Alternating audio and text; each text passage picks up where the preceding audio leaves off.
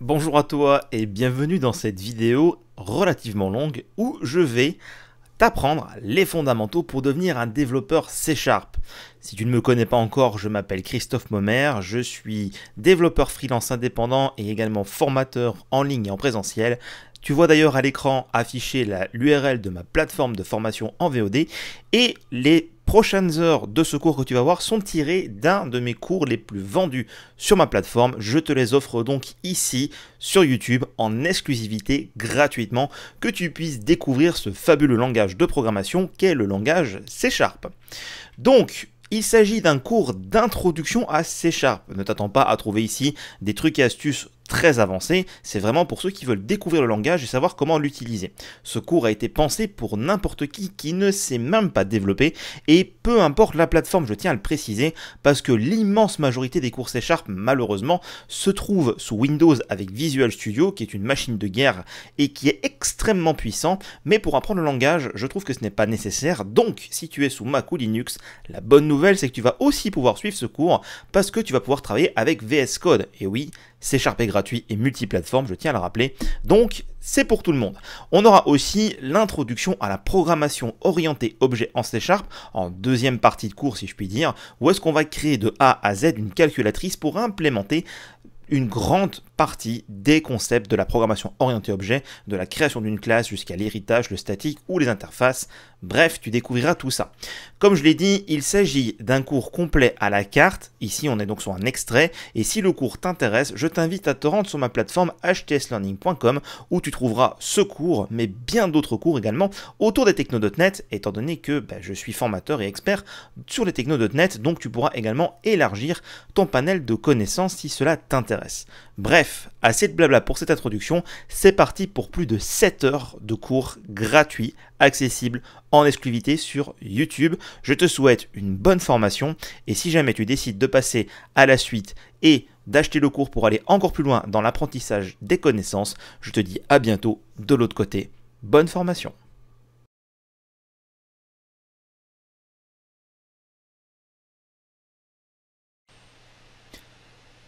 Bonjour et bienvenue sur ce cours pour devenir un développeur C Sharp. Je me présente, je m'appelle Christophe Momer et je serai votre instructeur pour ce cours qui va vous amener à connaître le langage C Sharp depuis les bases, les rudiments, les fondamentaux jusqu'à un niveau suffisant vous permettant de créer vos premières applications. Ce cours est publié sur ma plateforme Learning dont l'adresse s'affiche ci-dessous learning.hybridtechnologiesolutions.com. Sans plus attendre, rentrons directement dans le vif du sujet. Tout d'abord, qu'est-ce que C Sharp Alors, on l'a vu, c'est écrit C suivi d'un dièse et ça se prononce, comme je l'ai dit depuis le début, C Sharp. Il s'agit d'un langage de programmation, c'est-à-dire qu'avec ce langage, vous allez pouvoir programmer, créer des applications, mais ce langage a trois caractéristiques importantes. Tout d'abord, il est fortement typé. Ce que ça veut dire, c'est que chaque élément qu'on va utiliser dans le langage appartient à un type donné, et ce tout au long de sa vie. Par exemple, si je crée une variable pour y stocker un entier, je ne pourrai par la suite jamais y stocker une chaîne de caractères ou une date. Peut-être que certaines choses sont encore un peu obscures pour vous, comme par exemple la notion de variable, ou même entier, chaîne de caractères, date, ça ne vous parle peut-être pas encore forcément, ce sont des choses qui vont naturellement venir. Ici, on est sur un module d'introduction, je vous parle de certaines choses d'un point de vue purement théorique, mais vous verrez, lorsque vous pratiquez, ça deviendra de suite plus clair. Cette notion de typage fort veut simplement dire qu'une fois que vous avez créé quelque chose, il ne pourra pas changer. Tout simplement. Ensuite, c'est un langage de programmation dit orienté objet. Orienté objet, c'est une approche de développement informatique où est-ce que au lieu de travailler uniquement avec des fonctions, on verra plus tard également ce que c'est, on va créer des objets pour y stocker diverses informations. Imaginez par exemple votre ordinateur comme étant un objet. Il stocke des informations. On peut par exemple retrouver comme information la taille de son écran, la vitesse de votre processeur, la quantité de mémoire à savoir la RAM que vous avez ou la quantité d'espace disque sur votre disque dur, mais il a également des possibilités comme par exemple pouvoir l'allumer ou écrire du texte. Pas d'inquiétude, on reviendra plus tard dans ce cours sur les principes orientés objets beaucoup plus en détail. Il faut juste se souvenir que le C Sharp a pris cette approche pour les fondamentaux de son langage. Et finalement, très important, c'est un langage de programmation qui est multiplateforme. Ça n'a pas toujours été le cas. Pendant très longtemps, C Sharp était uniquement réservé à Windows et il y a eu une version open source faite par la communauté pour Linux. Mais depuis, un certain nombre d'années, le langage C Sharp est devenu multiplateforme, ce qui veut dire que quand vous connaîtrez ce langage, vous pourrez créer des applications sur Windows, bien entendu, mais également sur Mac, sur téléphone mobile, des applications web, et même si vous en avez envie, vous pouvez créer une application pour votre téléviseur Samsung, parce que toutes ces plateformes peuvent être ciblées grâce à C Sharp. Maintenant, parlons un petit peu plus en détail du langage en tant que tel. Il faut savoir que le langage C Sharp est un langage qui est dit compilé. C'est-à-dire que les, instructions que vous allez écrire en C Sharp ne sont pas les instructions qui sont comprises par la machine. En effet, chaque ordinateur parle en quelque sorte, selon son processeur, une langue particulière. Et pour éviter d'avoir à réécrire votre application pour supporter tous les processeurs, les ingénieurs de chez Microsoft ont créé un langage qui se comporte à trois niveaux. Le premier, celui qui nous intéresse aujourd'hui, est de pouvoir écrire du C Sharp. C'est un langage qui se veut être universel.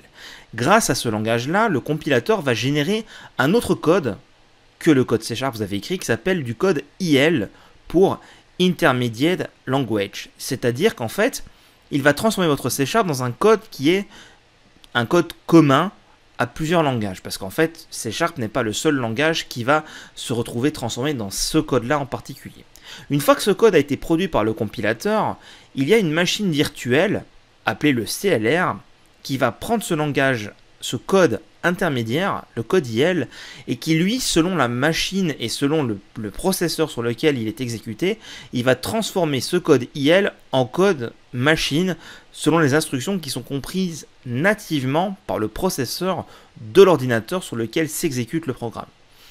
Cela peut vous sembler un petit peu compliqué, mais ce que je veux dire par là et ce qui est important de retenir ici, c'est que le langage C Sharp n'est pas le langage final, mais surtout que c'est un langage qui est compilé, c'est-à-dire que contrairement à d'autres langages comme JavaScript par exemple, le fait de compiler le langage veut dire que vous allez avoir un garde-fou. C'est un gros avantage parce que votre langage va être compilé, ce qui veut dire qu'à la compilation, il y aura une vérification de votre code pour éviter toutes les erreurs que vous auriez pu éventuellement faire. Il ne faut pas voir le compilateur comme un ennemi, mais bien comme votre meilleur ami, parce qu'il va vous préserver d'avoir écrit du code qui ne fonctionnerait pas si le compilateur n'avait pas fait son travail. Et il faut savoir aussi que le compilateur C Sharp est très intelligent, et que de fait, le code que vous avez écrit, il va tenter de l'optimiser en termes de performance. Bien sûr, ce sont des sujets qui sont très avancés, c'est bien pour que vous ayez une vue du dessus de ce que fait le langage C Sharp on ne descendra pas plus bas dans le cadre de ce cours sur ces notions-là. Maintenant, le langage en tant que tel est juste un ensemble d'instructions de programmation. On verra par exemple les conditions, les boucles, la déclaration de variables et tout un ensemble d'instructions qui sont naturellement présentes dans le langage. Cela se traduit par le biais de mots-clés. Mais le langage tout seul ne va pas vous permettre d'atteindre beaucoup d'objectifs juste par le biais de ces instructions. En fait, le langage C Sharp est fourni avec un framework, le framework.NET. Qu'est-ce qu'un framework? Eh bien, c'est une collection d'outils qui est prête à l'emploi. On peut voir ça un petit peu comme, pour faire un parallèle, avec quelqu'un qui fait un métier. Le langage, c'est la connaissance du métier. Imaginons que vous avez fait des études pour devenir menuisier. Donc, vous connaissez les rudiments de la façon dont un menuisier doit travailler. C'est la même chose que connaître le langage.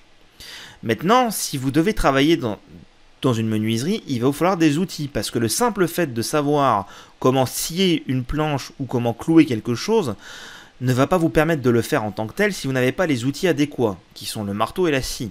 Et eh bien c'est tout à fait pareil avec le langage et le framework. Ici, connaître le C Sharp est intimement lié à connaître le framework et les outils sur lesquels il se repose. En fait, quand je vous dis que vous allez apprendre le C Sharp, vous allez apprendre d'une part les instructions de base du langage, mais également d'autre part les outils dans le framework .NET. Et grâce à ces deux éléments, vous allez pouvoir créer des applications. Alors, il faut savoir qu'il existe une version dédiée à Windows qui s'appelle le .NET Framework. La dernière version en date est la 4.8 et il n'y aura pas de nouvelle version d'après les dires de Microsoft actuellement. Et nous avons la version qui nous intéresse, à savoir la version multiplateforme qui s'appelle simplement .NET. Il y a eu beaucoup de confusion parce que avant, il y avait également la version .NET Core qui est d'ailleurs toujours euh, existante et peut toujours être utilisée. .NET Core est donc la version multiplateforme, mais Microsoft a eu pour ambition d'unifier le framework .NET et donc de le baptiser tout simplement .NET, de telle sorte que la version supérieure à la version .NET Core 3.1 et la version .NET Framework 4.8, donc la .NET version 5 et ultérieure, soit une seule et même version qui soit interchangeable et utilisable partout. C'est donc cette version-là que nous allons apprendre, étant donné que .NET Framework sous Windows n'est plus qu'en phase de maintenance et .NET Core également.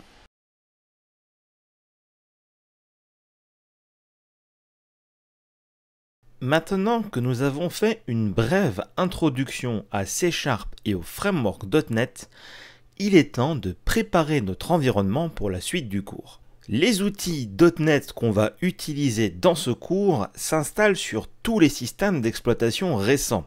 Ainsi que vous soyez sur Windows, sous macOS ou sous Linux, vous allez pouvoir suivre ce cours. A contrario de certains cours qui ne présentent C Sharp et .NET qu'avec Visual Studio sous Windows, ici j'ai pris le parti de vous montrer des outils qui fonctionnent sur toutes les plateformes pour avoir la même expérience de développeur, peu importe la plateforme sur laquelle vous vous exécutez. Pour faire fonctionner une application .NET, il nous faudra installer le runtime.NET. Le runtime.NET va être l'ensemble d'outils nécessaires qui va comprendre les éléments produits par .NET afin de les exécuter. Mais ce qui nous intéresse dans ce cours va être de créer des applications .NET et donc pour créer une application .NET, il faudra installer le SDK, Software Development Kit. Pas d'inquiétude, je vais vous montrer pas à pas comment préparer votre environnement. Mais avant de vous montrer comment installer ces différents éléments, il est nécessaire de choisir un outil de développement. Il existe plusieurs façons de coder une application en .NET. Tout d'abord, il faut savoir que les fichiers en C Sharp sont simplement des fichiers texte. Ainsi, il est tout à fait possible d'utiliser un simple éditeur de texte pour créer une application .NET.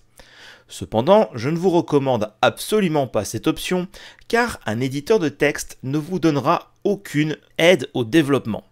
A contrario, nous avons des environnements de développement qu'on appelle intégrés, comme Visual Studio 2022 sous Windows ou encore JetBrains Rider qui lui est sous Windows, Mac et Linux.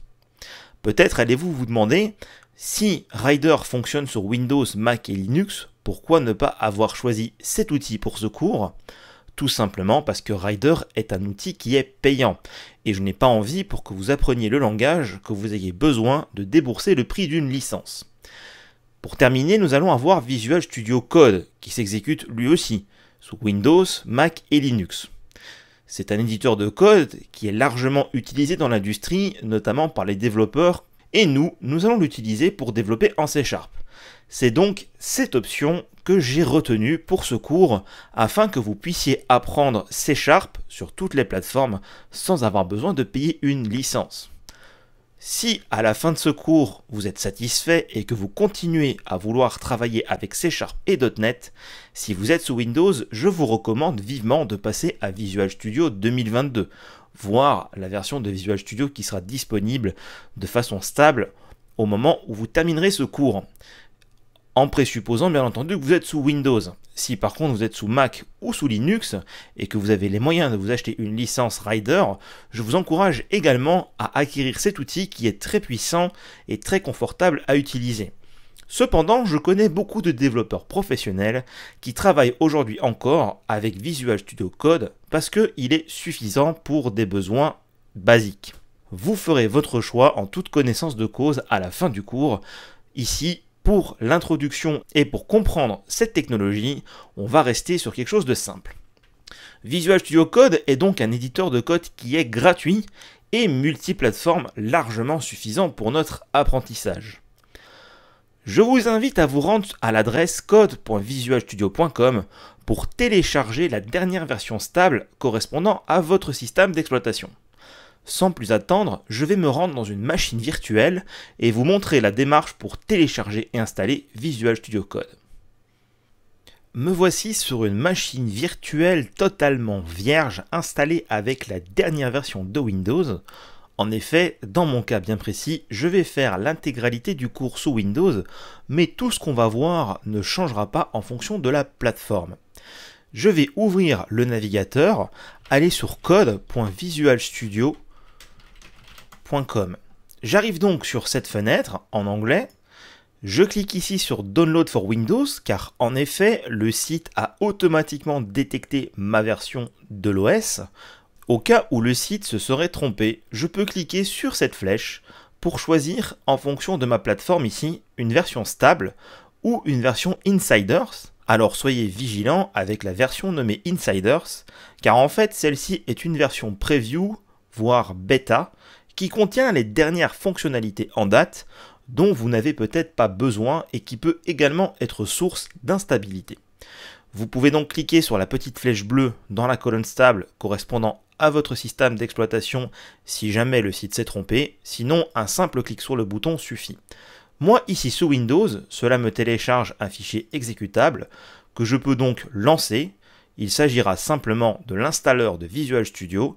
J'ai donc à suivre l'assistant pour installer Visual Studio Code. Une fois l'installation terminée, je peux voir ici que j'ai la case Exécuter Visual Studio Code qui est cochée. En cliquant sur Terminer, cela m'ouvre donc l'éditeur de développement.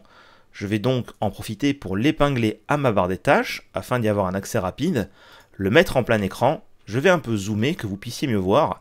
Et à partir de là, j'ai un assistant me permettant de configurer mon expérience avec Visual Studio Code. En fait, nous avons ici une liste d'étapes qui permet de choisir notamment comment vous voulez que l'éditeur se comporte, si vous souhaitez vous connecter pour synchroniser vos paramètres. Par exemple, ici, sur cette deuxième option, je peux aller choisir un autre thème, par exemple le thème clair si je préfère. J'ai également la possibilité de définir et de comprendre comment fonctionne l'éditeur. Et si je clique ici en bas sur Markdown, je peux voir que j'arrive donc sur la page d'accueil Welcome qui me propose de commencer en ouvrant un fichier ou un dossier. Il faut savoir que Visual Studio Code, de base, ne comprend aucun langage de développement en particulier et qu'il est nécessaire d'installer des extensions afin de le faire fonctionner avec le langage de votre choix. Ici, nous allons donc configurer Visual Studio Code pour qu'il fonctionne avec C Sharp. Afin de vous expliquer comment cela fonctionne, je vous donne rendez-vous dans la prochaine vidéo.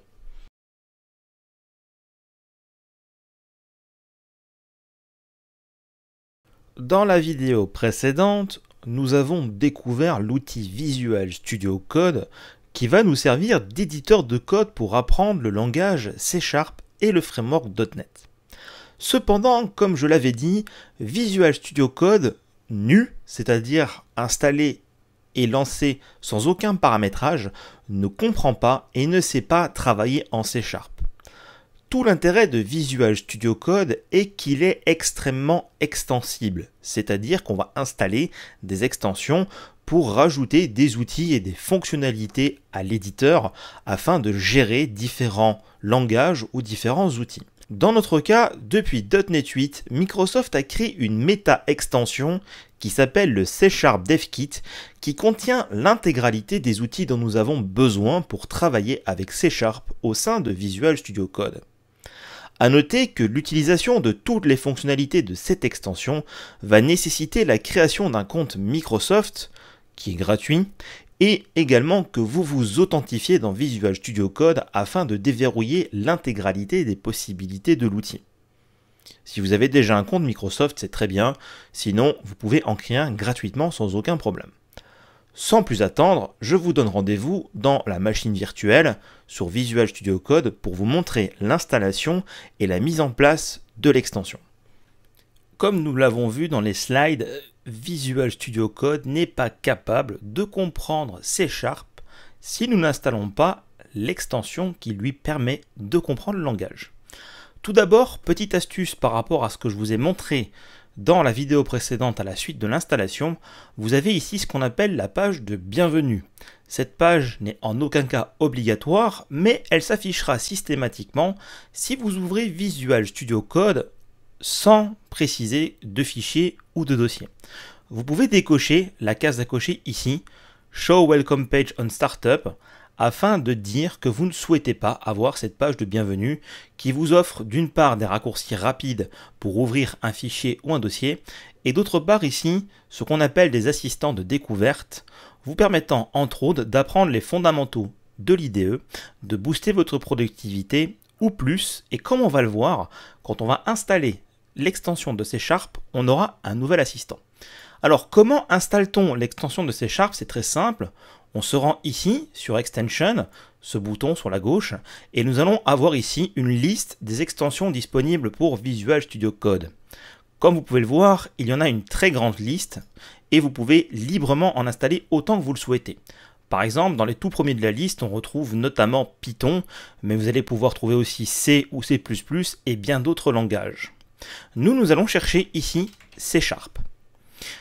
À partir de là, on va avoir le tout premier qui est le C Sharp DevKit. Je clique donc dessus, et si on prête attention à ce qu'il y a dans le résumé de cette extension, on peut voir en fait que c'est une méta-extension parce que le DevKit installe le C Sharp Extension, IntelliCode for C Sharp et le .NET Runtime Install Tool. Alors quelles sont ces trois extensions qui composent cette méta-extension? C'est plutôt simple. C Sharp Extension, qui est donc listé d'ailleurs ici aussi sur la gauche, c'est pour que Visual Studio Code puisse comprendre le C Sharp et donc vous offrir la coloration syntaxique et l'autocomplétion. IntelliCode for C Sharp est un assistant qui a été amélioré par intelligence artificielle, notamment par le machine learning, afin de faire en sorte que les propositions faites par l'outil, par Visual Studio, soit pertinente d'un point de vue analyse IA. On retrouve d'ailleurs ici dans la liste de gauche. Et finalement, le .NET Runtime Install Tool est l'outil intégré dans cette extension qui va vous permettre d'installer le runtime et le SDK, comme on en parlait justement dans la vidéo précédente, permettant d'exécuter et de développer des applications en C Sharp. Donc en cliquant ici sur le bouton Install, je vais installer en fait ces trois extensions avec un seul clic. Je clique donc sur Install, et d'ailleurs on peut voir ici dans le menu de gauche que C Sharp et IntelliCode sont passés en statut Installing. D'ailleurs, si vous souhaitez installer rapidement une extension, vous pouvez directement cliquer sur le bouton bleu depuis le menu. Une fois l'extension installée, l'interface graphique est quelque peu modifiée parce que nous n'avons plus le bouton pour installer, mais le bouton pour désinstaller ici. On peut également désactiver une extension si on ne s'en sert plus mais qu'on ne souhaite pas la désinstaller. Et pour terminer, nous avons ici le Switch to Pre-Release Version qui vous permet de passer sur une version preview, à savoir une version plus récente qui, à l'instar de la version Insiders de Visual Studio Code, offrira les dernières fonctionnalités en date, mais pourrait également introduire des bugs et des comportements inattendus. Vous pouvez très bien cliquer dessus par exemple, et comme vous pouvez le voir, je suis passé en version 1.1.12 avec un petit tag qui est Pre-Release Version. Et ici, j'ai le bouton qui est Switch to Release Version pour revenir à la version stable officielle. On voit aussi quand on installe certaines extensions ce bouton ici, Reload Required, qui va simplement dire qu'il faut redémarrer, rafraîchir Visual Studio Code pour que l'extension soit correctement installée. Je reviens donc en version stable 1.0.14 et je ferme tout ce qui est lié aux extensions.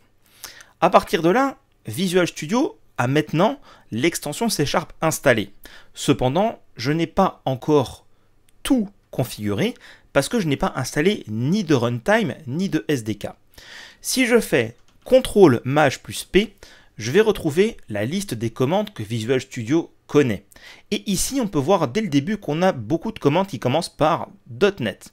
Build, clean, new project, bref, on va voir tout ça un peu plus tard, ne vous inquiétez pas. Et ce qu'on va taper, c'est welcome.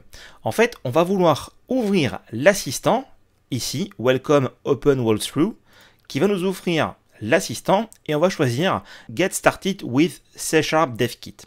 En cliquant là-dessus, on va donc avoir l'assistant de C Sharp qui va se lancer et vous pouvez le voir ici en arrière-plan qu'on a des éléments qui vont s'installer, notamment le runtime. Au moment du tournage de cette vidéo, malheureusement, le runtime qui est installé par l'outil est la version 7.0.14, alors que .NET 8 est sorti et est disponible en version stable. Vous pouvez aussi éventuellement avoir cette erreur qui dit que le SDK .NET Core n'a pas pu être localisé sur votre machine et que donc .NET n'est pas un programme exécutable reconnu. Ce sont des erreurs malheureusement dans cette version du DevKit qui sont pénibles on peut tenter de les résoudre en passant le DevKit en pré-release, comme ceci, comme je vous avais montré juste précédemment. On clique sur Reload, et donc avec la version en pré-release, on peut relancer l'assistant, donc CTRL-P Open Wallthrough avec le Get Started, et donc ici, potentiellement, certaines erreurs peuvent être résolues.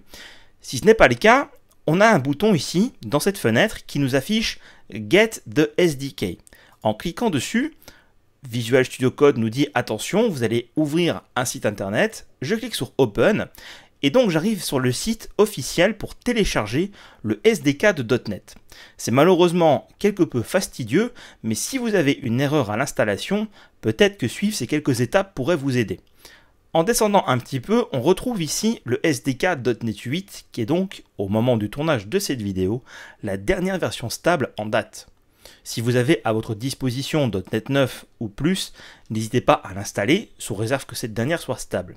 Je vais donc cliquer ici sur Download .NET SDK x64 parce que ma machine est une machine Windows en 64 bits. Si vous avez une machine en 32 bits, ce qui est très peu probable, vous allez vouloir installer la version x86. Si par contre vous êtes sous macOS avec une puce M1, M2, M3 ou plus, ou sous une machine ARM, c'est le SDK pour ARM64 qu'il faudra télécharger. Je clique donc sur télécharger le SDK. Une fois que le SDK est téléchargé, je clique pour ouvrir le fichier et je suis les étapes de l'installeur afin d'installer le SDK sur ma machine. Normalement, le .NET Runtime Install Tool est censé faire cela pour moi, mais comme on l'a vu juste avant, parfois le déroulé est quelque peu faillible, d'où je vous montre les étapes manuellement. Une fois que ceci est fait, on peut voir que l'installation a bien réussi, que j'ai donc .NET 8 avec le runtime, avec ASP.NET et Windows Desktop parce que je suis sous Windows. Je peux donc faire fermer, fermer le navigateur, et ici au sein de Visual Studio Code, je ne vais pas avoir de grosses différences. Je peux redémarrer Visual Studio Code, voire même redémarrer ma machine pour être sûr. Mais pour m'assurer que l'installation est OK, je vais cliquer ici pour afficher un terminal. Et dans le terminal ainsi ouvert, je vais taper .NET-list-sdks. Et cette commande devrait normalement m'afficher les SDK. Mais il est possible, comme on peut le voir ici, que le terme .NET n'est pas reconnu par votre machine. Dans ce cas-là, je vais fermer Visual Studio Code, je vais faire un clic droit ici pour démarrer un nouveau terminal et essayer cette commande dans un terminal, .NET-list SDK. Et là, cela fonctionne bien, tout simplement parce que Visual Studio Code n'a pas rafraîchi les variables d'environnement.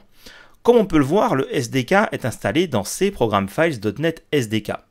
Si vous avez encore des erreurs avec un terminal qui n'est pas de Visual Studio Code, je vous invite à redémarrer votre machine. Pour terminer, si malgré tout, après le redémarrage, vous avez toujours des erreurs, n'hésitez pas à aller voir dans les paramètres du système d'exploitation, au niveau des paramètres avancés de votre ordinateur, dans les variables d'environnement, au niveau de la variable pass, qui est donc définie ici par utilisateur ou ici pour tout le système d'exploitation, vous faites modifier et vous vous assurez d'avoir ces programmes files.net dans les variables d'environnement, tout du moins dans la variable d'environnement pass de votre système et non pas de l'utilisateur. Si cette ligne n'existe pas, n'hésitez pas à la créer et de même, n'hésitez pas non plus à la déplacer le plus haut possible dans la liste. Vous pouvez le voir ici dans ma configuration actuelle qu'elle est juste en dessous du premier enregistrement avec %system root. Donc en le mettant le plus haut dans la liste, elle aura la plus haute priorité. Je vous invite donc à le faire manuellement si besoin. On peut le voir ici dans mon cas, ce n'est pas nécessaire. Je vais donc pouvoir relancer Visual Studio Code et à partir de là, on peut le voir ici, j'ai l'explorateur qui s'est chargé avec les éléments qui sont donc chargés pour la partie .NET et je peux donc cliquer sur le bouton Create.NET Project qui va me permettre de créer mon tout premier projet .NET. Mais je ne vais pas faire ça dans cette vidéo, je vous donne rendez-vous dans la prochaine pour qu'on crée ensemble notre tout premier programme C Sharp.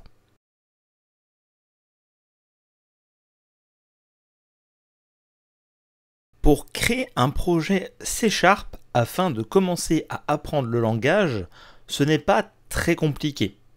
En fait, on peut le voir ici directement à l'écran, je peux créer directement le projet depuis Visual Studio Code en cliquant sur le bouton Create.NET Project. C'est une solution. Une autre solution est de me rendre dans mon explorateur de fichiers, créer un répertoire, par exemple mon premier projet, et dans ce répertoire, faire un clic droit, ouvrir le terminal, à noter que ceci est valide aussi pour toutes les plateformes, et donc dans le terminal ouvert, taper la commande .NET New. En fait, .NET New est la commande .NET qui va permettre de créer une nouvelle application. On peut voir ici que les modèles les plus courants sont les suivants, et donc nous avons une colonne non court qui permet de déterminer l'application qu'on veut créer. Dans le cadre de ce cours, tout du moins au début, nous allons créer des applications console, c'est-à-dire qui vont s'exécuter comme ceci dans une console, sans aucune distraction, afin de nous focaliser sur le langage.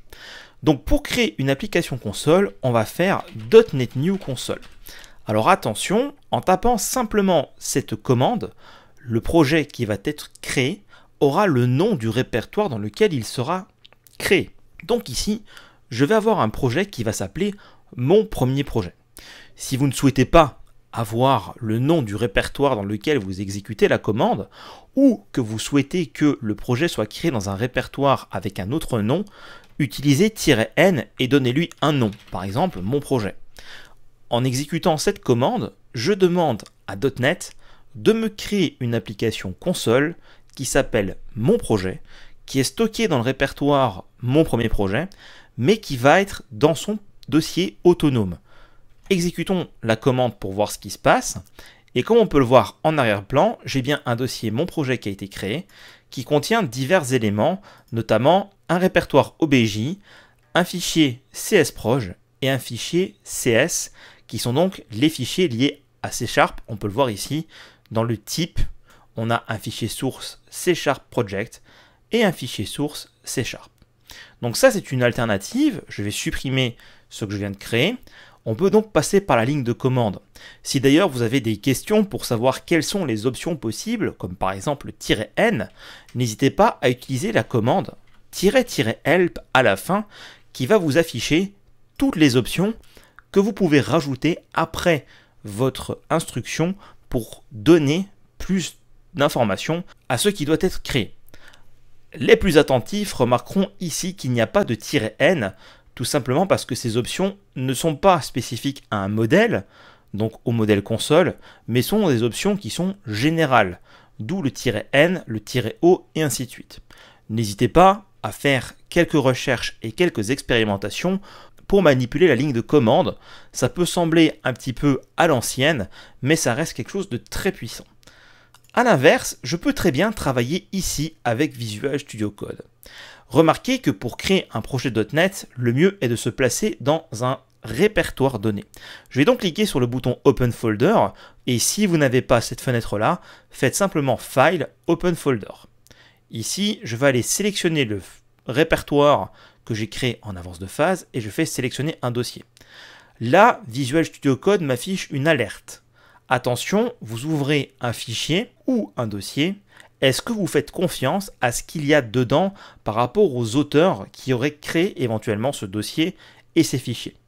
Vous pouvez mettre oui, ce qui va donc permettre de faire l'exploration du dossier et de tous les fichiers avec toutes les fonctionnalités de l'éditeur, ou vous pouvez mettre non, qui va vous permettre quand même de naviguer dans le dossier, mais en mode restrictif, donc sans avoir toutes les possibilités. Dans le cas présent, c'est nous-mêmes qui avons créé ce répertoire, donc on va cliquer sur oui, mais avant de cliquer sur oui, je vais cocher cette case pour dire que je fais confiance non seulement à ce dossier, mais également tout ce qui se trouve dans le dossier parent qui s'appelle document, qui est donc mon dossier personnel. En cliquant sur ce bouton bleu, j'ai donc Visual Studio Code qui s'ouvre avec toutes les fonctionnalités, mais vous pourrez remarquer ici que je n'ai plus le bouton Create.NET Project. Qu'à cela ne tienne, en faisant CTRL Maj et P, je vais retrouver la commande .NET New Project. Si elle n'est pas directement visible ici dans la liste pour vous, n'hésitez pas à écrire .NET pour faire un filtre rapide et pouvoir trouver New Project. Si malgré tout, en tapant .NET, la commande n'apparaît pas, c'est très probablement que l'extension aurait mal été installée. Je vous invite dans ce cas-là à la désinstaller, voire la réinstaller, voire aussi passer en version de pré-release et relancer votre environnement, relancer votre Visual Studio Code pour avoir cette commande. En cliquant dessus, Visual Studio va donc changer et m'afficher la liste de tous les types de projets que je peux créer. Et donc ici, on se retrouve avec une grande liste, mais nous, ce qui nous intéresse, ça va être console app, encore une fois, pour vraiment se focaliser sur le langage et ne pas être parasité par des spécificités liées à ASP.NET, Blazor, WPF ou n'importe quelle autre technologie. Je clique donc sur console. Visual Studio Code me demande comment appeler ce projet. Je vais donc l'appeler ici mon premier projet. Je fais entrer. Visual Studio me pose la question. Est-ce que vous souhaitez créer un nouveau dossier? Donc on peut voir ici que j'aurai un sous-dossier mon premier projet dans mon premier projet, ou est-ce que je veux choisir un autre répertoire? Je vais choisir un autre répertoire pour le mettre directement dans mes documents à la racine et donc créer les éléments dans le dossier que j'avais créé précédemment. Si je voulais que Visual Studio me crée automatiquement les éléments, j'aurais pu ouvrir Visual Studio Code au niveau du répertoire document plutôt qu'au niveau du répertoire mon premier projet que j'avais créé en amont pour vous montrer comment faire la commande .NET New. À partir de là, l'interface change quelque peu parce qu'en effet, ici sur la partie gauche, mon premier projet correspondant au répertoire que j'ai ouvert, je retrouve la liste de tous les fichiers qu'il y a dedans. Alors, si vous êtes attentif, vous avez probablement remarqué qu'on a plus d'éléments en passant par Visual Studio que en passant par la ligne de commande. On a notamment le point VS bin, et le point SLN qui sont des fichiers qui n'existaient pas quand on a utilisé .NET New. Mais ce n'est pas très grave pour l'instant. Par contre, remarquez également que ici tout en bas, nous avons Solution Explorer.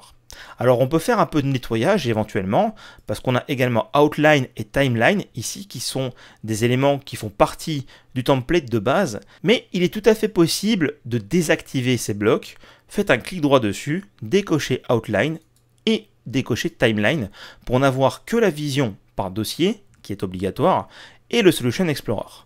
Si on ouvre le Solution Explorer, on retrouve une hiérarchie qui est beaucoup plus simple que celle du dossier. En effet, ici nous allons avoir la solution, le point SLN. Quand on laisse le curseur sur cet élément, on peut voir qu'il pointe vers le SLN. Un projet solution a pour unique but de regrouper un ensemble de projets entre eux. Ainsi, une fois que le SLN a été créé, je peux faire un clic droit dessus et choisir New Project qui va me rouvrir l'assistant ici permettant de créer un nouveau projet, sauf que ce projet sera rattaché à ce fichier de solution, ce qui peut s'avérer très pratique dans des applications complexes qui font appel à différentes technologies. Ensuite, nous avons ici en dessous le projet qui est rattaché à cette solution. On peut voir que c'est le fichier csproj.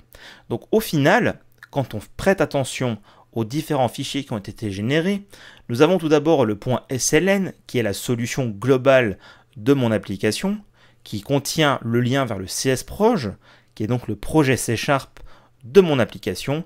Et si je déplie le projet, on peut voir dedans qu'on a programme.cs, qui est donc le fichier de code C Sharp dans lequel on va être amené à travailler tout au long de ce cours. Il n'est pas mention ici, dans le Solution Explorer, ni de bin ni de obj qui sont des dossiers de travail du compilateur de C Sharp, obj étant un dossier temporaire, bin étant le répertoire de sortie des binaires. Quant à .VS Code, il s'agit tout simplement d'un répertoire qui va stocker les paramètres de votre Visual Studio Code. À partir de là, quand vous arrivez à ce résultat, vous êtes prêt à travailler avec C Sharp et dès le prochain module, on va étudier ensemble les premières instructions et comment écrire du code C Sharp. Vous allez probablement voir tout au long de ce cours des vidéos où je fais appel à une extension qui s'appelle OmniSharp. OmniSharp est en effet l'ancêtre du C Sharp DevKit et plusieurs fois, je crée des projets à un même niveau. Je vous invite à être beaucoup plus rigoureux dans l'approche avec la nouvelle extension et de vous créer un dossier par projet pour l'étude des différents cas afin d'éviter de quelconques problèmes. Si d'aventure vous auriez quelques problèmes avec l'extension de Visual Studio, faites CTRL MAJ plus P et ici choisissez .NET Restart Language Server qui va redémarrer l'extension .NET notamment pour l'analyse du langage si besoin. Dernière chose, vous allez pouvoir lancer une application C Sharp en ouvrant ici un terminal, en vous assurant d'être dans un répertoire qui contient du code C Sharp, notamment un répertoire qui contient le fichier csproj. Donc ici, je suis dans C user C Sharp document, mon premier projet. Donc le répertoire qui contient ce fichier csproj.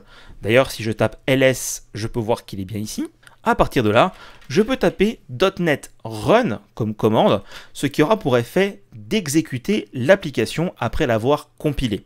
Ça prend un peu de temps la première fois, mais on peut voir ici s'afficher sur la console Hello World, qui est exactement ce que cette instruction veut dire, où est-ce qu'on veut afficher Hello World. Pas d'inquiétude si vous ne comprenez pas exactement cette instruction, on va la décortiquer ensemble, on apprendra à en écrire d'autres, beaucoup d'autres tout au long de ce cours. Vous pouvez donc lancer votre projet C Sharp comme ceci. Tout au long du cours, vous allez me voir utiliser le terminal pour taper les commandes .NET Build qui va donc provoquer la compilation et .NET Run qui va provoquer l'exécution. Je trouve ça plus pratique à utiliser, mais il y a une vidéo attaché en bonus dans la section bonus de ce cours tout à la fin qui vous explique comment exécuter un programme C Sharp depuis Visual Studio Code et également faire usage de ce qu'on appelle le debugger afin d'inspecter ce qu'il se passe quand votre application s'exécute, ce qui peut être utile pour comprendre parfois certains comportements. Pour clôturer cette vidéo, remarquez ici que j'ai un petit bonhomme avec un macaron 1 qui me dit qu'il faudrait que je me connecte pour utiliser le C Sharp DevKit. Bien que dans l'immédiat ce ne soit pas obligatoire, je vous invite vivement à le faire pour débloquer toutes les fonctionnalités. Cliquez simplement dessus, cela va vous renvoyer vers Microsoft. Il vous suffira de vous connecter avec un compte Microsoft. Pas de panique, si vous n'en avez pas, c'est totalement gratuit. Vous allez cliquer sur Créez-en un ici. Vous allez donc créer votre compte Microsoft gratuitement. Donc c'est une adresse email live.fr le plus souvent. Et à partir de là, vous allez pouvoir vous connecter dans l'extension pour l'utiliser à son plein potentiel. Je vous invite donc à le faire avant d'aller plus loin. Maintenant, notre environnement est prêt. Si il vous manque quelque chose, que vous n'êtes pas arrivé au même résultat que moi, n'hésitez pas à revoir les vidéos pour essayer de voir où est-ce que cela n'a pas fonctionné.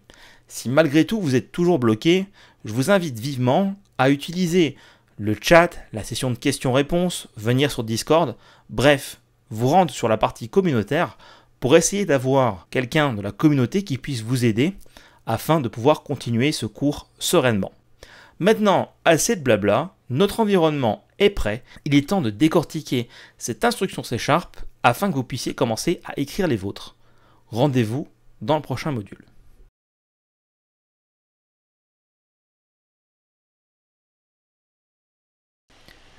J'ai repris ici l'instruction C Sharp qui était proposée de base, à savoir la deuxième, donc celle qui n'est pas en vert. On verra la première ligne en vert un peu plus tard. Ceci est une instruction C Sharp, et ce qu'on va faire, c'est qu'on va la décomposer élément par élément, afin que ce soit plus clair pour tout le monde, et que tout le monde comprenne comment s'écrit une instruction C Sharp. La première chose, c'est qu'on voit ici en bleu clair au début le, mot console avec un C majuscule. Ce mot console, c'est l'objet qu'on va vouloir utiliser. Alors c'est une utilisation un petit peu particulière, on reviendra dessus bien en détail, mais en gros, je vais dire ici l'objet que je veux utiliser. Ah, une fois que j'ai défini que je voulais utiliser cet objet-là, à savoir la console, je vais mettre un point. Ce point s'appelle un accesseur. C'est-à-dire que si je tape console point, ce qui va arriver après le point appartient à l'objet console. Et là, ce que je fais, c'est qu'on va utiliser une méthode. C'est-à-dire, c'est pour ça qu'elle est écrite en jaune clair, cette méthode-là, c'est que sur l'objet console, je vais aller chercher une méthode que je vais vouloir exécuter. Je vais dire à l'objet console, fais cette action, exécute cette chose. Donc ici, cette méthode s'appelle WriteLine pour écrire une ligne. Et une méthode, comment on la reconnaît? Eh bien tout simplement parce qu'elle a des parenthèses. Ces parenthèses sont utilisées pour passer des paramètres à la méthode. La console, la méthode WriteLine pardon, a besoin d'un paramètre pour savoir qu'est-ce qu'elle doit écrire comme ligne, quel est le contenu de la ligne qu'elle doit écrire. Et pour qu'on puisse lui dire voilà le contenu que je veux que tu écrives, il faut que je lui donne l'information. Cette information se passe entre parenthèses. Si une méthode n'attend pas de paramètres, on mettra parenthèse ouvrante, parenthèse fermante, rien au milieu. On aura l'occasion de revenir là-dessus bien en détail, pas d'inquiétude. On est bien ici dans une, vision au niveau de l'instruction. Donc ici, j'ai décidé d'appeler sur l'objet console la méthode WriteLine en lui passant entre parenthèses la valeur qui est Hello World. Donc en fait, ça, cette, euh, valeur-là, c'est ce que je veux dire à la console. Écris-moi ça sur la console sous forme d'une ligne. Donc on reviendra sur les paramètres et sur les types plus tard, bien sûr. Mais en gros, je lui dis, écris-moi Hello World. On remarquera qu'il y a des guillemets de part et d'autre, ce qui en fait, de fait, une chaîne de caractères. Pour finir, essentiel et très important, il y a systématiquement un point-virgule à la fin d'une instruction C. Tant que le compilateur ne rencontre pas le point-virgule, il continuera à enchaîner les différentes, instructions. Ce qui veut dire que si je ne mets pas de point-virgule, ce qui va venir juste après devra correspondre à ce qu'il y avait avant. Et ça me permet également d'écrire l'instruction sur plusieurs lignes, sans avoir besoin d'utiliser un caractère particulier. Donc ici, on a une vue globale de ce qu'est une instruction C Sharp. Alors la première, en l'occurrence, qui est de surcroît un petit peu particulière, comme on le verra au fil de cet exercice, de, ce cours. Mais ce qu'il faut retenir, ce qui est essentiel à retenir de ce slide, c'est que chaque instruction C Sharp se termine par un point-virgule, que pour accéder aux informations d'un objet, on utilise le point, qu'une méthode s'appelle avec les parenthèses et qu'on donne les paramètres de cette méthode entre parenthèses. Tout ça sera bien sûr revu et quand vous pratiquerez, ce sera beaucoup plus simple. La deuxième instruction, un peu plus spéciale, est ce qu'on appelle un commentaire. Comment est-ce qu'on le reconnaît? Déjà parce qu'il a une couleur verte, mais aussi parce qu'il commence par un double slash. On le voit ici à l'écran. Ce commentaire nous permet de mettre du texte libre dans du code, comme par exemple pour donner une indication, pour expliquer quelque chose ou rajouter une information. Ici, si on prend le commentaire qui est présent de base, il nous explique qu'est-ce qui s'est passé, pourquoi est-ce qu'on a ce nouveau template, parce que auparavant, avant .NET 6, les applications console étaient beaucoup plus fournies que ça, il y avait beaucoup plus d'instructions. Maintenant, c'est ultra simplifié et on commence par cette ultra simplification pour apprendre votre apprentissage, comme ça on se focalise sur l'essentiel. Donc Microsoft a rajouté ce commentaire en début de fichier avec un lien pour ceux qui sont curieux en disant rendez-vous sur ce lien là pour comprendre qu'est-ce qui s'est passé et pourquoi il n'y a qu'une seule instruction dans ce fichier. Vous pouvez à n'importe quel moment de votre écriture entre deux instructions C Sharp, écrire autant de commentaires que vous voulez, tant qu'il y a double slash au début et que vous en écrivez un par ligne. Cela vous permet de rajouter des informations à côté du code qui peut même vous être utile à vous-même. Maintenant qu'on a vu ces deux instructions C Sharp, on va faire un petit exercice. Vous allez écrire vous-même votre première instruction C Sharp à la ligne de la première, c'est-à-dire sur la ligne numéro 3, et en se basant sur ce qui été écrit sur la deuxième ligne qui affiche sur la console Hello World, l'exercice vous demande d'écrire une ligne de code qui, lorsqu'on va exécuter notre programme C Sharp, affiche sur la console J'apprends le C Sharp. Je vous laisse mettre la vidéo en pause, faire l'exercice, et je vous donne rendez-vous dans quelques secondes, le temps que vous fassiez l'exercice, pour qu'on voit ensemble la correction. Je vous propose d'aller voir ça directement dans l'éditeur de code de Visual Studio sur la machine de démo. Il est maintenant temps de passer à la pratique et d'écrire notre toute première instruction en C Sharp. Afin de réaliser cet exercice, j'ai créé un dossier sur mon disque dur. Ici sous Windows, je l'ai créé dans un dossier court C Sharp module 1.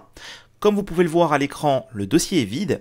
On va donc créer notre projet C Sharp comme on l'a fait en introduction On peut le faire de multiples façons. Par exemple, en maintenant la touche Maj ou Shift, je peux faire un clic droit et choisir Ouvrir dans le terminal. Si vous êtes sous Linux ou sous macOS, vous avez d'autres façons d'ouvrir un terminal, et de la même façon, on pourrait aussi le faire par Visual Studio Code. Et donc ici, dans le terminal, je vais taper la commande .NET New Console-N, et je vais lui donner un nom qui va être première instruction. Alors en donnant un nom avec le paramètre "-n", je vais spécifiquement nommer ce nouveau projet première instruction, ce qui aura pour effet de le stocker dans un dossier dédié, ce qui est exactement ce que je veux parce que je veux isoler chacun de mes projets entre eux pour éviter tout conflit. En appuyant sur Entrée, on peut voir que les outils .NET me créent bien mon projet et j'ai donc ici première instruction. Ce que je vais faire, c'est que je vais me placer dans le dossier, ici, je vais faire un clic droit, ouvrir dans le terminal et je vais taper la commande code espace point. Cette commande me dit d'ouvrir Visual Studio Code dans ce dossier en particulier et elle fonctionne sur toutes les plateformes. Il est possible d'ailleurs que sous Windows, vous ayez l'élément de menu en faisant un clic droit, ouvrir dans Visual Studio Code, directement dans ce menu ici, ou dans Afficher d'autres options. Moi ici j'ai ouvrir avec Visual Studio parce que sur cette machine j'ai Visual Studio 2022 d'installer, mais la solution qui fonctionne sur toutes les plateformes, c'est d'utiliser l'instruction code espace point point faisant référence au dossier courant. En faisant ceci, on peut voir que Visual Studio Code s'ouvre directement sur mon projet qui a ainsi été créé. Je vais donc pouvoir fermer la page de bienvenue et mettre en petit ici première instruction parce que cet élément de menu dans l'explorateur fait référence à l'exploration sous forme de dossier. On voit qu'on a ici le fichier csproj, on a le fichier sln, on a les dossiers bin et obj et le programme.cs. En mettant celui-ci en petit et en ouvrant le Solution Explorer, je vais avoir une expérience proche du développement C Sharp avec des IDE plus complets. Et donc ici, en dépliant mon projet première instruction, je retrouve le programme.cs et je retrouve donc ici le code C Sharp. Et j'ai donc ici directement sur le projet certains éléments facilités comme la possibilité de rajouter un nouveau fichier, un nouveau dossier ou même de compiler la solution avec build ici qui, si je le lance, va me faire la commande .NET Build à ma place plutôt que de passer par le terminal. Maintenant, il est temps d'écrire notre première instruction. Comme on l'a vu dans les slides, nous avons ici directement une instruction C Sharp fournie par l'outil qui l'a généré automatiquement, qui affiche donc Hello World sur la console. Si je clique sur cette icône, que je clique sur Run and Debug et que je clique sur C Sharp, et qu'ensuite je valide que je veux lancer mon projet première instruction, je peux voir ici s'afficher dans la console en bleu Hello World. C'est exactement le résultat qui est attendu, vu que l'instruction ici me dit d'écrire une ligne sur la console qui contient Hello World. Pas d'inquiétude pour le détail de chacune des instructions et des éléments, on va y venir par la suite. Nous, ce qu'on va faire, c'est qu'on va écrire sur la console, en dessous de Hello World, j'apprends le C Sharp. En fait, il s'agira de recopier cette instruction. Donc, on va commencer par mettre un commentaire pour dire ce qu'on va faire. Donc le commentaire, je le rappelle, commence par un double slash, on peut le voir, c'est colorié en vert, ce qui veut dire que ce ne sera pas évalué par le runtime C Sharp, il s'agit simplement de texte à des fins d'information pour nous ou d'autres développeurs. Donc ici, j'écris sur la console, par exemple, un commentaire qui en soi ici n'est pas du tout utile. Je vous invite d'ailleurs à utiliser les commentaires avec parcimonie et à ne commenter que les instructions qui pourraient porter à confusion pour les autres développeurs ou apporter des précisions sur des éléments de code où est-ce que vous trouvez que c'est nécessaire et ne pas commenter chaque ligne. Donc ici, je le fais juste à des fins pédagogiques, mais bien entendu, on va le supprimer par la suite. Donc on va taper console, on peut voir qu'au fur et à mesure qu'on tape les caractères de console, on a un menu déroulant ici qui s'affiche, qui nous propose tout ce qui commence par conso. Et même, pour être plus précis, tout ce qui contient les lettres C ONS, parce qu'on peut voir ici qu'on a console, et après on a CON avec le O et le S ici, pour cet élément en particulier qui est configuré à Wait Options. Ensuite on a ici par exemple Task Completion Source. Alors ne vous inquiétez pas du tout de tous ces éléments-là, on va en couvrir une grande partie dans ce cours. Bien entendu ce ne sera pas exhaustif, mais cette aide à la complétion vous aide à trouver l'élément qui vous intéresse. Si, en l'occurrence, ici, on peut voir que j'ai console qui est surlignée en bleu, je peux indistinctement cliquer dessus ou faire entrer pour valider le choix du menu déroulant, ce qui va auto-compléter ma saisie. Une fois que c'est fait, on va donc utiliser le point, et là, comme vous le voyez, j'ai de nouveau une liste déroulante qui s'affiche, mais cette fois-ci, son contexte va se limiter à l'élément console, ce qui veut dire que je vais avoir ici non pas l'intégralité de ce que je peux écrire en C Sharp, mais bien ce qui est lié à l'objet console. Et vous verrez, quand vous créez vos propres objets, que ce genre d'aide à la complétion s'avère très utile. Remarquez également que les deux premières lignes ne sont pas en ordre alphabétique. Si on regarde à partir de background color, on peut voir que tout est par ordre alphabétique, mais write line et read line qui commencent respectivement par W et R, sont en début de la liste et ne respectent donc pas l'ordre alphabétique. Pourquoi cela? On remarque également la présence d'une petite étoile au début entre l'icône et le nom de la méthode dans le cas présent, tout simplement pour dire que c'est probablement une de ces méthodes-là qu'on veut utiliser, et ça, c'est une suggestion par le biais de ce qu'on appelle IntelliCode, qui est un assistant de code par intelligence artificielle. En fait, cette petite intelligence artificielle va analyser la structure de votre fichier et vous proposer la méthode qui lui semble la plus pertinente dans le contexte actuel. Bien entendu, ce n'est en rien une obligation, c'est simplement une suggestion pour aller beaucoup plus vite. Remarquez ici, je n'ai tapé aucun caractère. Si je fais simplement entrer, j'ai directement WriteLine qui va s'écrire, ce qui va donc me faire gagner un temps précieux. Et donc ici, je vais ouvrir les parenthèses. Remarquez aussi que Visual Studio Code ajoute automatiquement la parenthèse fermante. Je vais ouvrir les guillemets. À l'instar des parenthèses, il ajoute automatiquement le guillemet fermant. Et donc, je vais écrire j'apprends le C et je vais me rendre à la fin de la ligne pour écrire le point virgule afin de valider mon instruction. J'ai donc écrit ma toute première instruction C Sharp. Je n'ai plus qu'à sauvegarder le fichier. Soyez vigilant avec cela, Visual Studio Code, contrairement à d'autres éditeurs, ne sauvegarde pas automatiquement le fichier. On peut le voir à l'aide de deux indicateurs visuels. Tout d'abord, nous avons un petit 1 dans une bulle bleue ici au niveau de l'Explorer, qui nous montre bien qu'un fichier n'a pas été sauvegardé. Quand on laisse le curseur de la souris sur l'icône, on peut voir à la fin de l'infobulle One Unsaved File, ce qui veut dire un fichier non sauvegardé. Aussi, pour savoir lequel fichier est concerné, donc lequel n'a pas été sauvegardé, on a ici une bulle blanche qui prend la place de la croix de fermeture, comme on peut le voir quand on met la souris dessus, qui indique que ce fichier n'est pas sauvegardé. Je peux donc faire File, Save, ou aller plus vite et faire CTRL S en tant que raccourci. Et en faisant ceci, non seulement la bulle blanche disparaît ici, mais également le macaron bleu ici.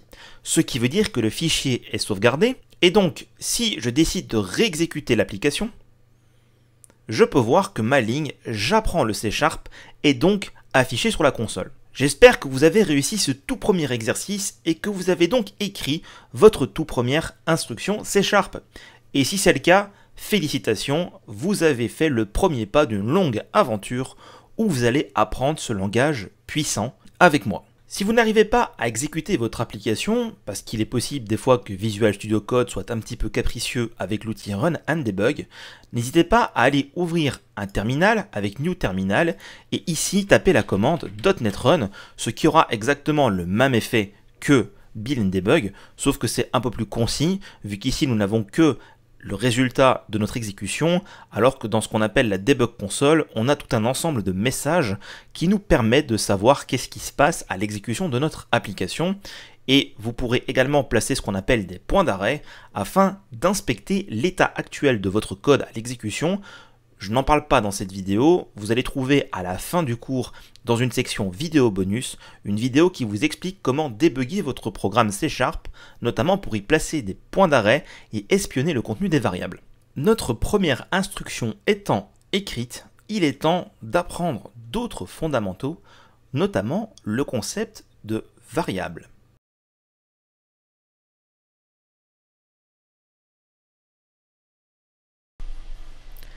Dans cette vidéo, nous allons nous attaquer à un concept très important qui est une variable. Qu'est-ce qu'une variable?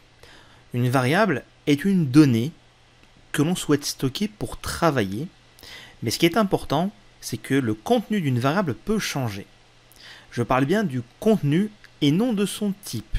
En C Sharp, je le rappelle, qui est un langage fortement typé, une variable sera fortement typée, c'est-à-dire que son type est défini à sa déclaration et ne pourra pas changer.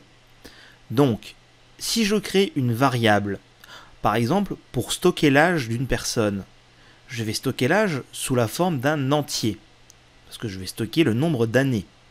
Eh bien, dans cette variable que j'aurais appelée par exemple âge, je ne pourrais stocker à l'avenir que des entiers et plus rien du tout. Je ne pourrais pas stocker son prénom ou sa date de naissance, car ce ne sont pas des entiers. Alors, comment est-ce qu'on déclare une variable en C Sharp La syntaxe est la suivante. On écrira le type de la variable, suivi d'un espace, suivi du nom qu'on veut donner à la variable, suivi d'un espace avec égal, et la valeur en terminant le tout par un point virgule, comme à chaque instruction C. Ici, on voit qu'une variable se compose de trois éléments. Le type, que l'on choisit une fois pour toutes, son nom, de telle sorte qu'on puisse l'exploiter et la réutiliser, et une valeur initiale. A noter que cette valeur initiale n'est pas obligatoire, mais pour le moment, on va se contenter de fonctionner uniquement comme ça. J'ai listé ici quelques-uns des types les plus courants que vous allez utiliser et des plus simples qu'on va utiliser dans ces quelques vidéos qui vont venir. Le premier est celui dont on a parlé juste avant, qui est un entier. La déclaration se fait avec le mot-clé int, int. Il s'agit du type. Donc si je veux déclarer une variable de type entier, qui contient l'âge par exemple, je vais écrire int espace âge, âge étant le nom de la variable, égale la valeur de l'âge, par exemple 25. J'aurais stocké dans la variable âge la valeur 25. Donc la valeur, elle, qui est ici à droite, s'écrit directement en chiffres. Il n'y a pas de guillemets ni d'autres caractères. J'écris simplement 25, 2 et 5, point virgule. Autre type très courant, la chaîne de caractères. On a déjà travaillé avec une chaîne de caractères, non pas pour la stocker dans une variable, mais pour directement la donner à une fonction. La chaîne de caractères est de type string, S-T-R-I-N-G. Donc par exemple, si je veux stocker le prénom, j'écrirai string, espace prénom est égal, et étant donné qu'on est sur une chaîne de caractères, la valeur doit être écrite entre guillemets. Donc j'écrirai égal, ouvrez les guillemets, Christophe, fermez les guillemets, point virgule. Et ce faisant, j'ai créé une chaîne de caractères. Je ne pourrais donc stocker dedans que des chaînes de caractères. Le dernier type assez courant avec lequel on va travailler est ce qu'on appelle un booléen. Donc ici le type c'est bool B-O-O-L. Donc si je veux par exemple créer un booléen, je vais écrire B-O-O-L espace par exemple, est vivant est égal. Et pour la valeur, un booléen ne peut avoir que deux valeurs. C'est le type le plus basique en informatique. Ça représente un simple bit, donc 0 ou 1 au niveau du processeur. Donc ça peut seulement valoir vrai. La valeur vrai s'écrit true, T-R-U-E, ou false, faux, false, F-A-L-S-E. Donc j'écrirai par exemple bool, espace est vivant, égale true. Point virgule. Une petite chose à noter, le nom d'une variable ne peut pas contenir d'espace. Un espace dans le nom de la variable correspondrait à une fin de déclaration de nom et provoquerait une erreur de compilation. Généralement, en C lorsqu'on veut utiliser un nom qui est composé, comme par exemple ce que j'ai dit avant est vivant, dans le cas d'une variable, on fera commencer le nom de la variable par une minuscule, donc EST en minuscule, et le mot qui vient juste après, on met sa première lettre en majuscule. Ainsi, est vivant s'écrira EST en minuscule, V majuscule, I-V-A-N-T en minuscule. Voilà les exemples que j'ai donnés. Nous allons avoir le int âge est égal à 33, point virgule, le string prénom est égal à Christophe, entre guillemets, et le booléen est vivant est égal à true. Et donc voici la notation avec le V majuscule. Sur cette capture d'écran, il ne faut pas prêter attention au soulignage en jaune ici. Il s'agit simplement d'un avertissement du compilateur comme quoi cette variable a été déclarée mais n'a jamais été utilisée. Il existe une autre syntaxe appelée le typage implicite où c'est le compilateur qui va tenter de deviner le type de la variable en fonction de la valeur. Pour ce faire, au lieu de mettre le type de la variable espace le nom égale la valeur, on utilisera un mot-clé qui s'appelle var. Nous n'aurons ainsi pas besoin d'écrire le type, on écrira simplement var, le nom de ma variable, est égal à la valeur. J'ai dit précédemment que la valeur n'était pas obligatoire.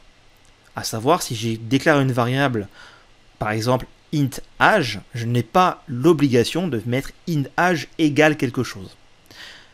Pour utiliser le mot-clé var, par contre, je suis obligé d'affecter une valeur parce que c'est en observant cette valeur-là que le compilateur va pouvoir déduire le type de la variable. Ce n'est donc pas possible d'écrire une instruction qui serait simplement var le nom d'une variable point virgule parce que le compilateur ne saurait pas de quel type est cette variable et cela est illicite en C Sharp. Voici quelques exemples de comment déclarer une variable avec le mot-clé var. Encore une fois, le même, le même attention s'applique, le soulignage n'a pas d'impact. Ici, j'ai déclaré trois variables avec les mêmes types que ceux vus précédemment, à savoir entier, chaîne de caractères et booléen, sauf que je n'ai pas utilisé au début le type, mais bien à chaque fois le mot-clé var. J'ai rappelé le nom, et quand j'ai fait le égal, c'est là que, à partir de la valeur qui est ici, le compilateur C Sharp a pu déterminer que cette variable taille était un entier. Cela peut créer un peu la confusion parce qu'on pourrait croire que var est simplement pour stocker une variable quel que soit son type. Il faut juste savoir que c'est une facilité d'écriture. Parce que quand le compilateur va passer, il va déduire le type par rapport à la valeur et c'est bien int taille égale 182 qui sera stocké dans le code IL et non pas var. Ainsi, var qui s'écrit en trois lettres n'apporte pas de plus-value par rapport à int qui s'écrit lui aussi en trois lettres. Par contre, quand on verra plus tard des types plus complexes, ou si je prends même l'exemple qu'on a déjà vu qui s'appelle string, qui contient pour sa part 6 caractères, on divise par deux le nombre de caractères à taper. Il s'agit là d'une appréciation purement personnelle. Choisir le mot-clé var ou le typage fort est plus de l'ordre d'une appréciation d'écriture et de lecture. Je ne peux que vous inviter au début de votre apprentissage d'utiliser systématiquement le type au lieu de var. Je vous ai parlé des deux façons de faire. Maintenant, je vous invite à utiliser le type afin de vous familiariser avec ces derniers. Une fois qu'une variable a été déclarée, on peut, comme je l'ai dit précédemment, la réaffecter, changer sa valeur. La syntaxe est assez simple. On reprend le nom de la variable et on fait égal la nouvelle valeur ça impose bien sûr que la variable ait été déclarée au préalable. Si vous tentez de faire une variable qui s'appellerait taille sans l'avoir déclarée et que vous fassiez taille est égale à 200, il y aura une erreur parce que le compilateur va vous dire affectation d'une variable qui n'a pas été déclarée. Par contre, si la variable taille a été déclarée comme c'était le cas dans la slide précédente, on peut changer sa valeur en réaffectant sa valeur. Ainsi, le contenu de la variable taille ne vaudra plus 182, mais bien 200. On peut donc changer la valeur d'une variable après sa création, c'est là tout l'intérêt des variables.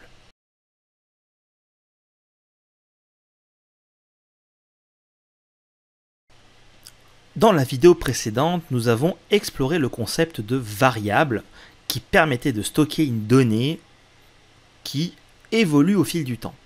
Dans cette vidéo, nous allons voir la notion de constante et on s'en doute, une constante, comme son nom l'indique, est quelque chose de constant. C'est-à-dire que c'est une donnée qu'on va vouloir stocker pour travailler, mais dont le contenu ne changera jamais. C'est-à-dire qu'une fois qu'elle est déclarée, on ne peut plus, faire, on ne peut plus modifier son contenu. Exactement pareil que pour les variables, une constante est fortement typée, c'est-à-dire que comme une variable, son type est défini à la déclaration et ne pourra pas changer, mais à l'inverse d'une variable, la valeur également déclarée ne pourra pas changer. Ainsi, pour déclarer une constante, la syntaxe est la suivante. On reprendra exactement la même syntaxe que pour une variable, à savoir type espace nom espace égale valeur, mais on rajoutera au début de cette instruction le mot-clé const, C-O-N-S-T. Alors attention, ce mot-clé est réservé au langage C Sharp et ne peut pas être utilisé comme un nom de variable ou un nom de constante. C'est-à-dire que je ne peux pas avoir const string const égale valeur, étant donné que le mot-clé est réservé. Une fois que ça c'est fait, j'ai donc déclaré une constante qui ne changera pas. Voici quelques-uns des exemples. Ici j'ai repris trois lignes int valeur est égal à 42 qui est une constante, string p qui est égal à France qui est aussi une constante, et bool vrai qui est égal à true qui est également une constante. Cela veut dire que je ne peux pas, à la suite de ce code, écrire valeur égale 81 ou pays égale Belgique. Cela sera illicite étant donné qu'elles ont été déclarées comme constantes. Il faut savoir que lorsqu'une variable est déclarée comme constante, le compilateur l'inclut dans le code IL directement en tant que valeur fixe. Ce qui veut dire que partout où cette constante sera utilisée, la valeur fixe sera, posée de telle sorte que ça ne pourra jamais muter. À l'instar de ce qu'on a vu précédemment, le soulignage ici des noms de constantes est juste un avertissement comme quoi elle est déclarée mais jamais utilisée. Donc il n'y a pas lieu d'en tenir compte.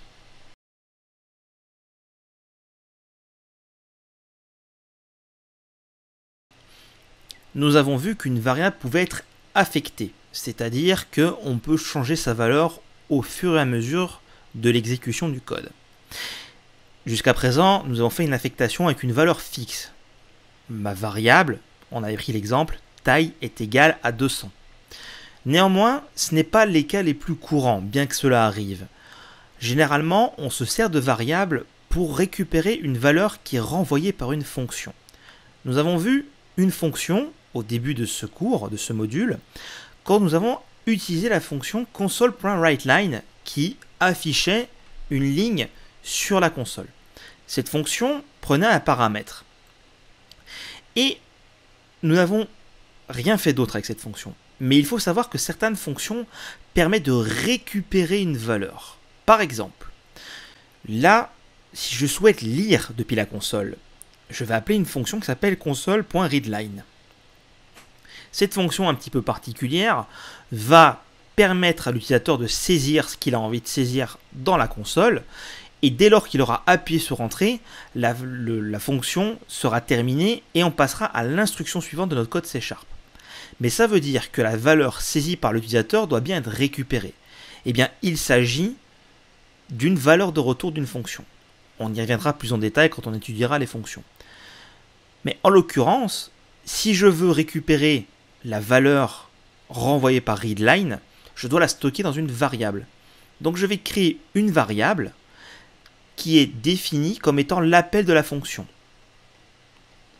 Ainsi, pour récupérer la saisie de l'utilisateur, je vais écrire par exemple var saisie est égal à console.readline. En laissant le curseur sur la fonction readline dans Visual Studio Code, nous voyons l'indication de la valeur de retour et de ce fait nous pouvons également déduire le type au lieu d'utiliser var. Il est maintenant temps de passer un petit exercice, et quand nous allons corriger, je vous montrerai tout ce que je viens de dire. Cet exercice est très simple, nous allons demander le nom de l'utilisateur et simplement afficher sur la console bonjour suivi de prénom. Donc le nom, prénom de l'utilisateur, il devra le saisir. Les instructions pour réaliser cet exercice sont les suivantes on peut créer une nouvelle application console dédiée, qui ne serait pas le bac à sable dans lequel on s'amuse à prendre des notes et dans lequel on s'amuse à essayer diverses instructions, qui est mon premier projet. Donc vous pouvez très bien créer une nouvelle application .NET New Console-N exercice 1. C'est ce que je vais faire dans, les dans la corrigée. Ensuite, on va utiliser la méthode console.writeLine pour afficher une valeur. On peut par exemple dire à l'utilisateur veuillez saisir votre nom et appuyer sur entrée. La valeur entre parenthèses de writeLine peut être également une variable ou une constante ou directement la valeur comme c'est le cas dans ce que nous avons fait comme exercice précédemment. Finalement, on va utiliser la méthode console.readline pour lire cette valeur et nous allons de ce fait devoir afficher cette valeur directement dans la console. Étant donné qu'aujourd'hui, on ne sait pour le moment pas encore comment faire, bonjour et le prénom seront affichés sur deux lignes différentes par souci de simplicité. Je vous invite à mettre la vidéo en pause et je vous donne rendez-vous dans quelques secondes pour la correction. Maintenant que nous savons ce qu'est une variable et ce qu'est une constante, faisons un exercice visant à récupérer le prénom de l'utilisateur, le stocker dans une variable et après l'afficher directement sur la console. Pour ce faire, j'ai déjà ouvert en avance de phase un terminal dans le dossier module 1. Je vais donc créer un projet dédié .NET New Console et je vais le nommer Info Perso. En fait, on va faire évoluer ce projet avec de nouveaux concepts au fur et à mesure des prochaines vidéos. Je vais donc me rendre dans ce dossier info perso qui a ainsi été créé, qui contient donc mon projet, et je vais taper la commande code espace point pour ouvrir Visual Studio Code dans ce projet. Ici, à l'instar de ce qu'on a déjà vu, je me rends directement dans le programme.cs de mon Solution Explorer. Je vais donc pouvoir supprimer ce qui a été ajouté automatiquement par les outils C Maintenant ici, ce qu'on va vouloir faire, c'est demander à l'utilisateur de saisir son prénom et récupérer la valeur. La première chose à faire dans ce cas, c'est d'indiquer à l'utilisateur ce qu'on attend de lui. On va donc utiliser console.writeLine. Alors petite astuce, on peut utiliser, comme on l'a vu dans la vidéo précédente et comme on le voit à l'écran à l'instant, les premiers caractères et appuyer sur Entrée. On peut aussi taper CW et on remarquera que CW a une icône un peu particulière. C'est en fait ce qu'on appelle un snippet, donc un bout de code automatisé. Et quand je clique dessus, on peut voir que ça rajoute automatiquement system.console.writeLine. En fait, c'est exactement la même chose que faire cw.entrée afin d'avoir directement system.console.writeLine qui est écrit. C'est un petit peu dommage qu'aujourd'hui nous avons system. devant qui va un peu complexifier inutilement l'écriture, mais ça peut être un raccourci qui pourrait être utile si jamais vous souhaitez aller plus vite. Pour rester simple, je vais toujours utiliser console.writeLine en utilisant les menus d'autocomplétion au fur et à mesure de ce cours. Donc ici, je vais écrire ce que j'attends de l'utilisateur, qu'il puisse avoir une instruction à respecter. Comme ceci. C'est-à-dire que la phrase Veuillez saisir votre prénom va s'afficher sur la console. Maintenant, je dois récupérer le prénom de la personne directement dans une variable quel est le type de variable qui va me permettre de récupérer le prénom de la personne? Il s'agira d'une chaîne de caractères, et donc du type string. Donc string me permet de déclarer le type de variable, donc ici je dois lui donner après un nom. Je vais donc l'appeler ici par exemple prénom. Cette variable, je peux l'affecter directement au retour de la valeur console.readline, comme ceci.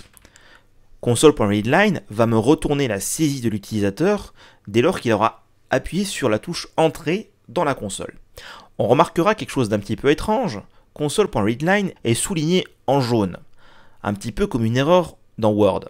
Si je laisse le curseur dessus, je peux voir que j'ai ici ce qu'on appelle un warning, donc en fait le compilateur attire mon attention sur un point potentiellement problématique, qui me dit que je tente en anglais en l'occurrence, de convertir une valeur nulle vers quelque chose de non nullable. Bien entendu, à ce stade du cours, cela ne veut absolument rien dire pour vous, donc on va laisser ça de côté pour l'instant, on va y revenir plus tard dans le cours pour comprendre ce dont il est question.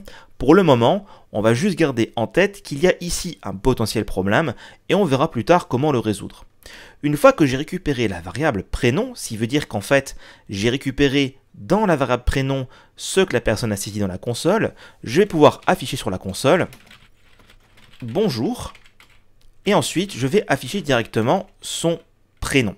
Remarquez ici d'ailleurs que Visual Studio Code me propose le prénom avec une petite étoile et je peux juste faire entrer et cela fonctionne. Ici, le fait d'avoir stocké prénom dans une chaîne de caractères nous permet de l'utiliser directement comme ceci dans console.writeLine de la même façon que n'importe quelle autre chaîne de caractères.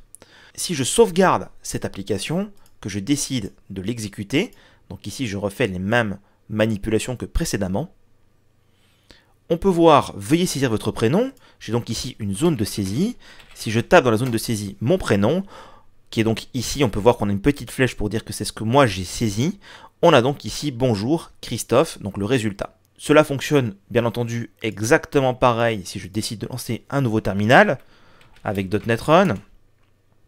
On a donc veuillez saisir votre prénom, et si je le tape ici et que je fais rentrer, on a donc bonjour Christophe. La seule différence, c'est que ici, on a en gris ce que nous avons saisi et en bleu ce qui a été écrit par le programme. Et dans le terminal classique, il n'y a pas de distinction, ce qui peut rendre les choses peut-être un peu plus complexes. Au final, ça n'a pas été très compliqué de récupérer les informations dans une variable. Il suffit simplement de déclarer son type, de lui donner un nom et éventuellement de lui affecter une valeur. A noter ici qu'on aurait pu faire ça éventuellement en deux temps, par exemple déclarer la variable comme ceci et mettre la variable est égale à console.readline en deux lignes.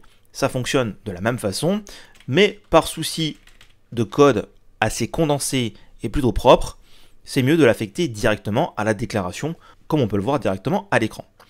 Si vous avez réussi cet exercice, félicitations, vous savez maintenant comment utiliser une variable pour stocker de l'information et utiliser cette variable pour différents usages, notamment ici pour l'afficher sur la console. S'il reste des zones d'ombre dans ce qui a été fait dans cet exercice ou dans ce qui a été vu juste avant, je vous invite vivement à revoir cette vidéo, à reprendre le temps de refaire l'exercice et réassimiler ces concepts, parce que ceci est essentiel avant d'aller plus loin dans le cours.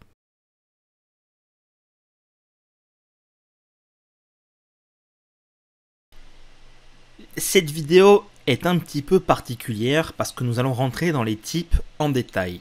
Ce que j'entends par là, c'est que jusqu'à présent nous avons travaillé avec des types comme int, string et bool, on les a vus, mais on n'est pas allé dans le détail. Donc il faut prendre cette vidéo non pas comme une, comme une suite logique de la vidéo précédente, mais bien comme un entracte qui permet d'approfondir le sujet des types. En fait, cette vidéo sert un petit peu de référence et je vous invite à prendre des notes ou des captures d'écran de ce qui va être affiché pour pouvoir y revenir plus tard si nécessaire avec les informations que je vais vous délivrer. Je ne m'attends pas à ce que vous compreniez la totalité de ce que je vais dire directement ici, mais ça vaut quand même le coup de dire ça maintenant pour que vous puissiez comprendre qu'effectivement, ce n'est pas anodin le typage. On a vu que le langage se réserve des mots-clés pour les types. Mais en fait, ce qu'il faut savoir, c'est qu'il s'agit simplement d'alias, c'est-à-dire d'un raccourci. Par exemple, nous avons vu int, int. Mais de façon sous-jacente, le type derrière ce mot-clé a été défini au sein du framework .NET en tant qu'un objet pouvant héberger des informations sur un entier. Et en fait, le int correspond à un entier qui est codé sur 32 bits. Si vous n'êtes pas familier avec ce genre de choses encore pour l'instant, pas d'inquiétude, encore une fois c'est une vidéo de référence. Si ça vous semble trop complexe, n'hésitez pas à avancer dans le temps ou même à la passer à la vidéo suivante. En fait, il faut savoir qu'il y a beaucoup de types différents qui existent directement dans le framework .NET. Je vais prendre l'exemple de la représentation d'un chiffre d'une variable numérique. Selon certains critères comme la taille du numérique qu'on veut stocker, si c'est un très gros chiffre ou un très petit chiffre, le fait que ce chiffre puisse être négatif ou non, ou s'il peut avoir une partie décimale, va influencer le type qu'on va choisir. Jusqu'à présent, par exemple, on a simplement choisi int, qui correspond à un entier.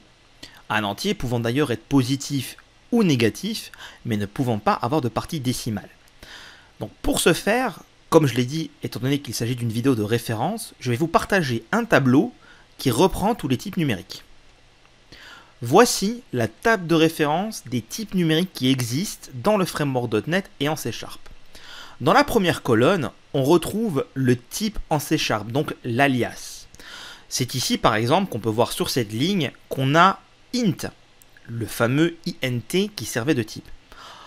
Dans la colonne juste à côté, on va retrouver les types système, à savoir les types tels qu'ils sont codés dans le framework .NET. Et on voit, encore une fois sur la ligne du int, que int correspond en vérité à un objet qui s'appelle int32 qui est stocké dans system. Donc si j'écris system.int32 comme c'est écrit là, espace âge égale 32, j'aurai exactement le même comportement et la même façon d'être que le int qui est qu'un raccourci d'écriture en C Sharp. Donc toute la colonne de gauche sont les raccourcis de ce qui est réellement le type explicité dans la colonne de droite.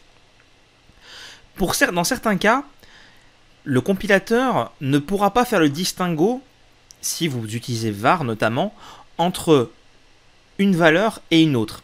Et de ce fait, il va avoir besoin d'un suffixe, c'est-à-dire qu'on va écrire la valeur et après on va rajouter le suffixe.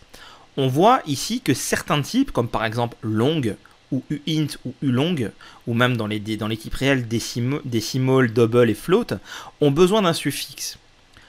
Par exemple, si je veux écrire un entier et le stocker dans un long, je vais devoir le suffixer avec un L. 32L. Ça peut sembler bizarre, mais c'est une instruction que le compilateur sait utiliser pour faire ce qu'il faut. À des fins de référence, j'ai rajouté également la taille que prend en mémoire une variable de ce type-là. On voit par exemple qu'un entier int est codé sur 32 bits, c'est-à-dire qu'il va réserver 32 bits de mémoire sur votre espace RAM dans l'exécution.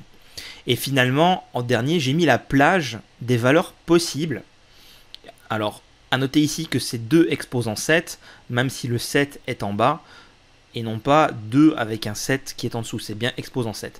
On voit par exemple sur la ligne du long que la valeur peut aller de moins 2 exposant 63 à plus 2 exposant 63 moins 1 ce qui est quand même énorme.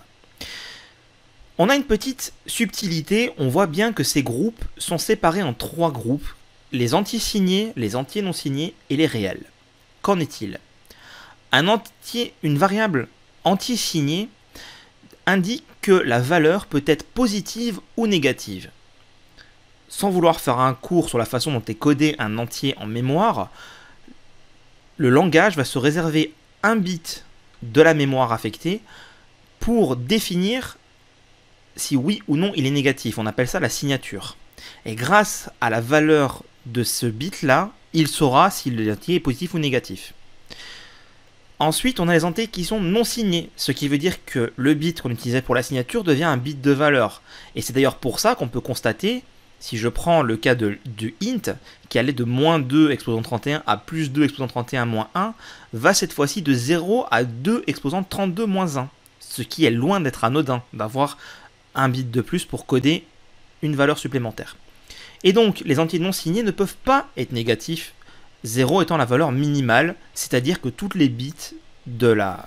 C'est-à-dire que tous les bits de la valeur sont égaux à 0 alors que si on était en signé, le premier indiquerait la valeur de la signature. Finalement, nous avons les types réels, qui, à l'instar de ce qui se fait en mathématiques, sont les types avec des virgules. Donc on le voit, il y a 11 types pour représenter les numériques en C. Et ce n'est pas exclu qu'il y ait d'autres types qui arrivent dans le futur. Ici, ce qu'il faut retenir, c'est que vous allez le plus souvent utiliser int, double et décimal qui sont les types les plus courants. Les autres sont donnés à des fins indicatives. Si vous êtes dans une optique d'optimisation des performances en mémoire par rapport à un projet donné, vous pouvez vous servir de cette table de référence afin de choisir le type qui correspond le mieux à ce que vous voulez stocker. Si par exemple vous voulez stocker l'âge d'une personne, la valeur stockée sous forme de byte est largement suffisante parce qu'elle va de 0 à 255. Si par contre vous voulez effectivement stocker les millimètres carrés d'une propriété, peut-être qu'il vous faudra un ulong ou un uint. À l'instar, à, l'inverse, si vous souhaitez par exemple stocker des températures, peut-être qu'un short sera suffisant. En bref, il faudra adapter le type par rapport à la donnée que vous voulez stocker si vous souhaitez optimiser la mémoire. Si ce n'est pas une préoccupation pour vous dans l'état actuel des choses, je vous recommande de vous cantonner à int, float, double et décimal. Maintenant, portons notre attention sur les types à virgule. On voit ici que le double a une très grande possibilité de stockage et le float et le décimal pas, autant. Alors pourquoi? Je vais vous apporter quelques détails supplémentaires. Les types float et double sont des types à virgule flottante, appelés à virgule flottante, pour des calculs haute précision, c'est-à-dire qu'on va aller jusqu'à un millionième en termes de précision. Donc ces valeurs-là, float et double, sont recommandées pour des calculs mathématiques où vous avez besoin de valeurs scientifiques précises, très précises justement, parce que ça va vous permettre d'aller faire des calculs avec une très haute précision.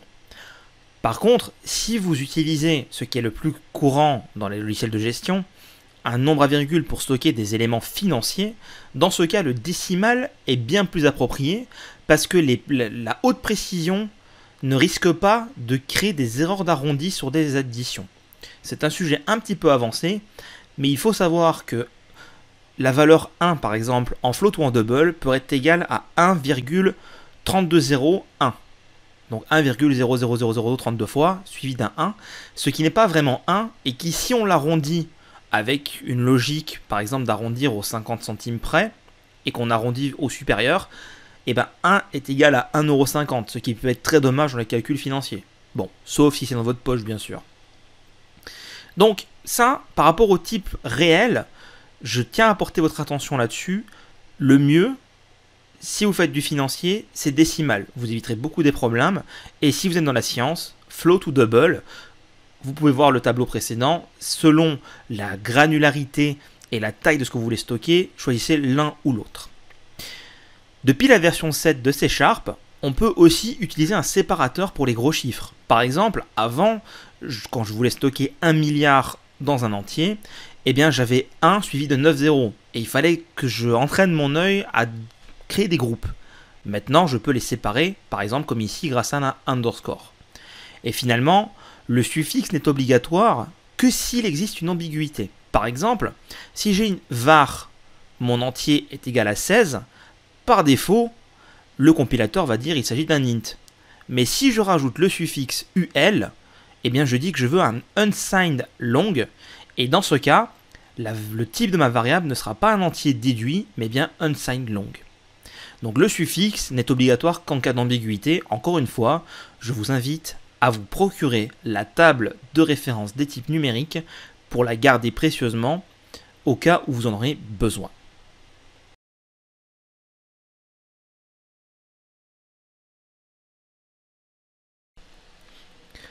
Dans cette vidéo, nous allons voir en détail les types textuels.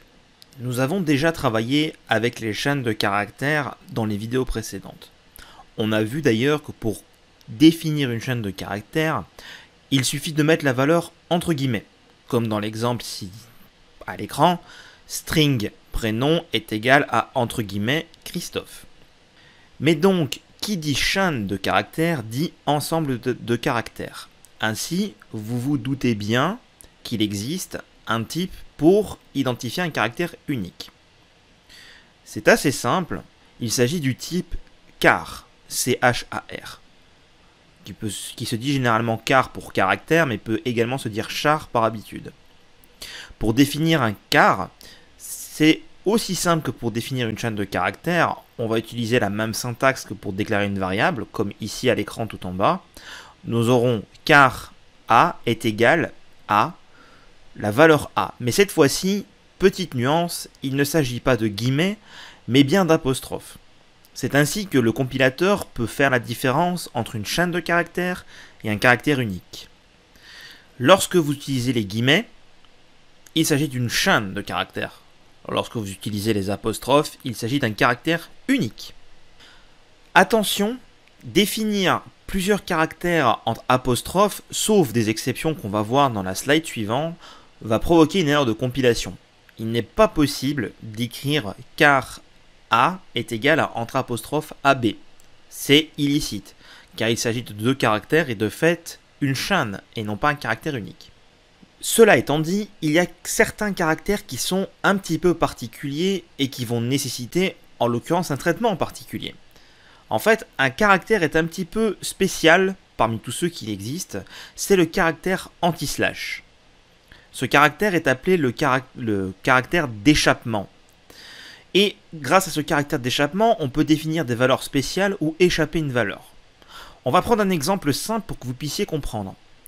Le fait qu'une chaîne de caractères soit entourée de part et d'autre de guillemets, comment est-ce que moi, je peux dire dans ma chaîne, je veux des guillemets? Par exemple, Jacques a dit, deux points, ouvrez les guillemets, debout. Comment est-ce que je peux définir cette chaîne de caractères en C Ou, pour en revenir au caractère unitaire, comment est-ce que je peux, dans une variable, stocker le caractère apostrophe, étant donné qu'un caractère est entouré par deux apostrophes Eh bien, grâce à l'anti-slash, on peut réaliser cette opération.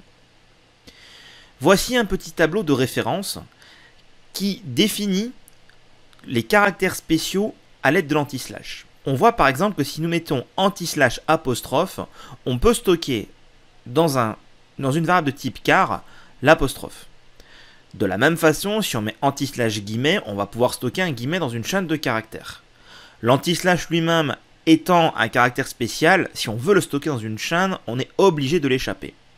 Ensuite, le reste de la liste nous montre quelques caractères un petit peu particuliers, qui, sont tous à mettre dans une chaîne de caractères et non pas dans un quart unitaire, qui nous permettent par exemple de définir une tabulation, un saut à la ligne ou autre. Prenons un exemple. Pour l'apostrophe, voici comment nous pouvons représenter le caractère apostrophe en code. Je vais écrire car apostrophe est égal à entre apostrophe anti-slash apostrophe. On voit d'ailleurs que Visual Studio Code nous aide parce qu'il va mettre dans une couleur différente le contenu par rapport aux apostrophes qui encadrent la valeur. On voit ici que anti-slash apostrophe est en jaune ou orange clair, alors que les deux apostrophes qui encadrent la valeur sont en orange plus foncé. On aura la même logique avec les guillemets. Comme j'ai dit dans le slide précédent, si on veut stocker la phrase Jacques a dit debout, eh bien nous allons devoir échapper les guillemets à l'intérieur de la chaîne de caractères. Ainsi, pour mettre un guillemet dans une chaîne de caractères, nous mettrons anti-slash guillemet, et de la même façon, nous voyons que Visual Studio nous colorie ça en orange clair ou en jaune. Pour l'anti-slash, c'est un scénario qui est assez courant lorsqu'on travaille avec Windows par exemple. Les chemins sous Windows sont caractérisés par une séparation en anti-slash entre les dossiers. Par exemple, Ici, pour accéder au chemin vers fichier.txt, ce sera ces deux points anti-slash, docs anti-slash, fichier.txt. Mais vu que je suis dans une chaîne de caractères, je suis obligé d'échapper l'anti-slash. On l'a vu pour l'apostrophe, l'anti-slash peut être utilisé pour représenter directement un caractère dans la table Unicode. J'ai mis ici le lien vers Wikipédia. Vous pouvez très bien le retrouver en tapant directement table de caractères Unicode et en cherchant le lien sous Wikipédia ou en, recopiant ce lien à la main. Nous allons y accéder ensemble et je vais vous montrer de quoi il en retourne. Je suis ici dans le navigateur sur ma machine de démonstration sur la page de Wikipédia qui parle de la table des caractères Unicode. Si je descends au sein de cette page, je vais retrouver une table qui m'indique les caractères en Unicode. La majorité des caractères sont assez simples à écrire. Si je prends par exemple cette première table, on voit ici les lettres de l'alphabet. Eh bien, ces lettres-là sont assez simples à écrire sans avoir à passer par le code Unicode. Cependant, si je descends un petit peu plus, on voit des caractères un peu plus spécifiques. Par exemple, ici, nous avons le caractère copyright qui peut être compliqué à écrire directement avec le clavier, si on ne connaît pas le raccourci. Néanmoins, on peut voir que la table nous renseigne la position exacte et le code du caractère afin que nous puissions l'utiliser dans un caractère au niveau de notre code C Sharp. C'est ainsi à l'intersection de la ligne et de la colonne, en, en faisant la jonction du 00A avec la valeur 9, qu'on va pouvoir stocker le caractère copyright. Par exemple, pour donner un autre exemple, si je voulais stocker le caractère comme ceci, marque commerciale, dépôt de marque, eh bien j'irai lire la valeur dans la ligne qui est 00A avec un 0, et j'irai dans la colonne, et je vois que c'est la colonne E. Donc je substituerai la dernière valeur de la, de la ligne, à savoir le 0, par le E qui est ici, pour écrire ce caractère-là. Sans plus attendre, je vais vous montrer comment cela se passe au sein de Visual Studio Code. Je suis donc dans Visual Studio Code de retour dans le fichier programme.cs du projet Mon premier projet. Et je souhaite écrire le caractère copyright. On l'a vu dans la table Unicode, il s'agit de 00A suivi de, du chiffre 9. Ainsi, je serais tenté d'écrire cela par exemple. Caractère copyright est égal à entre apostrophes, parce que je ne veux que le caractère, et là je serais tenté d'écrire 00A9. Néanmoins, cela ne fonctionne pas. Comme on le voit ici, c'est souligné parce que j'ai, comme le dit le compilateur, il y a trop de caractères dans le littéral de caractères, ce qui veut dire que j'ai stocké une chaîne au lieu d'avoir stocké la valeur. On serait tenté de dire, il suffit de mettre un anti-slash. Mais en faisant cela, on constate qu'il n'y a que le premier caractère, à savoir le 0, qui est échappé. Ce n'est donc pas la bonne solution. Pour que ce soit valide, il faut que j'utilise anti-slash U pour dire que je veux utiliser une valeur Unicode. Et ensuite, après anti-slash U, je vais mettre la valeur en tant que telle. Donc celle qu'on a trouvée sur Wikipédia, à savoir 00A9. Et ainsi, je n'ai plus d'heure de compilation et je vais pouvoir stocker le caractère copyright. De telle sorte que si je décide de l'écrire sur la console et que je lance l'exécution, je me mets dans le terminal et je vais dans mon premier projet, je tape .NET Run, je vais donc avoir Hello World, j'apprends le C Sharp et le caractère copyright. On le voit ici dans la console, j'ai bien le caractère copyright. Vous avez vu comment vous pouvez exploiter la table Unicode afin d'insérer des valeurs Unicode directement dans les caractères ou dans vos chaînes de caractères. Car oui, cette valeur-là peut directement être insérée ici au sein d'une chaîne de caractères tout à fait classique. On n'est pas obligé de passer par le type car.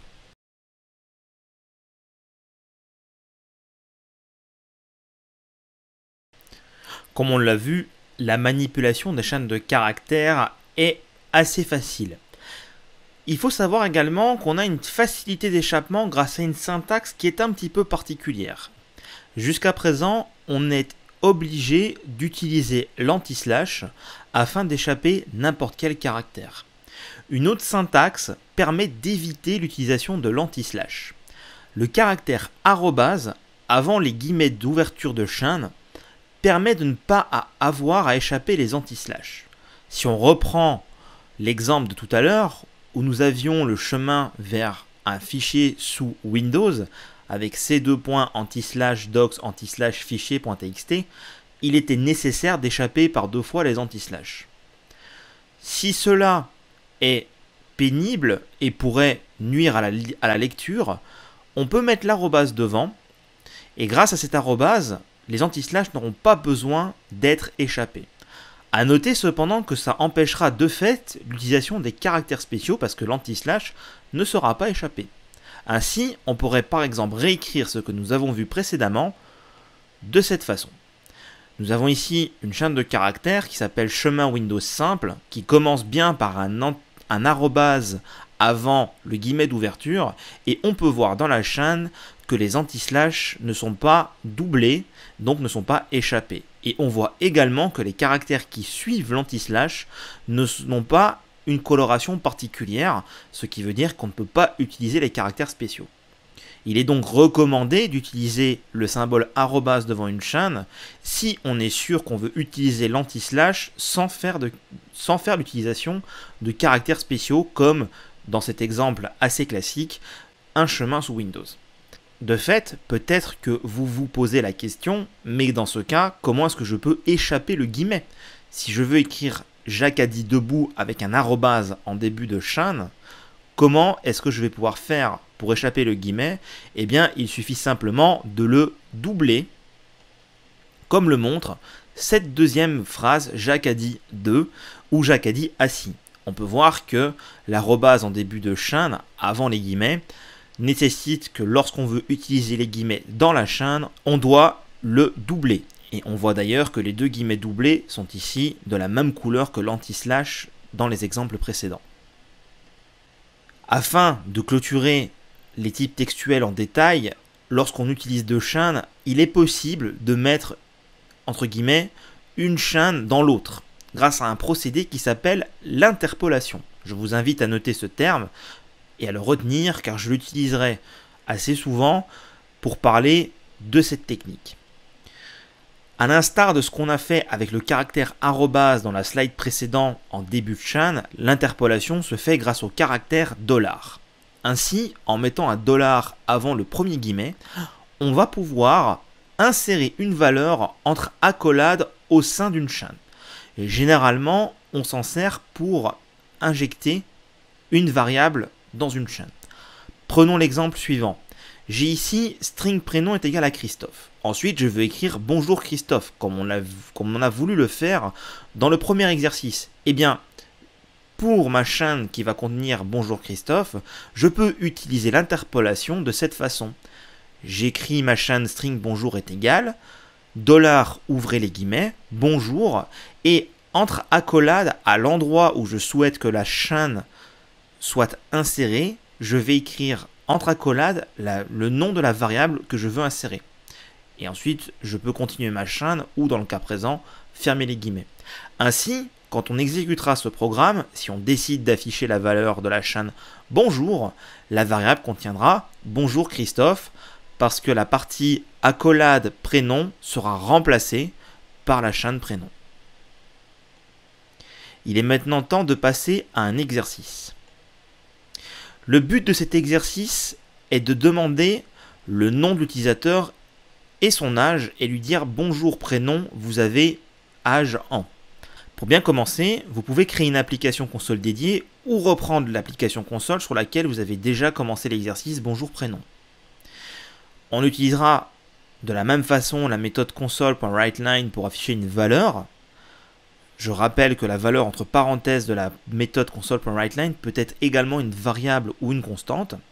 On utilisera la méthode console.readline pour lire les valeurs. Et nous allons stocker le prénom et l'âge dans des variables pour finalement utiliser l'interpolation que nous venons de voir pour construire la phase finale. Vous avez normalement toutes les cartes en main pour réaliser cet exercice. Je vous laisse mettre la vidéo en pause, réaliser l'exercice et je vous donne rendez-vous dans quelques secondes pour le corriger.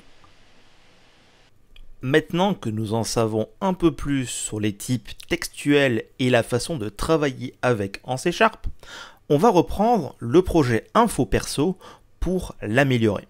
On va demander à la personne de nous fournir également son âge et au lieu d'afficher bonjour, prénom et les autres informations chacune sur des lignes différentes, on va faire en sorte que tout s'affiche sur une seule et même ligne. Tout d'abord, je vais copier-coller les deux premières lignes, ici, en dessous, pour demander à la personne de saisir son âge.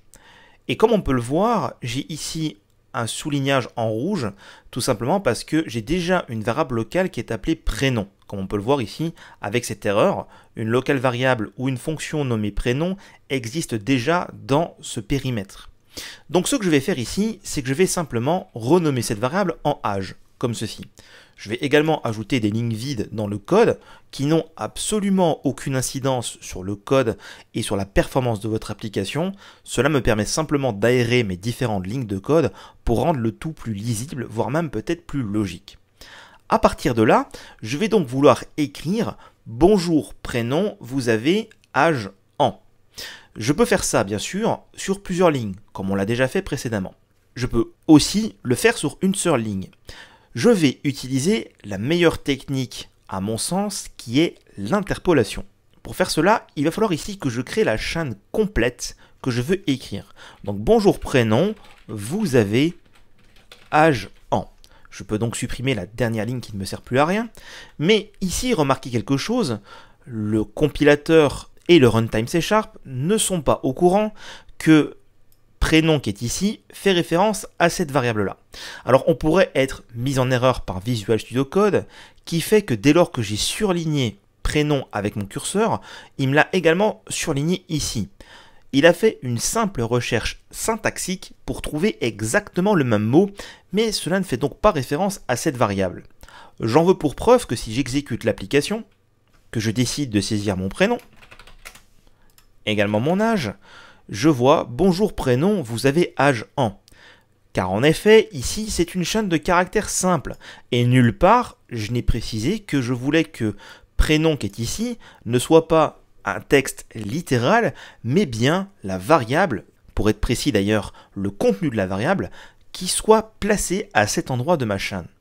Pour faire cela, je vais utiliser l'interpolation, ce qui veut dire que d'une part, je vais devoir encadrer prénom par des accolades, de la même façon, je vais faire pareil pour âge, et pour bien spécifier à C Sharp que accolade prénom doit contenir la valeur de la variable prénom, je dois commencer ma chaîne par un dollar. On remarquera que dès que j'ai placé le caractère dollar en début de chaîne, la coloration syntaxique de prénom fait référence non plus à cette espèce de rouge orangé qui est pour les chaînes de caractères, mais a bien pris la couleur bleu clair qui fait donc référence ici à la variable. Et quand je laisse ma souris sur le texte, on peut voir qu'il a bien reconnu qu'il s'agissait d'une variable locale. Ce qui va donc permettre à C Sharp de dire à cet endroit précis de la chaîne, je vais introduire le contenu de la variable prénom. Si je sauvegarde et que j'exécute mon application, que je refournis mes informations, on peut voir cette fois-ci que tout est bien évalué parce que j'ai bonjour Chris, vous avez 35 ans. Le contenu des variables est donc bien inséré à cet endroit de la chaîne de caractères et est donc bien évalué. Ce n'est donc pas compliqué de travailler avec les chaînes de caractères comme vous l'avez vu, avec l'interpolation, c'est très simple et très facilement compréhensible de savoir où va quelle valeur. Si vous avez réussi cet exercice, félicitations, vous savez maintenant comment travailler avec les chaînes de caractères, notamment pour les usages les plus courants. Si vous n'avez pas forcément réussi cet exercice, je vous invite à revoir la vidéo et à retenter l'exercice, car les manipulations de chaînes sont quelque chose de très courant lorsque vous allez écrire du C Sharp et il serait dommage de ne pas savoir le faire et d'être bloqué pour quelque chose d'aussi commun.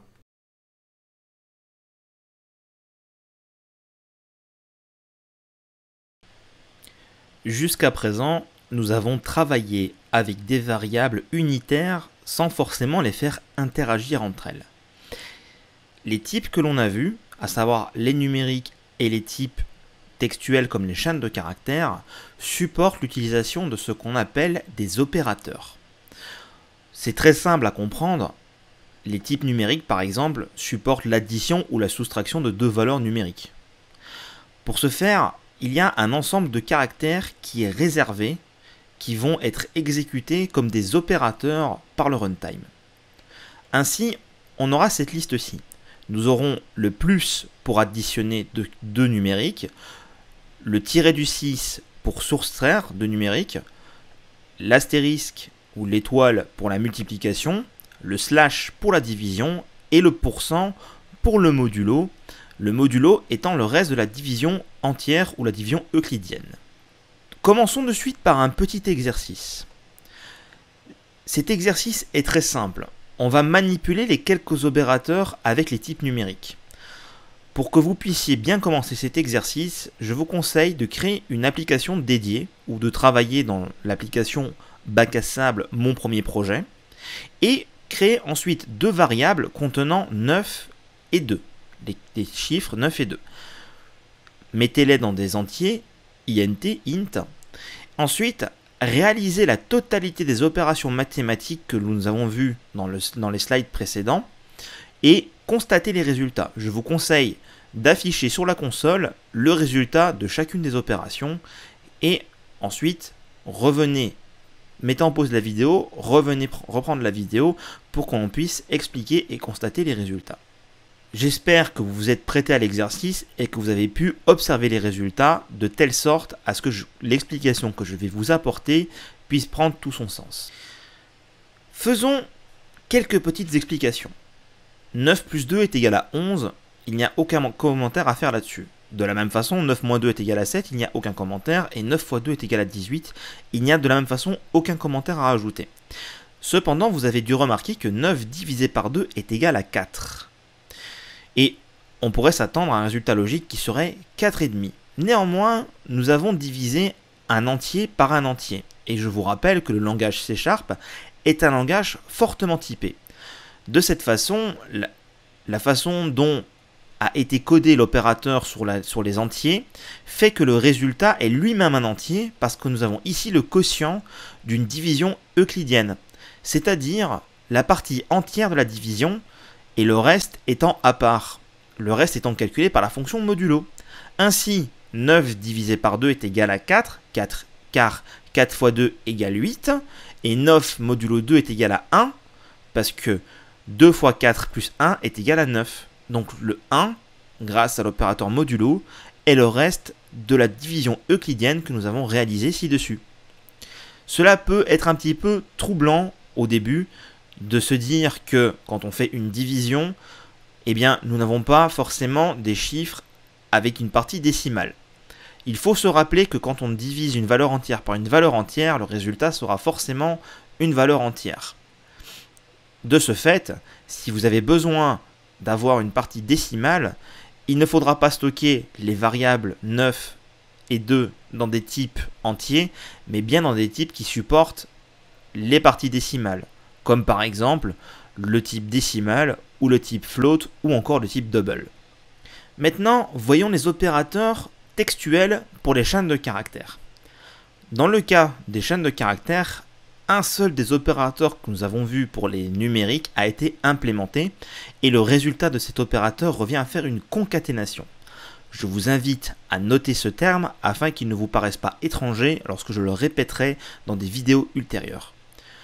On utilisera ainsi le caractère à l'instar d'une addition entre deux numériques, pour concaténer deux chaînes, c'est-à-dire les mettre les mettre l'une à la suite de l'autre. Par exemple, ici, j'écris une variable qui s'appelle bonjour chaîne, qui contient la chaîne bonjour avec un espace à la fin, et je la concatène avec la chaîne Christophe. Comme ça, j'ai une seule et même chaîne qui s'appellera bonjour Christophe.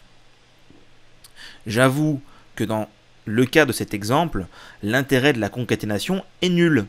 Et la concaténation prend tout son intérêt lorsqu'on utilise par exemple des variables. Si je reprends le même exemple, mais que je stocke bonjour et prénom dans deux variables différents, eh bien je peux récupérer une nouvelle chaîne qui est bonjour Christophe en concaténant deux variables de type chaîne de caractères. Afin que vous puissiez assimiler pleinement ce principe, on va se prêter à un petit exercice. Je vous invite à reprendre l'exercice que vous avez fait précédemment avec l'interpolation, mais au lieu d'utiliser l'interpolation, comme c'est écrit à l'écran à l'instruction numéro 4 en bas, utilisez plutôt la concaténation pour construire la phrase finale.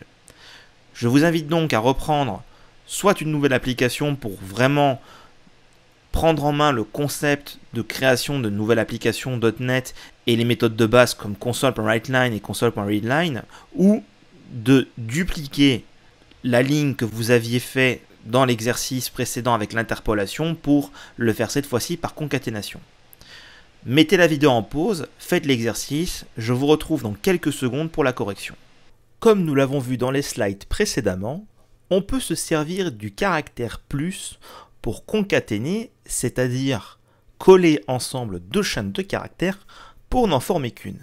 Dans l'exercice précédent, on s'est servi de l'interpolation afin de dire au compilateur C Sharp et au runtime C Sharp à quel endroit de notre chaîne de caractères doit être insérée telle variable.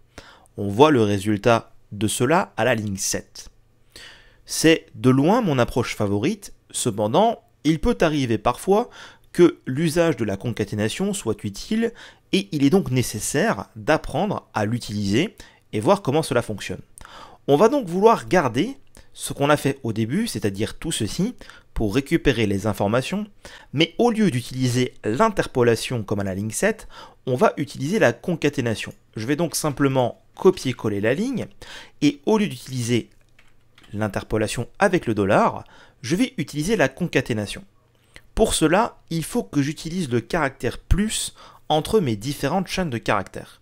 Je suis donc obligé d'encadrer la variable prénom par 2 plus. Ce qui veut dire qu'au lieu d'avoir ici des accolades, il va me falloir des plus comme ceci. Et ce sera pareil pour la variable âge. Donc je les encadre de plus. Cependant, ici, à l'instar de ce qu'on a vu dans la première vidéo, si je laisse ma chaîne de caractères en l'état, je vais simplement avoir l'évaluation littérale du caractère plus dans la chaîne de caractères. Laissez-moi vous montrer rapidement de quoi je veux parler si je tape mon prénom et mon âge, Ici, l'interpolation est bien effectuée, mais en bas, pour la concaténation, cela ne fonctionne tout simplement pas. Pour cela, je vais être obligé de transformer cette partie-là en chaîne de caractères, cette partie-là en chaîne de caractères et celle-ci en chaîne de caractères et les trois de façon indépendante. Pour ce faire, je vais simplement fermer et ouvrir les guillemets comme ceci autour des éléments que je veux transformer en chaîne de caractères indépendante, comme cela.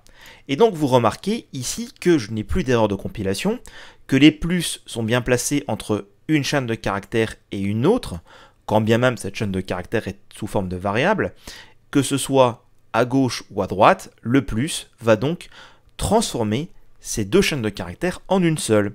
Donc j'ai ici bonjour dans une chaîne de caractères, prénom dans la variable, vous avez dans une autre chaîne h dans la variable et en dans une chaîne de caractères indépendante.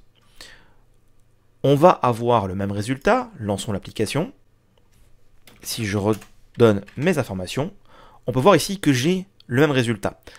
A noter qu'on a une petite subtilité dans la console de debug. On a ici un petit 2 au début de la ligne qui m'indique en fait que cette phrase est présente deux fois dans la sortie. C'est pourquoi la console de debug évite de faire apparaître deux fois la même phrase et dit simplement qu'elle est deux fois dans la sortie parce qu'elle est identique. Pour en avoir le cœur net, je vais simplement ouvrir un nouveau terminal, je vais taper .NET Run et je vais faire exactement la même chose. Et ici, contrairement à la console de debug, on peut voir que la chaîne est bien doublée, ce qui veut dire que cela fonctionne bien. Donc vous avez ici à l'écran, à la ligne 7 et à la ligne 8, le même résultat, la même phrase qui va reprendre nos deux variables, les mettre dans une phrase de résultat, la première avec l'interpolation, la seconde avec la concaténation. Je trouve la phrase de la ligne 7 plus facile à lire, parce qu'on voit directement où est insérée la valeur, et le peu de décoration qu'on a vient simplement du fait de la présence des accolades. Pour moi, c'est moins compliqué à lire que la ligne 8. Mais les deux ont le mérite d'exister, et si vous avez réussi à transformer la chaîne qui utilise l'interpolation pour avoir le même résultat avec la concaténation, félicitations, vous savez maintenant comment travailler avec les chaînes de caractères, que ce soit avec de l'interpolation ou de la concaténation, vous êtes maintenant prêt à affronter tous les défis autour de la manipulation de chaînes de caractères. Si vous n'avez pas réussi à faire la concaténation, je vous invite à revoir la vidéo et à vous assurer d'avoir bien compris. Ce serait en effet dommage de ne pas connaître cette technique facile et simple qui pourrait être, utile plusieurs fois quand vous allez réaliser du code C Sharp.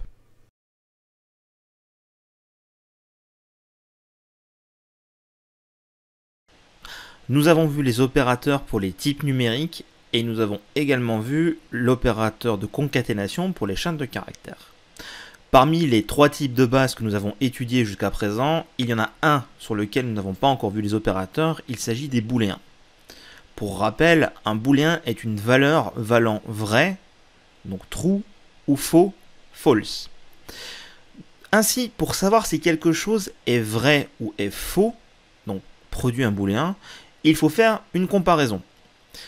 Si par exemple je veux comparer deux valeurs entières, savoir si dans ma variable A j'ai la même valeur que dans la variable B, je dois les comparer entre elles. Ainsi, je peux tester l'égalité de ces deux variables grâce à un opérateur qui est le double égal et non pas égal. En C Sharp, l'égal unitaire est égal à une affectation. Le double égal vaut comparaison.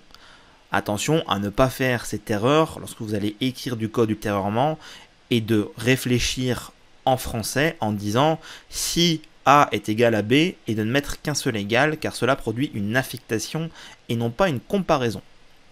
Afin que cela soit plus clair au niveau du code, Voici un exemple de code.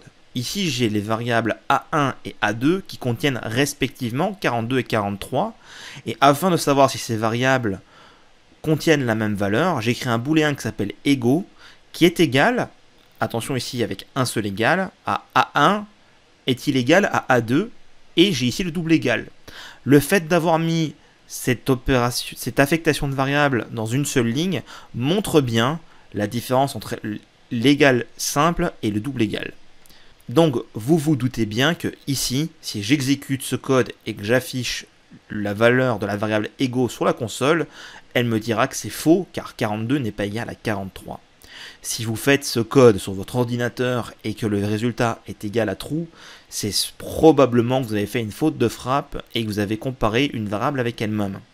Sinon, il est grand temps de changer d'ordinateur. On a le double égal pour faire la comparaison. Maintenant, on peut, pour tester l'égalité, est-ce que deux choses sont égales? Maintenant, on peut également vouloir tester la différence. Et dans ce cas, on remplacera le premier égal dans le double égal par un point d'exclamation. C'est l'opérateur point d'exclamation égal qui veut dire différent. Et comme ça, on peut tester booléen différent. A1 est-il différent de A2 Et là, cette fois-ci, la variable différent vaudra true car 42 est différent de 43. Il y a également des opérateurs mathématiques traditionnels qui vont nous aider à produire un booléen. Nous avons vu la vérification de l'égalité ou de la différence. Si on va comparer deux variables numériques entre elles, on peut utiliser les opérateurs classiques supérieur, supérieur ou égal à, inférieur, inférieur ou égal à. Le caractère pour chacun de ces opérateurs est affiché ici à l'écran. On utilisera le chevron fermant ou ouvrant exactement de la même façon qu'on le ferait dans une écriture mathématique traditionnelle, la seule subtilité étant le supérieur ou égal ou l'inférieur ou égal, étant donné qu'on utilise supérieur ou égal, le premier caractère à arriver est le supérieur, suivi d'un égal, et cela fonctionne de la même façon avec l'inférieur ou égal. Reprenons notre exemple. Nous avons ici A1 et A2 qui sont 42 et 43. Est-ce que A1 est plus grand que 10 J'écrirai cela avec A1 chevron fermant 10. On a la même notation qu'on pourrait avoir en mathématiques. Et cela produit un booléen. Est-ce que A1 est supérieur à 10 Bien sûr, vous vous en doutez, cela vaudra true parce que 42 est plus grand que 10. Ensuite, imaginons que je veuille tester que A2 est inférieur ou égal à 100, je l'écrirai de cette façon. A2, chevron ouvrant égale 100, et là, vous doutez bien que également, la variable sera égale à true parce que 43 est inférieur ou égal à 100. Donc vous pouvez utiliser ces opérateurs afin de comparer des numériques entre eux et de produire un booléen symbolisant le résultat de votre opération, que ce soit pour l'égalité, la différence ou la comparaison de valeurs.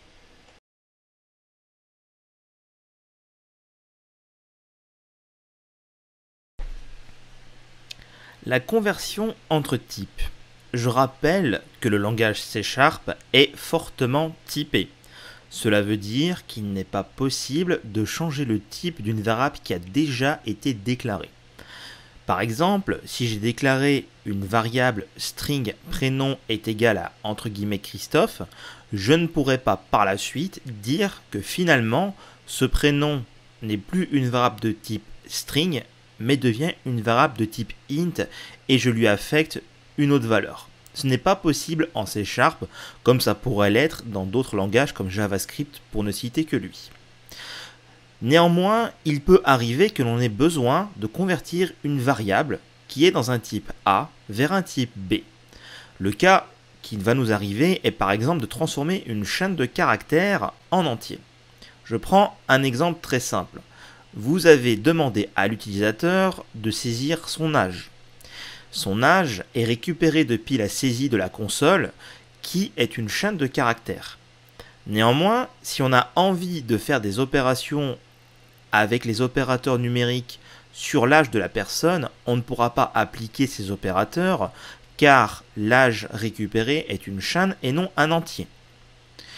Il existe en C Sharp de nombreuses façons de créer une nouvelle variable, et je précise bien créer une nouvelle variable d'un autre type, et ce à partir d'une variable déjà définie. Ce que je parle dans cette vidéo, pour que ce soit clair, est bien de créer une nouvelle variable dans le type que l'on souhaite à partir d'une variable existante dans un type déjà défini. Donc ici, une variable de type chaîne de caractères vers une nouvelle variable de type entier. Commençons par la transformation d'un type quelconque vers une chaîne. C'est un des besoins les plus courants, c'est d'avoir une chaîne de caractères depuis un type quelconque. Sur certains types, comme les entiers par exemple, on pourrait légitimement se poser la question d'un intérêt de ça. Mais si on prend des types plus complexes, prenons par exemple une date, eh bien, avoir une date vers une chaîne de caractères permettrait d'afficher la date sur un document. Nous verrons pourquoi lorsqu'on fera le module sur la programmation orientée objet, mais chaque élément, chaque type en C Sharp possède une méthode, entre autres particulière, qui est la méthode toString.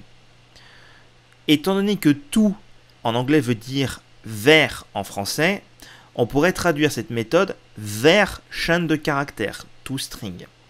L'idée est d'appeler cette méthode sur un type quelconque et de récupérer en retour la valeur de ce type-là en chaîne de caractères. On aurait ainsi la possibilité de transformer un entier en chaîne de caractères comme ceci. Nous avons ici une variable appelée valeur entière qui est égale à la valeur numérique 42. Ensuite, nous avons une variable de type string appelée entier chaîne qui est égale à la valeur entière point toString. Et le point toString est bien encadré en rouge.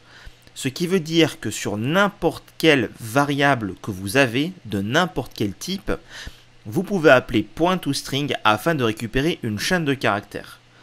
A noter que cela est également possible pour une variable de type string. Je pourrais par exemple avoir string machin est égal à une valeur, entre guillemets, et avoir une autre valeur, string machin 2 est égal à machin 1.toString. L'intérêt est cependant très limité étant donné que nous avons déjà de base une chaîne de caractères. Maintenant, voyons le cas qui nous intéresse un peu plus, à savoir transformer vers un autre type qu'une chaîne de caractères. Je reprends l'exemple que j'avais dit précédemment.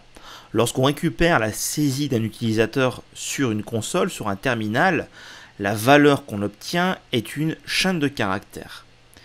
Comme je l'ai dit, pour certaines opérations, comme par exemple comparer avec un autre entier, faire une addition ou tout autre type d'opération, il va falloir que nous convertissions cette valeur vers un entier. Il y a plusieurs façons également de faire cette opération. En C Sharp, il existe une classe qui s'utilise comme la classe console que l'on a utilisée jusqu'à présent, qui s'appelle convert, et cette classe expose des méthodes permettant de transformer une valeur vers une autre, sous réserve que, bien entendu, la transformation soit possible. Prenons un exemple, ici je récupère dans une chaîne de caractères la valeur en tant que chaîne 33, si je veux avoir cette valeur au sein d'un entier, je vais déclarer une nouvelle variable, int33, et j'appellerai la méthode toInt32 de la classe convert, un petit peu comme on a fait avec console.writeLine ou console.readLine. Je taperai convert.toInt32 entre parenthèses, je lui passerai la valeur que je veux convertir. Attention, il faut que la valeur soit convertible. Si dans valeur chaîne j'avais le prénom, la classe convert ne serait pas en capacité de transformer le prénom en entier et renverrait donc une erreur qui provoquerait le plantage de mon programme. Soyez donc vigilants à cela. Nous verrons par la suite d'autres méthodes permettant de faire cette conversion de façon plus sécurisée. Comme je viens de le stipuler, la classe convert est effectivement très pratique et très facile à utiliser mais beaucoup de types en C Sharp exposent eux aussi une méthode particulière appelée parse qui permet de faire la transformation. Cette méthode offre l'avantage de directement être utilisable sur le type que l'on souhaite récupérer. Par exemple, ici, je récupère depuis la console une saisie grâce à la méthode console.readline. Si après je veux l'avoir en entier, je peux bien entendu utiliser convert comme on l'a vu dans le slide précédent, mais je peux aussi utiliser la méthode parse disponible directement sur le type int en tapant int.parse et en lui passant la valeur. Les deux méthodes donneront le même résultat. J'obtiendrai un entier en sortie ou une erreur si la conversion n'est pas possible. On verra cependant plus tard que utiliser les méthodes de parsing de transformation donc sur la classe de destination offre une flexibilité que la classe convert ne possède pas. Attention, je précise bien qu'au niveau de connaissance actuelle, vous pouvez utiliser une solution comme l'autre indistinctement car le résultat sera totalement identique. Je vous propose un petit exercice afin de mettre cela en pratique. L'exercice est le suivant. Vous allez retravailler le bonjour prénom, vous avez âge en, soit en le séparant dans une application console dédiée comme c'est écrit à l'écran, soit en reprenant l'exercice précédent, et vous allez stocker le prénom et l'âge dans des variables avec une distinction. Le prénom sera stocké dans une variable de type string et l'âge dans une variable de type int. Et pour ne pas avoir de problème, nous allons utiliser l'interpolation pour afficher la phrase attendue. Car oui, l'interpolation permet d'injecter n'importe quel type de variable au sein d'une chaîne de caractères, c'est le compilateur qui se chargera d'appeler la méthode toString sur votre variable afin d'en obtenir une chaîne de caractères. Je vous laisse donc mettre la vidéo en pause pour ce petit exercice et je vous donne rendez-vous dans quelques secondes afin de voir le corriger ensemble. Comme nous l'avons vu dans les slides, certains types vont nous permettre de convertir d'un type à l'autre. Car en effet, contrairement à d'autres langages, comme JavaScript par exemple, en C Sharp, une fois qu'une variable est créée avec un type particulier, il n'est pas possible de changer. Par exemple, ici, nous avons Veuillez saisir votre âge et nous récupérons le contenu dans une variable de type string, donc chaîne de caractères. Après tout, c'est logique, parce que la méthode console.readline nous renvoie une chaîne de caractères étant donné qu'elle a lu du texte depuis la console. Pour savoir si les valeurs qui sont entrées sont des nombres, il faut tenter la conversion. On peut le faire de différentes façons, comme on l'a vu dans les slides. On peut tenter la méthode convert.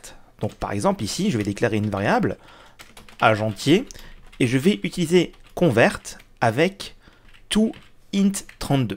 Alors on remarquera ici qu'il y a effectivement tout avec plusieurs types de int, int16, int64, uint et ainsi de suite. Je vous renvoie vers la vidéo où est-ce que je fais un zoom sur les types numériques pour vous rafraîchir la mémoire sur les différents types d'entiers. Par défaut, le type d'entier à utiliser est donc int32 ou l'alias est int, int, comme on peut le voir ici au début de la ligne 6. Et donc c'est celui-ci que je vais spécifier. Et là on peut voir qu'il prend en paramètre n'importe quel type qu'il va essayer de convertir. Et donc Visual Studio Code nous propose ici l'âge en premier choix et je vais donc cliquer dessus.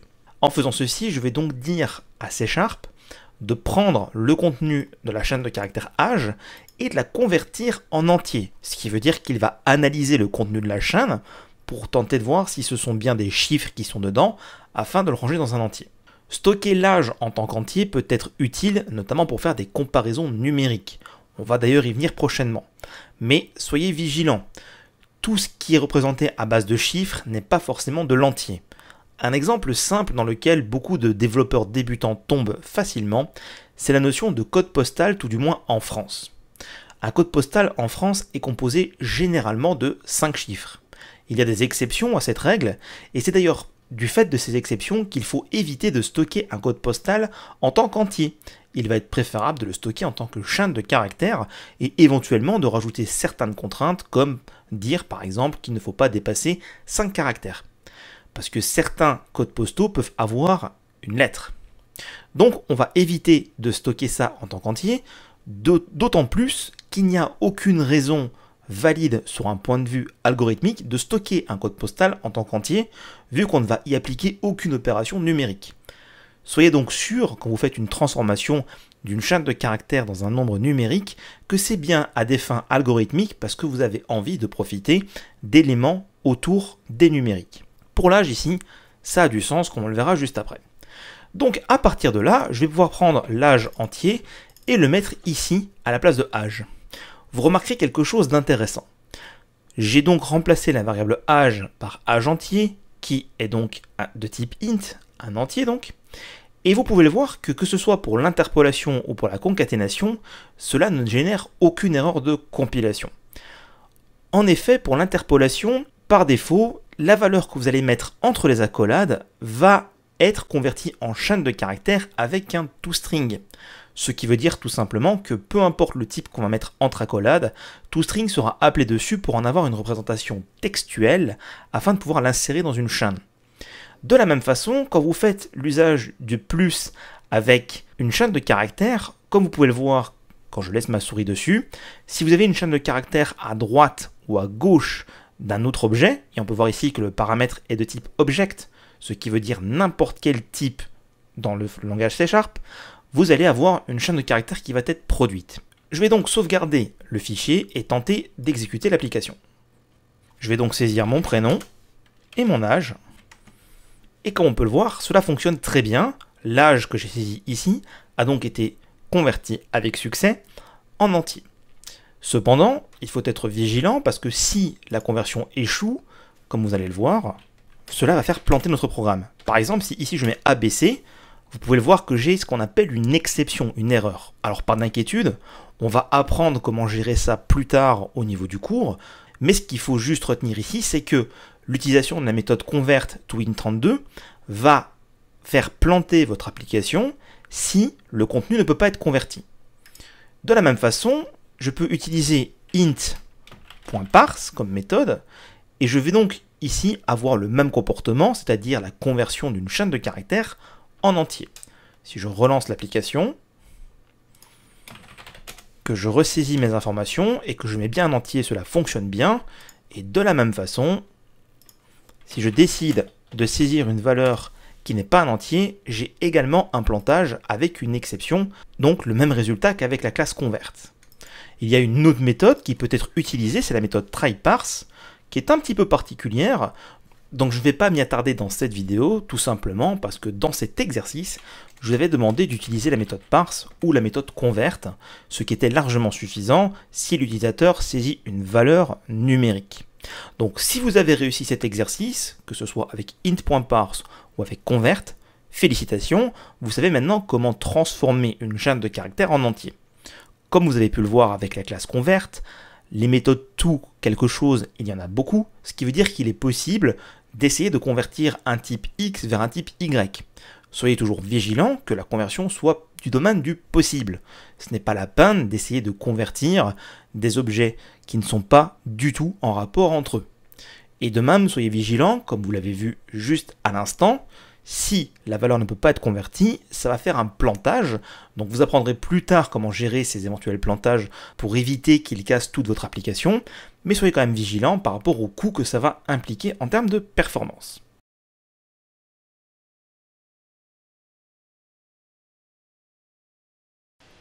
Maintenant que nous savons comment produire un booléen avec tous les opérateurs et tous les cas que nous avons vus, eh bien il est grand temps de tester la valeur. Parce qu'en effet, avoir un booléen tout seul, à part pour l'afficher, ne va pas présenter de grand intérêt s'il n'est pas testé pour une branche de code. Par exemple, si on veut comparer que deux éléments sont égaux pour exécuter une partie du code uniquement si ces deux valeurs sont égales, et eh bien dans ce cas-là, on va utiliser une instruction un petit peu particulière, qui est l'instruction if. If se traduisant par si en français. L'instruction a une syntaxe assez simple c'est-à-dire qu'on va écrire if, if, et entre parenthèses, nous allons mettre le booléen que l'on souhaite tester, soit par le biais d'une variable affectée au préalable, soit directement en écrivant le test. Une fois que j'ai écrit entre parenthèses le test de la condition, eh bien, je vais à la ligne et je vais entre une accolade ouvrante et une accolade fermante écrire les instructions C Sharp qui ne seront exécutés que si l'instruction if renvoie, que si le booléen de l'instruction if est égal à true. Donc on teste la valeur booléenne entre parenthèses et on définit à la suite de cette instruction if entre parenthèses le booléen, entre accolades le code à effectuer si le booléen qui a été testé vaut true. Ainsi, le code qui suit l'instruction if entre accolades ne sera pas exécuté si le booléen est égal à false. Mais lorsqu'on teste une condition, on a deux possibilités, vrai ou faux. C'est le principe du booléen. Donc le bloc défini après l'instruction if ne sera exécuté que si le booléen ou la, ou la condition ou le test renvoie vrai. Il serait intéressant également d'avoir une alternative et de dire si c'est vrai, je veux faire cela, sinon, j'aimerais faire cela. Eh bien, on peut le faire grâce au mot-clé else, se traduisant en français par sinon. Ainsi, voici la syntaxe complète d'une instruction avec des branches de code basées sur une condition. Si j'ai un booléen, je teste la valeur entre parenthèses. Si c'est vrai, je vais définir entre accolade juste après le if le code à effectuer si le booléen vaut true. S'il vaut false, eh bien je vais utiliser le mot-clé else pour dire sinon et je vais également définir entre accolades le code à effectuer si le booléen initialement testé par mon if est cette fois-ci égal à false. Afin que vous puissiez maîtriser ce concept-là, nous allons faire un exercice. Le but, encore une fois, est très simple. On va de nouveau se servir de ce qu'on a fait, où est-ce qu'on demande le nom d'utilisateur et son âge. Et on va lui dire bonjour, vous avez X ans. Sauf que la petite différence, cette fois-ci, on va également écrire sur la console si la personne est majeure ou mineure. On définira ainsi l'âge de la majorité en constante au début de notre programme. Je vous rappelle quelques indications. On utilisera if et else afin d'afficher uniquement la phrase qui va bien. Vous êtes majeur, vous êtes mineur. Et le test entre les deux valeurs, à savoir est-ce que l'âge est supérieur ou égal à l'âge de majorité, peut être directement fait entre les parenthèses du if sans avoir besoin d'affecter une variable au préalable. Mais sentez-vous libre de passer par une variable si cela vous est plus confortable. Je vous laisse mettre la vidéo en pause avec ces instructions et je vous donne rendez-vous dans quelques secondes pour le corriger. Parmi les mots-clés que vous allez utiliser pour coder en C Sharp, il est indéniable que le mot-clé if va revenir de façon quasi systématique dans tous vos algorithmes. Ici, on nous a demandé de comparer l'âge de l'utilisateur à l'âge de la majorité, qui en France est défini à 18 ans, mais sentez-vous libre de prendre la valeur dans votre pays, et d'afficher sur la console si la personne est mineure ou majeure. La première chose à faire, relativement simple, qui n'a rien à voir avec le if, va être de déclarer la majorité. Ici, je la définis à 18 étant donné que c'est la valeur légale en France. Maintenant, il va être nécessaire de comparer l'âge sous forme d'entier avec cet autre entier qui est l'âge de la majorité. Tout d'abord, nous allons faire un peu de nettoyage dans notre code. En effet, nous avons ici deux variables pour l'âge. On pourrait condenser ceci en disant en fait que l'âge est simplement le parse du retour de la console sous forme d'entier. Comme ça, ce n'est plus la peine d'avoir une double variable, et je peux garder âge sans le suffixe entier, qui est purement technique, et cela rend mon code plus lisible et plus compréhensible. Maintenant, il va être nécessaire de comparer la majorité à l'âge. Avant d'utiliser le mot-clé if, ce qu'on va faire, c'est qu'on va stocker le résultat de la comparaison dans un booléen.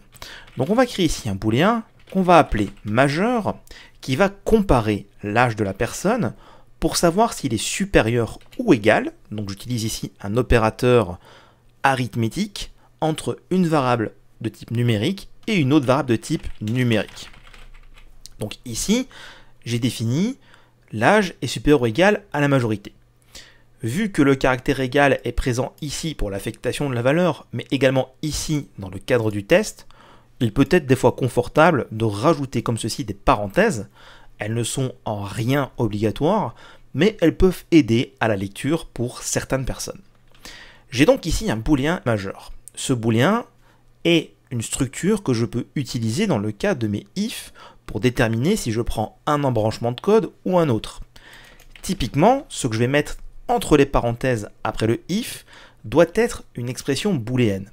Si j'ai un booléen, je peux donc tester que celui-ci est égal à true pour déterminer que si majeur, la variable majeure est égale à la valeur true, dans ce cas-là, je vais afficher sur la console, vous êtes majeur. Ici, vu que ce qu'il y a entre les parenthèses d'un if doit être une valeur booléenne, il est redondant de faire un double égal true pour vérifier que la valeur du booléen est égale à true. Car en effet, le booléen lui-même peut être évalué. Ainsi, je peux simplement mettre if majeur. C'est exactement l'équivalent de ce qu'on avait avant, je vais évaluer si le contenu de ce booléen est égal à true. En effet, le if va évaluer la condition booléenne, donc va évaluer le contenu du booléen. On n'a pas besoin de faire une comparaison inutile. Et donc si c'est faux, ça veut dire que la personne est mineure. L'inverse du if va donc être traité par le mot-clé else. En fait, en anglais, if veut dire si, else voulant dire sinon. C'est assez simple à comprendre. Si majeur est vrai, je rentre dans ce bloc de code, sinon, je rentre dans celui-ci, et là je vais donc mettre console.writeLine, vous êtes mineur. J'ai donc fait ici un embranchement de code basé sur une valeur booléenne qui va comparer l'âge de la personne à une constante qui est la majorité. Bien entendu, ce n'est en aucun cas limité à des comparaisons de numérique. Vous allez faire des tests sur beaucoup de choses, y compris sur des caractères, y compris sur des chaînes de caractères. Bref, vous allez voir, il y a beaucoup de possibilités. Au fur et à mesure de votre apprentissage, vous allez découvrir d'autres conditions possibles. Mais la structure reste toujours la même, if, else. Vous pouvez aussi rajouter un else if pour faire un sinon si par exemple, si la première condition est fausse, on va vouloir tester peut-être une autre condition au lieu de faire un simple sinon. Et dans ce cas-là, on va simplement, après le else, rajouter comme ceci, majeur égale false. Alors dans le cas très précis de notre exemple, c'est purement inutile, vu que majeur est booléen et qu'il ne peut valoir que deux valeurs, vrai ou faux, donc le else if est totalement dispensable, else suffit mais comme vous le voyez ici à l'écran, la syntaxe va être simplement d'enchaîner les else if éventuels si vous souhaitez tester plusieurs conditions. Donc je vais simplement mettre comme ceci if else et je vais tester sans plus attendre mon programme. Je vais commencer par tester avec mes informations et donc sans trop de surprise, vous êtes majeur. Je vais retester avec d'autres informations, donc je vais saisir mon prénom et je vais saisir 15 et là vous êtes mineur. Donc j'ai bien pu évaluer l'âge de façon numérique par rapport à la majorité. Maintenant, l'utilisation d'une variable locale, bien qu'elle soit possible comme on le voit ici à l'écran, n'est en aucun cas une obligation. On peut directement prendre la condition qu'on a stockée dans cette variable pour la mettre ici au sein de notre if, donc supprimer la variable locale.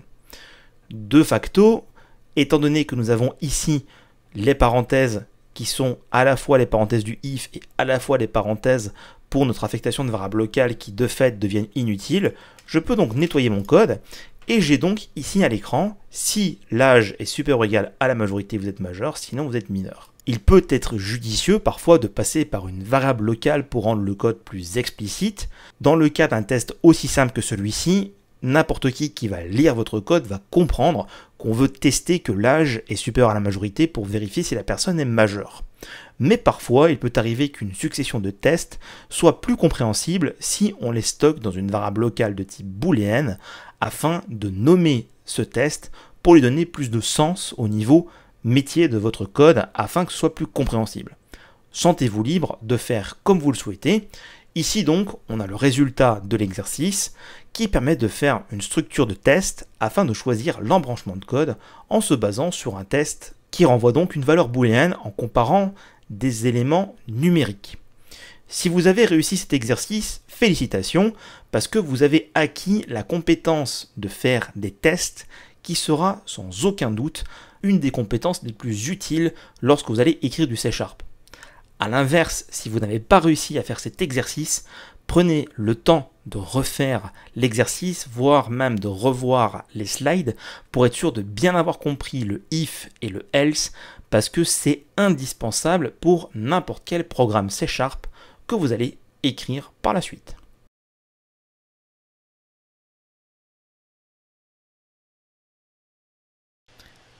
Continuons sur les opérateurs avec les opérateurs pour les booléens.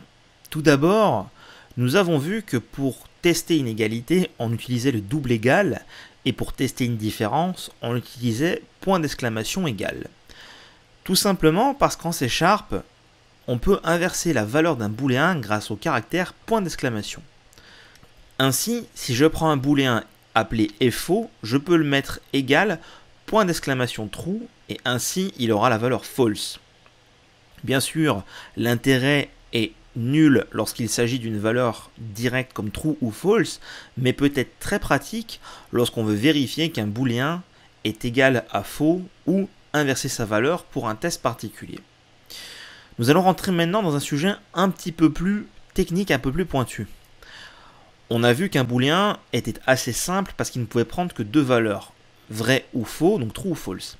En fait, le terme booléen vient de quelque chose qui s'appelle l'algèbre de Boole, un mathématicien qui a apporté cette logique-là. Il existe trois opérateurs qu'on peut réutiliser en C en algèbre booléen.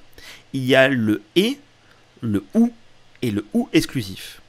En fait, ces opérateurs vont prendre deux booléens et en former un seul.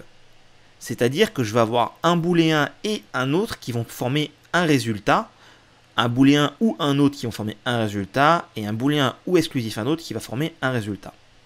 Voici les tables de référence de résultats des opérations avec les mots-clés, avec les opérateurs et ou et ou exclusifs. Comme on le voit, pour qu'un et entre deux booléens puisse renvoyer vrai, il faut que les deux valeurs booléennes soient vraies. Si une des deux ou les deux sont fausses, le résultat sera false. En C Sharp, on utilisera le caractère et commercial ou esperluette, dépendant de comment vous l'appelez, pour réaliser une opération et.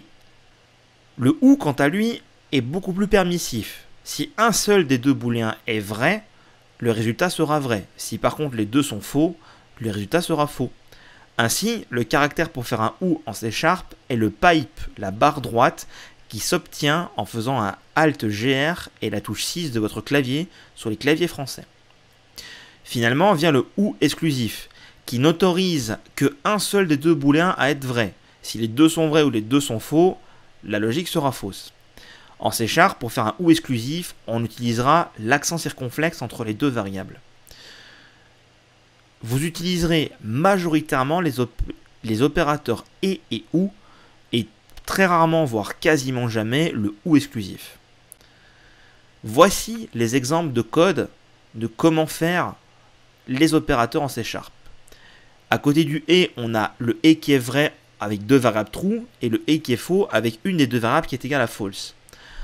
Avec le ou, nous avons une des deux variables qui est vraie, qui provoque le résultat true, et si les deux sont false, nous avons le résultat false.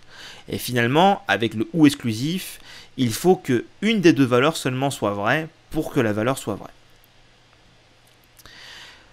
On notera que les opérateurs symbolisés par le et commercial et par le pipe seuls vont impliquer une particularité, c'est-à-dire que chacune des valeurs sera testée. Si on revient en arrière, on voit que dans le cas du et, dès lors qu'une valeur est false, le résultat sera forcément false. C'est-à-dire que si on teste deux booléens et que le premier est false, l'intérêt de tester le second est nul. Et c'est pareil pour le, pour pour le ou. Si le premier booléen est true, peu importe la valeur du second, le résultat sera forcément true. Ainsi, pour gagner en performance et être un peu plus précis, on peut doubler l'opérateur. Donc au lieu d'avoir un et ou un pipe seul, on va avoir un double et ou un double pipe. Et comme ça, dès lors que une des conditions permet de savoir, de d'anticiper le résultat total de l'opération, eh bien on n'exécutera pas les autres, on ne fera pas la vérification des autres booléens qui suivent. Par exemple, si j'ai ici vrai et faux, eh bien si j'écris est-ce que faux est égal à true et est-ce que vrai est égal à true Le premier test faux est égal à true va me renvoyer false. Donc, en utilisant une seule fois le et, ici, dans le cas du code qui était écrit, les deux tests seront effectués. C'est-à-dire que même si faux est égal à true renverra faux, on ira quand même tester est-ce que vrai est égal à true. Ce qui n'apporte pas d'intérêt parce qu'on sait dès le début que de toute façon, avec le et, dès lors qu'on rencontre un seul false, le résultat n'a pas besoin d'être exécuté. Si par contre on décide de doubler l'opérateur, et eh bien dans ce cas, la condition du if va être exécutée plus rapidement parce qu'on n'aura pas besoin de tester les autres conditions. Est-ce que faux est égal à true? Non. Donc de toute façon, le résultat sera false parce qu'on veut faire un et. Donc je peux de suite passer dans le else si else il y a. D'une façon générale, il est recommandé de toujours utiliser le double opérateur afin d'éviter de mauvaises surprises et surtout de gagner en performance. Afin que vous puissiez maîtriser cela, je vous propose un petit exercice. Cet exercice est différent des précédents, parce que ça va être le début de l'implémentation de votre premier projet totalement exécutable qui sera un jeu. Ce jeu, c'est le nombre mystère. Pour faire simple, vous allez donner votre application à un joueur et le but de ce joueur va être de deviner le nombre caché en saisissant une valeur. Par exemple, dans votre jeu nombre mystère, vous avez défini la valeur comme étant égale à 7. Ensuite, vous affichez à l'écran au joueur, vous lui dites essayez de deviner le nombre entre 1 et 10. Et le joueur va donc saisir par exemple 5. Et vous devez comparer la saisie du joueur par rapport au nombre mystère. Si le nombre mystère a été découvert, le joueur a gagné, sinon il a perdu. Nous allons mettre en place les toutes premières briques de l'implémentation de ce jeu. Il s'agit de la logique initiale. Afin de ne pas être parasité par autre chose, je vous conseille de créer un nouveau projet dédié nombre mystère que nous allons le faire évoluer au fur et à mesure des différentes vidéos. Et car nous n'avons pas encore vu comment générer un nombre mystère de façon aléatoire, pour le moment, la valeur du nombre mystère sera définie en tant que constante. Nous allons demander donc à l'utilisateur de deviner le nombre mystère. Et on va vérifier la valeur qu'il aura saisie grâce à l'opérateur super ou égal ou inférieur ou égal, selon votre choix. Et nous allons afficher pour le moment une simple indication avant de terminer le programme. Est-ce que le nombre est plus grand et auquel cas lui dire le nombre mystère est plus grand, vous avez perdu. Est-ce que le nombre mystère est plus petit On va également lui indiquer, lui dire qu'il a perdu. Et si il a trouvé le bon nombre, on va lui dire qu'il a gagné. En bonus, si cela vous semble trop simple, on peut également commencer à rajouter certaines choses, comme par exemple la demande du prénom du joueur. On va le stocker dans une variable et cela nous sera utile pour la suite de l'exercice. Je vous invite donc à mettre la vidéo en pause, à essayer de créer cet exercice, de réaliser cet algorithme, et je vous donne rendez-vous dans quelques secondes pour le corriger. Pour cet exercice, il nous était demandé de créer la toute première version du projet Nombre Mystère. J'ai donc ici créé un nouveau dossier et un nouveau projet, Nombre Mystère, dans lequel nous allons réaliser l'implémentation de cet exercice. Comme on peut le voir, je n'ai rien fait et, somme toute, le déroulé de cet exercice est très simple. Nous allons demander à la personne de saisir un nombre entre 1 et 10 et comparer ce nombre avec le nombre mystère défini précédemment. Bien entendu, pour que ce soit un vrai jeu, il nous faudrait introduire la notion d'aléatoire, mais il est encore un petit peu tôt dans ce cours pour ce fonctionnement-là. Donc ce qu'on va faire, c'est qu'au lieu d'introduire le nombre mystère de façon aléatoire, je vais en définir une constante que je vais appeler nb mystère qui va être égale à une valeur fixe.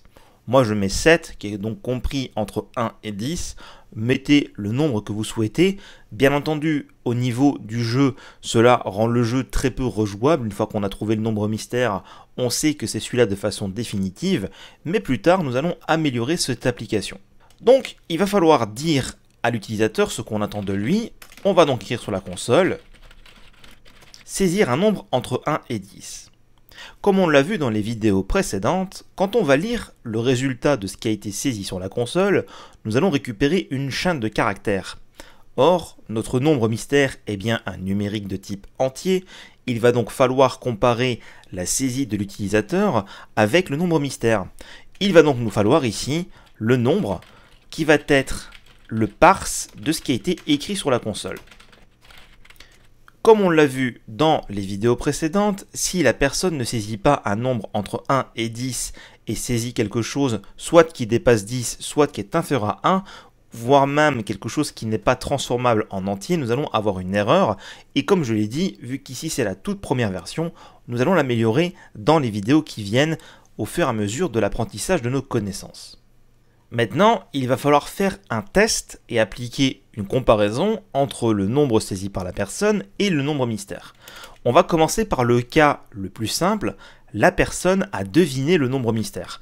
C'est-à-dire que le nombre qu'il a saisi sur la console est strictement égal au nombre mystère. On va donc faire un if nombre, à savoir le nombre qu'il a saisi, est égal à nombre mystère. Dans ce cas-là, ça veut dire que la personne a gagné la partie étant donné qu'elle a bien trouvé le nombre. Donc on va écrire sur la console comme quoi la personne a gagné et qu'elle a trouvé le nombre mystère. Dans le cas inverse, il va falloir lui donner une indication. Alors ici, nous n'avons pas mis en place de rejouabilité, c'est-à-dire que si la personne se trompe, elle aura l'indication comme quoi le nombre mystère est plus petit ou plus grand, c'est ce qu'on va faire juste maintenant, mais elle ne pourra pas avoir une autre tentative, le jeu va s'arrêter là. Bien sûr, on va améliorer ce fonctionnement pour qu'avec l'indication, la personne puisse rejouer. Mais pour l'instant, on va simplement donner une indication qui va être est-ce que le nombre mystère est plus petit ou est-il plus grand? Pour cela, il va falloir comparer le nombre avec le nombre mystère sur un plan par le biais des opérateurs supérieurs ou inférieurs. Par exemple, si le nombre saisi est supérieur au nombre mystère, ça veut tout simplement dire qu'on a saisi un nombre qui est trop grand, comme 8 ou 9, et donc dans ce cas-là, on va écrire sur la console que le nombre mystère est plus petit. Inversement, et ici nous n'avons pas besoin de cumuler un autre if parce que soit il est supérieur, soit il est inférieur, étant donné que l'égalité a été testée précédemment, dans ce cas-là, le nombre mystère est plus grand. Donc si la personne a saisi 1, 2, 3, 4, 5 ou 6. Et à partir de là, notre jeu est donc fonctionnel. La personne va saisir un nombre et on va le comparer avec le nombre mystère. On va tester ceci sans plus attendre. Donc on doit saisir un nombre entre 1 et 10. Saisissons d'abord le nombre 5. Nous avons le nombre mystère est plus grand. Et comme je l'ai dit, on ne peut pas rejouer, on doit donc relancer l'application. Mais armé de cette nouvelle information, on sait maintenant que le nombre est plus grand que 5. Si on, va donc saisir 8. Et là, nous avons le nombre mystère est plus petit. Ce qui veut dire que le nombre mystère est compris entre 5 et 8. Et donc si je relance l'application pour jouer une dernière fois et que je fais 7, félicitations, vous avez gagné et trouvé le nombre mystère. Alors bien entendu, ici j'ai joué de façon un peu bête, étant donné que j'avais déjà le résultat, mais ça m'a permis de tester chacun des embranchements que je voulais mettre en place. Comme vous le voyez, l'application de conditions avec des if, des else imbriqués et ainsi de suite n'est en soi pas très compliquée et on pourrait très bien cumuler les différents tests comme on le fera plus tard au cours de cette formation. Si vous avez réussi cet exercice, félicitations, vous avez donc codé votre petit jeu nombre mystère où est-ce que vous avez fait l'application des différents opérateurs arithmétiques entre les nombres entiers pour produire des booléens et avoir des embranchements de code qui respectent une structure logique permettant de mettre en place un algorithme de jeu. Si vous n'avez pas réussi, n'hésitez pas à revoir cette vidéo ainsi que la vidéo précédente pour être certain de bien comprendre le fonctionnement des if, des else et également des opérateurs arithmétiques qui vont donc produire des booléens avant d'aller plus loin dans ce cours car c'est quelque chose qui va revenir de façon récurrente.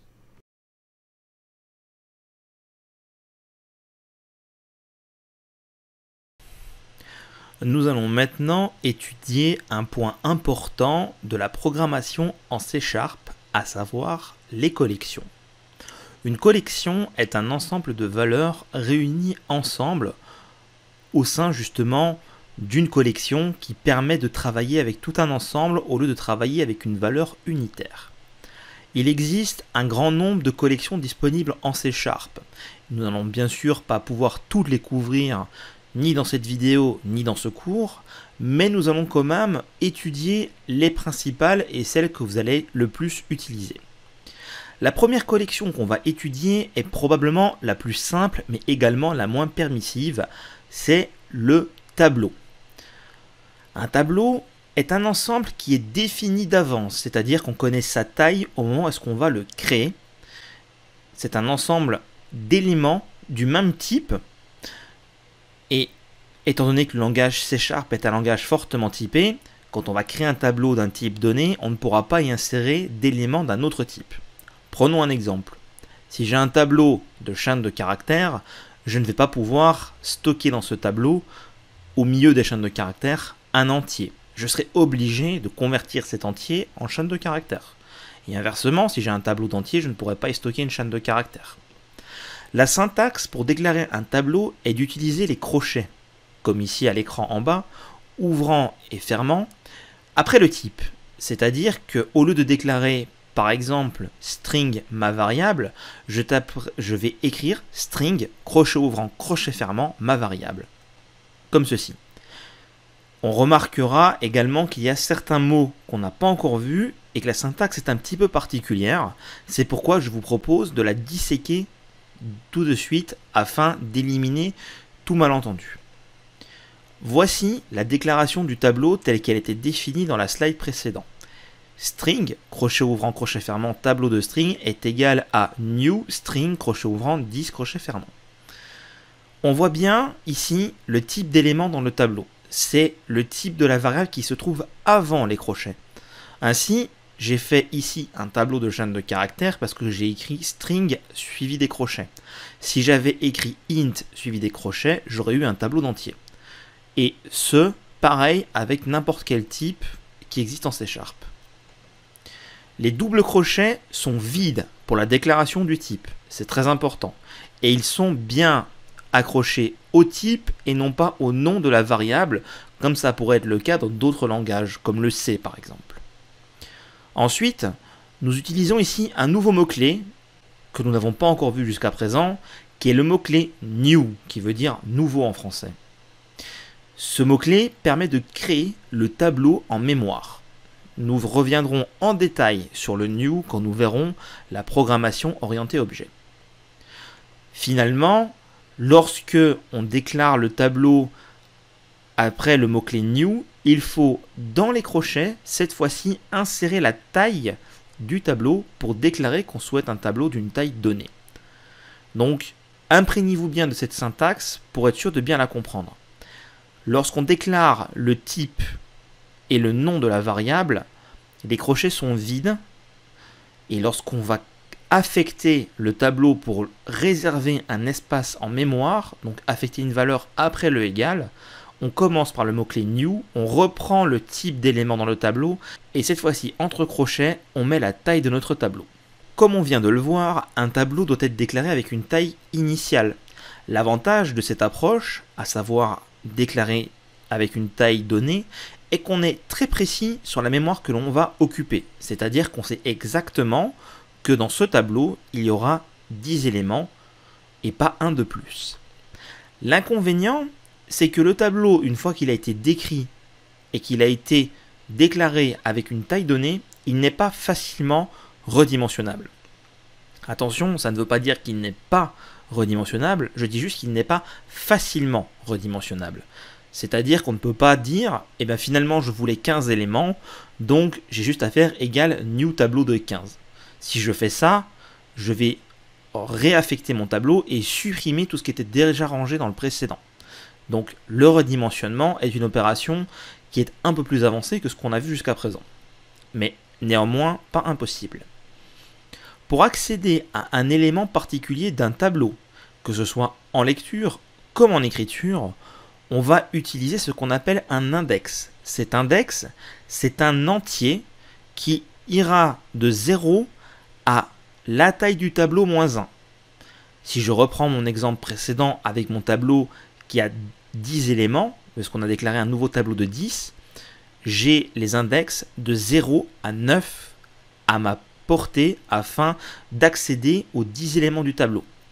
L'index 0 est pour la première position du tableau. Ça peut sembler un peu contre-intuitif au début, mais c'est quelque chose avec lequel il faut s'habituer. Ainsi, sur un tableau de 10 éléments, je ne pourrais pas accéder à l'index 10 parce qu'il fait référence au 11e élément du tableau. Si je tente de faire ça, je vais avoir une erreur. Pour accéder à un élément d'un tableau par rapport à son index, on placera l'index entre crochets et cette fois-ci après le nom de la variable. Par exemple, si je reprends le tableau que j'avais créé précédemment, qui était un tableau de 10 chaînes de caractères, je vais pouvoir affecter à la première place du tableau, c'est-à-dire à, l'index 0, la valeur Toto, en écrivant le nom de ma variable, crochet ouvrant 0, crochet fermant est égal à la valeur. On le voit ici à l'écran. Et cet accesseur par index est également possible afin de pouvoir lire la valeur qui se trouve à cet endroit-là de mon tableau. Donc ici, en deuxième ligne, si je stocke dans une variable le résultat, j'ai exactement la même écriture, sauf que l'accès par index se trouve à droite de l'affectation et non pas à gauche. L'index me permet donc d'accéder à un élément en lecture comme en écriture. Il est également possible de définir les valeurs initiales d'un tableau en utilisant une syntaxe un petit peu particulière. Avec le niveau de connaissance qu'on avait juste avant, on n'aurait pu croire qu'il était obligatoire de passer sur chacun des éléments du tableau par son index pour affecter une valeur. Cela peut se faire dès l'affectation de la variable en utilisant la syntaxe suivante. On reprend la même syntaxe pour déclarer un tableau que ce qu'on a fait jusqu'à présent, à savoir le type suivi de crochet suivi du nom est égal à new, le type suivi de crochet avec la taille, x dans le cas présent. Et juste après, au lieu de mettre un point virgule, nous ouvrons les accolades et nous saisissons la totalité des valeurs que doit contenir le tableau.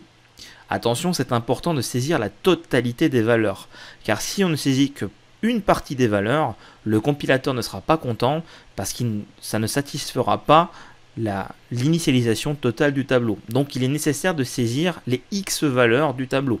Remarquez ici que j'ai mis valeur 1, 2 à x parce que le tableau fait x éléments. Ainsi, si je reprends par exemple un, autre exemple, ici j'ai un, tableau d'entiers qui s'appelle de 1 à 5. Il s'agit d'un nouveau tableau de 5 entiers qui contiennent les valeurs 1, 2, 3, 4 et 5. Ainsi, il est possible de créer un tableau qui soit vide en omettant les valeurs entre accolades, ou il est également possible de préciser les valeurs initiales en les spécifiant toutes entre accolades après la déclaration du tableau avec sa taille et le mot-clé new.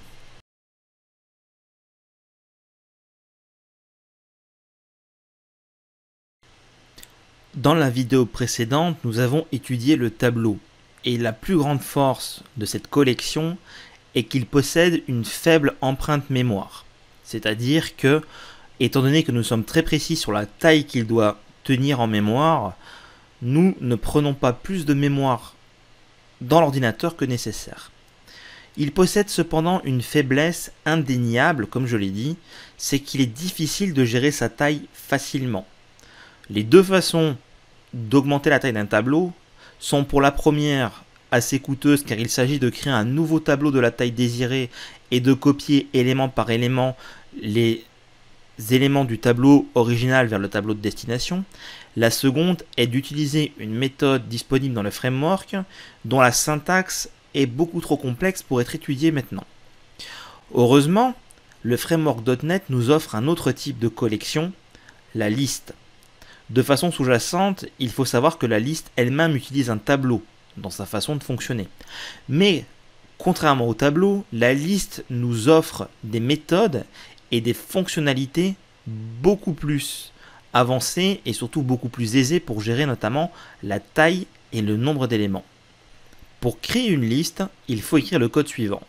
Liste, chevron ouvrant, le type, chevron fermant, le nom de la variable est égal à new list chevron ouvrant le type, chevron fermant, parenthèse ouvrante, parenthèse fermante. La syntaxe ici est très particulière et peut même paraître un petit peu déroutante, notamment car elle fait appel à deux notions qu'on n'a pas encore étudiées, à savoir la construction d'objets et les types génériques. Nous verrons ces notions en détail plus tard et vous comprendrez beaucoup mieux l'écriture qui est ici affichée à l'écran. Pour le moment, contentez-vous simplement de l'apprendre par cœur afin de pouvoir la réutiliser avant de vraiment la comprendre. Imaginons maintenant que je souhaite créer une liste de chaînes de caractères. En suivant cette syntaxe, je vais remplacer type par le type d'éléments que je veux que ma liste contienne. Ainsi, pour créer une liste de chaînes de caractères, j'aurai la déclaration suivante. Liste entre chevron string, chaîne est égal à new, liste entre chevron string, parenthèse ouvrante et fermante, point virgule. Une fois cela fait, j'ai à ma disposition une liste sur laquelle je vais pouvoir travailler. La, la liste est un objet, c'est-à-dire qu'ici nous avons une instance d'un objet avec lequel nous pouvons travailler. On va donc pouvoir utiliser des méthodes dessus et exploiter ces données. Mais avant ça, prenons le temps de disséquer rapidement cette instruction pour être sûr que vous la mémorisez bien. Nous avons le type d'élément dans la liste qui se trouve entre chevrons à la déclaration. Les chevrons sont obligatoires pour encadrer le type, donc vous allez taper liste et puis les chevrons et le type. On réutilise de nouveau le mot-clé new pour créer la liste en mémoire, exactement comme ce qu'on a fait pour les tableaux. On reprend le type complet après le mot-clé new. On remarquera ici qu'il n'y a pas besoin de passer de taille et il faut passer les doubles parenthèses comme l'appel d'une fonction sans paramètres. C'est un petit peu particulier, mais pour le moment, contentez-vous, comme je l'ai dit, d'être certain de comprendre cet appel par cœur avant de comprendre tout ce qu'il y a dedans. La liste offre notamment une fonction qui permet de facilement ajouter un élément, il s'agit de la fonction add. On a déjà appelé des fonctions sur des objets, et bien maintenant que nous avons une variable de type liste, on est en capacité d'appeler la fonction add sur cette liste. Ainsi, en reprenant notre variable shan, on peut faire shan. Et là, nous aurons la liste des éléments disponibles sur la liste de Shan. Et ensuite, nous pouvons mettre add et lui passer entre parenthèses la valeur que l'on souhaite ajouter dans la liste. A noter ici que le point add prendra en paramètre au niveau entre ces parenthèses une valeur du type qui a été décrit entre chevrons précédemment. C'est-à-dire que si au lieu d'avoir fait une liste de chaînes de caractères, vous avez fait une liste d'entiers, avec une liste de int, le point add, qui est ici affiché à l'écran, ne sera pas une chaîne de caractères, mais bien un entier. C'est là toute la force de la liste par rapport à d'autres types, c'est qu'en faisant un point add, on va directement avoir la méthode add qui va contenir le type qui a été décrit lorsqu'on a, a écrit la déclaration de variable de notre liste. La liste peut également s'utiliser comme un tableau à l'aide d'index, parce que comme je l'ai dit précédemment, étant donné qu'elle utilise de façon sous-jacente un tableau, il y a juste à rediriger l'index vers le tableau sous-jacent. Donc on peut utiliser la liste en mettant le chiffre dans les crochets après le nom de la variable, ça fonctionne de la même façon. Par exemple, en reprenant encore une fois la liste de Shan dans laquelle j'ai ajouté une valeur unique au début de ma liste, ici si je créer une valeur qui s'appelle valeur list qui est égale à Shan à l'index 0, je prendrai le tout premier élément de ma liste parce que je peux y accéder par index. On verra ultérieurement d'autres façons d'aller récupérer des éléments dans une collection comme une liste. Attention, tout comme le tableau, si vous tentez d'accéder à un index invalide, votre programme plantera. Par exemple, ici dans ma liste, je n'ai ajouté qu'une seule valeur, c'est-à-dire que je n'ai qu'une valeur accessible à l'index 0. Si je tente d'aller récupérer une valeur à l'index 10 par exemple, eh bien cet index n'étant pas affecté, j'aurai une erreur un petit peu comme tout à l'heure si je tentais d'accéder au 11e élément de mon tableau de 10 éléments.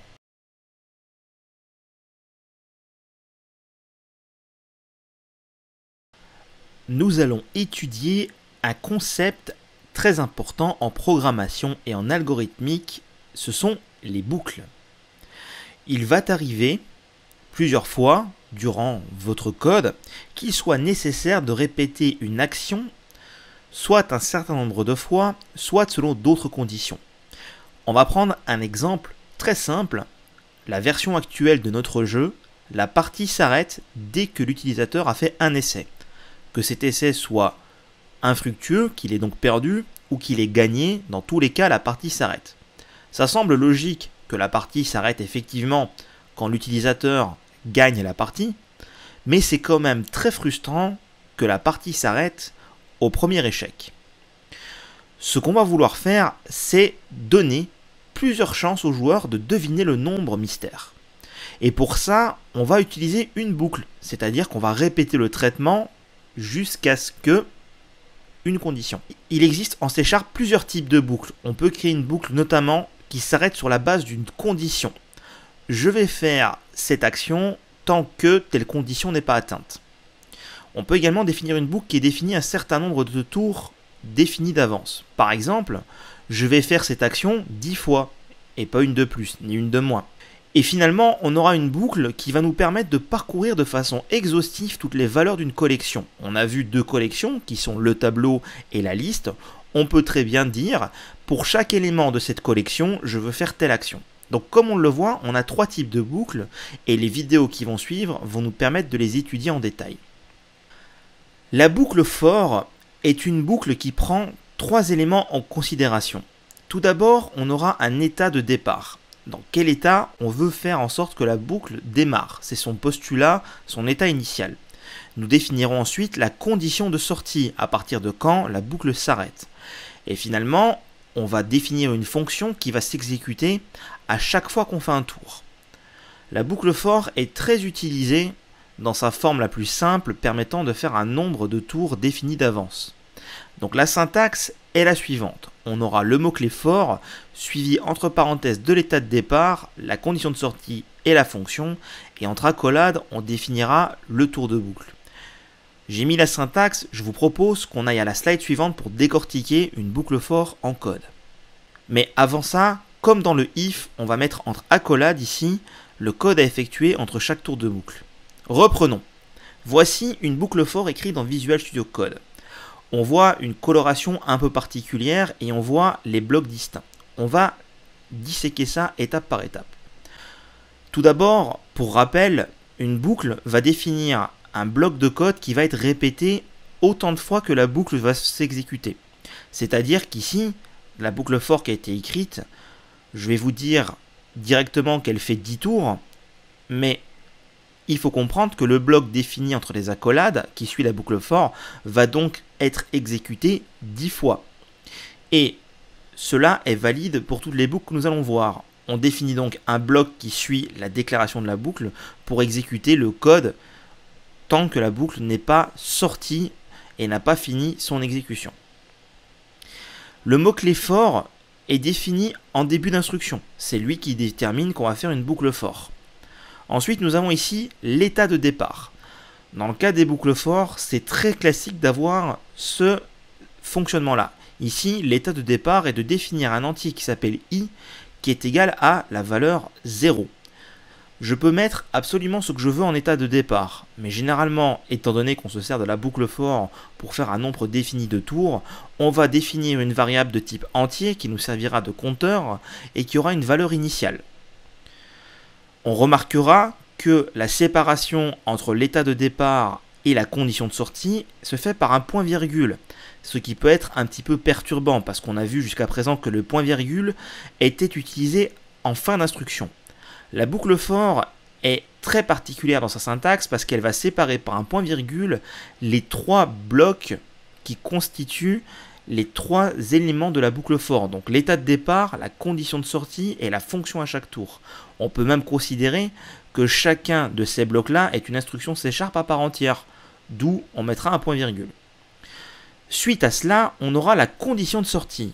Ici, tant que i n'est pas supérieur ou égal à 10, la boucle continuera à s'exécuter. Donc ma condition de sortie, elle sera validée à chaque tour de boucle, et tant qu'elle renverra vrai, je continuerai à tourner. Dès lors que cette condition renverra false, j'arrêterai de faire mes tours de boucle. Donc la condition de sortie à mettre ici est bien un test logique qui renvoie vrai tant que vous voulez tourner et qui renverra faux quand vous ne voulez plus que la boucle s'exécute. D'où ici, je veux que ma boucle for s'exécute tant que i est inférieur à 10. Encore une fois, séparation par un point virgule entre la condition de sortie et la fonction à chaque, tour. Ici, la fonction à chaque tour de boucle sera une fonction qui est propre à la boucle for et qui n'impacte pas le bloc à l'intérieur. On pourrait très bien déplacer ce i à l'intérieur de la boucle for et omettre cette dernière partie parce que la boucle for permet de définir des blocs vides, que ce soit pour l'état de départ, la condition de sortie ou la fonction à chaque tour. Néanmoins, il est recommandé de déclarer dans la boucle for tout ce qui a trait au fonctionnement de la boucle, d'où la dernière instruction qui est une fonction à faire à chaque tour de boucle qui n'impacte que le compteur.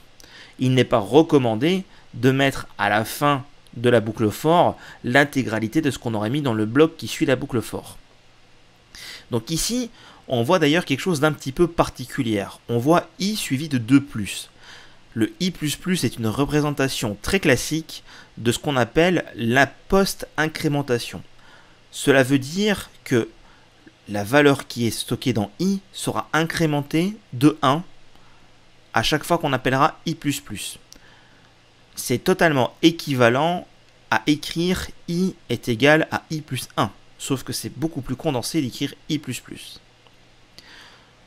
Voilà la syntaxe de la boucle for. Je vous invite à bien assimiler la façon dont elle est écrite, car nous allons passer à un petit exercice. Le but de cet exercice est de demander à un utilisateur de saisir trois éléments sur la console et après d'afficher chacun des éléments sur chaque ligne. On fera pour ça une application dédiée où on peut reprendre une autre application et mettre en commentaire tout ce qu'on a déjà fait pour éviter de multiplier les projets. C'est à vous de voir ce que vous préférez. On utilisera un tableau pour stocker les nombres. Pourquoi un tableau? Simplement parce qu'on a déjà ici le nombre d'éléments que l'on souhaite stocker, à savoir 3. Donc il n'y a pas forcément d'intérêt à aller créer une liste qui va gérer dynamiquement un redimensionnement de taille. On utilisera la boucle for pour afficher les éléments. Donc si vous avez besoin, remettez la vidéo un peu en arrière pour avoir l'exemple de la boucle for afin de vous en servir dans l'exercice. Je vous donne un petit indice pour la résolution de cet exercice. L'index grâce auquel vous allez pouvoir accéder à un élément du tableau se trouve directement dans la déclaration de la boucle et va changer à chaque tour. Ce qui veut dire que pour stocker les choses, vous allez pouvoir les mettre directement grâce à l'index et à la valeur du compteur de la boucle for au niveau du tableau.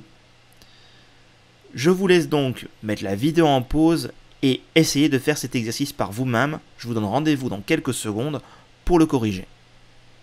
Le but de cet exercice était de nous faire pratiquer la boucle for. J'ai donc créé pour l'occasion un nouveau projet dans un nouveau dossier qui s'appelle exercice for qui va nous permettre de pratiquer en toute quiétude la boucle for. Il était demandé la saisie de trois valeurs sur la console pour les ranger dans un tableau et ensuite de parcourir ce tableau afin de pouvoir récupérer les différentes valeurs. Bien entendu, il est tout à fait possible de réaliser ce petit et simple exercice sans la boucle for, mais tout le principe est justement de la pratiquer, donc nous allons l'utiliser deux fois. La première fois pour remplir le tableau, la seconde fois pour lire le tableau. La première chose qu'on va faire, c'est qu'on va déclarer un tableau de chaîne de caractères Bien qu'effectivement dans le slide j'avais parlé de nombres, il sera plus simple ici de mettre des chaînes de caractères. Si vous avez fait l'effort de mettre des nombres avec int.parse et un tableau de int, pas d'inquiétude, ça marche aussi. Le but de l'exercice n'était pas de pratiquer les différents types de tableaux, mais bien de pratiquer la boucle for. Donc ici je vais l'appeler valeur, et je vais donc créer un nouveau tableau de trois chaînes de caractères. Je vais donc écrire ici une boucle for, et comme vous remarquez, si je descends d'un cran, on retrouve en fait l'icône de snippet, cette icône-ci, qui indique en fait qu'on a ce code-ci, qu'on voit dans la fobule à gauche, qui va automatiquement être généré par Visual Studio Code pour nous si j'appuie sur Entrée. Et comme vous le voyez, ça nous fait gagner beaucoup de temps. Je vous invite à utiliser les snippets quand vous êtes totalement sûr de comprendre le fonctionnement de la boucle for, et ce pour n'importe quel type de code que vous voulez générer automatiquement pour éviter d'avoir trop à compter sur l'outil et ne pas savoir la syntaxe sans y être habitué. Je voulais simplement vous montrer qu'il y avait effectivement ce snippet pour faire gagner du temps, mais nous allons le faire à la main dans un but pédagogique, car ici, tout le but est justement de pratiquer la boucle for. Donc la boucle for est assez simple, dans le sens où elle se comporte comme un if, c'est-à-dire qu'on va avoir le mot-clé de la boucle et ensuite les parenthèses qui vont définir son comportement. Elle a une syntaxe qui est très particulière et très peu commune car en effet, elle contient au sein des parenthèses trois instructions différentes. La première est l'initialisation. Donc ici par exemple, on va déclarer que on a un compteur qui est de type int qui s'appelle i est égal à 0. Et ensuite, on va utiliser le point-virgule, et c'est quasiment un des seuls usages où est-ce que le point-virgule ne se trouve pas à la fin d'une ligne, c'est dans la boucle for, étant donné qu'ici, on va avoir trois instructions. Nous allons donc ensuite définir la condition d'arrêt, i inférieur à 3, et ensuite on va définir ce qui se passe à chaque tour de boucle.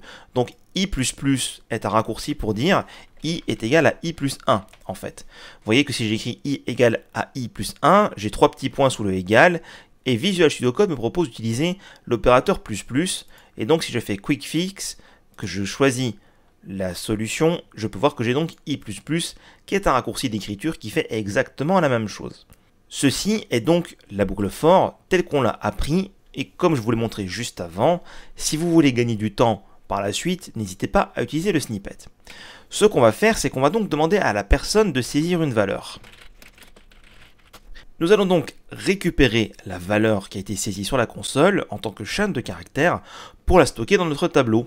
On va donc utiliser l'accesseur par index de notre tableau et ici nous allons stocker à l'index représenté par la variable du compteur. N'oubliez pas qu'un tableau commence à 0, c'est-à-dire qu'un tableau de 3 éléments contient l'index 0, 1 et 2. Et ça tombe bien, c'est exactement ce que notre boucle for va faire pour nous. On va avoir i égale 0, i égale 1 et i égale 2. Et puis quand i va passer à 3, vu qu'on va ne plus respecter la condition de sortie, on va arrêter la boucle for. Donc ici, valeur de i est égale à console.readline pour stocker ce qui a été saisi dans la console à l'index i de notre tableau. Ainsi, nous avons utilisé une boucle pour inviter l'utilisateur à saisir un ensemble de trois valeurs. On pourrait également lui spécifier la valeur qu'on attend, la valeur numéro, et ici on pourrait ajouter l'index i. La problématique avec cette approche, c'est qu'on aura saisir la valeur numéro suivie de l'index i, mais i est un index algorithmique et non pas un index humain, si je puis dire. Dans le sens où, pour nous, en tant qu'être humain, quand on prend un tableau ou une collection d'éléments, on va commencer à compter à 1 et non pas à 0. 0 est utile pour l'algorithme, mais quand on va dire à quelqu'un prends-moi le premier élément de ce tableau ou prends-moi le premier élément qu'il y a dans cette boîte, on va prendre l'élément qui se trouve en première position. Si je dis à quelqu'un prends-moi l'élément qui se trouve à la position 0, ça n'a pas de sens dans la vie réelle. Donc ici, nous allons faire i plus 1 afin d'avoir quelque chose de logique. Donc on va avoir saisir la valeur numéro 1, numéro 2, numéro 3. Il faut être donc vigilant entre ce décalage du compteur pour les humains et pour l'algorithme. Une fois que ceci est fait, nous allons refaire une autre boucle for avec le snippet cette fois-ci. Et donc ici, on va bien spécifier 3. Et on va écrire sur la console, à l'aide de l'interpolation, la valeur à l'index i est la valeur. Donc ici, c'est assez simple. Pour récupérer la valeur, on va faire exactement pareil que ce qu'on a fait pour l'affectation. On va utiliser l'indexeur par crochet. Donc l'indexeur par crochet est valide aussi en écriture qu'en lecture pas de problème pour ça. Et donc ici, il faut ne pas retomber dans le piège, et bien incrémenter i de 1 pour avoir un index humain. On a donc dans ce programme deux boucles forts, la première pour la saisie, la seconde pour la lecture. Lançons notre application pour voir ce qu'il en est. Donc la valeur numéro 1, la valeur numéro 2 et la valeur numéro 3. Une fois que tout a été saisi, on peut voir ici que la seconde boucle fort va parcourir mon tableau et restituer les valeurs que j'ai donc saisies juste précédemment, et ce de façon automatisée. En effet, je n'ai pas eu besoin de faire manuellement le traitement pour définir l'index 0, l'index 1, l'index 2 et ainsi de suite. J'utilise une boucle pour répéter un algorithme, un morceau de code X fois, et comme on peut le voir, on peut se servir des valeurs du compteur de la boucle for afin de profiter au maximum de cette boucle pour faire du code dynamique en fonction de chaque itération. Si vous avez réussi cet exercice, que ce soit avec des chaînes de caractères ou avec des nombres, félicitations, vous savez maintenant comment utiliser la boucle for. Si vous n'avez pas réussi, je vous invite à revoir cette vidéo. La boucle for s'avère bien utile pour parcourir des collections comme des tableaux ou divers éléments où est-ce que l'index joue un rôle prépondérant. Il serait dommage de ne pas connaître cette boucle qui pourra être utile dans bien des situations.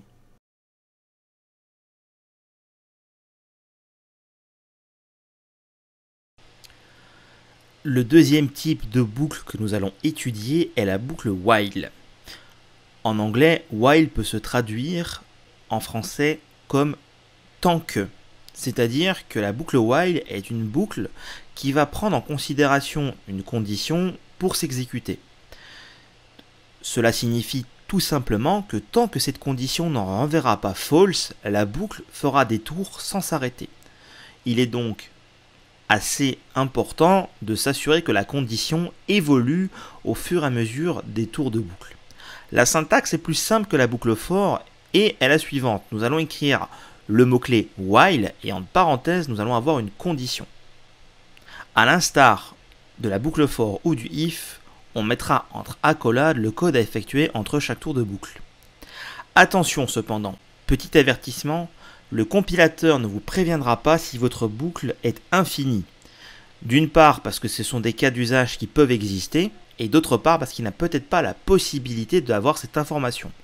Ainsi, il est tout à fait possible d'écrire while et entre parenthèses mettre directement la valeur booléenne true, ce qui fait de fait une boucle infinie qui ne s'arrêtera jamais. Il n'y aura aucun warning ni aucune heure de compilation à cela. Voici la boucle while écrite dans Visual Studio Code. Nous voyons ici par exemple une variable int entier qui est égale à 0 et une condition de notre boucle while tant que, entre parenthèses, l'entier est inférieur à 10. Pour s'assurer que cette boucle ne soit pas infinie, dans le bloc de code associé à notre boucle, nous écrivons entier qui suit la même syntaxe que ce qu'on a vu précédemment, à savoir la post-incrémentation, qui va donc incrémenter la valeur entier de 1 à chaque tour de boucle. Reprenons cette instruction en détail. Le code qui est entre les deux accolades sera exécuté tant que la condition ne sera pas égale à false, c'est-à-dire tant que l'entier ne sera pas supérieur ou égal à 10. Cette condition sera évaluée à chaque tour de boucle. Vous n'avez rien à faire, c'est automatiquement géré par C Sharp. La seule chose qu'il faut vous assurer, c'est que cette condition puisse être atteinte dans le cas où vous souhaitez que la boucle se termine. Et de la même façon, il vous faut définir dans le bloc qui suit la boucle while des éléments ou du code qui permet de faire en sorte que la condition qui est réévaluée puisse changer et passer de true à false. Pour que cela soit plus clair, je vous propose de passer un petit exercice. Le but de cet exercice va être d'améliorer notre jeu du nombre mystère. Jusqu'à présent, comme on l'a vu, le joueur n'a qu'une seule tentative et va devoir relancer l'application. Nous allons transformer le jeu pour que le joueur puisse jouer jusqu'à ce qu'il ait gagné. A cet effet, nous allons utiliser la boucle while qui va faire que le joueur va pouvoir continuer à essayer de deviner le nombre mystère jusqu'à ce qu'il n'ait pas gagné. On va considérer que la seule façon de sortir du jeu pour le moment est de gagner le jeu. Je vous laisse donc réfléchir à comment répondre à ce problème et comment résoudre cet exercice et je vous donne rendez-vous dans quelques secondes pour le corriger dans Visual Studio Code. J'ai repris ici le code source de notre projet Nombre Mystère, la première implémentation que nous avons réalisée. Cette première implémentation, bien que fonctionnelle, présentait un manquement majeur. Il n'était pas possible pour le joueur de rejouer et de retenter un nouvel essai pour découvrir le nombre mystère. Un seul essai était donc disponible et il fallait relancer l'application, ce qui n'est pas pratique.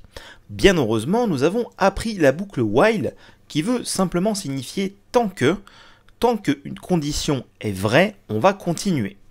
On va donc commencer par faire l'implémentation la plus facile, c'est-à-dire proposer à l'utilisateur de jouer tant qu'il n'a pas gagné. Ainsi, on va déclarer un booléen gagné est égal à false.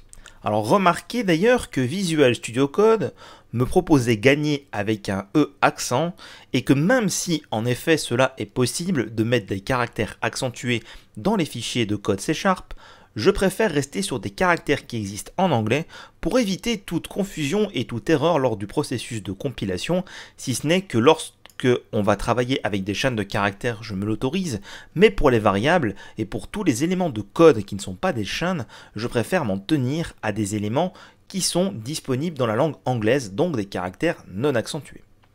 Maintenant que j'ai déclaré gagner, ce qu'il va falloir faire, c'est exécuter le code qu'il y a ici, donc le code ce que l'utilisateur tente de découvrir le nombre mystère, dans une boucle while. Ainsi, par exemple, je vais faire while gagner est égal à false, je veux faire ce code-là, comme ceci. Alors ici, je vais formater mon code. Comme vous le voyez, même si je mets l'accolade à la ligne, je n'ai pas un décalage ici visuel sur la droite, parce que while crée un nouveau bloc et donc devrait typiquement décaler vers la droite le code qu'il contient. Je vais donc faire CTRL MASH P taper Format et comme on peut le voir, le raccourci sur mon installation est Maj plus Al plus F. Je peux donc choisir indistinctement de cliquer sur cette ligne ou d'exécuter le raccourci Maj, Alt et F, ce qui aura pour effet de me formater le document et donc de créer ce décalage visuel qui est beaucoup plus plaisant et beaucoup plus facile à lire.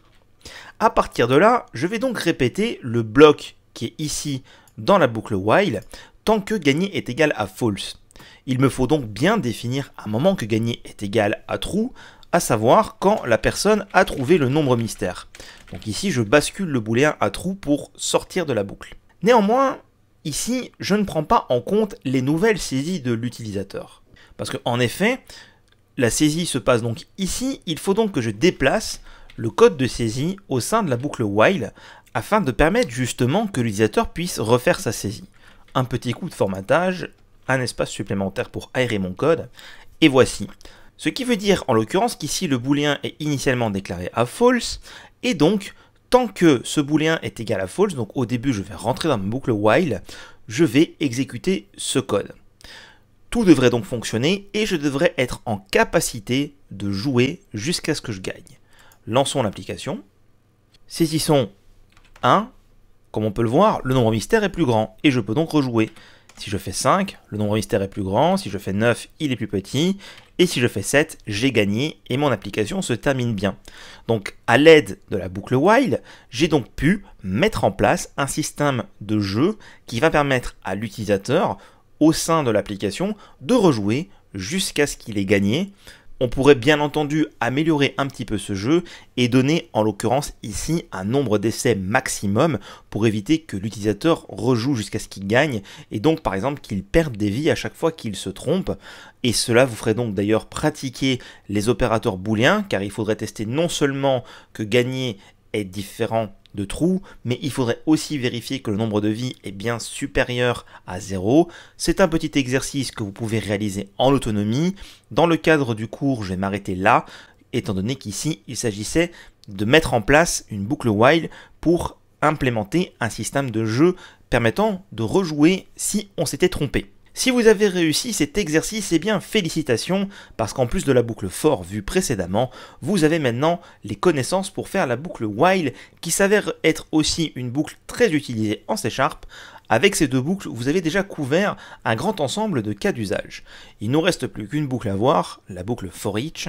Et avant de passer à la vidéo suivante, je tiens simplement à vous dire que si vous n'avez pas réussi cet exercice avec la boucle while, je vous invite vivement à revoir la vidéo et être sûr d'avoir compris et d'avoir réussi cet exercice car cette boucle est vraiment utile et presque indispensable dans un grand nombre de programmes en C Sharp.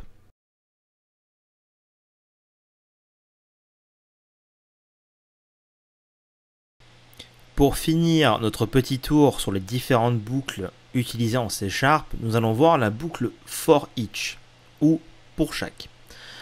En fait, bien qu'il soit possible de faire le parcours entier d'une collection grâce aux boucles for et while, les ingénieurs du langage C Sharp ont décidé de créer une boucle particulière qui est dédiée uniquement à cela. La boucle for each permet de prendre chacun des éléments un à un et d'effectuer une action avec l'élément courant durant le parcours. La syntaxe est la suivante et ne ressemble pas à une syntaxe qu'on aurait déjà vue. On va utiliser le mot-clé for each, suivi entre parenthèses d'une déclaration de variable qui reprend le type d'élément présent dans la collection en donnant un nom à cette variable et en séparant la déclaration de la variable de la collection que l'on souhaite parcourir par le mot-clé in. Prenons le temps de disséquer cette syntaxe. Voici la boucle for each écrite dans Visual Studio. Considérons que nous avons un tableau des entiers que nous avons vu dans les vidéos précédentes qui s'appelle 1 à 5 qui contient les entiers 1 à 5. Ici, je vais tout d'abord rappeler que le bloc qui, suit le for each entre accolades sera exécuté pour chaque élément de la collection parcourue. C'est-à-dire que chaque tant que je n'ai pas parcouru tous les éléments des entiers de la collection qui s'appelle 1 à 5, je vais exécuter le bloc qui suit le for each. Et dans ce bloc sera disponible une variable qui s'appellera entier qui vaudra la valeur actuelle dans la collection 1 à 5. Cette variable doit être déclarée avec le type directement qui correspond au type d'élément présent dans la collection. On lui donnera un nom à l'instar de ce qu'on a fait pour la boucle for avec int i égale 0, on donnera ici le nom d'une variable qu'on va pouvoir utiliser dans le bloc qui suit la déclaration de la, boucle for each. La séparation entre la collection et la déclaration de la variable se fait par le mot-clé in, et donc à droite de, de mot-clé in, on mettra la collection à parcourir. Il y a un élément sur lequel je veux attirer votre attention sur la boucle for each, qui est très important et qu'il est nécessaire de noter. Il n'est pas possible de modifier une collection que l'on parcourt grâce à une boucle for each. Par exemple, si vous parcourez une liste en faisant for each int entier int in liste d'entiers par exemple, vous ne pouvez pas au sein du bloc de la boucle for each faire un point add d'un entier dans la liste. Cela reviendrait à toute façon créer une boucle infinie. Quand bien même votre add est basé sur une condition, ça ne marchera pas car la boucle for each s'arrêtera par une erreur en disant que l'itération ne veut pas se poursuivre car la collection a été modifiée. Je vous invite maintenant à réaliser un exercice et cet exercice va encore améliorer notre jeu du nombre mystère. Jusqu'à présent, le joueur peut jouer un certain nombre de fois, mais il va devoir remonter dans l'historique du terminal afin de savoir quels sont les chiffres qu'il a déjà joués. Par exemple, si l'utilisateur a tapé 1, 3 et 9, eh bien il va devoir remonter dans le terminal grâce à la molette de sa souris pour voir les chiffres qu'il a déjà joués. Nous allons donc un petit peu améliorer l'interface graphique du jeu. Pour ce faire, nous allons stocker dans une collection, comme une liste par exemple, la liste des chiffres déjà joués. On choisira plutôt la liste plutôt que le tableau pour la simple et bonne raison que la liste, pour rappel, se redimensionne automatiquement. Entre chaque tour de jeu, on va nettoyer la console grâce à la méthode console.clear. C'est l'équivalent de ce qu'on a fait précédemment quand j'ai écrit CLS qui nettoie la console. Cela permet de repartir d'une console nettoyée et donc d'avoir une meilleure interface graphique. Et au début, avant de demander à l'utilisateur de saisir le nombre, on va lui rappeler les nombres qu'il a déjà joués grâce à la boucle for each les nombres seront affichés dans l'ordre dans lequel ils ont été joués et non pas dans un ordre trié, car actuellement nous ne sommes pas encore capables de trier ces nombres par ordre croissant ou décroissant. Ce parcours se fera grâce à la boucle for each sur la liste des chiffres qui auront été joués. Je vous laisse donc mettre la vidéo en pause, faire cet exercice et je vous donne rendez-vous dans quelques secondes pour la correction.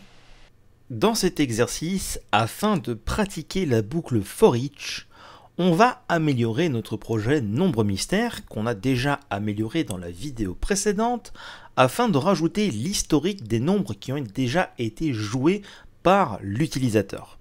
Ici c'est assez simple, on doit deviner un nombre entre 1 et 10, mais si on décide de monter le niveau de complexité par exemple, et qu'on décide de faire deviner un nombre entre 1 et 100, il y a fort à parier que l'utilisateur ne se rappelle pas de tout ce qu'il a déjà essayé.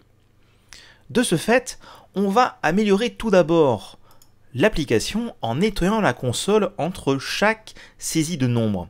Alors pourquoi cela?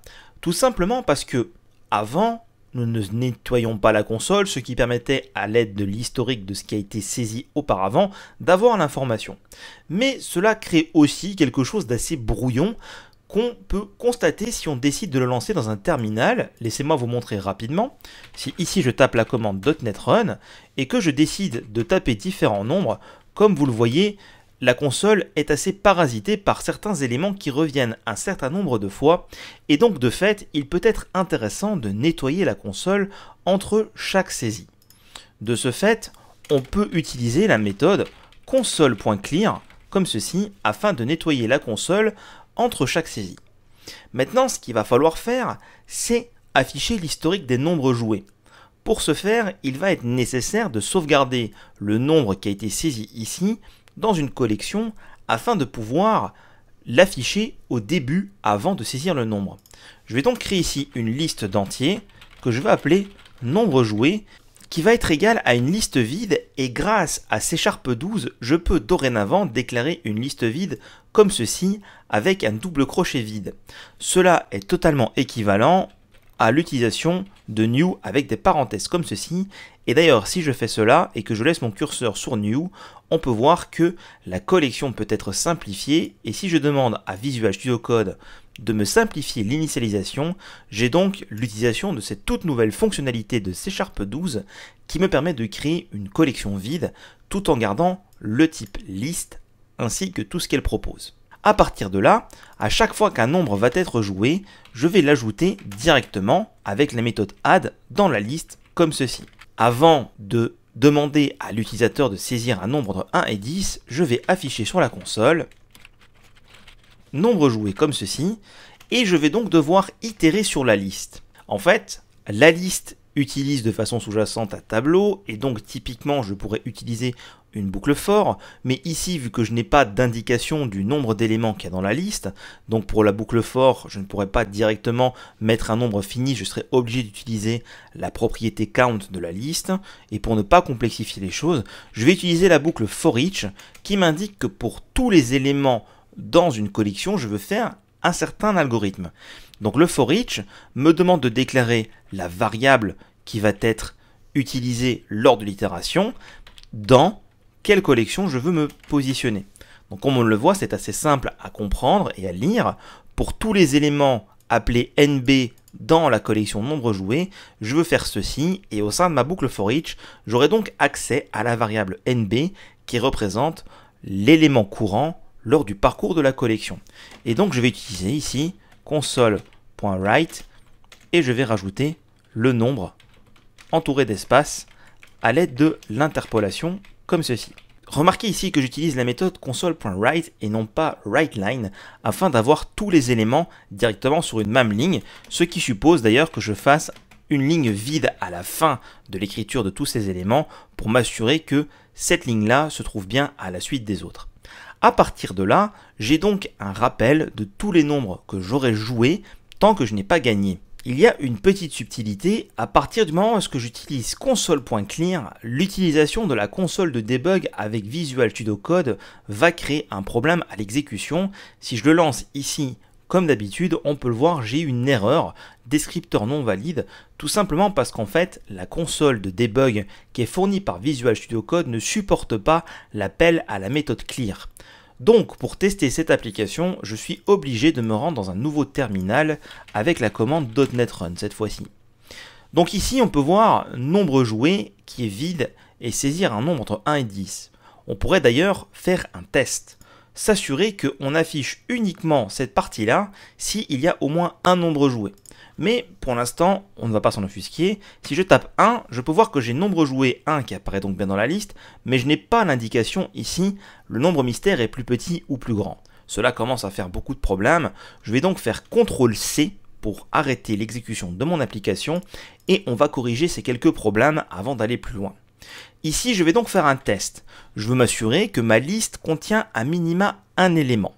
Je peux faire ça de multiples façons. En l'occurrence, sur la liste, nous avons une propriété count qui peut être utilisée pour faire un comparatif, vu que c'est un entier, pour s'assurer qu'il est supérieur à 0. Mais comme on l'a fait pour la ligne 5, on va profiter des avancées de C 11 et de C 12 pour tester la forme de notre collection. Donc ici, on pourrait faire count supérieur à 0 et mettre tout ce bloc-là dans le cadre du if, cela fonctionnerait très bien, mais on peut aussi être explicite et dire si ma collection de nombres joués n'est pas une collection vide en utilisant isNot avec les crochets qui déclarent donc une collection vide. Je vais donc rapidement formater mon code et comme vous le voyez en fait, ça rend le code parfois plus lisible, parfois moins. Donc c'est pour ça que je vous ai présenté count super à 0 qui est la façon de faire qui existe depuis le début de C Sharp. Cette façon-là existe depuis les toutes dernières versions. Vous pouvez utiliser indistinctement la version que vous préférez. Cela n'aura pas d'incidence sur l'exécution de votre code. Maintenant, il nous reste également une chose à résoudre, c'est que l'indication qui est ici, vu qu'elle est écrite sur la console et qu'après on remonte ici dans la boucle, le point clear la supprime. En l'occurrence, ce qu'on va vouloir faire, c'est stocker cette indication pour la réutiliser au prochain tour. On va donc ici avoir une indication en tant que chaîne de caractères et on va de la même façon tester. Si l'indication n'est pas nulle or empty, donc qui nous permet de tester qu'une chaîne de caractères contient au moins un caractère, donc elle n'est pas nulle, on verra plus tard le concept de nul dans le prochain module, ou une chaîne vide, donc on pourrait aussi utiliser un autre test si indication est différente de chaîne vide comme ceci. Dans ce cas-là, je vais l'afficher sur la console. Bien entendu, pour que cela soit utile, je vais reprendre indication et je vais mettre non pas console.headline, mais bien indication est égal à ceci, afin de sauvegarder la valeur.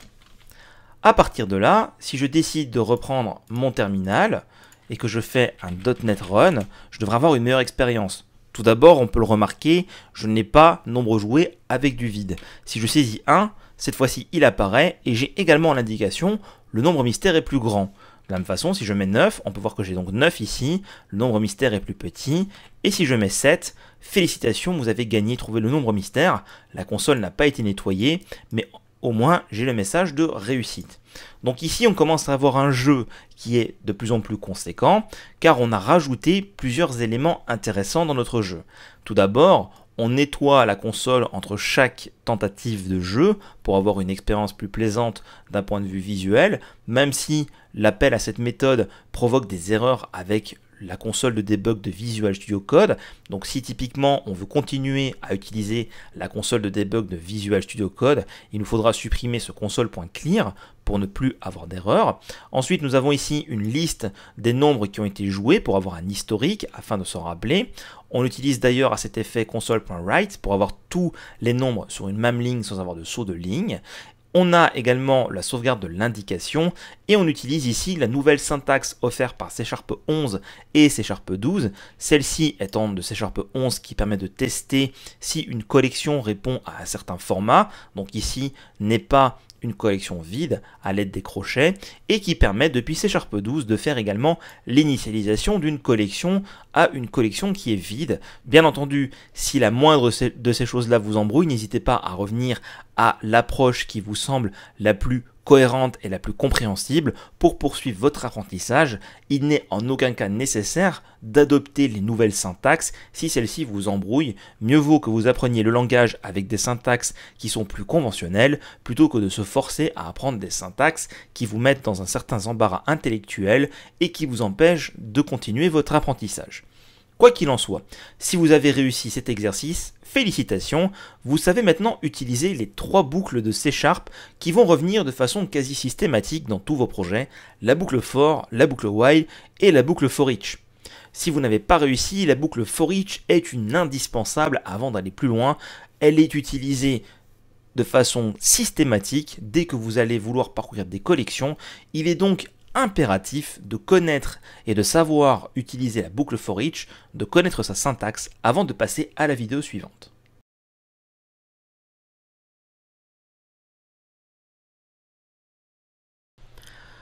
Abordons le dernier point de ce module qui est la gestion des erreurs.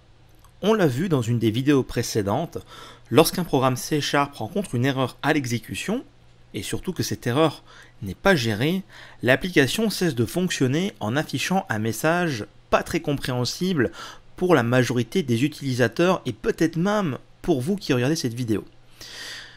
Au-delà du fait que le message contient des informations qui peuvent d'ailleurs être sensibles, cela crée une très mauvaise expérience utilisateur.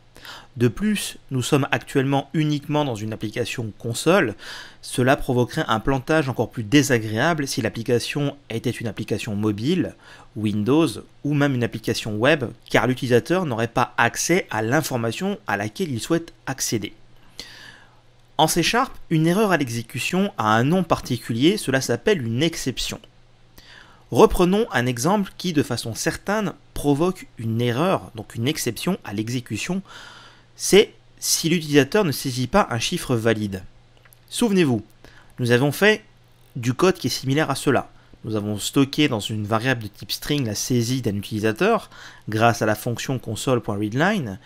Ensuite, nous avons décidé de transformer cette saisie en entier grâce à la méthode in.parse. Et on a vu que si on saisissait une valeur qui n'était pas transformable en entier, j'ai par exemple saisi une deuxième fois mon prénom, eh bien nous avons une erreur.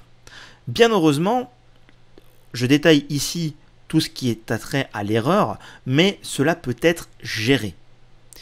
Ce mécanisme s'appelle le try catch. Si on devrait traduire littéralement les mots, c'est essayer et attraper. Donc essaye de faire quelque chose et si ça ne marche pas, attrape l'erreur en vol pour ne pas qu'elle impacte l'utilisateur. Le mécanisme est défini comme cela. Nous avons un bloc try et un bloc catch. C'est-à-dire qu'on va écrire le mot-clé try, suivi d'un bloc avec des accolades.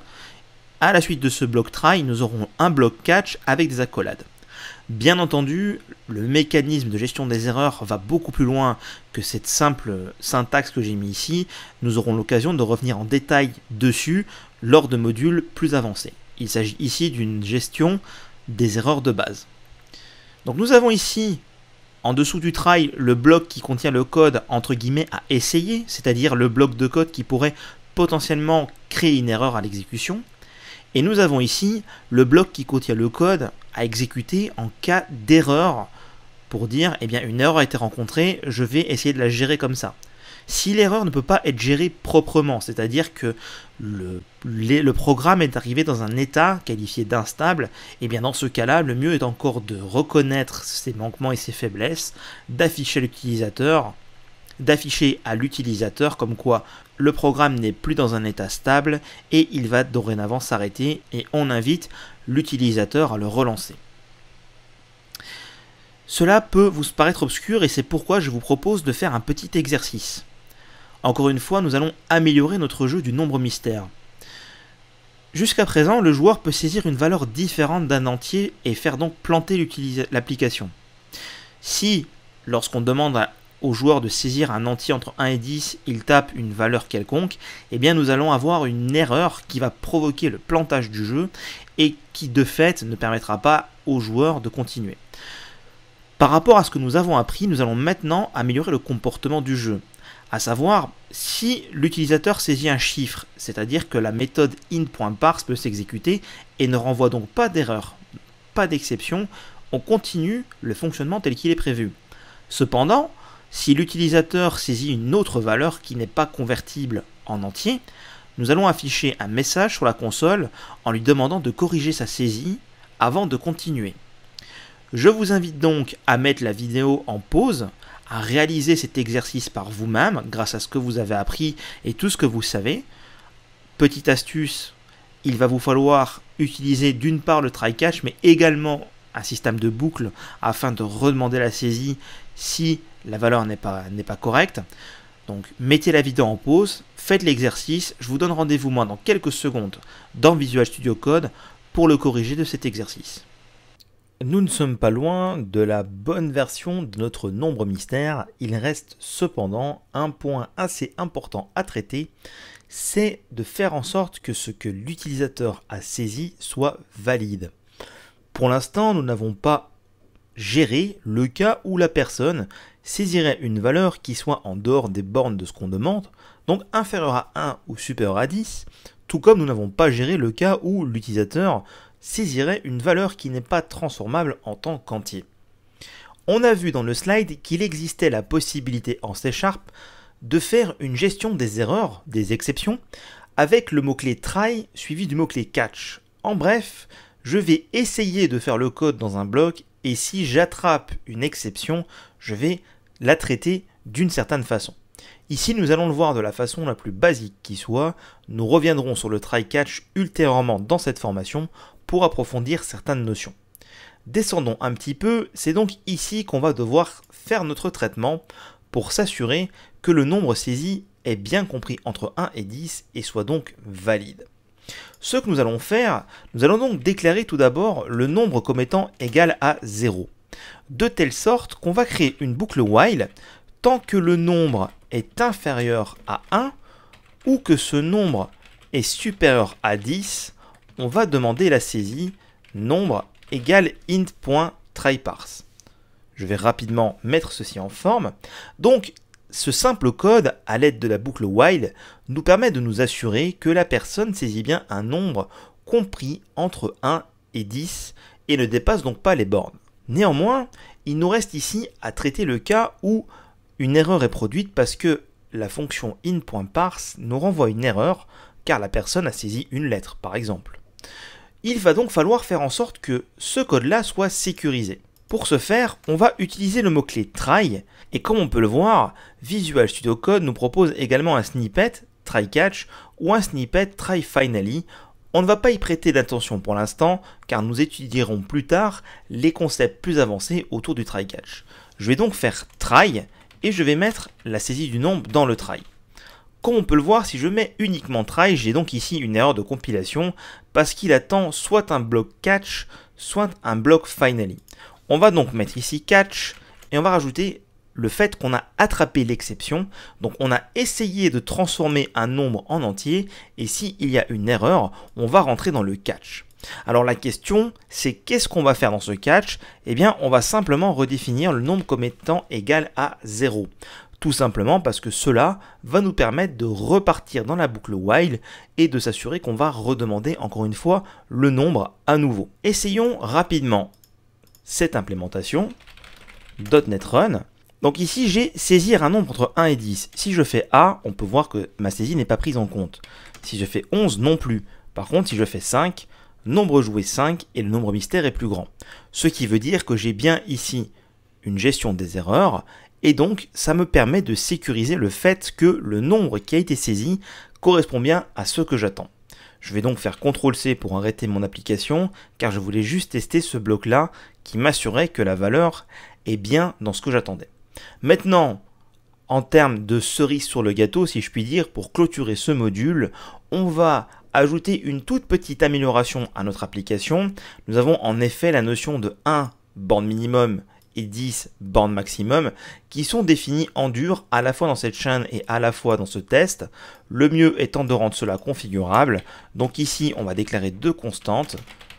Borne min est égal à 1 et borne max est égal à 10. Cela nous permettra par la suite d'ailleurs, si vous souhaitez réutiliser ce jeu, d'aller changer certaines valeurs ici afin d'avoir quelque chose d'un peu plus dynamique, un peu plus différent. Et donc ici, on va s'assurer que nombre est bien supérieur à la borne min et inférieur à la borne max pour éviter divers dérapages. Et donc ici, il faut que l'instruction prenne également en compte ces constantes.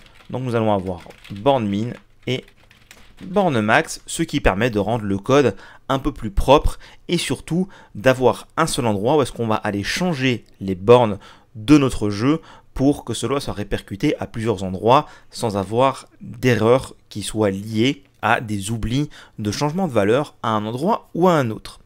Quoi qu'il en soit, le but de cet exercice était de pratiquer le try-catch, et donc si vous avez réussi à créer ce bloc de code là pour sécuriser la saisie de l'utilisateur, Félicitations, vous avez donc acquis les fondamentaux du langage C Sharp et donc ici, dans cet exercice en particulier, les fondamentaux de la gestion des erreurs, plus précisément des exceptions. Pas d'inquiétude si vous n'avez pas tout compris, je vous invite quand même à revoir la vidéo parce que dans le prochain module, nous allons voir des try-catch un peu plus avancés et si vous ne comprenez pas la simple structure qui est celle-ci, quand on va aborder les concepts plus avancés, vous risquez d'être un petit peu perdu et de ne pas saisir la puissance de cette instruction en C pour éviter des erreurs qui pourraient faire planter vos applications.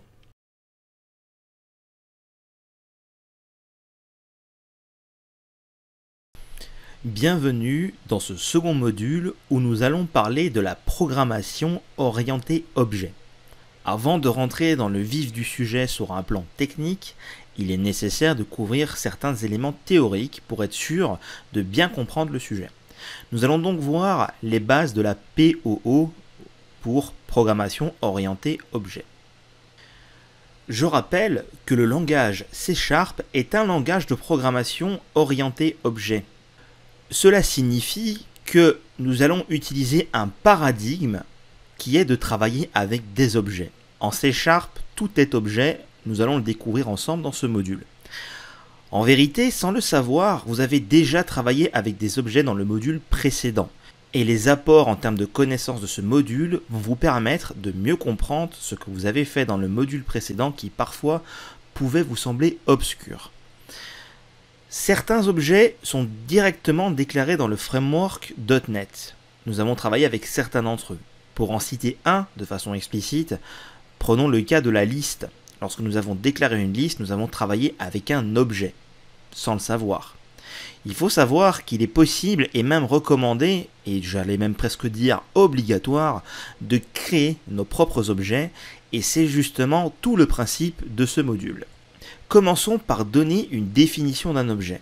Donc, on va se poser la question, mais en vérité, qu'est-ce qu'un objet? Dans le langage commun de tous les jours, un objet est une chose, quelque chose de physique, de tangible. Au niveau du développement, un objet est un élément de code qui définit deux choses principalement. les données qu'il contient et des méthodes ou des fonctions.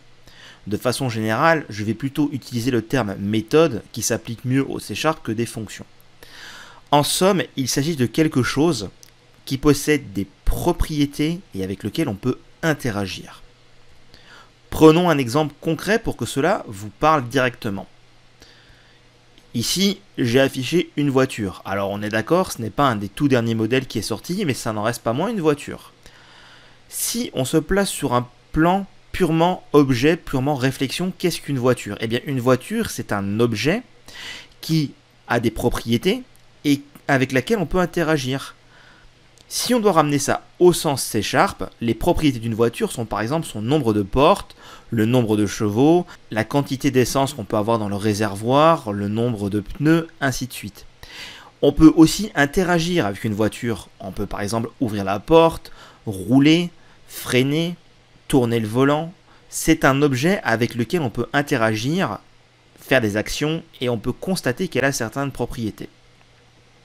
En C Sharp, un objet se concrétise par une classe. C'est un terme très important car il s'agit de la base de la programmation orientée objet.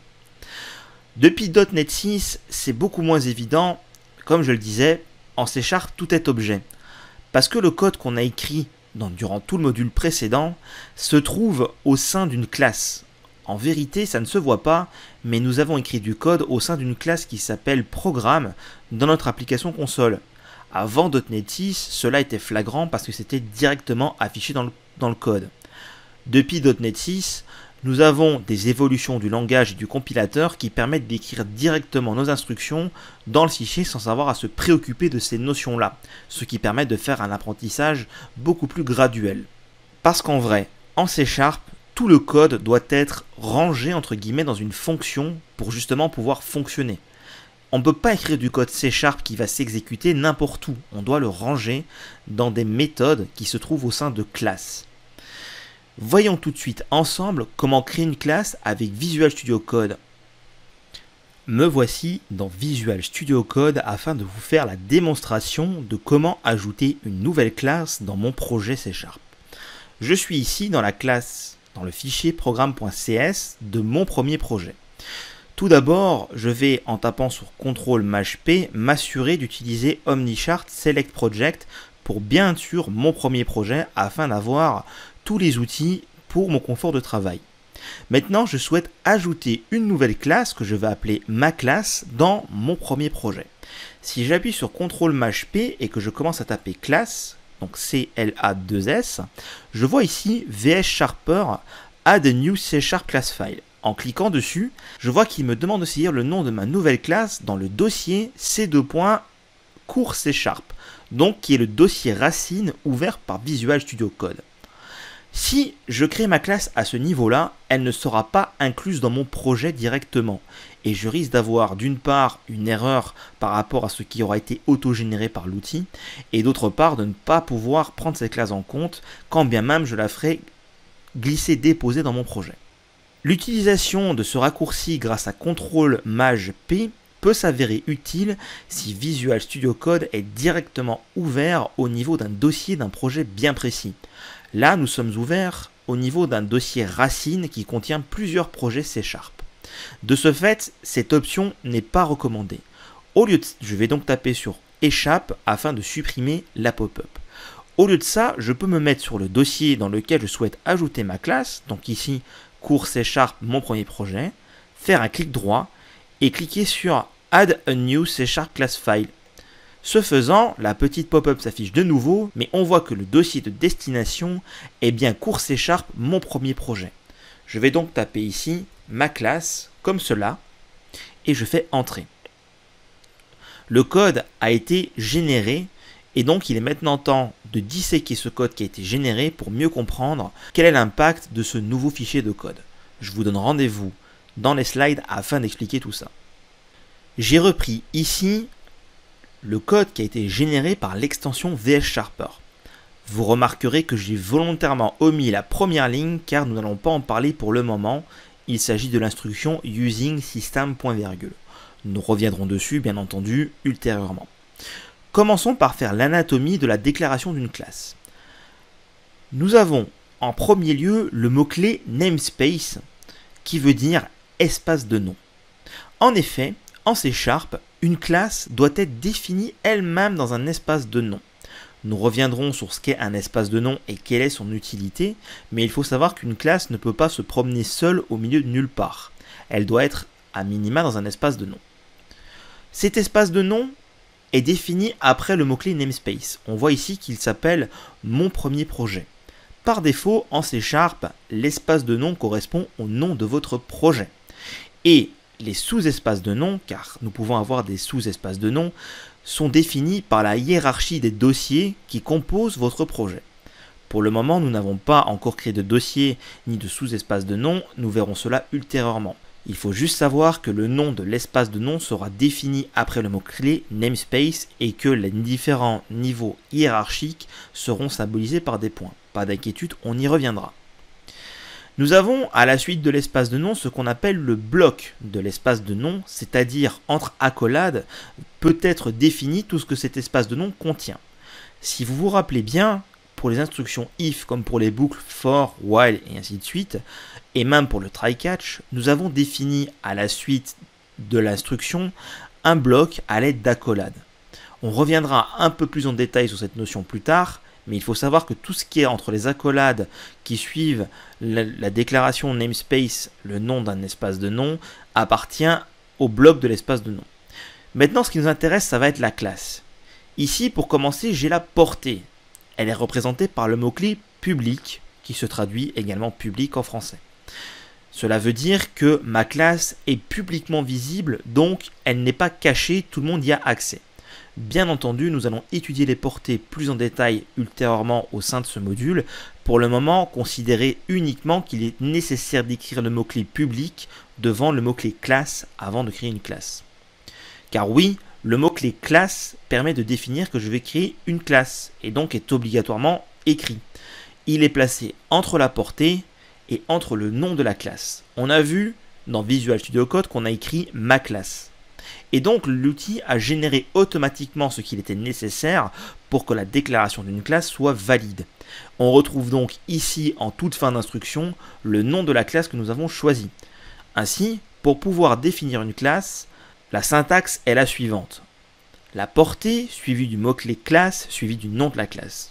Pour le moment, considérez toujours que la portée est égale à public et que le mot-clé classe se met entre public et le nom de la classe que vous avez choisi. De toute manière, vous ne vous poserez pas ces questions-là si vous faites exactement comme j'ai réalisé dans la démonstration juste avant pour ajouter une classe au niveau de votre projet. Nous retrouvons également ici le bloc de la classe. Donc, tout ce qui sera défini dans le bloc de la classe lui appartiendra et sera donc défini uniquement dans cette classe-là.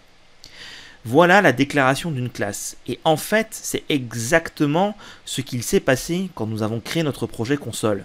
Nous avions un namespace qui s'appelle mon premier projet, dans lequel était définie une classe qui s'appelait programme. Et c'est au sein de cette classe programme, dans une méthode bien particulière, que nous avons écrit notre code. Nous n'avons pas vu tout ça, tout simplement parce qu'on a pu aborder des notions essentielles du langage sans se préoccuper de ça au préalable. Mais néanmoins, il faut savoir que ce code-là a été automatiquement rangé par le compilateur dans la méthode de la classe programme.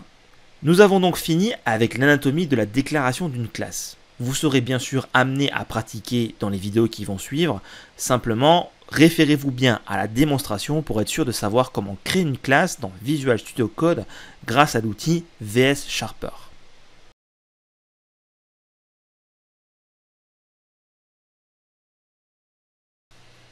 Avant d'aller plus loin, je souhaite faire cette petite vidéo rapide sur la notion de bloc qui est quelque chose d'essentiel en C Sharp pour bien comprendre. Quand on a travaillé avec les instructions if, avec les boucles, avec le try-catch ou même juste avant avec les classes, on a vu que le bloc de code qui suit l'instruction se trouve entre accolades. En C Sharp, cette notion de bloc est importante et prédominante. En effet, un bloc enfant peut contenir certains éléments et cela, les éléments définis dans ce bloc enfant dépendent de qui est son parent. Il n'est pas possible d'avoir, par exemple, une classe qui se trouve directement dans une méthode d'une classe. C'est quelque chose qui est impossible. De la même façon, il n'est pas possible d'avoir une méthode qui est définie directement dans un bloc d'espace de nom vous comprendrez bien que cette notion hiérarchique est extrêmement importante et donc va avoir un impact significatif sur la façon dont est structuré notre code. Par exemple, un espace de nom peut contenir des classes et une classe des propriétés et des méthodes, et c'est uniquement dans cet ordre-là. On ne peut pas avoir un espace de nom défini au sein d'une méthode. Il faut bien respecter cette hiérarchie. Même si cela, dans l'immédiat, peut vous paraître peut-être un peu obscur ou compliqué, avec la pratique, cela devrait être de plus en plus évident. Je vous laisse donc continuer vers la vidéo suivante en gardant à l'esprit cette notion très importante que les blocs enfants qui sont définis au sein d'un bloc parent vont dépendre de ce qu'est le parent pour savoir quels peuvent être les différents enfants. Je vous rappelle simplement une chose essentielle, une classe est définie dans un espace de nom, une méthode est définie dans une classe, et le code est défini dans une méthode. En gardant cette hiérarchie en tête, vous avez là l'essentiel de ce qu'il est nécessaire et possible de faire en C Sharp.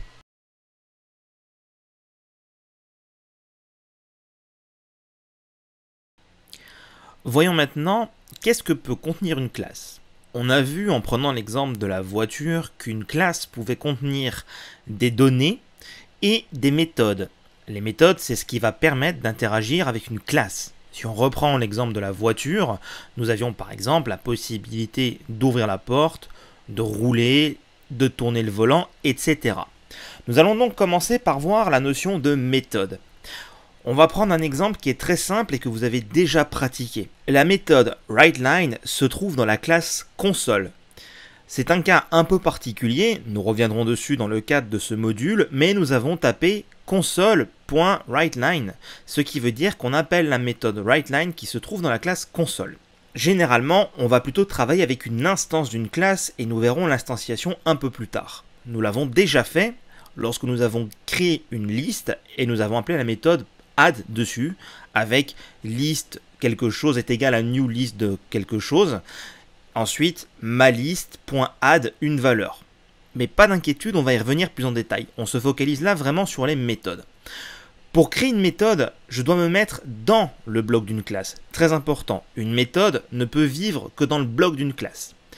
Et on va utiliser la syntaxe suivante. Nous aurons tout d'abord la portée, suivie du type de retour, après le nom et entre parenthèses, nous allons, décrire les paramètres dont a besoin cette méthode. Si on prend l'exemple de la méthode WriteLine, sa portée est publique. On a bien vu qu'on pouvait l'appeler sans avoir besoin de faire de choses particulières. Donc nous allons réutiliser le même mot-clé jusqu'à présent et dans le cas des portées, on va se contenter de ça pour l'instant. Donc nous aurons public. Le type de retour. Est-ce que la méthode WriteLine retourne une valeur? C'est le cas par exemple de la méthode readline qui renvoyait ce que l'utilisateur avait saisi. Si vous vous souvenez, on pouvait affecter le résultat de la saisie dans une variable. Dans ce cas-là, le type de retour était string, une chaîne de caractères. Il y a un mot-clé un peu spécial pour dire qu'une méthode ne retourne pas d'informations, c'est le mot-clé void, comme écrit tout en bas de ce slide. Donc si on reprend WriteLine, nous aurons public void, la méthode s'appelle WriteLine, donc le nom ça devient WriteLine, et entre parenthèses, qu'est-ce que nous voulons écrire? Les paramètres en l'occurrence qu'attend la méthode pour fonctionner. Dans le cas de WriteLine, on a vu qu'il y avait beaucoup de cas différents, mais on peut imaginer que un des paramètres serait string valeur, qui est la chaîne de caractères que je veux écrire sur la console. Reprenons l'exemple de ma classe et voici une méthode que j'ai décrite que nous allons disséquer ensemble. Tout d'abord, une méthode a elle aussi son propre bloc, et c'est dans ce bloc-là qu'on peut écrire du code C Sharp. Sans s'en rendre compte, c'est dans ce bloc-là qu'on a écrit le code du premier module, parce que c'était automatiquement généré par le compilateur. Ici, on va explicitement définir le bloc de la méthode.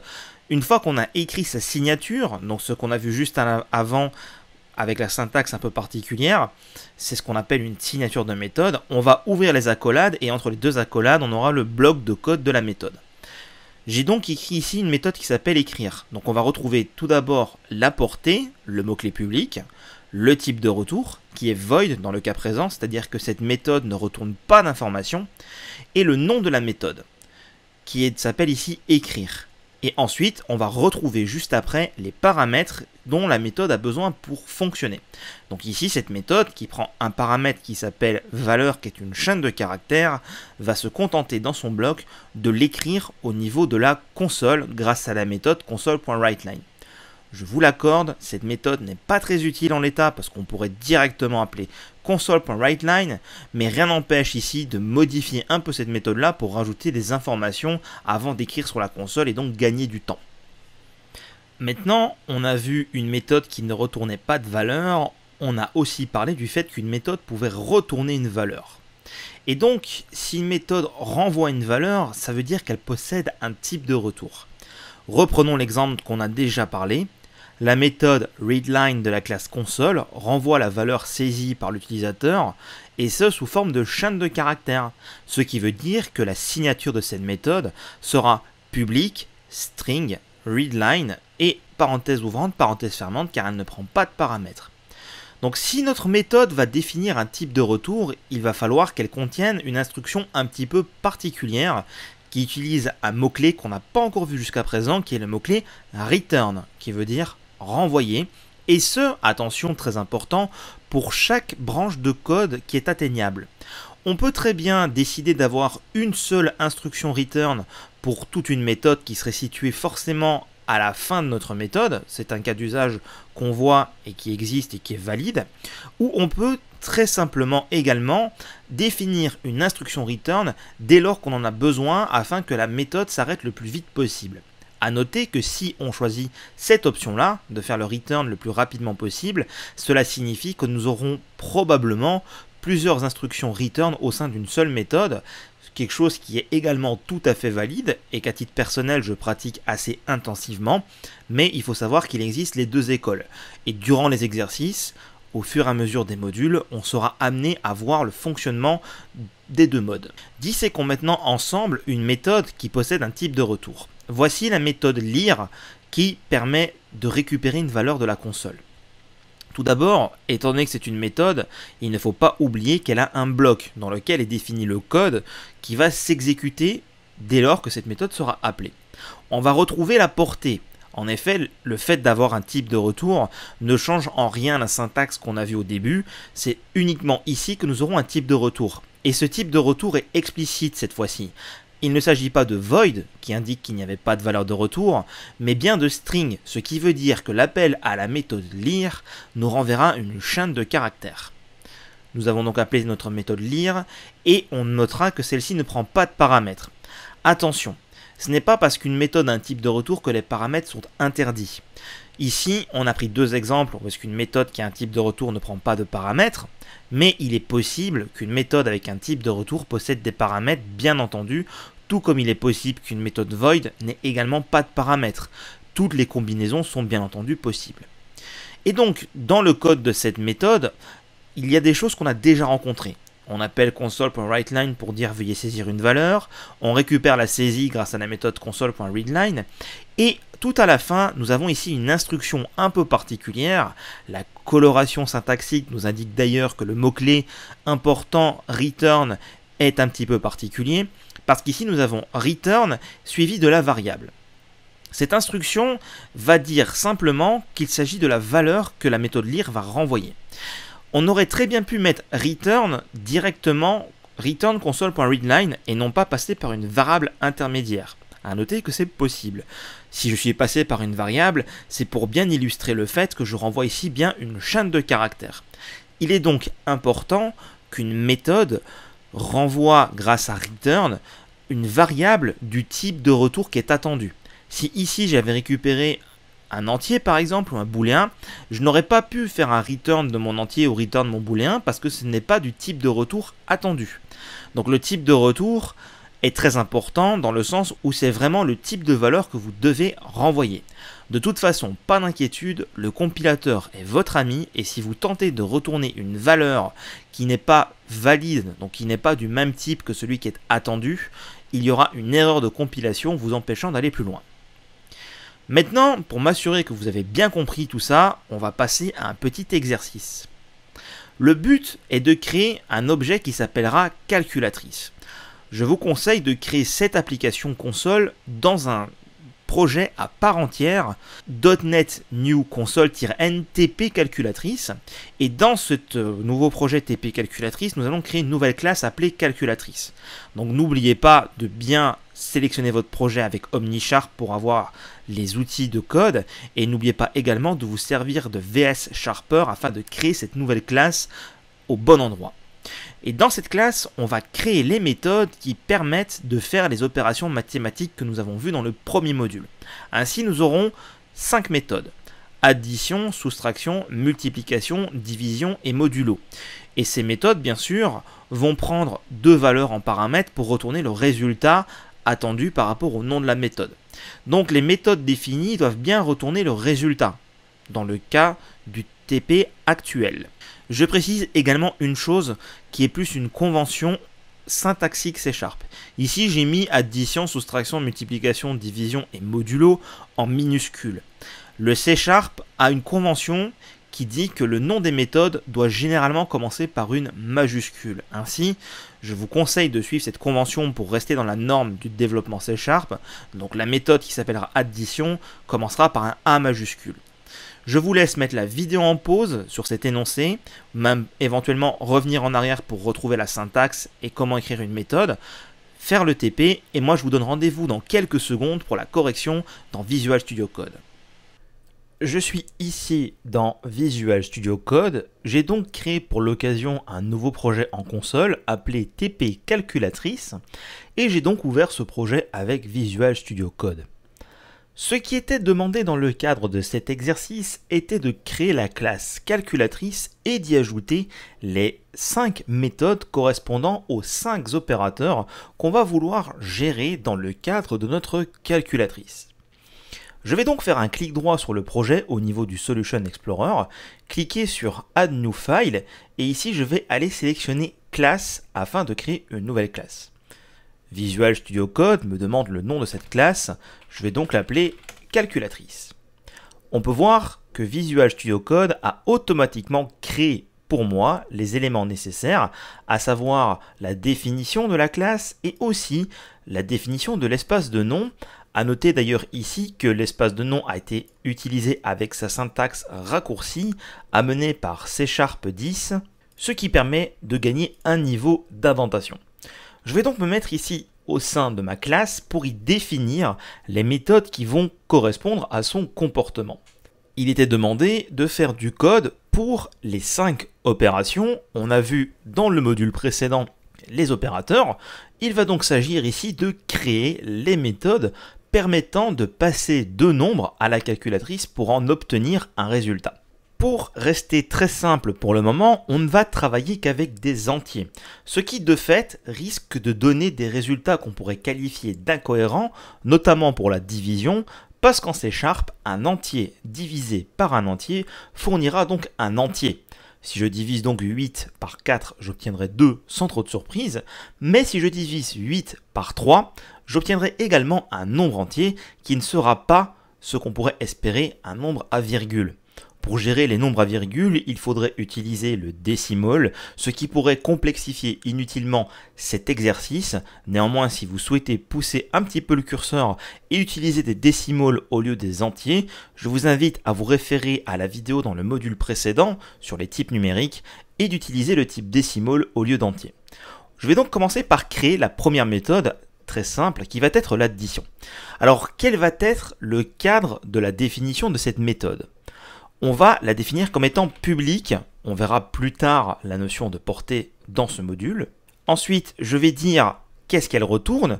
Donc l'addition de deux nombres fournit un résultat de type entier. Donc je définis ici le type int comme étant la valeur de retour. Je vais donc nommer ma méthode addition comme ceci. Et je vais définir entre parenthèses les paramètres qu'elle accepte. Le cadre de notre calculatrice fait qu'une addition va accepter deux entiers. Donc on va avoir NB1 et on va avoir NB2. Au niveau du nommage des paramètres, soyez vigilants de ne pas faire des nommages un peu trop farfelus. Parce qu'en effet, ceux qui vont consommer votre classe et donc vos méthodes vont parfois peut-être se poser la question quel est donc ce paramètre avec ce nom étrange? Il est tout à fait possible de donner une certaine documentation pour que l'utilisateur puisse avoir des informations sur ce qu'il y a dans ce paramètre en particulier, quelle est la valeur de retour et qu'exécute cette méthode. Néanmoins, la documentation qui se fait par le biais de commentaires est assez délicate à maintenir. Très souvent, on va constater que le code a de son côté évolué, mais que la documentation n'a pas été mise à jour. Une très grande rigueur vous permettrait d'avoir les deux et donc le meilleur des deux mondes. Néanmoins, si je devais pencher pour une approche en particulier, je dirais qu'il est largement préférable que votre code soit le plus explicite possible afin d'éviter de se poser des questions lorsqu'on l'appelle. Ici, on peut très bien comprendre que la méthode addition prend en paramètre deux nombres et va retourner l'addition de ces deux nombres. Si on souhaite néanmoins apporter un petit peu de contexte, il suffira de se mettre au-dessus de la méthode, de faire un triple slash et comme vous le voyez, Visual Studio Code va me générer un énorme bloc de commentaires. Ce bloc de commentaires permet de donner un petit peu de contexte à l'utilisateur. On va faire ceci dans le cadre de cet exercice pour que plus tard, quand on va utiliser notre calculatrice, vous puissiez voir quel est l'intérêt de ces blocs de commentaires. Mais encore une fois, soyez vigilants soit faites preuve d'une extrême rigueur pour faire en sorte que le commentaire soit toujours en accord avec ce qu'il y a au niveau du code, ou sinon il est peut-être préférable de se passer de ce genre de documentation si elle n'est plus du tout raccord avec ce qu'il y a au niveau du code. Donc ici on va dire cette méthode additionne deux nombres et renvoie le résultat, et donc on va spécifier pour chaque paramètre à quoi il correspond. On peut voir ici qu'on a une balise XML param name est égal qui correspond donc au nom du paramètre. Et donc ici, on va pouvoir décrire chaque paramètre comme ceci, ce qui veut dire que quand quelqu'un va appeler notre méthode addition, comme on le fera plus tard, vous allez voir du coup que NB1 et NB2 sont spécifiés dans l'autocomplétion, et returns va nous permettre de spécifier ce que retourne cette méthode, comme ceci même si ça semble des fois un peu redondant, ce bloc summary, qui prend quand même beaucoup de place à l'écran, comme vous le constatez, nous permet d'ajouter des détails qui peuvent être parfois pertinents et peut-être plus confortables pour l'utilisateur. Donc ici, notre addition va être très simple. On va retourner NB1 plus NB2 tout simplement. Et on peut voir qu'on a donc satisfait le compilateur. Jusqu'à présent, la méthode était soulignée en rouge, tout simplement parce que nous avions défini ici une valeur de retour, mais nous n'avions nulle part défini le mot-clé return pour renvoyer une valeur. On renvoie donc ici le résultat de l'addition. On va donc faire la même chose pour la soustraction. Comme ceci. Et on peut le voir que c'est assez simple de dérouler le reste des opérations à implémenter dans notre calculatrice par le biais des méthodes. C'est un petit peu toujours la même logique. On va avoir un int en valeur de retour et deux nombres à gérer. Seul l'opérateur va changer et bien entendu le nom de la méthode afin de décrire ce que fait cette méthode. Je fais donc ceci rapidement. Comme ceci. On peut donc le voir, c'est assez simple de créer une méthode dans une classe. Il suffira simplement de définir sa portée, que nous étudierons un petit peu plus tard, son type de retour, son nom, ses éventuels paramètres. N'oubliez pas que une méthode peut ne pas avoir de type de retour, et dans ce cas-là, on est quand même obligé d'utiliser le mot-clé void pour spécifier que cette méthode ne renvoie rien. Et une méthode peut ne pas avoir de paramètres, dans ce cas-là, il suffira de ne rien mettre entre parenthèses pour que la méthode ne prenne aucun paramètre. J'ai donc ici, dans ma calculatrice, les 5 méthodes addition, soustraction, multiplication, division et modulo. Il reste néanmoins un petit point qui peut être un petit peu critique, c'est au niveau de la division. Car en effet, en mathématiques, il est tout bonnement impossible de diviser par 0. De telle sorte que si quelqu'un passe ici une valeur et à NB2 passe la valeur 0, l'application de l'opérateur divisé entre les deux provoquera une erreur à l'exécution. Dans ce cas-là, on va faire ce qu'on appelle du code défensif, c'est-à-dire qu'on va anticiper ce que l'utilisateur pourrait faire comme erreur quand c'est possible. Donc ici, je vais simplement rajouter un test. Si NB2 est égal à 0, dans ce cas-là, je return simplement 0. Je suis tout à fait d'accord que mathématiquement, ce n'est pas du tout correct. 5 divisé par 0 ne fait pas 0, mais est tout simplement impossible en mathématiques. Peut-être d'ailleurs que dans ce cas bien précis, il est préférable de laisser l'exception divide by 0 exception qui va indiquer à l'utilisateur qu'il a fait une erreur et a donc créé une impossibilité mathématique. Néanmoins, si on veut se prémunir contre ce genre d'erreur qui ferait totalement planter notre application, Pour le moment, on peut faire un return 0, tout comme on peut simplement mettre un try catch autour de l'instruction return afin de dire si je catch une exception, dans ce cas-là, je vais retourner une valeur comme 0 par exemple. On pourrait tout aussi bien trouver tout un ensemble de solutions pratiques à ce problème. Pour l'instant, je vais rester ici sur nb est égal à 0. On remarquera que dans une fonction en C Sharp, il est possible d'avoir plusieurs fois le mot-clé return. Cela ne dérange en aucun cas le compilateur et le premier return qui aura donc été appelé va provoquer l'arrêt de la fonction avec le retour de la valeur de telle sorte que la suite du code ne sera jamais exécutée. Ici par exemple si je mets return 0 tout au début de ma fonction, vous pouvez voir que Peut-être ce n'est pas totalement visible au niveau de la vidéo, mais les lignes 29 à 33 sont de couleur un petit peu plus grisâtre, un petit peu plus masquée. J'ai d'ailleurs ici un warning qui me dit que ce code ne peut pas être atteint. C'est le compilateur qui me prévient en disant que le code qui est donc ici n'est tout simplement pas atteignable du simple fait que dès que je rentre dans la division, je fais un return 0. Donc tout ce qu'il y a après ce return en particulier ne sera donc jamais exécuté. C'est donc une petite sécurité que le compilateur met en place pour vous assurer que vous n'utilisiez pas le mot-clé return qui vous empêcherait d'exécuter du code qui normalement devrait l'être. Ici, je vais simplement le supprimer et comme vous le voyez, j'ai donc plusieurs fois l'instruction return dans ma fonction sans que cela ne crée de problème. Je veux donc faire ce qu'on appelle un nearly return pour dire que je veux retourner le plus tôt possible. Parfois, certaines personnes seront un petit peu dérangées par le fait d'avoir de multiples instructions return au sein d'une fonction. Personnellement, je tends à favoriser cette approche pour garder mon code concis et éviter trop d'imbrication. Néanmoins, si jamais vous souhaitez ne conserver qu'une seule instruction return, il est possible de modifier cette méthode en faisant le résultat est égal à 0 et si nb2 est différent de 0, dans ce cas-là, je vais stocker dans résultat la valeur de nb1 divisé par nb2 et je retourne le résultat. On a donc transformé notre méthode pour n'avoir qu'une seule instruction return. Parfois, cela est imposé dans le cadre de projets d'équipe. Personnellement, je trouve cette syntaxe un petit peu plus lourde, bien qu'il m'arrive de l'utiliser pour des cas bien précis. Soyez donc libre de faire l'approche que vous préférez. Donc vous avez ici l'approche avec un seul return, et si je reviens en arrière, nous avons donc ici l'approche avec plusieurs returns que je tends à favoriser par souci de clarté et de concision. Si vous avez réussi cet exercice, félicitations, vous avez donc créé votre tout premier objet, la calculatrice, et vous lui avez ajouté un ensemble de comportements permettant d'exécuter des opérations mathématiques basiques, l'addition, la soustraction, la division, la multiplication et le modulo. Et si vous aviez anticipé l'éventuelle erreur de la, division, eh bien félicitations. C'était en quelque sorte le petit piège de cet exercice qui nécessitait pour une méthode en particulier d'avoir un peu plus de code. Si vous ne l'avez pas fait, ce n'est pas bien grave. Comme je l'ai dit précédemment, le fait d'avoir une exception peut aussi être une implémentation valide et donc dire à l'utilisateur qu'il a raté quelque chose. Maintenant, nous avons créé un objet avec diverses méthodes.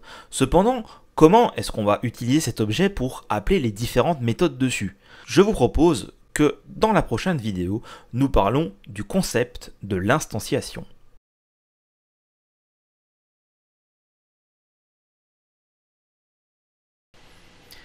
Nous allons maintenant nous intéresser au sujet de l'instanciation d'une classe.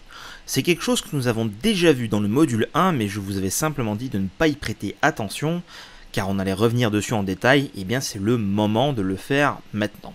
Alors attention, on va traiter que un seul sujet, qui est l'instanciation d'une classe automatique. Nous verrons plus tard certaines notions plus avancées sur l'instanciation au sein de ce module. Lorsque nous avons écrit notre classe, comme nous venons de le faire dans l'exercice, grâce à la classe calculatrice, nous avons en fait défini un modèle. C'est-à-dire qu'on a créé un modèle de quelque chose qui peut être instancié et qu'on va pouvoir utiliser. Mais en tant que tel, aujourd'hui, la classe calculatrice n'est pas utilisable. Si vous avez essayé dans le programme.cs de taper calculatrice. vous avez bien remarqué qu'il n'y a pas addition, soustraction, ainsi de suite.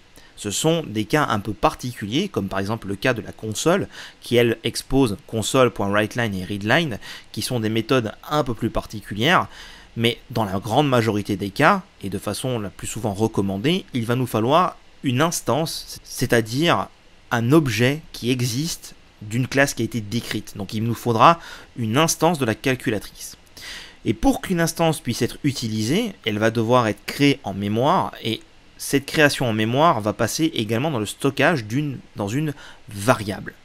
L'instanciation en C Sharp est très simple parce que le CLR, donc le runtime C Sharp, va se charger de déduire tout seul la quantité de mémoire dont il a besoin pour stocker un objet du type qu'on veut instancier, et donc va réserver la mémoire à l'endroit qui va bien, et se chargera également de la nettoyer à notre place. Ce sont des sujets très avancés que je ne couvrirai pas dans ce module-ci, mais néanmoins, il faut savoir que la seule chose que nous avons à faire est d'utiliser un mot-clé qu'on a déjà vu, qui est le mot-clé new, suivi du nom de la classe avec des parenthèses. Si je reprends l'exemple de ma classe que j'avais créée, cela donnerait ce code-ci. Ma classe C, donc je crée ici une variable qui s'appellera C qui est de type ma classe, est égale à new ma classe, parenthèse ouvrante, parenthèse fermante. On a déjà fait ce code-là avec la liste et je vous avais dit qu'on y reviendrait. Eh bien, nous y voilà. Il s'agit de l'instanciation d'une classe. Grâce au mot-clé new, je dis simplement au runtime C Sharp, s'il te plaît, réserve la mémoire d'une classe dont voici le modèle et stocke cette instance dans cette variable pour qu'après je puisse l'utiliser. Et l'utiliser, ça veut dire quoi? Ça veut dire aller lire ou écrire ces données, chose qu'on n'a pas encore vue, qu'on verra un peu plus tard, ou appeler les méthodes de cette classe afin de travailler avec elle. C'est aussi simple que ça, et l'avantage du C Sharp, c'est que c'est lui qui va gérer la mémoire à notre place, tant pour la réserver que pour la nettoyer. Donc on n'a pas besoin de faire plus que ça. Bien sûr, il y a des moyens beaucoup plus avancés de piloter la mémoire de façon beaucoup plus précise en C Sharp, mais ce n'est pas le sujet de ce cours d'introduction à C Sharp.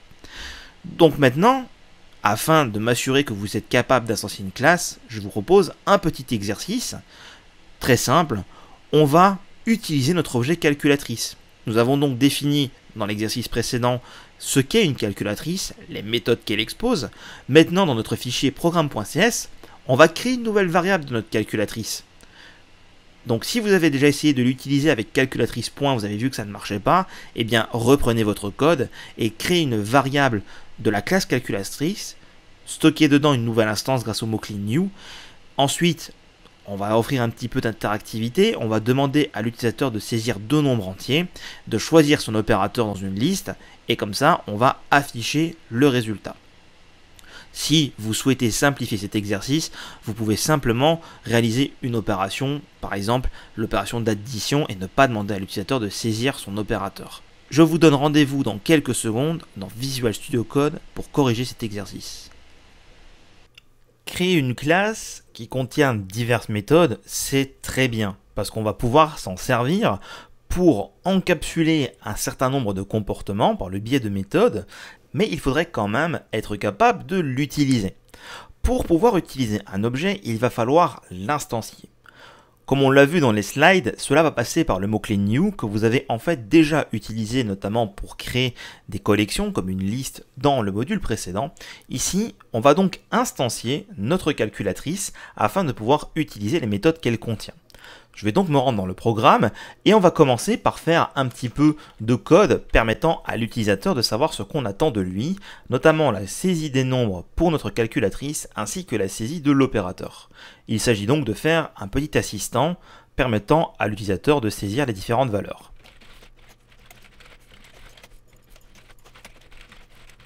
J'ai donc fait ici le petit assistant permettant à l'utilisateur de saisir les deux nombres qu'il va vouloir gérer au niveau de notre calculatrice, ainsi que l'opérateur qu'il va vouloir utiliser.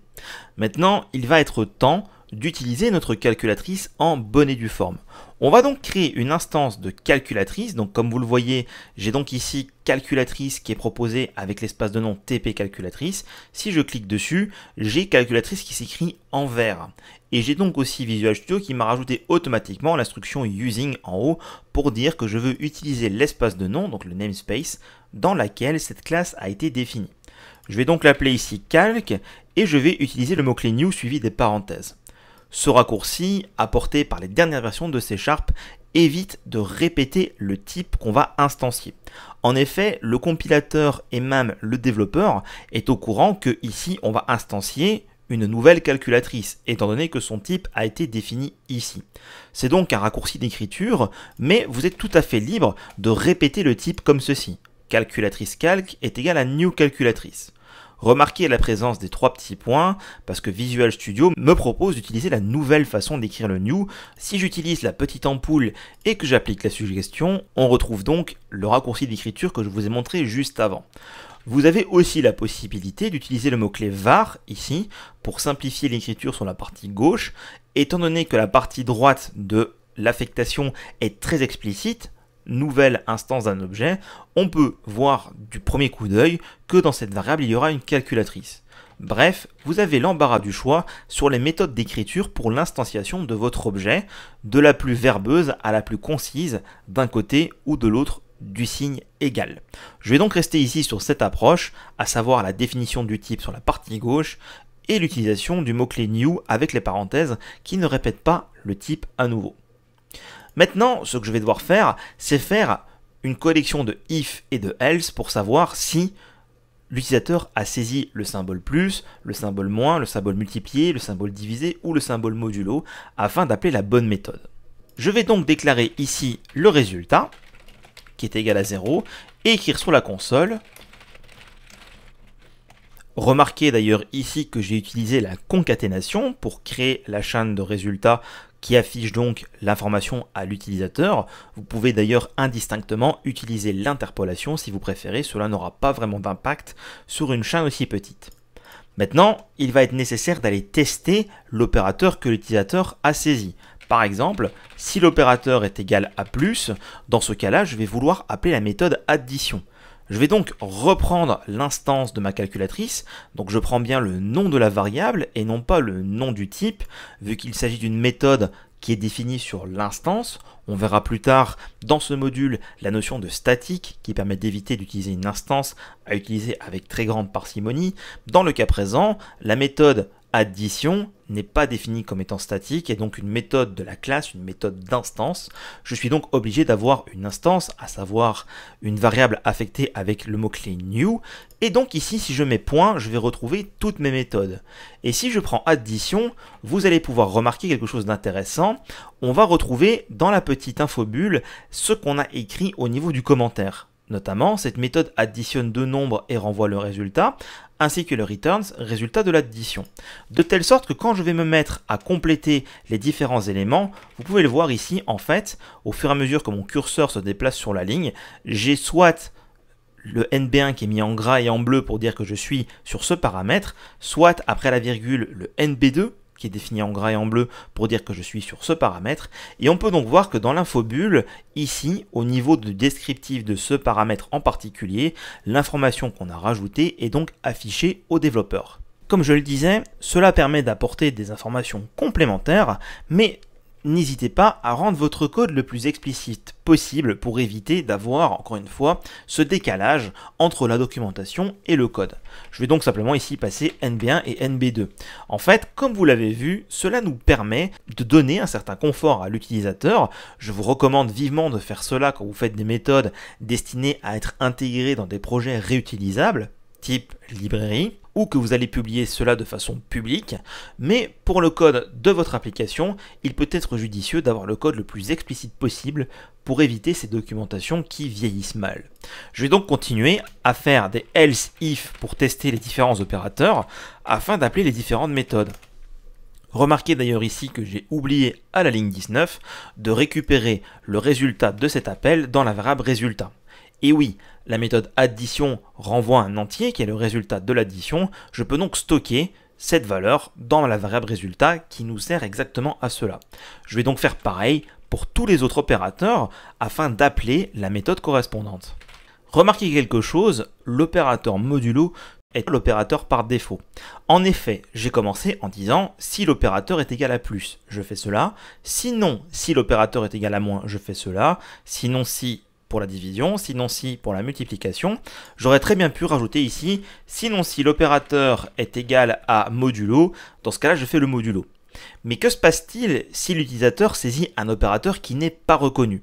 Alors je pourrais très bien rajouter ici un else console.writeLine opérateur non reconnu et faire du coup un return pour m'assurer que le code correspondant à l'affichage du résultat de votre opération est ne soit donc pas affiché et seulement opérateur non reconnu soit affiché. Je pourrais aussi rajouter un système de vérification à base de boucles, comme on l'a fait pour le nombre mystère dans le module précédent, afin de m'assurer que l'opérateur est bien un des opérateurs que je peux gérer. Bref, encore une fois, il y a de multiples façons, il n'y a pas de mauvaise façon de le gérer, je vous montre simplement ici une approche. On pourrait très bien dire que le modulo est l'opérateur par défaut en faisant simplement un else, en disant que si l'opérateur n'est pas reconnu, dans ce cas-là je fais le modulo, ou afficher un message d'erreur. Pour une meilleure expérience utilisateur, je pense que le message d'erreur est mieux, c'est pourquoi je vais rester sur cette approche. Et je vais donc ici écrire résultat est égal à calc.modulo de nb1 et NB2. J'ai donc fait ici l'implémentation de ma calculatrice. Laissez-moi juste remettre en forme le document pour les espacements entre les différents éléments. J'ai donc ici l'implémentation complète d'une calculatrice. Alors ne vous inquiétez pas pour le console.readline qui est toujours souligné en jaune avec la notion de référence nulle. On va y venir plus tard dans ce cours. Donc nous avons ici l'assistant, où est-ce qu'on demande à la personne de saisir les deux nombres qu'il va vouloir appliquer dans son opération mathématique. On lui demande également de saisir un opérateur. On instancie notre calculatrice, c'était le point important de cet exercice la possibilité de créer une instance de notre classe qu'on a donc définie dans la vidéo précédente pour l'utiliser plus tard au sein de notre algorithme, on crée une variable de résultat et selon l'opérateur qui a été saisi, on va stocker dans la variable de résultat l'appel à la méthode correspondant à l'opérateur, donc ici plus et ainsi de suite. Et si l'utilisateur a éventuellement saisi un opérateur qui n'est pas reconnu, on affiche sur la console qui n'est pas reconnu, et pour éviter d'avoir le résultat de votre opération est 0 si l'opérateur n'a pas été reconnu, on fait un return pour éviter que la suite du code s'exécute dans ce cas bien précis. On va donc exécuter notre application. Normalement maintenant on devrait pouvoir travailler avec notre calculatrice. Je vais donc saisir le premier nombre, 4, le deuxième 6, et je fais un plus, et on voit le résultat de votre opération est 10. Ce qui veut dire que ma calculatrice fonctionne bien. Maintenant, réessayons avec un autre opérateur, par exemple 10, 8 et moins, 10 moins 8 est bien égal à 2 pas de problème pour ça. Alors attention, parce que pour certaines opérations, comme le moins par exemple, l'ordre des nombres est très important. Pour l'addition, ça n'a pas forcément d'impact, comme la multiplication, mais pour les opérations qui ont tendance à retrancher une partie, c'est important. Si je mets 8 par exemple en premier nombre et 10 en second nombre et que je fais moins, le résultat est bien moins 2 et non pas 2. Il n'y a pas d'interversion possible entre les différents nombres, comme c'est d'ailleurs le cas en mathématiques. Maintenant, essayons l'approche de la division par 0. Si je prends 10 0 et que je divise, j'obtiens donc 0, même si la division par 0 en soi en mathématiques est impossible. Ici, j'ai donc évité une éventuelle erreur. D'ailleurs, comme je vous le disais, si je divise 10 par 3, on pourrait s'attendre, dans le cadre des mathématiques normales, d'avoir 3,33, 33, 33, ainsi de suite. Essayons dans le cadre de notre calculatrice, et nous obtenons 3. Tout simplement parce que 3,33333 avec une infinité de 3, si je dois le ramener à un entier, je vais donc l'arrondir, étant donné que c'est inférieur à 3,5, l'arrondi est donc 3. Et c'est pourquoi, quand on divise deux entiers, même si le résultat est une opération à virgule, j'obtiens donc bien un entier. Il faudra donc utiliser un nombre gérant les virgules comme float, double ou decimal afin d'avoir la version avec les virgules. Faisons un tout dernier test de notre calculatrice. Essayons un opérateur qui n'existe pas. Par exemple, tapons A pour un opérateur qui n'existe pas, et nous avons donc bien le message d'erreur opérateur non reconnu, sans avoir le message le résultat de votre opération est 2 points avec 0, qui est donc la valeur qu'on a donnée à notre résultat. Si vous avez réussi cet exercice, félicitations, parce qu'en plus d'avoir créé votre classe et les méthodes dans la vidéo précédente, dans celle-ci, vous avez réussi à l'exploiter avec succès. Si vous n'avez pas réussi ou qu'il y a certaines choses qui diffèrent de mon implémentation, ce n'est pas bien grave, le vrai point de cet exercice était l'instanciation et l'utilisation de votre objet. Donc si vous avez réussi à créer une nouvelle instance de la calculatrice et à appeler des méthodes dessus, vous avez donc réussi cet exercice. Bien entendu, j'ai peut-être été plus complet, plus exhaustif, ou vous avez peut-être d'ailleurs un code qui est légèrement différent. Quoi qu'il en soit, si vous savez comment instancier un objet et appeler des méthodes, vous avez donc fait un grand pas en avant dans la programmation orientée objet. Maintenant, dans la programmation orientée objet, dans une classe, on a deux types d'éléments. On a les comportements, qui sont définis par le biais des méthodes, comme on l'a vu dans la vidéo précédente pour les définir et dans cette vidéo pour les exécuter, mais il y a aussi la notion des données. Un objet contient également des informations en interne qui vont permettre de stocker un état et de travailler avec cet état. Je vous propose que dans la prochaine vidéo, on aborde la question des données au sein d'une classe.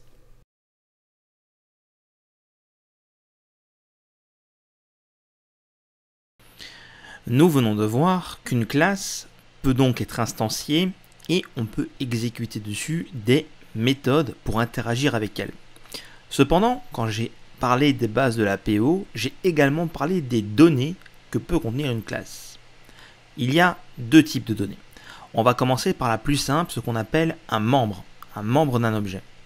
Par défaut, un membre est quelque chose qui est défini comme étant accessible aussi bien en lecture qu'en écriture on ne pourra pas faire de distinguo. Dès lors qu'on a créé un membre, c'est lecture et écriture obligatoirement. La syntaxe est très simple. On va simplement écrire dans le bloc de notre classe la portée, donc pour le moment public, le type de données qu'on va vouloir stocker, et on va lui donner un nom. C'est aussi simple que ça. Portée, type nom. Par exemple, public, int, valeur. Et en faisant cela, eh bien, sur ma classe, je vais pouvoir aller stocker une donnée, tout comme aller la lire. Voici un exemple, disséquons-le ensemble. J'ai ici la portée, suivie du type du membre, suivi du nom du membre. C'est aussi simple que ça, vous faites ça dans une classe, et dès lors que vous avez une instance de votre classe, vous avez accès à ces données aussi bien en lecture qu'en écriture. Par convention, le nom d'un membre commence par une minuscule. Vous allez trouver sur Internet probablement beaucoup d'exemples et beaucoup de codes qui vont aller dans le sens contraire de ce que je viens de vous dire. En fait, ce que je vous dis là, c'est les dernières recommandations de Microsoft pour écrire les membres. Aujourd'hui, si vous utilisez un autre éditeur de code que Visual Studio Code, comme par exemple Rider ou Visual Studio sous Windows, il va pouvoir faire du code à votre place et par exemple générer automatiquement un membre. Et dans cette fonction de génération, par défaut, si vous ne faites aucune personnalisation, il l'écrira de cette façon-là, c'est-à-dire en minuscule. Alors si après il s'agit d'un nom composé, bien sûr, on mettra la majuscule au, mot qui suit l'espace, comme on avait déjà vu dans les modules précédents. Par exemple, âge de la personne, on aura AGE en minuscule, puis D majuscule, E minuscule, et ainsi de suite. Le membre, lui, commence toujours par une minuscule. Vous verrez peut-être sur le net des membres qui commencent par un underscore ou par un M underscore ou par autre chose. Ce sont des conventions qui sont datées et qui ne sont plus d'actualité. Je vous conseille vraiment de suivre la dernière recommandation de Microsoft dans votre développement afin d'être plus productif et d'éviter d'avoir à on va dire configurer vos outils de travail inutilement alors que vous pouvez utiliser les dernières recommandations. Vous avez donc ici le membre le plus simple et la façon la plus simple de déclarer une donnée. Mais comme je l'ai dit, elle souffre d'une faiblesse, c'est que c'est accessible à la fois en lecture et en écriture. Donc dès lors que j'ai une instance de ma classe, de la, classe qui s'appelle ma classe, j'ai donc accès à la donnée qui est stockée dans, le membre données ici. Eh bien, je peux très bien aller le lire comme aller l'écrire et personne ne pourra m'en empêcher. Donc pour ça, on a des solutions. Une de ces solutions, c'est de passer par une propriété. En fait, une propriété, c'est exactement pareil qu'un membre dans, son utilité finale, dans le sens où ça va permettre de stocker une valeur. Mais la différence très importante avec le membre, c'est qu'on peut distinguer l'opération de lecture de l'opération d'écriture. Donc elle a une syntaxe qui est un petit peu différente, sur laquelle on va revenir un peu plus en détail plus tard, mais une propriété, ça s'écrit comme ça. On a la portée, suivi du type, suivi du nom, exactement comme vous écrirez un membre, mais après on va déclarer un bloc, donc avec les accolades, dans lequel on va mettre get suivi de point virgule et set suivi de point virgule. Ces deux mots-clés définissent en fait lecture-écriture. Voici comment on décrirait une propriété d'un objet. Je retrouve donc la portée, le type et le nom de la propriété. Là-dessus, il n'y a pas de grande différence avec le membre, si ce n'est que Contrairement aux membres, la propriété commence, elle, par une majuscule, vous le remarquerez ici, c'est la convention. Et là, je vais avoir ce qu'on appelle les accesseurs en lecture et en écriture. En utilisant get et set on fait ce qu'on appelle une propriété automatique. On va revenir là-dessus. En fait, les mots-clés get et set, ils indiquent simplement que la propriété peut être lue, donc c'est get qui veut dire récupérer, ou définie, set qui veut dire définir justement. Si on ne met que les mots-clés suivis d'un point-virgule, ce que je vous disais, c'est qu'on parle de propriété automatique. Cela veut dire que c'est le compilateur qui va se charger de générer le code pour que la propriété soit complète. Cette possibilité n'existe que depuis C Sharp 3, donc bien sûr maintenant on est sur des versions beaucoup plus élevées de C Sharp, donc la question ne se pose pas forcément, mais néanmoins, au préalable, les propriétés n'étaient pas automatiques, c'est-à-dire qu'il fallait définir un corps. Et étant donné qu'on peut définir un corps, cette possibilité est restée. Ça veut dire qu'en fait, get et set sont en quelque sorte des espèces de petites méthodes qui vont permettre de définir la valeur. Par contre, dès lors qu'on décide de définir get et set, il va falloir, si on veut stocker la donnée, utiliser un membre de façon sous-jacente qui permet de conserver la valeur. Pas d'inquiétude, je vais vous montrer un exemple. Voici un exemple. Alors, l'exemple ici, n'est pas complet. Je n'ai pas voulu le rendre plus complexe parce qu'en fait, la problématique qu'on a là, c'est que et le membre et la propriété sont toutes les deux publiques, ce qui veut dire qu'on peut y accéder l'un comme l'autre sans avoir à faire de distinguo. Et donc on serait tenté des fois de prendre des raccourcis et d'éviter la propriété pour accéder aux membres. Donc pour ça on utilisera une autre portée, mais vu qu'on n'a pas encore abordé le sujet des portées, je laisse ce sujet de côté pour l'instant. Donc on va retrouver ici en haut le membre qui va nous permettre de stocker l'information. Parce que, in fine, dans tous les cas, c'est bien un membre qui va stocker l'information. Qu'on utilise une propriété automatique ou non, cela va se retrouver dans un membre, parce que c'est comme ça que ça fonctionne. Donc là, on va avoir notre, notre propriété, et on remarque que le get est défini, c'est-à-dire qu'on a un bloc après le get et non pas un point virgule directement comme dans l'exemple précédent. Et en fait, dans ce bloc qui suit le get, on est sur la fonction qui permet de récupérer la donnée, c'est-à-dire qu'il faut que cette fonction ait une instruction return qui retourne une valeur correspondant au type de la propriété.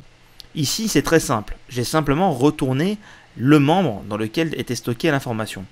Et on aura la même chose le set, donc également une espèce de mini-fonction un peu particulière, donc qui va permettre, elle, de décrire la donnée. Et on aura, à l'instar du return qu'on a dans le get, là on aura un mot-clé particulier qui est value, qui contient la valeur qui a été fournie à la propriété. Donc en fait, quand je vais faire ma classe .donnée avec un D majuscule égale 42, je vais rentrer dans la méthode set et le paramètre value qui est défini ici vaudra 42 et c'est cette valeur-là que je vais stocker dans données. Quel est l'intérêt d'avoir une propriété qui définit explicitement le get et le set? Dans le cas présent, il n'y a aucun intérêt. Parce que le code qui est affiché ici, où est-ce que j'ai décortiqué le get et le set dans des fonctions unitaires, c'est exactement ce que fait le compilateur pour vous lorsque vous écrivez une propriété automatique avec get et set Le compilateur va automatiquement générer le membre et automatiquement générer les getters et les setters que vous voyez à l'écran. Sauf que vous, vous tapez uniquement ma propriété avec get et set C'est donc un grand gain de temps. Mais on pourrait se demander alors, mais quel est l'intérêt d'avoir des propriétés où est-ce qu'on peut définir un corps? Eh bien, cela nous permettra d'avoir un comportement particulier. Imaginons par exemple que, pour une raison ici totalement arbitraire, que la valeur que je veux stocker dans cet entier doit être compris entre 0 et 100. Eh bien, au niveau de ma fonction de set, je pourrais faire une instruction if sur la value, m'assurer que value est bien compris entre 0 et 100 avant de l'affecter à la donnée. Et sinon, je ne fais rien. Et comme ça, ça éviterait que le membre qui est là-haut disponible stocke une mauvaise information. Chose que je ne peux pas faire avec un membre seul. Rappelez-vous, il est visible à la fois en lecture et en écriture et on n'a aucun garde-fou. C'est un petit peu ce qu'offre la propriété. Pour ceux qui viennent d'autres euh, langages de développement, comme le Java par exemple, on a des fonctions spécifiques qui sont appelées les getters et les setters. En C Sharp, ça se traduit par une propriété qui est un raccourci syntaxique permettant d'atteindre le même objectif, protéger l'accès aux membres. Encore une fois, je le répète, le code qui est à l'écran n'est pas à dupliquer tel quel, car il a une faiblesse, le membre est accessible en lecture comme en écriture de façon publique. Il faudrait le rendre inaccessible, mais on ne sait pas encore le faire, cela viendra quand on verra les portées. Maintenant, pour être sûr que vous avez bien compris cela, je vous propose un petit exercice. Nous allons encore travailler sur notre calculatrice. Jusqu'à présent, on passait en tant que paramètres les valeurs pour les opérations mathématiques. Nous avions ainsi la fonction addition qui prenait deux entiers, la fonction soustraction qui prenait deux entiers, et ainsi de suite. C'est très bien, mais nous allons profiter de ce que nous venons de voir par rapport au stockage des données. Nous allons donc définir trois propriétés. Opérande gauche, opérande droite, donc les deux opérandes de l'opération, et le résultat. L'appel des méthodes que nous avions fait précédemment vont devoir utiliser ces deux propriétés pour travailler et produire le résultat et afin de le stocker dans résultat.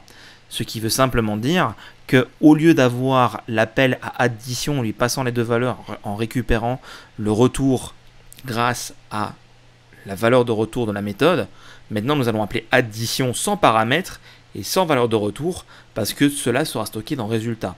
Il va donc nous falloir modifier notre objet calculatrice et toutes les méthodes associées afin de pouvoir atteindre cet objectif. A noter, il s'agit simplement d'un exercice qui vise à vous faire travailler les propriétés. Le code qu'on a fait précédemment sur la calculatrice est et reste totalement valide et plus qu'acceptable pour répondre à une problématique de réalisation de calculatrice. Mais ici, on veut faire travailler les propriétés et le stockage de données dans les classes. Sans plus attendre, je vous laisse aller vers Visual Studio Code et réaliser cet exercice. Moi, je vous donne rendez-vous dans quelques secondes pour le corriger. Comme nous l'avons vu dans les slides, une classe peut contenir deux types différents de données, si je puis dire. D'une part, les champs ou les membres, qui sont donc des données généralement privées à des fins de stockage d'état à un niveau interne pour les besoins spécifiques de la classe, et les propriétés qui, quant à elles, vont offrir un accès le plus souvent extérieur, soit en lecture, soit en écriture, soit les deux.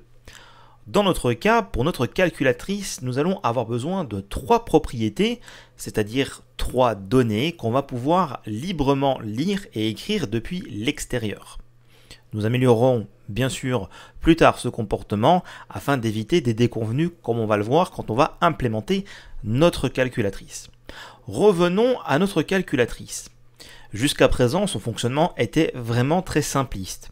Elle exposait cinq méthodes qui prenaient en paramètre les nombres et retournaient le résultat de l'opération qu'on souhaite réaliser. En l'occurrence, la notion de nombre passé en paramètres permet de faire une opération qui va être complètement autonome, mais on pourrait très bien stocker ces données au niveau de la calculatrice pour les utiliser plus tard. Ce qu'on va donc faire ici, c'est qu'on va se mettre au début de notre calculatrice. Par convention, les données, que ce soit des champs ou des propriétés, sont souvent placées au début de la classe et les méthodes après, mais vous êtes libre de les placer où vous le souhaitez. Je vais donc respecter pour ma part ici la convention et les mettre au début de ma classe. Je vais donc créer une toute première propriété qui va être le résultat. Au lieu que nos méthodes renvoient la valeur de résultat, on va simplement la stocker au niveau de notre calculatrice. Si d'ailleurs par la suite on souhaiterait améliorer notre calculatrice, le simple fait d'avoir le résultat de l'opération précédente stocké directement dans notre classe nous permettrait éventuellement de récupérer ce résultat pour faire une autre opération. Mais pour l'instant, on va simplement se contenter d'affecter cette propriété depuis nos méthodes. Je vais donc créer une propriété.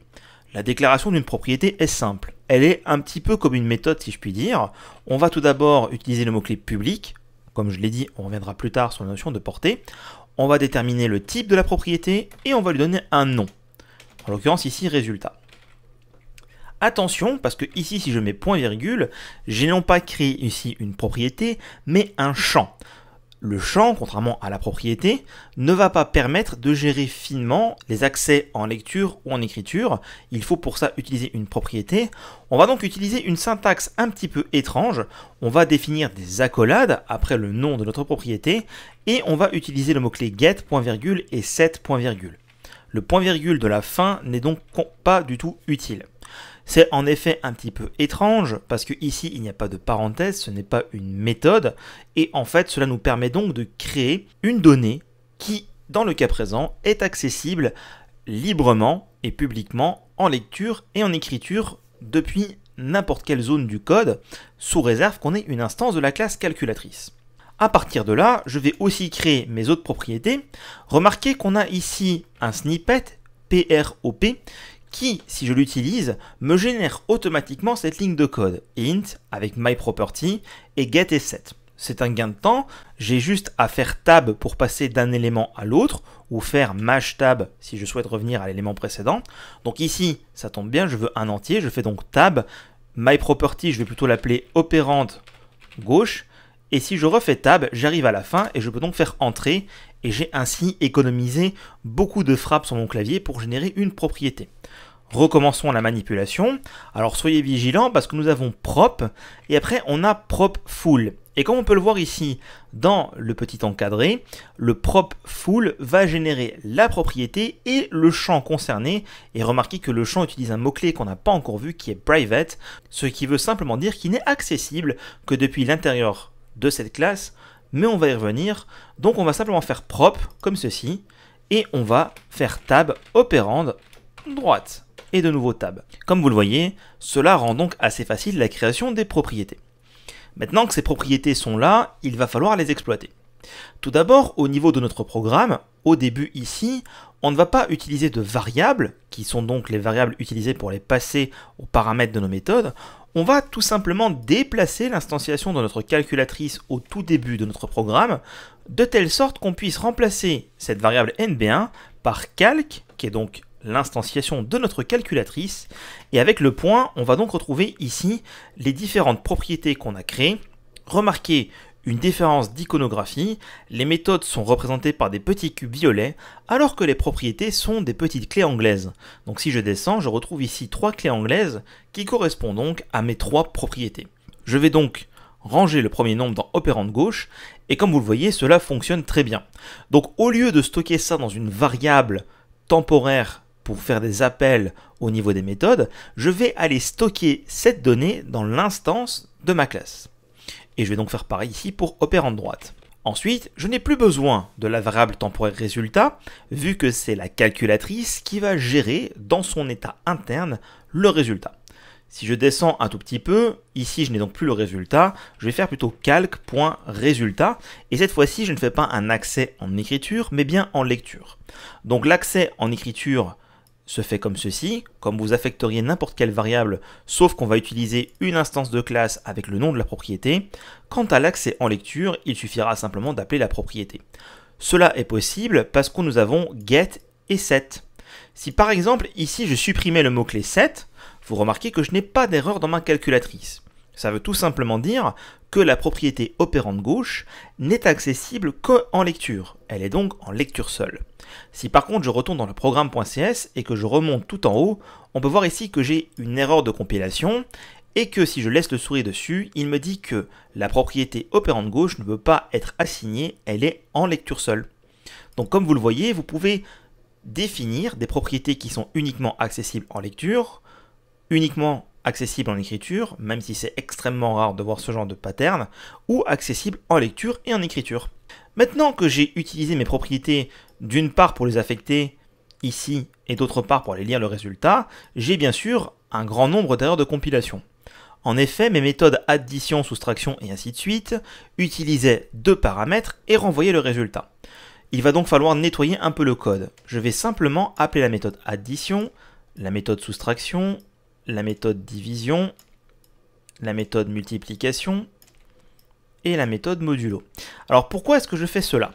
Tout simplement parce que l'appel de la méthode sur l'objet calculatrice, au lieu qu'on soit obligé, nous, en tant qu'appelant, de passer les propriétés et de stocker le résultat de la méthode dans la propriété résultat, on va demander à la classe de prendre cette responsabilité, à savoir de stocker le résultat dans sa classe et d'utiliser ses propriétés pour réaliser ses opérations.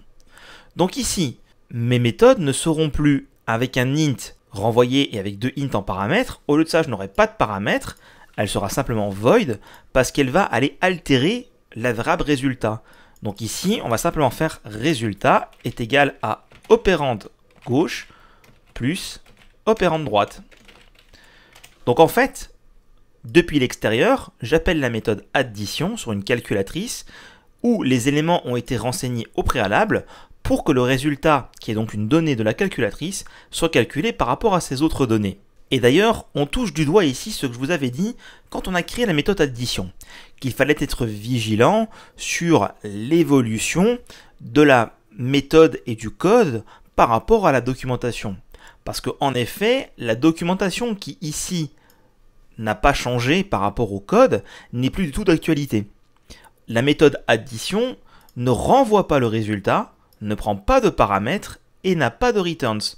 Donc tout ceci n'est plus valide et ceci non plus. Donc au final, si j'étais rigoureux dans ma documentation, j'aurais simplement dû dire cette méthode additionne deux nombres et renseigne la propriété résultat. Comme vous le voyez, ce n'est pas parce que je modifie le code que la documentation va suivre d'elle-même. Probablement qu'un jour on va avoir un outil, une extension, qui va être à base d'intelligence artificielle pour nous aider dans cette tâche si la documentation est obligatoire, mais pour l'heure, il est nécessaire de faire preuve de rigueur et d'éviter de laisser une documentation qui n'est plus du tout en rapport avec le code qui a été écrit. C'est bien pour ça d'ailleurs que je préfère personnellement m'en passer, et comme vous le voyez, si je m'en étais passé dès le début, je n'aurais pas eu besoin d'aller faire cette modification de documentation, qui peut être d'ailleurs très chronophage en fonction de la quantité à mettre à jour. Il va donc être temps d'aller modifier chacune des méthodes, non plus pour prendre les paramètres et fournir une valeur de retour, mais simplement pour aller altérer l'état interne de la calculatrice en fonction des valeurs qu'elle a déjà au niveau de ses données internes. Je fais ça rapidement. Ma classe a donc été modifiée. Maintenant, au lieu de passer des paramètres à chacune des méthodes de calcul et de récupérer la valeur, ce qui d'ailleurs, soit dit en passant, est tout à fait valide, mais dans le cadre de cet exercice, on va utiliser plutôt les propriétés qu'on va d'ailleurs faire évoluer dans les prochains exercices. Ici, on a donc des méthodes qui sont void et qui ne prennent pas de paramètres et qui vont simplement aller altérer l'intérieur de notre calculatrice de notre classe. Maintenant, au niveau de notre programme, on a donc bien l'appel aux méthodes qui vont aller impacter la calculatrice, l'affectation des opérandes et le résultat. Essayons rapidement de voir si cela change quelque chose. Je vais faire un test très simple. Je vais additionner 10 et 5. Et je peux voir que le résultat de mon opération est bien 15. Donc ça n'a pas changé. Mais contrairement à avant, c'est donc bien l'intérieur de la calculatrice qui est modifié et son état qui restitue ce qu'on a fait comme opération. Si vous avez réussi cet exercice, félicitations. Vous savez donc maintenant comment créer des propriétés et comment les exploiter afin d'améliorer votre code et de gérer un état interne à votre calculatrice. Si vous avez réussi l'exercice, mais qu'au lieu d'utiliser des propriétés comme ceci, vous avez utilisé des champs, c'est-à-dire en mettant point-virgule sans le getSet.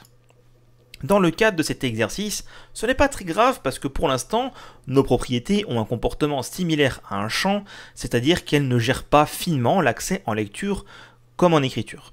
D'ailleurs, cela peut être problématique parce que autant les opérandes ici doivent être définis en écriture pour les affecter initialement, autant le résultat qui est là, on a probablement envie que ce soit uniquement la calculatrice qui puisse définir le résultat et qu'elle soit donc lisible uniquement depuis l'extérieur.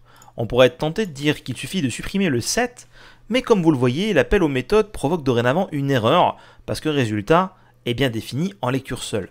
On va bien entendu résoudre ce problème, parmi d'autres, plus tard dans les vidéos.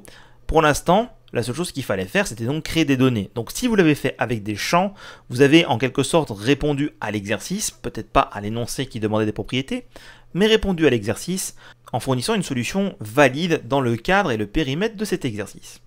N'hésitez pas éventuellement à refaire, voire à compléter votre exercice avec des propriétés pour être raccord avec l'implémentation actuellement à l'écran.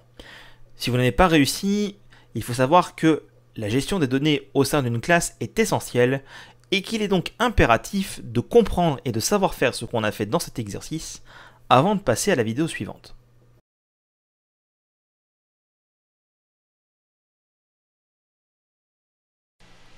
Je vous l'avais dit au début de ce module, nous allons voir énormément de notions et elles vont toutes être critiques en termes d'importance.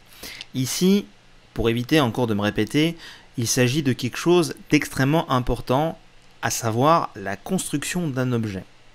Nous avons vu précédemment comment instancier un nouvel objet, avec le mot-clé new et en utilisant le type suivi de parenthèse vide. C'est grâce à ça qu'on a pu faire new calculatrice, parenthèse ouvrante, parenthèse fermante. Il faut savoir que de façon sous-jacente, ce mot-clé new avec le type suivi de parenthèse va appeler une méthode qui est un petit peu spéciale, qui s'appelle le constructeur. Le constructeur, c'est lui qui est chargé de construire justement un objet. Alors pas d'inquiétude, ce n'est pas là que vous allez devoir définir la quantité de mémoire nécessaire ou définir comment l'objet doit être créé en mémoire. Il s'agit simplement d'une méthode dans laquelle on va pouvoir écrire du code qui aura l'avantage de s'exécuter chaque fois qu'on va créer un nouvel objet. C'est un endroit idéal par exemple pour initialiser les valeurs d'un objet comme par exemple, imaginons que notre calculatrice, nous souhaitons mettre opérande droite et opérande gauche par défaut à 1 et le résultat par défaut à 0. Eh bien, on pourrait faire ça dans le constructeur. C'est du code ici qui est totalement arbitraire, mais c'est comme ça qu'on pourrait le faire. Et en faisant cela, on s'assurerait qu'à chaque fois, eh bien, les valeurs sont bien mises dans les propriétés pour éviter qu'on ait besoin de le faire manuellement. Jusqu'à présent, on a vu des constructeurs vides. C'est-à-dire qu'on avait new, le type, parenthèse ouvrante, parenthèse fermante, sans rien. Mais il faut savoir qu'un constructeur est une méthode comme une autre sur ce plan-là, et qu'elle peut donc prendre des paramètres directement afin, par exemple, d'initialiser des données. C'est quelque chose de très commun et que vous verrez très souvent. La syntaxe du constructeur est un petit peu particulière parce qu'en fait, on pourrait s'attendre à ce que le type de retour soit le type qui est la classe, mais en fait c'est la seule méthode de toute votre classe qui n'aura pas de type de retour. Ainsi vous aurez la portée, le type, qui est donc le nom de votre classe, et en parenthèse les paramètres. Prenons un exemple. Voici le constructeur que j'ai voulu définir moi-même qui est pour la classe ma classe. On remarquera que nous avons bien ici la portée, le type qui est donc ma classe et les paramètres c'est la seule méthode qui est autorisée à ne pas avoir de valeur de retour si je puis dire, parce qu'en fait la valeur de retour et le nom de la méthode fusionnent en quelque sorte pour reprendre le nom de la classe. C'est une syntaxe un peu particulière qu'il faut connaître de façon obligatoire pour continuer. Et donc en fait le constructeur permet de définir un bloc. Ici dans le bloc du constructeur, j'ai pris la donnée qui m'est passée en paramètre de constructeur et je l'ai directement affectée à ma propriété. Attention, si aucun constructeur n'est déclaré, c'est-à-dire que vous avez une classe comme calculatrice par exemple qui ne déclare aucun constructeur, eh bien en fait le compilateur C Sharp va automatiquement en générer un pour vous qui aura la particularité d'être public et sans paramètres. C'est bien pour ça qu'on a pu créer une nouvelle instance de la classe calculatrice quand bien même on n'a écrit aucun constructeur. A contrario, il faut savoir que dès lors que vous définissez un constructeur, eh bien, le constructeur par défaut n'est plus généré par C Sharp. En effet, le compilateur C Sharp est obligé de générer un constructeur pour que vous puissiez utiliser votre classe, mais si vous en avez défini un, il ne va pas mettre le sien parce qu'il considère que vous savez mieux que lui comment votre objet doit être construit et que si vous avez besoin d'un constructeur sans paramètres, ce sera à vous de le déclarer également. Cela peut sembler un peu compliqué, mais je vous propose de voir ça par le biais d'un exercice. En fait, on va continuer à travailler sur notre calculatrice. On a fait la modification dans la vidéo précédente qui permet d'utiliser les propriétés pour définir les valeurs à calculer, opérande droite, opérande gauche et résultat. Néanmoins, si on les oublie, c'est-à-dire qu'on ne les affecte pas, eh bien on va appeler notre méthode addition et elle ne fonctionnera pas. Heureusement, le type entier, donc int en C Sharp, a comme valeur par défaut 0. Ce qui veut dire tout simplement que si on n'affecte aucune propriété, eh appeler une addition, soustraction, multiplication ou modulo renverra 0. Cela ne marchera pas par contre pour la division. Le cas a été géré en affectant la valeur 0, qui est mathématiquement incorrect, mais néanmoins, si on les oublie, nous n'aurons pas de plantage de l'application, mais seulement un dysfonctionnement fonctionnel. Donc les deux propriétés opérante gauche et opérante droite, afin d'éviter qu'on oublie de les affecter, je vous propose par le biais d'un exercice de faire en sorte qu'elles sont définies lorsqu'on va créer une instance de la classe calculatrice. Donc en profitant de la possibilité d'utiliser le constructeur personnalisée de la classe calculatrice. Je vous laisse mettre la vidéo en pause, faire l'exercice, peut-être même revenir un peu en arrière pour revoir la syntaxe du constructeur, et je vous donne rendez-vous dans quelques secondes pour le corriger de cet exercice. Dans la version actuelle de notre calculatrice, nous avons stocké les opérandes gauche et droite dans des propriétés qui sont librement accessibles en lecture, mais aussi en écriture. Et cela est très bien comme ça. Maintenant, il reste quand même un problème. Nous avons créé la classe calculatrice, donc nous savons comment elle fonctionne. Mais imaginons que cette calculatrice fasse partie d'un package que nous avons importé dans notre projet, nous n'avons pas la connaissance de comment cette dernière fonctionne. On va bien entendu pouvoir utiliser IntelliSense.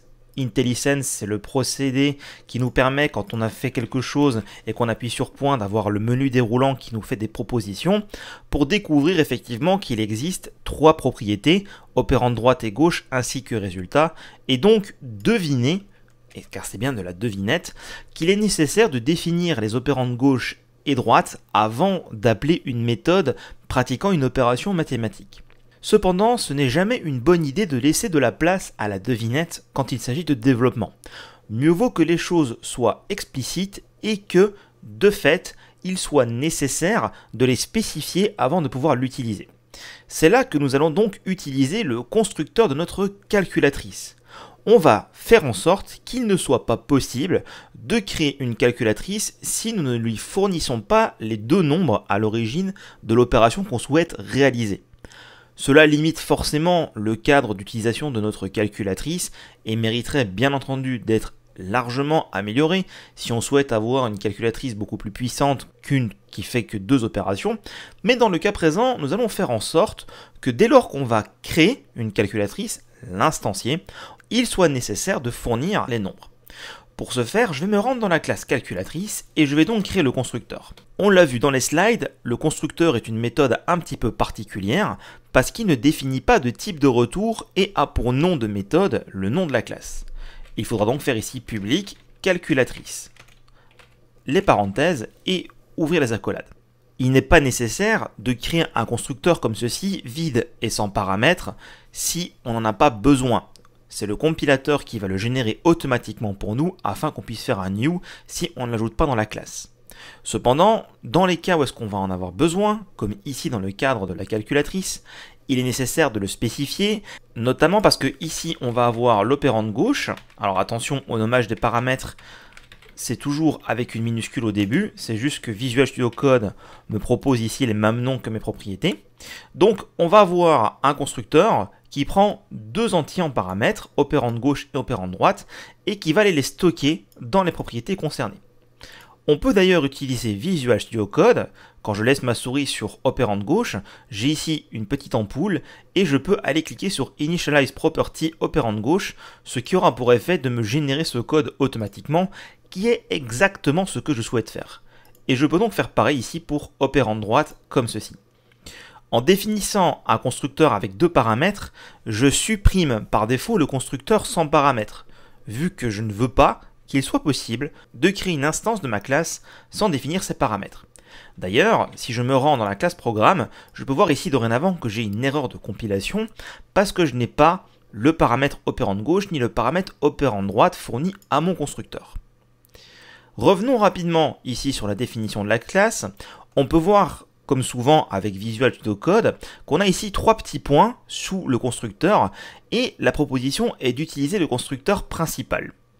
Cette nouveauté, apportée par C Sharp 12, vous permet de définir le constructeur principal directement au niveau de la classe. C'est une syntaxe qui pourrait peut-être porter à confusion, donc je vais vous montrer rapidement ce que cela provoquerait, si je vais donc ici faire l'utilisation du constructeur primaire, je vais avoir les parenthèses au niveau de la définition de la classe avec les paramètres de mon constructeur, et je vais avoir l'affectation des propriétés au niveau de la définition de la propriété.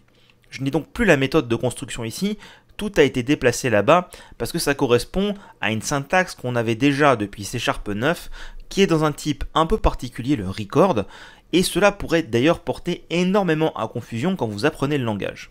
Je vais donc revenir en arrière et je vais rester avec la syntaxe traditionnelle dans le cadre de cet exercice. Je vous ai montré la syntaxe du constructeur principal, mais en aucun cas ce n'est une obligation de l'utiliser. Revenons donc à notre constructeur classique. On a donc un constructeur avec deux paramètres qui vont affecter les deux propriétés avec les deux paramètres. Très bien. Maintenant, à l'utilisation, pour instancier une nouvelle calculatrice, il est donc nécessaire de fournir ces deux paramètres. Je vais donc redéplacer l'instanciation de ma calculatrice ici, de telle sorte que je vais créer ici deux variables pour les passer ici à mon constructeur. Et comme vous le voyez, ça résout le problème de compilation. Car en effet, le mot-clé new, comme on l'a déjà dit quand on en a parlé dans la vidéo sur l'instanciation, n'est qu'un raccourci d'écriture. C'est exactement pareil que de faire new calculatrice, et donc de lui passer ici les deux paramètres. C'est juste que c'est plus concis et plus rapide à écrire, et contrairement au constructeur principal qu'on a vu juste avant, je trouve que celle-ci ne crée pas trop de confusion. Mais encore une fois, vous êtes tout à fait libre de l'utiliser ou pas, il n'y a en aucun cas une obligation d'utiliser les nouvelles syntaxes. Ce qui veut donc dire maintenant que si on veut créer notre calculatrice, il faut donc passer les deux nombres, on va donc rendre notre code explicite et il sera donc impossible de créer une calculatrice sans fournir les deux nombres qui vont faire l'opération. D'ailleurs, on remarquera que, étant donné que les nombres sont passés en paramètres de constructeur et ne sont plus utilisés nulle part ailleurs, car les opérations pour chacun des opérateurs mathématiques sont faits à l'intérieur de la classe, on pourrait même être tenté de changer ces deux propriétés par deux membres qui de fait ne permettraient pas de faire une écriture depuis l'extérieur, de telle sorte qu'on puisse simplement les définir depuis la construction. Mais peut-être qu'on a envie d'y accéder en lecture. Donc ce qu'on peut faire ici, c'est par exemple supprimer le set. Et comme vous le voyez, ça fait donc des propriétés en lecture seule, qu'on ne va donc pas pouvoir réaffecter une fois qu'elles ont été affectées à la construction, et ça ne crée absolument aucune erreur de compilation nulle part dans mon application. Alors peut-être que c'est un petit peu difficile à comprendre pour vous, comment ça se fait qu'une propriété qui est en lecture seule peut quand même être écrite durant le constructeur? Eh bien tout simplement parce que si une propriété est en lecture seule, il faut bien à un moment ou à un autre définir une valeur initiale qui sera sa seule valeur vu qu'après on ne peut plus la réécrire. Et le seul moment où est-ce qu'on peut faire ça, c'est dans le constructeur. Donc ici, on pourrait rendre notre code un peu plus sécurisé en rendant les deux opérandes en lecture seule, de telle sorte qu'on ne puisse les affecter que durant le processus de construction à savoir dans le code du constructeur, pour éviter que par la suite, quelqu'un vienne ici malencontreusement faire un calque, opérande droite est égal à 0 par exemple. Comme vous le voyez, cela crée donc une erreur de compilation, vu qu'elle est en lecture seule, comme on l'a déjà vu dans les vidéos précédentes. Cela nous garantit donc que la valeur qui a été donnée à la construction de la calculatrice restera la même jusqu'à la fin de l'utilisation de cet objet. Maintenant, testons rapidement notre application pour voir si tout ceci fonctionne bien. Je vais faire 10 plus 10 et j'ai donc bien un résultat de 20. Donc le comportement n'a pas été altéré, on a juste rendu notre code plus explicite. Si tu veux utiliser ma calculatrice, pour l'instancier, il faut que tu me donnes les deux nombres.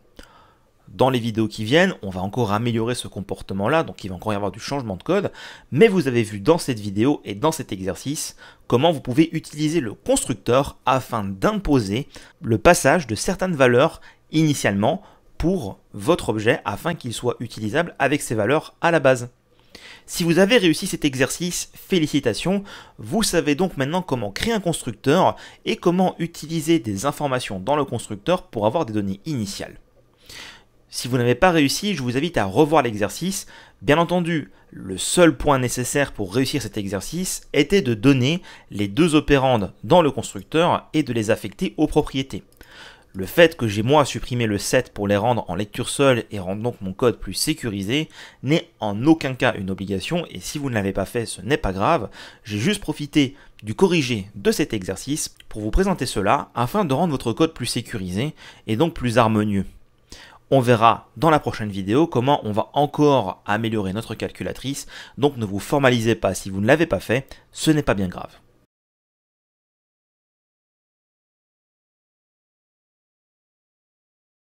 Voyons maintenant un concept qui est très important, j'irais même jusqu'à dire central dans la programmation orientée objet.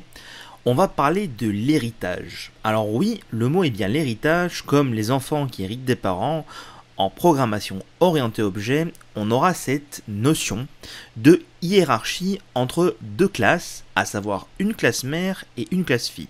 La classe fille va hériter de tous les attributs disponibles de la classe mère, à savoir les méthodes et les données. Bien sûr, on verra plus tard qu'il est possible de limiter certaines choses, et va également pouvoir définir ses propres attributs. En gros, qu'est-ce que ça veut dire? Eh bien, ça veut dire que j'aurai une classe de base dans laquelle j'aurai défini certaines notions, que ce soit des méthodes ou des données, qui seront communes à un ensemble de classes enfants, de classes filles. De la même façon que l'héritage fonctionne dans la société humaine, eh bien, lorsqu'un enfant naît, il va hériter de ce que ses parents vont lui léguer. On aura un héritage, par exemple, au niveau de l'ADN et des gènes, et on aura un héritage, par exemple, financier. Eh bien, en programmation orientée objet, on aura la même notion.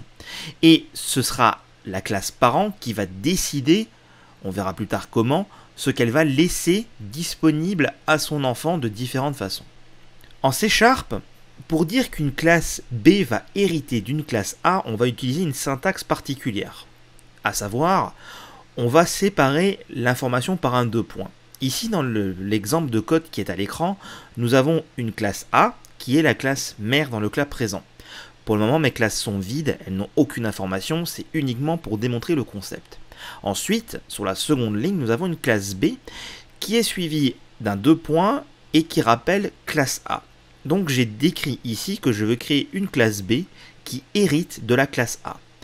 Il n'est possible d'hériter que d'une et une seule classe maximum en C Sharp, c'est-à-dire qu'on hérite d'aucune classe, entre guillemets, parce qu'en fait, de base en C Sharp, on hérite forcément d'une classe qui est la classe Object par défaut, mais on verra ça plus tard. Donc on peut décider d'hériter d'une autre classe ou de n'hériter d'aucune classe, auquel cas c'est le compilateur qui fera l'héritage pour nous. Mais on ne peut pas hériter de deux classes. Je ne peux pas avoir une classe C qui va hériter de classe A et classe B simultanément, bien que dans l'exemple suivant, si j'hérite de classe B, j'hérite aussi de facto de classe A. Je sais que ça peut paraître compliqué, mais pas d'inquiétude, avec les exemples et la pratique, ça va être plus évident. Donc en fait ça va nous permettre d'introduire un nouveau concept, déjà qu'on a introduit l'héritage, mais le concept en fait c'est ce qu'on appelle le polymorphisme. Parce que si classe B hérite de classe A, ça veut dire que classe B va reprendre tous les attributs de classe A, mais va, va faire une opération qu'on appelle la spécification. C'est-à-dire que classe B va avoir très probablement des données et des méthodes supplémentaires que classe A n'aura pas.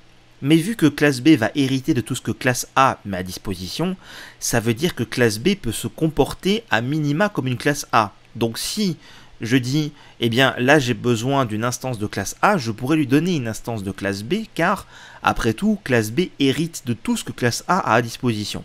Alors avec les termes classe B, classe A, ça peut paraître un peu confus, donc on va aller dans un exemple concret. Voici une classe que j'ai appelée animal. Cet animal n'a qu'une seule méthode qui s'appelle manger. Il n'y a rien dans cet exemple qui devrait vous choquer ou, être nouveau pour vous. Cette méthode manger ne fait qu'afficher sur la console que l'animal mange. Bien, jusque-là, c'est du connu. Maintenant, voyons comment on peut introduire l'héritage dans cet exemple. Je vais faire ici une classe chien qui hérite de animal, donc en écrivant public classe, public classe chien deux points animal, donc ma classe chien va hériter d'animal, et au sein de la classe chien, je vais rajouter la méthode void aboyer qui est écrite sur la console wouf wouf. Donc, on va voir ici que un, chien est un animal parce qu'il en hérite. Ce qui veut dire qu'une instance de la classe chien peut aboyer parce que c'est sa méthode qui lui est propre, mais peut également manger parce qu'elle a hérité des comportements et des attributs de la classe animal. Donc au sein de la classe chien, je n'ai pas besoin de dupliquer la méthode manger, elle est automatiquement présente du fait de l'héritage par animal. On, on va montrer ça un peu plus en détail plus tard, pas d'inquiétude. Maintenant, comment se passe l'héritage avec la notion de constructeur? Constructeur que nous avons vu dans la vidéo précédente. Eh bien, lorsqu'une classe mère va déclarer un constructeur, c'est-à-dire qu'au lieu d'avoir un constructeur sans paramètres ou de n'avoir aucun constructeur et donc que le C Sharp génère automatiquement le constructeur sans paramètres, eh bien, la classe fille, quand elle va elle-même être construite, va devoir appeler le constructeur de la classe mère obligatoirement lorsqu'elle va être construite. Ça veut dire que je suis obligé d'avoir un constructeur dans ma classe phi qui passe une valeur fixe au constructeur de la classe mère ou qui a elle-même un constructeur permettant de satisfaire les paramètres de la classe mère. Bon, comment est-ce que ça se passe? Eh bien, on va utiliser un mot-clé qui s'appelle base et qui se place après le constructeur de la classe phi séparé par un deux points. Encore une fois, le deux points est là. Il faut juste comprendre qu'en héritage, en C Sharp, c'est le deux points qui est utilisé un peu partout. Je vais vous montrer pour que ce soit plus concret. Ici, je reprends ma classe animale, sauf que je l'améliore, je mets un constructeur qui prend en paramètre le poids de l'animal et le stock dans une propriété. Il n'y a rien de particulier, rien de bien méchant dans ce code-là. Maintenant, si j'avais ma classe chien comme je l'ai déclaré précédemment, eh bien, quand je vais déclarer ma classe chien, je suis obligé de spécifier le poids de la classe parent Donc je peux le faire comme cela. Je vais créer un constructeur chien qui aura un constructeur donc sans paramètres, mais qui devra appeler le constructeur de la classe animal avec le mot-clé base en lui passant une valeur fixe ici dans le cas présent, 34. Donc je vais écrire mon constructeur de, de, la classe chien. Je vais ensuite mettre deux points base entre parenthèses ma valeur fixe. Alors ici, j'ai fait volontairement le choix de mettre le deux points base à la ligne pour des raisons d'affichage, mais vous pouvez très bien le mettre sur la même ligne, ça n'a pas d'importance. Je peux également considérer que quand je crée un chien, je dois spécifier le poids pour pouvoir le passer aux parents, et auquel cas j'ai juste à créer un constructeur de ma classe chien qui prend en paramètre le poids, et ce paramètre, je vais le passer au constructeur de ma classe parent. Donc on voit qu'on peut passer une valeur fixe, en considérant qu'une classe phi définit forcément cette valeur comme étant une valeur fixe, ou on peut passer une valeur dynamique qui serait elle-même un paramètre de constructeur. Cela est assez complet et compliqué comme notion. Donc avant d'aller plus loin, je vous propose qu'on mette ça en pratique avec un exercice. L'exercice va encore nous faire transformer notre calculatrice. On va donc créer une nouvelle classe qui est la classe opération. Ce sera la classe mère de chacune des classes phi qu'on va créer, et chacune des classes phi sera donc une opération addition, soustraction, ainsi de suite. Et on aura une méthode qui s'appellera exécuter, qui sera donc présente dans chacune des classes héritées. Par exemple, on aura la classe addition qui hérite d'opération, et dans laquelle on aura exécuté qui fera effectivement l'addition. Donc, on va également en profiter pour voir les sous-espaces de noms qu'on n'a pas encore vu jusqu'à présent. Donc on va créer toutes ces classes dans un dossier qu'on va appeler opération avec un S.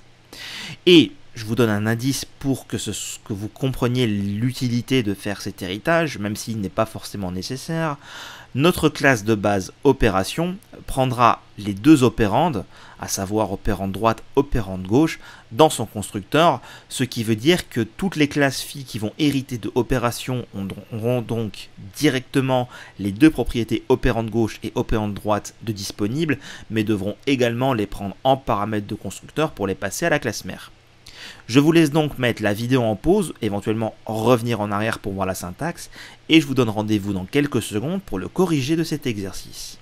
Dans le cadre de cet exercice, afin de pratiquer la notion d'héritage, nous allons créer la classe de base, la classe mère opération, et nous allons faire hériter pour chacune des opérations qu'on veut implémenter une classe par exemple la classe addition qui va hériter d'opérations afin de mutualiser le comportement de construction d'une opération dans la classe mère.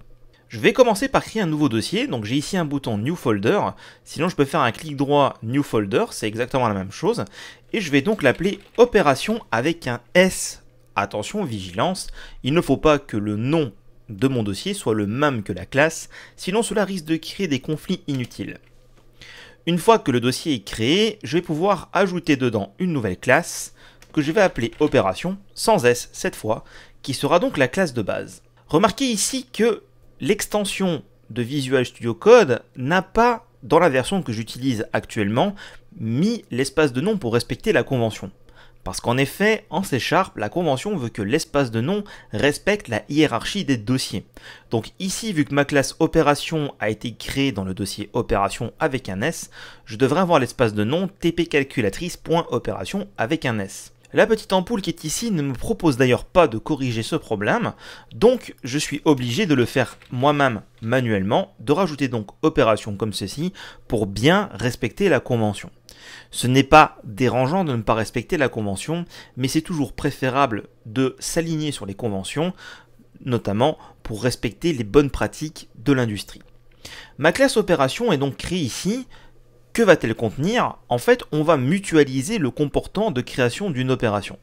Reprenons notre calculatrice. Pour créer une calculatrice, il faut fournir les deux opérandes. Ces deux opérandes ne sont utiles que dans le cadre d'une opération. Donc je vais simplement aller récupérer la construction de la calculatrice avec les opérandes. Je vais donc copier tout ceci pour le mettre directement dans l'opération. Et donc au lieu d'avoir calculatrice, ça va être le constructeur de la classe opération j'aligne rapidement le code comme ceci.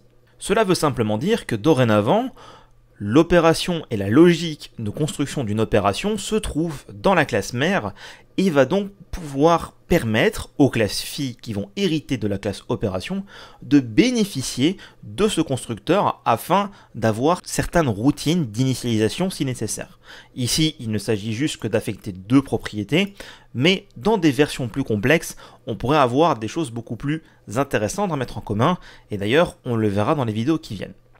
Je vais donc créer ici, sans plus attendre, une nouvelle classe qui va être la classe addition. À l'instar d'opération, je vais rapidement résoudre le problème de l'espace de nom. Maintenant, une addition est une opération, ce qui veut dire que c'est un héritage, c'est une spécification. Pour spécifier qu'une addition est une opération, je vais donc faire hériter la classe addition de la classe opération. Pour ceci, je vais mettre un deux points et je vais rajouter opération. Étant donné que je suis dans le même espace de nom pour l'addition que pour l'opération, je n'ai pas besoin de faire de using. Donc si de votre côté la classe opération n'a pas été trouvée, c'est peut-être qu'elles ne se trouvent toutes les deux pas dans le même espace de nom. N'hésitez pas à faire le using si besoin. Je vais donc avoir ici une erreur de compilation parce qu'en fait, la classe addition ne peut pas hériter d'opération sans fournir les paramètres de constructeur attendus par la classe opération. Et oui, vu que addition hérite d'opération, elle hérite de son comportement et donc elle hérite de sa façon d'être construite. Bien heureusement, si je me mets sur addition ici, Visual Studio Code me propose avec la petite ampoule de générer le constructeur qui prend en paramètre les deux opérandes et les fournit directement à la classe de base, donc à la classe opération. Visual Studio Code va vous faire gagner un temps précieux. N'hésitez pas à utiliser la petite ampoule chaque fois que vous le pouvez pour avoir de l'aide dans l'écriture de votre code. Mais ici, prenons le temps rapidement d'analyser ce qu'il a fait et n'hésitez pas d'ailleurs à éviter au début d'utiliser la petite ampoule pour faire ce genre de procédé afin d'apprendre la syntaxe. La seule chose que Visual Studio Code a fait, c'est me créer le constructeur de la classe addition et vu que il est nécessaire de spécifier pour créer une opération les deux paramètres. Le constructeur de ma classe addition les prend en paramètres et les envoie à la classe parent par le biais de cette syntaxe base, donc la classe de base. Et en fait, ça, c'est l'appel du constructeur de la classe de base en lui passant les deux paramètres. Soyez quand même vigilant à ne pas intervertir les paramètres, soit ici en entrée, soit ici en passage de paramètres, pour éviter d'avoir de mauvaises surprises lors de l'exécution des opérations. À partir de là, j'ai donc créé ma classe addition qui hérite d'opérations et du fait de l'héritage, car la classe opération définit le constructeur, j'ai été obligé de créer un constructeur pour ma classe addition qui envoie les paramètres de sa propre construction à la classe mère afin que celle-ci se charge de les stocker dans les propriétés pour pouvoir les utiliser. On pourrait légitimement dire que ici c'est inutilement complexifié, mais on va voir juste après que c'est intéressant de mutualiser du comportement et d'avoir ce système d'héritage. Je vais donc rapidement créer tous les autres opérateurs avec leur classe dédiée afin de respecter complètement l'énoncé de cet exercice. J'ai donc créé toutes les classes pour chacune des opérations, donc addition, division, modulo, multiplication et soustraction. Toutes les opérations sont donc créées et héritent de la classe opération, dont pour l'instant la seule utilité va être de stocker pour mettre en commun toutes les opérandes. Pour l'instant, on ne sait pas encore comment on va faire en sorte que notre calculatrice soit modifiée. Pour cela, on le fera dans la prochaine vidéo avec l'introduction du concept de polymorphisme et on va donc modifier la calculatrice pour permettre d'utiliser toutes les opérations ainsi créées. Mais rendons-nous par exemple dans notre programme et faisons ici une addition. Donc addition est égal à new addition. Comme vous voyez, je dois passer les deux paramètres, donc O1 et O2 par exemple. Et à partir de là, vous pouvez voir que j'ai accès aux deux propriétés opérante gauche et opérante droite. Donc, ce qui a été défini dans la classe opération descend de façon sous-jacente dans la classe qui en hérite. Il nous reste une chose à faire, qui était demandée dans le cadre de l'énoncé, ça va être, pour chacune des opérations, de créer une méthode exécutée qui va stocker le résultat. Et de fait, le résultat qui est ici en tant que propriété va lui aussi se retrouver au sein de la classe opération, de telle sorte que chacune des classes qui héritent d'opération a directement une propriété résultat. Je vais donc dans addition faire pour l'exemple la méthode exécuter qui va simplement faire résultat est égal à opérande gauche plus opérande droite. Il s'agira donc simplement, au niveau de la calculatrice, d'avoir l'équivalent des méthodes addition dans chacune des classes représentant les opérations. Donc ici, je vais par exemple copier la méthode exécutée, la mettre dans soustraction et faire tout simplement un moins. Et comme vous le voyez, j'ai accès à résultat tout simplement parce que cette propriété est définie dans ma classe mère. Je n'ai plus qu'à faire en sorte de mettre toutes les méthodes exécutées dans chacune des classes. Soyons donc vigilants ici si opérante droite est différente de 0, dans ce cas-là, je mets dans le résultat la division. Sinon, je peux laisser la valeur par défaut de l'anti-résultat qui sera donc 0. Je fais modulo et pour terminer, je fais également multiplication. Donc, on a créé une classe de base, on a fait hériter toutes les opérations de cette classe de base, on a mutualisé dans la classe de base les propriétés, et on a implémenté la méthode exécutée dans chacune des méthodes phi.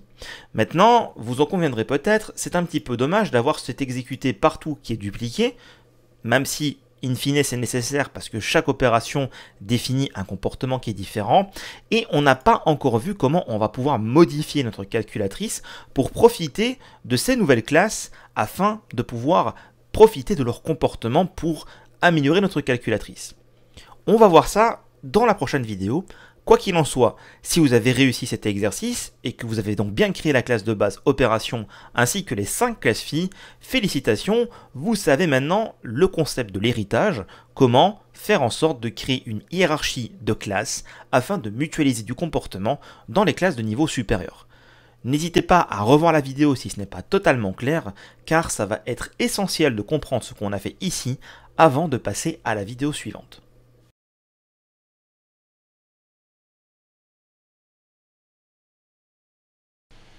Revenons maintenant sur un concept que nous avons à peine effleuré lors de la vidéo précédente, lors de l'héritage. J'avais parlé du polymorphisme. C'est un mot qui peut paraître de prime abord très savant, mais qui veut simplement dire plusieurs formes. Et c'est un des concepts, je vais dire, les plus puissants de la programmation orientée objet dès lors qu'on sait comment le maîtriser. Reprenons le cas du chien et de l'animal. Si un chien est un animal, cela veut dire que dès lors qu'une méthode qui attend un animal en paramètres va dès lors pouvoir prendre un chien ou même toute autre classe qui hérite d'animal, mais dans le cas présent, on a défini que chien. Pourquoi? Eh bien parce qu'un chien est un animal, donc spécifie l'animal. Et cette notion peut être à plusieurs niveaux. Prenons un exemple, encore une fois. Imaginons que j'ai une classe caniche qui hérite de chiens. Donc une méthode qui attend un animal, par exemple pour nourrir l'animal, peut donc dès lors prendre un chien, mais peut également prendre un caniche, parce qu'un caniche est un chien qui est un animal. Ça peut sembler un peu confus dit comme ça, donc on va voir ça avec des exemples de code. Voici la hiérarchie dont on parlait dans le slide précédent. Animal, ensuite chien qui hérite d'animal, ensuite caniche qui hérite de chien. Ça ne fait que je n'ai fait ici que d'écrire en code ce qu'on a dit oralement en français dans la slide précédente. Maintenant, prenons une nouvelle classe qu'on appellera la SPA. Cette classe SPA contient deux méthodes. Cette première méthode est la méthode nourrir qui prend en paramètre un animal et appellera la méthode manger sur l'animal reçu en paramètre. La deuxième méthode, dresser, prendra un chien en paramètre et affichera simplement sur la console dressage en cours. Donc on a ici deux méthodes qui ont besoin d'un animal en général ou d'un chien en particulier. Eh bien, là, on a une hiérarchie très simple, mais on pourrait également imaginer qu'on a d'autres classes comme chat et oiseau qui sont également descendants de la classe animale. Prenons l'exemple suivant. On a une méthode qu'on appelle gérer au sein de la SPA qui donc va créer un ensemble d'animaux et va appeler les méthodes. Donc on a une variable animale qui s'appelle animal, une variable chien qui s'appelle chien, une variable caniche qui s'appelle caniche, chacune étant affectée à la classe correspondante. Eh bien je peux donc appeler la méthode nourrir avec mes trois variables, que ce soit animal, chien ou caniche, pour la simple et bonne raison que la méthode nourrir attend un animal et que donc je peux lui passer la variable animal qui est la classe de base, un chien qui hérite directement d'animal ou un caniche qui hérite indirectement d'animal par le biais de la classe chien. Ça marche sans problème. Par contre, si je veux appeler la méthode dresser, je ne peux lui passer que chien et caniche et non pas animal. Parce que animal est un cran au-dessus de chien et donc étant donné que la méthode dresser attend à minima un chien, ça ne marchera pas avec animal. Je sais que ça peut vous paraître un petit peu bizarre, mais c'est là un des concepts les plus puissants de la programmation orientée objet. Maintenant, on va voir quelque chose associé à cette notion de multiples classes, on va appeler le pattern matching. Alors, c'est un mot qui peut sembler compliqué, mais en fait, on a un mot-clé un peu particulier en C Sharp qui va nous permettre de savoir si une variable, un objet, est bien d'un type particulier, ça va être le mot-clé is. Donc, je peux simplement dire, est-ce que ma variable Toto is ma classe X? Grâce à cette syntaxe, on va pouvoir, et aux avancées du langage C Sharp, on va pouvoir faire ça directement au sein d'une instruction if. Et grâce à ça, on va pouvoir également récupérer une nouvelle variable qui sera dans le type désiré. Ça peut paraître confus, donc on va voir ça par le code. Ici, j'ai animal mon chien est égal à nous chien. Alors, ça peut sembler bizarre, comment est-ce que c'est possible? Eh bien, souvenez-vous, un chien est un animal, donc je peux très bien stocker une instance de ma classe chien dans une variable de type animal. Mais, à partir du moment où je fais ça, dès la ligne suivante, on va considérer que la variable qui s'appelle mon chien n'est non pas un chien, mais un animal. Parce que je l'ai déclaré dans une variable de type animal, ce qui veut dire que je n'aurai pas accès à la méthode aboyer. Si vous essayez de le faire vous-même de votre côté en même temps que cette vidéo, mettez la vidéo en pause et écrivez le code tel que je l'ai mis à l'écran. Animal mon chien est égal à nous chien en parenthèse de 12. 12 étant le paramètre de constructeur qui vaut le poids. Et essayez à la ligne suivante dans votre Visual Studio Code d'écrire mon chien point et voyez ce que Visual Studio Code vous propose dans l'autocomplétion. Il n'y aura pas la méthode aboyer parce qu'on a mis ça dans une variable de type animal qui ne connaît pas la méthode aboyer. C'est exactement pareil que dans notre méthode dans la slide précédente de la SPA, quand on appelle la méthode nourrir qui prend en paramètre un animal, eh bien on ne pourra pas faire animal.aboyer parce que ça peut très bien être un chat comme ça peut très bien être un oiseau. On ne sait pas que c'est forcément un chien. Pour ça, il faut qu'on le teste grâce à une instruction if et du mot-clé is. Donc ici, à la ligne suivante, ce qui n'a pas beaucoup d'intérêt dans le cas présent, mais qui permet de vous montrer le pattern matching, j'ai mis if mon chien is chien. C'est-à-dire que dans mon chien, j'ai une variable de type animal. Mais je veux tester est-ce que cet animal que j'ai là est bien un chien? Je le sais par la ligne du dessus, mais imaginons que j'ai reçu cet animal en paramètre d'une méthode et que je veux tester est-ce que l'animal reçu est un chien? Eh bien je vais faire if animal is chien et après ça je saurai directement si l'animal reçu en paramètre est un chien. Mais le fait de savoir que c'est un chien ne me, permettra, toujours pas d'appeler la méthode aboyer sur l'instance animal. Pour ça, je dois récupérer une variable de type chien qui contient la variable animal qui a été transformé en chien. Et donc, grâce à l'instruction is dans une instruction if, je peux donner le nom de la variable que je veux récupérer après le is quelque chose. Donc ici j'ai if mon chien is chien. Donc là, est-ce que mon chien est une variable de type chien? Ça veut dire que est-ce que la variable mon chien qui est un animal est in fine un chien? Et si oui, eh bien je vais l'appeler c. Donc j'aurai dans mon bloc if un C sur lequel je vais pouvoir appeler la méthode aboyer. Attention, je répète, la classe animal ne possède pas de méthode aboyer, donc je suis bien obligé de tester que l'animal reçu, ou la variable qui contient un animal, est bien de type chien. On va décortiquer ça pour être sûr que ce soit bien compris. J'ai donc ici le mot-clé is entre le nom de ma variable et le type que je veux tester. Donc le type désiré que je veux tester est situé juste après le mot-clé is. Et là, je vais nommer ma nouvelle variable si la variable que je teste initialement est bien du type désiré. Si, par contre, mon chien n'est en définitive pas un chien mais est un chat ou un oiseau, donc mon chien is chien n'est pas vrai, eh bien je ne rentrerai d'une part pas dans le if et d'autre part je n'aurai pas la variable c à ma disposition. La variable c qui est déclarée ici n'est valide que dans le bloc du if qui suit et n'est donc pas valide dans le reste des instructions. Cela des notions qui peuvent être compliquées et ça peut être un peu confus pour vous. Donc encore une fois, le mieux c'est de s'exercer pour être sûr d'avoir bien compris le principe. Nous avons fait dans la vidéo précédente la classe de base opération et on a donc créé toutes les classes filles pour chacune des opérations. Mais si vous avez essayé de le faire par vous-même, je l'avais dit d'ailleurs en fin de vidéo, on n'a pas encore vu comment faire en sorte qu'on puisse exécuter une opération. Maintenant, on a vu le pattern matching. Et donc grâce à ça, on va pouvoir transformer notre calculatrice de telle sorte que le constructeur d'une calculatrice prenne une instance de la classe opération en paramètre.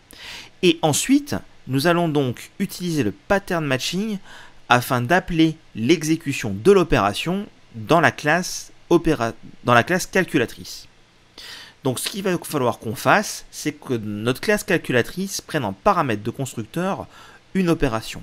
Cette opération, on va la stocker en tant que propriété dans notre classe calculatrice. Ensuite, on va créer une, méthode dans notre classe calculatrice qui s'appellera exécuter. Et cette méthode exécuter va appeler la méthode exécuter de notre classe opération. Mais pour ça, on est obligé de faire le test grâce au pattern matching pour savoir si c'est une addition, une soustraction, une division, et ainsi de suite. Et donc, transformer la variable opération dans la variable de destination et appeler la méthode exécuter.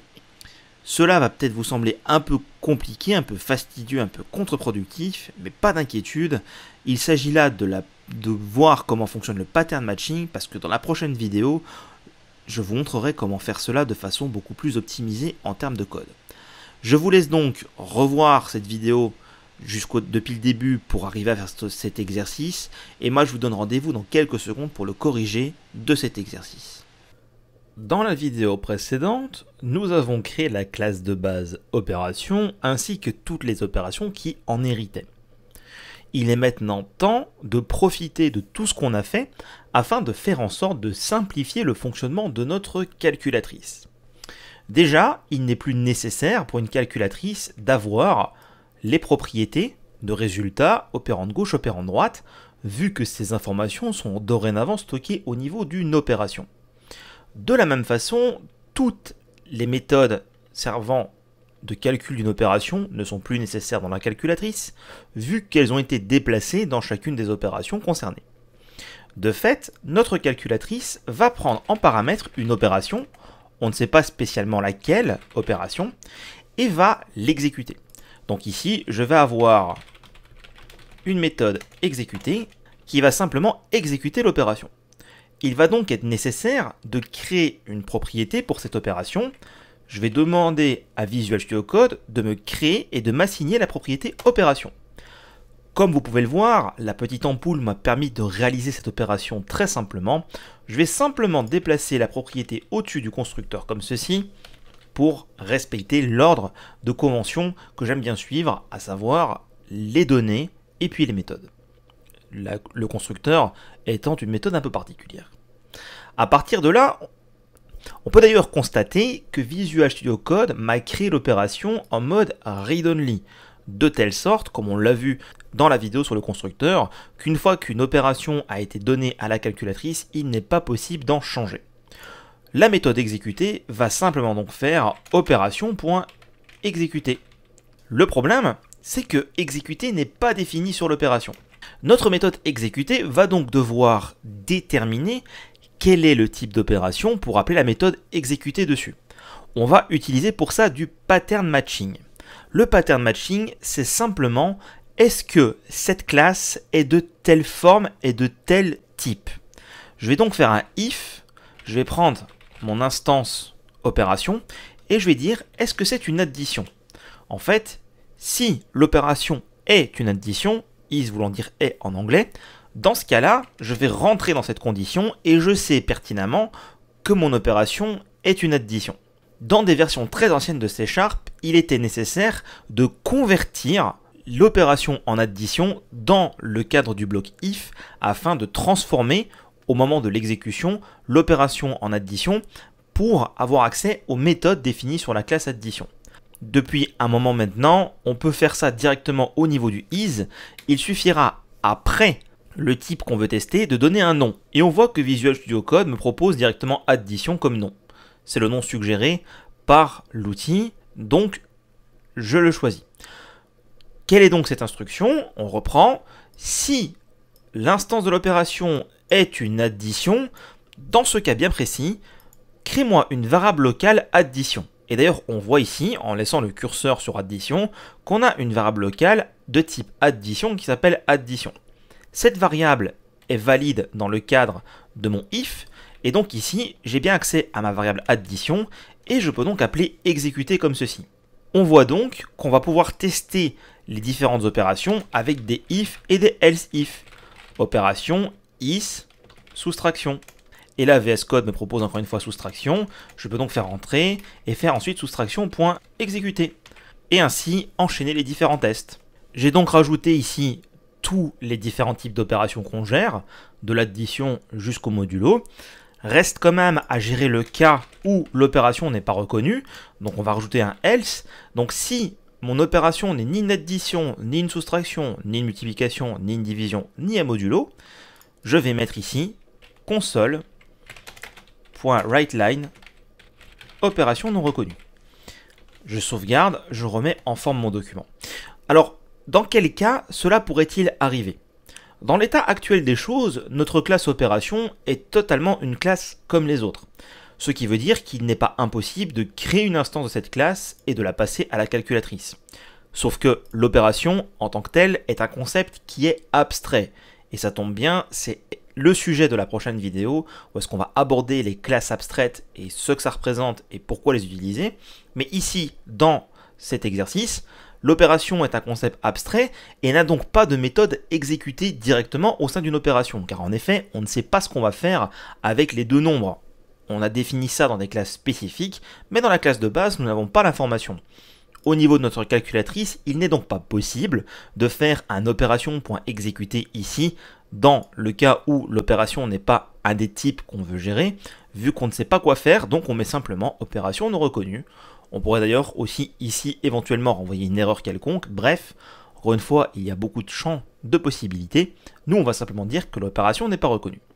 Maintenant, j'ai une erreur au niveau de mon programme, car en effet, au niveau de ma calculatrice, ici, je ne peux plus passer les deux nombres directement, je dois lui passer une opération. Sauf que je ne saurai l'opération que je dois passer à ma calculatrice que quand j'aurai analysé l'opérateur. Je vais donc déplacer ma calculatrice tout à la fin, ici, comme cela. Et ce que je vais faire, c'est que je vais déclarer ici une opération. Je déclare une variable opération et je ne l'affecte pas. D'ailleurs, Visual Studio Code me dit que la variable est déclarée mais jamais utilisée, et donc je vais pouvoir la passer ici à ma calculatrice. Néanmoins, on remarquera qu'il y a une erreur de compilation, parce que Visual Studio Code me dit que la variable opération n'est jamais assignée. Donc ça crée en quelque sorte un problème. Ce que je dois faire, c'est que en fonction de l'opérateur, je vais devoir affecter l'opération avec le type concret. C'est donc du polymorphisme vu qu'une addition est une opération, je peux ranger dans une variable de type opération une instance de l'addition. Donc ici, au lieu de faire calc.addition qui de fait n'existe plus, je vais dire que mon opération est égale à une nouvelle addition avec les deux nombres, comme ceci. Et je vais donc faire ça pareil pour chaque opérateur en passant spécifiquement l'instance de la classe correspondant à mon opération. Donc comme vous le voyez, je n'ai pas d'erreur de compilation, parce qu'une addition est une opération, une soustraction est une opération, et ainsi de suite. Cependant, Remarquez que ici, si je fais opération, je n'ai pas accès à la méthode exécuter, vu que au niveau de la classe opération, cela n'est donc pas du tout défini. À partir de là, je vais donc pouvoir remplacer mes opérations par chacune des instances de classe concrètes que je veux gérer, comme ceci. On remarquera que le compilateur est intelligent, parce qu'en effet, il a remarqué que si j'arrive sur la ligne 42, peu importe l'embranchement de code que je choisis, l'opération sera affectée. Elle est forcément définie à un moment ou à un autre. Et ceci parce que si l'opération n'est pas reconnue, l'opérateur n'est donc pas reconnu, la variable n'est certes pas affectée, car elle n'est affectée que dans les cas où l'opérateur est reconnu, mais j'ai ici l'instruction return qui m'empêche d'aller aux lignes qui vont suivre cette instruction, et donc d'avoir ici une opération qui serait potentiellement non affectée. Et donc dans le cas présent, au lieu de s'éviter un message parasite simplement, le return a tout son sens.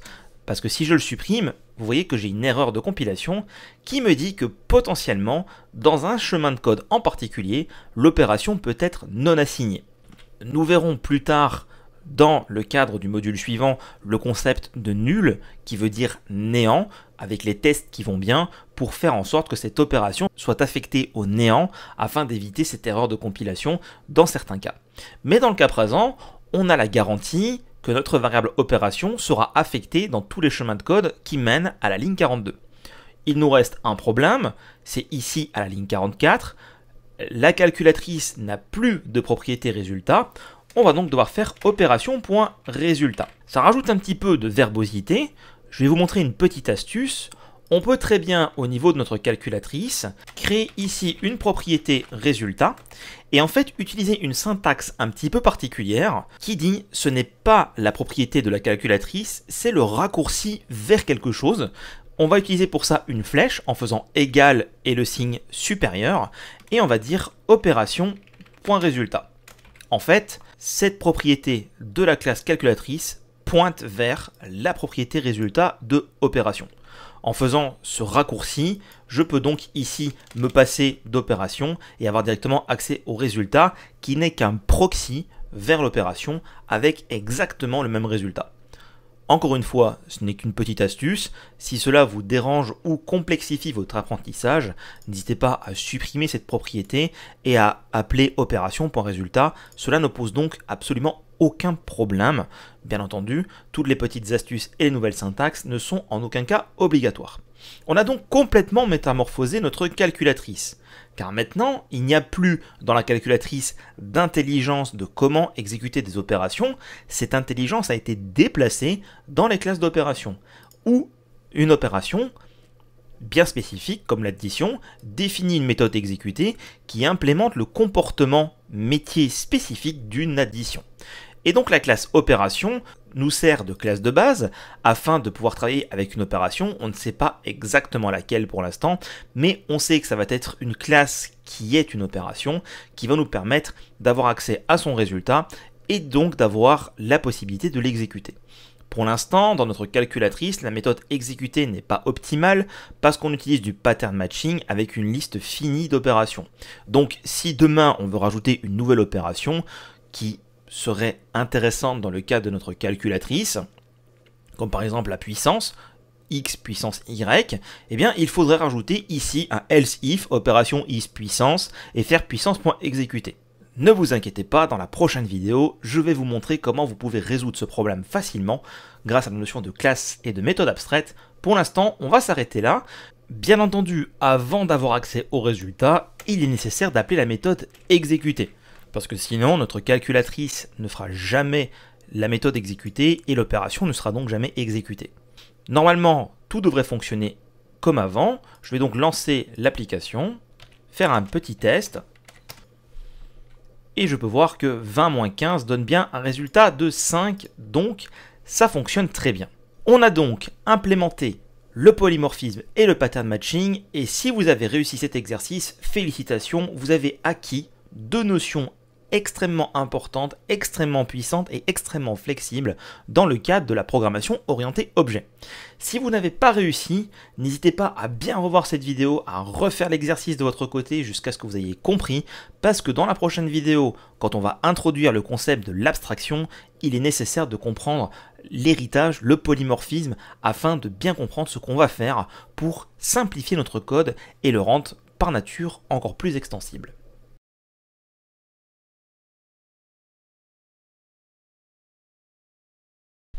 Maintenant que nous avons vu pas mal de concepts liés à l'héritage et au polymorphisme, il est temps de voir quelque chose d'un petit peu spécifique qui est encore une fois lié à la notion d'héritage entre classes. On a vu qu'une classe mère peut définir des méthodes et des propriétés, et que de fait la classe fille hérite de ses attributs.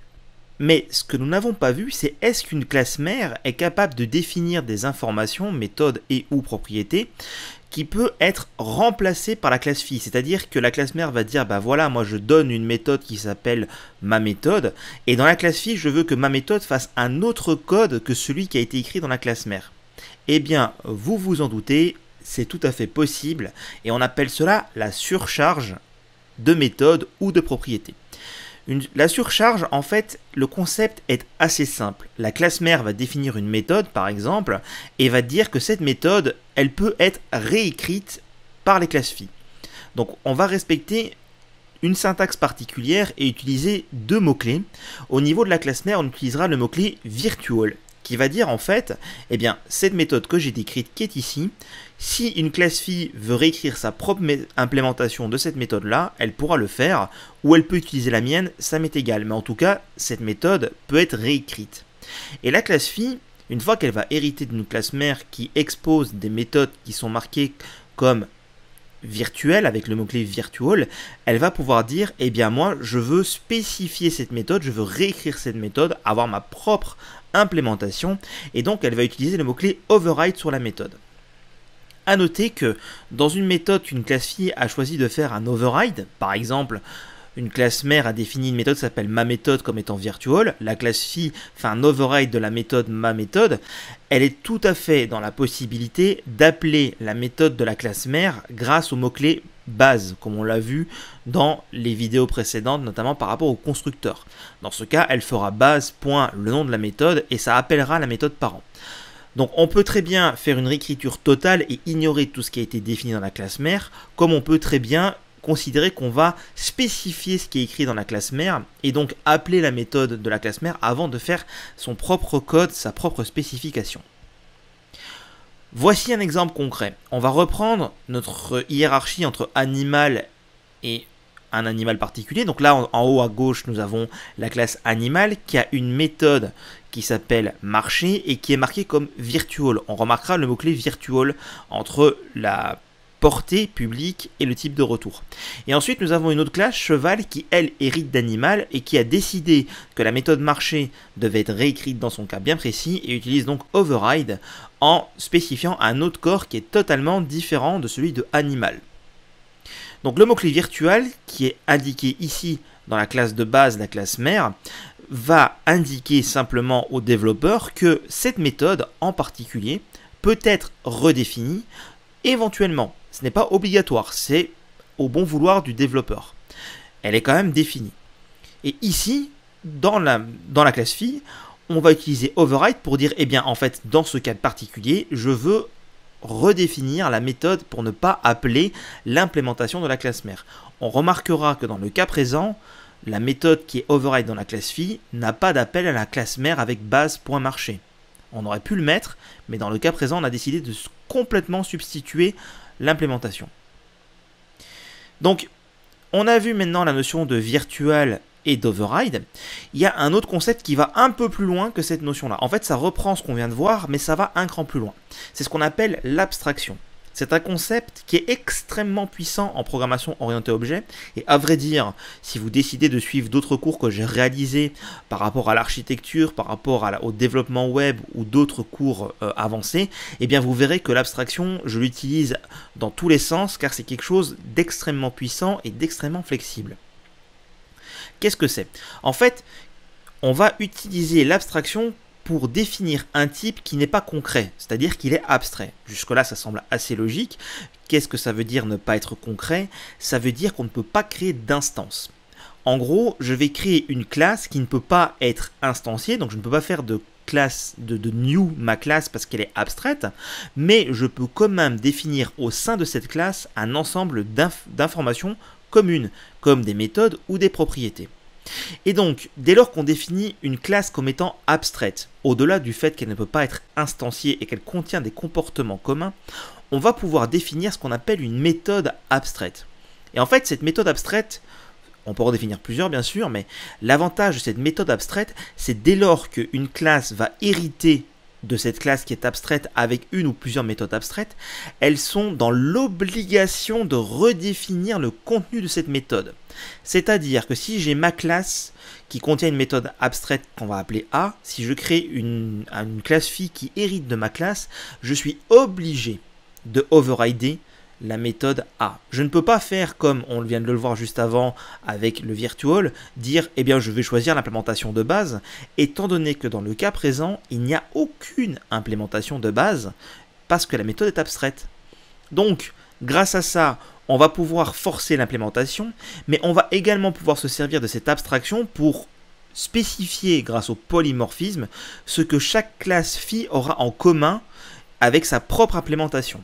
Ça vous semble peut-être un petit peu difficile à entrevoir euh, les, choses dans le cas présent, mais pas d'inquiétude, vous allez voir dans la pratique, ça va devenir très vite clair.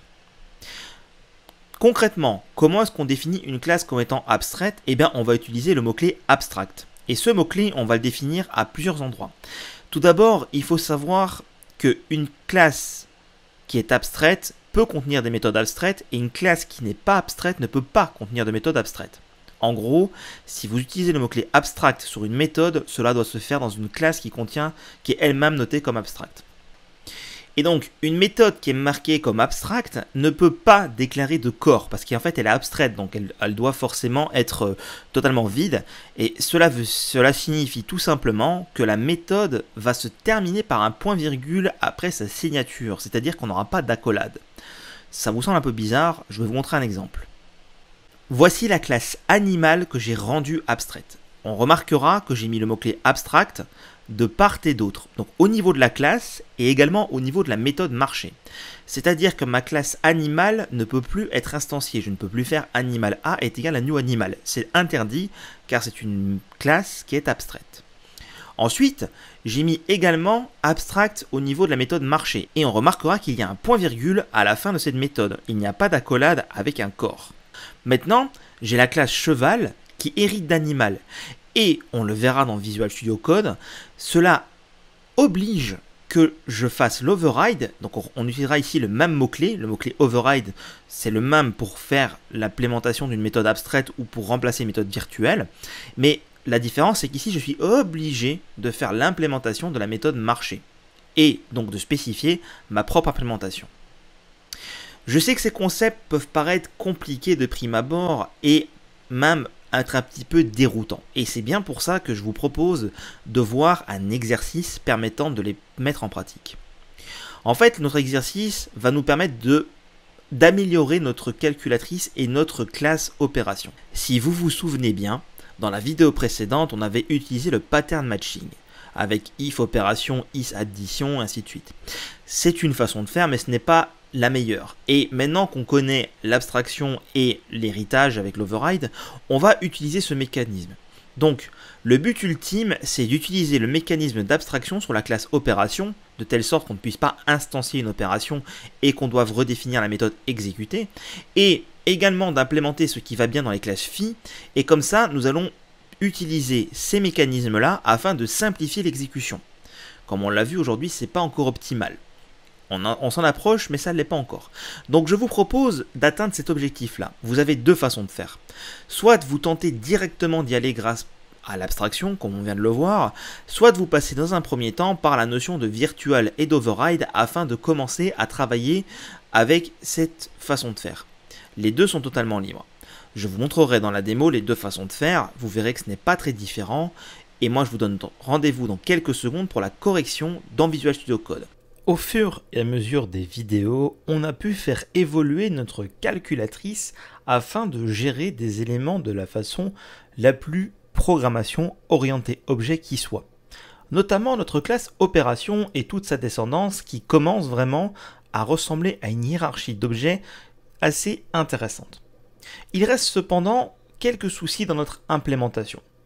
Le premier étant que, effectivement, ici au niveau de la calculatrice, on se retrouve avec une liste d'opérations qui sont gérées et on fait cela par pattern matching.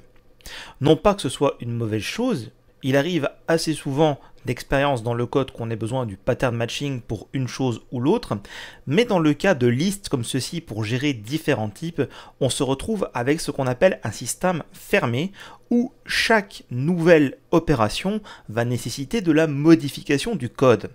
Cela ne respecte pas, entre autres, le second principe des principes solides, Open Close Principle.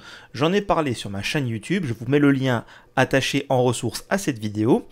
Ici, en l'occurrence, on va faire évoluer notre classe opération pour rajouter le concept d'abstraction d'une part, parce qu'en effet, une opération, comme on l'a dit dans les vidéos précédentes, en tant que telle ne veut rien dire, il faut une opération spécifique, vu que ici, dans la calculatrice, sinon c'est une opération non reconnue. Et d'autre part, nous allons mutualiser cette méthode exécutée qu'on a implémentée un peu partout, mais qui n'est pas définie au niveau d'opération, afin de s'assurer qu'on puisse le faire au niveau d'une opération dans le but, encore une fois, de simplifier notre code. Commençons sans plus attendre sur la classe opération, rendons-la abstraite.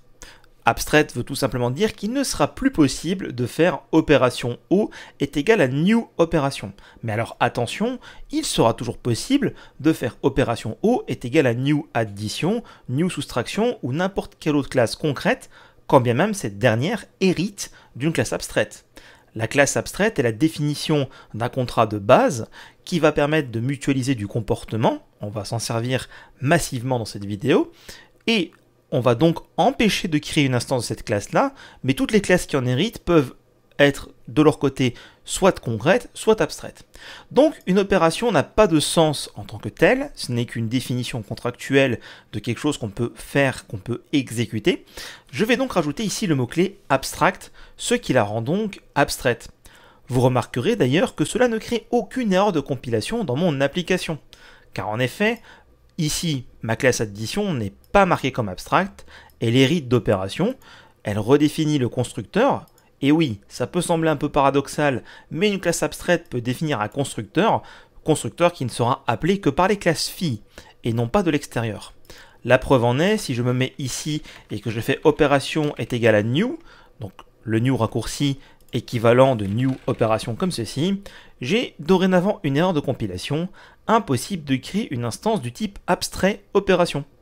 Ce qui veut bien dire que ce n'est que la définition d'un contrat et non pas quelque chose d'exploitable. Et voilà donc un problème de résolu. En théorie, on ne devrait pas avoir dans notre calculatrice de else ici. Mais on va donc résoudre le problème de cette collection de if, else, if, du fait que on doit tester si l'opération est de tel type ou tel type. Il serait beaucoup plus intéressant d'avoir la méthode exécutée comme ceci au niveau de l'opération. Se posent cependant deux problèmes. Le premier est déjà que vous remarquez assez facilement que tous les fichiers représentant une opération sont en jaune, ce qui indique donc un warning. Si je vais voir dans la classe addition, je peux voir que la méthode exécutée est soulignée en jaune, et quand je laisse le curseur, on a un message qui peut paraître un petit peu cryptique. La méthode exécutée, définie dans la classe addition, cache le membre hérité exécuté de la classe opération. Si vous souhaitez vraiment le cacher, donc si c'était voulu, utilisez le mot-clé new. Alors effectivement, dit comme ça, ça semble bizarre. Parce que, à votre niveau d'apprentissage, le mot-clé new est utilisé pour faire une nouvelle instantiation d'une classe.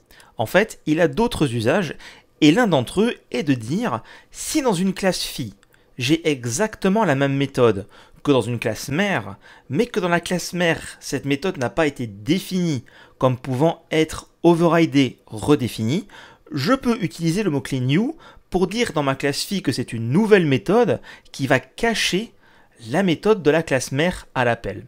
c'est simplement un warning, parce que dans les faits, ici c'est déjà le cas. Mais pour le rendre explicite, on rajoutera simplement ici le mot-clé new comme ceci, ce qui aura pour effet de faire disparaître le warning. Parce que en effet, le compilateur ne sait pas si vous souhaitiez vraiment masquer la méthode de votre hiérarchie ou si c'était une erreur. Et si c'est une erreur, dans ce cas-là, mieux vaut la corriger. Si c'était voulu, dans ce cas-là, mieux vaut le spécifier à l'aide du mot-clé new comme c'est affiché ici à l'écran. Cependant, nous, ce n'est pas ce qu'on veut faire. Ce qu'on veut faire, c'est dire tout simplement, dans la classe de base opération, qui est une classe abstraite, il y a une méthode exécutée, et chaque classe phi qui va hériter de la classe opération doit redéfinir cette méthode exécutée. Donc, ici, on va rajouter le mot-clé abstract pour définir que exécuter est abstraite. Une méthode abstraite ne contient pas de corps, donc je rajoute point virgule sans mettre d'accolade comme ceci. En bref, dans ma classe opération, qui est une classe abstraite, j'ai pu définir une méthode abstraite. A noter que si ma classe opération n'était pas abstraite, le mot-clé abstract n'est pas valide dans une classe normale. Par contre, si je souhaite quand même définir un comportement de base et que je souhaite que d'éventuelles classes qui héritent de moi puissent redéfinir ce comportement, dans ce cas-là, on va utiliser le mot-clé virtual pour dire que c'est une méthode virtuelle, et comme ça, les méthodes dans les classes phi peuvent overrider cette méthode exécutée. Donc ici, on va rester sur une classe opération qui, dans la logique, est abstraite, et on va définir exécuter comme étant une méthode abstraite. Alors pourquoi définir exécuter comme méthode abstraite, et non pas comme une méthode virtuelle qui n'a pas de corps? Pour la simple et bonne raison que si je décide de créer une nouvelle opération, par exemple ici je vais créer l'opération puissance, cette classe hérite de la classe opération, j'ai bien entendu une erreur de compilation, Visual Studio Code me demande de générer le constructeur, mais aussi d'implémenter la classe abstraite, choix que je n'avais pas avant. Donc, si je génère le constructeur, je ne résous pas tous les problèmes de compilation parce qu'il m'en reste un, qui est d'implémenter la classe abstraite. En bref, cette implémentation de la classe abstraite, c'est simplement de dire quand j'hérite d'une classe abstraite je suis obligé de redéfinir le corps de chaque méthode abstraite. Et si je clique dessus, on peut voir que Visual Studio Code me génère la méthode exécutée, mais avec un mot-clé particulier qui est le mot-clé override, pour dire qu'il s'agit ici de l'implémentation de la méthode exécutée qui a été définie dans la classe opération, mais dont le contenu et ce qui m'intéresse est au niveau de la classe puissance. Donc ici, on va faire résultat est égal à opérante gauche, puissance, opérante droite, comme ceci. Et donc, j'override la méthode exécutée. Maintenant, je vais copier ce mot-clé override pour aller le coller ici, parce qu'en effet, j'ai une erreur. Dans ma classe addition, vous voyez, je n'ai pas le mot-clé override, j'ai donc une erreur de compilation. Addition, on n'implémente pas le membre abstrait exécuté. En fait, elle le fait, mais ce n'est pas explicite. Et ici, j'ai de nouveau le même erreur en disant si c'est vraiment un override que tu voulais faire et non pas un masquage, utilise le mot-clé override, sinon utilise le mot-clé new.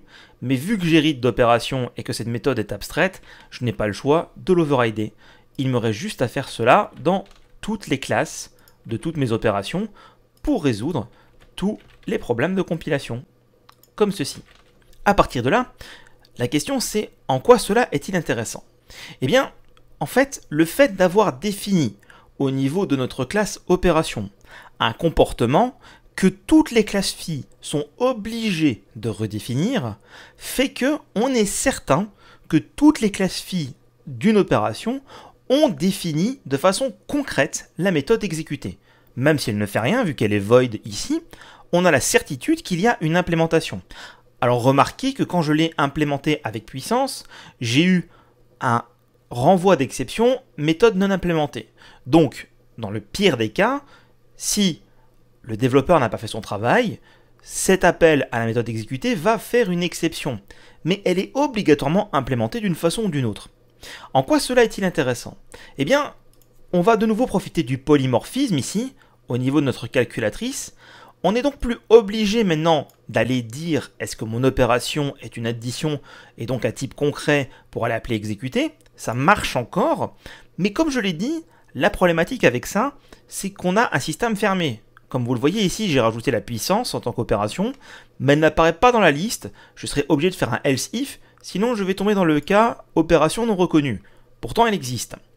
Donc ce qu'on va faire, c'est qu'on va simplement supprimer tout ce pattern matching et on va faire opération.exécuter, comme ceci.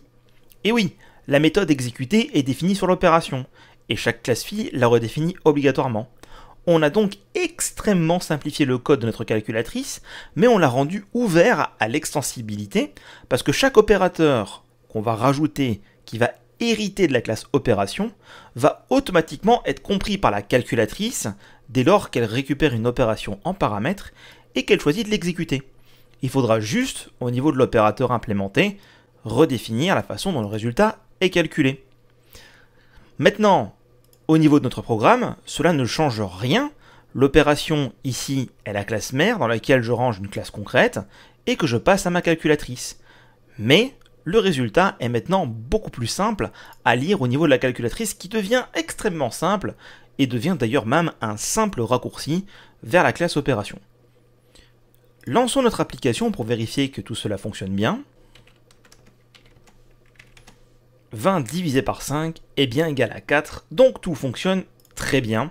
J'ai donc bien une calculatrice qui prend en paramètre une opération dans laquelle je range de façon concrète une division, et au niveau de la calculatrice, j'appelle la méthode exécuter, qui se trouve être la méthode exécuter abstraite de l'opération, mais vu que je suis ici sur une division, si je vais dans la classe division, j'ai bien l'override de la méthode exécuter de la classe mère par la classe division qui spécifie comment je dois l'exécuter.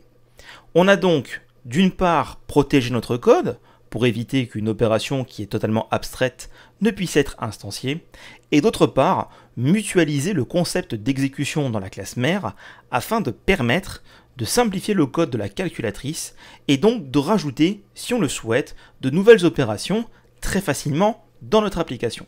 Il restera bien entendu à définir au niveau du programme ici comment est-ce qu'on veut représenter le signe de la nouvelle opération et refaire un if else if. Ce menu-là, de son côté, lui, est un système fermé parce que l'opérateur doit être interprété.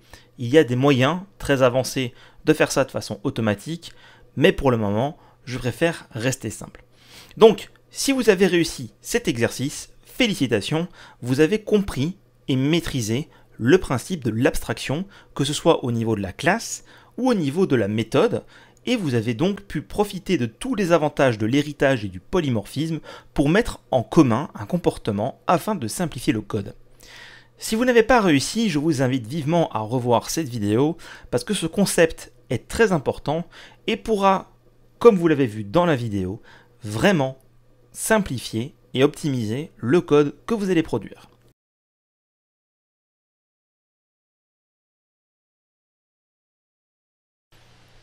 Il est maintenant temps de voir un sujet qu'on a abordé de multiples fois, mais on n'a pas été dans le détail. Je veux parler des portées.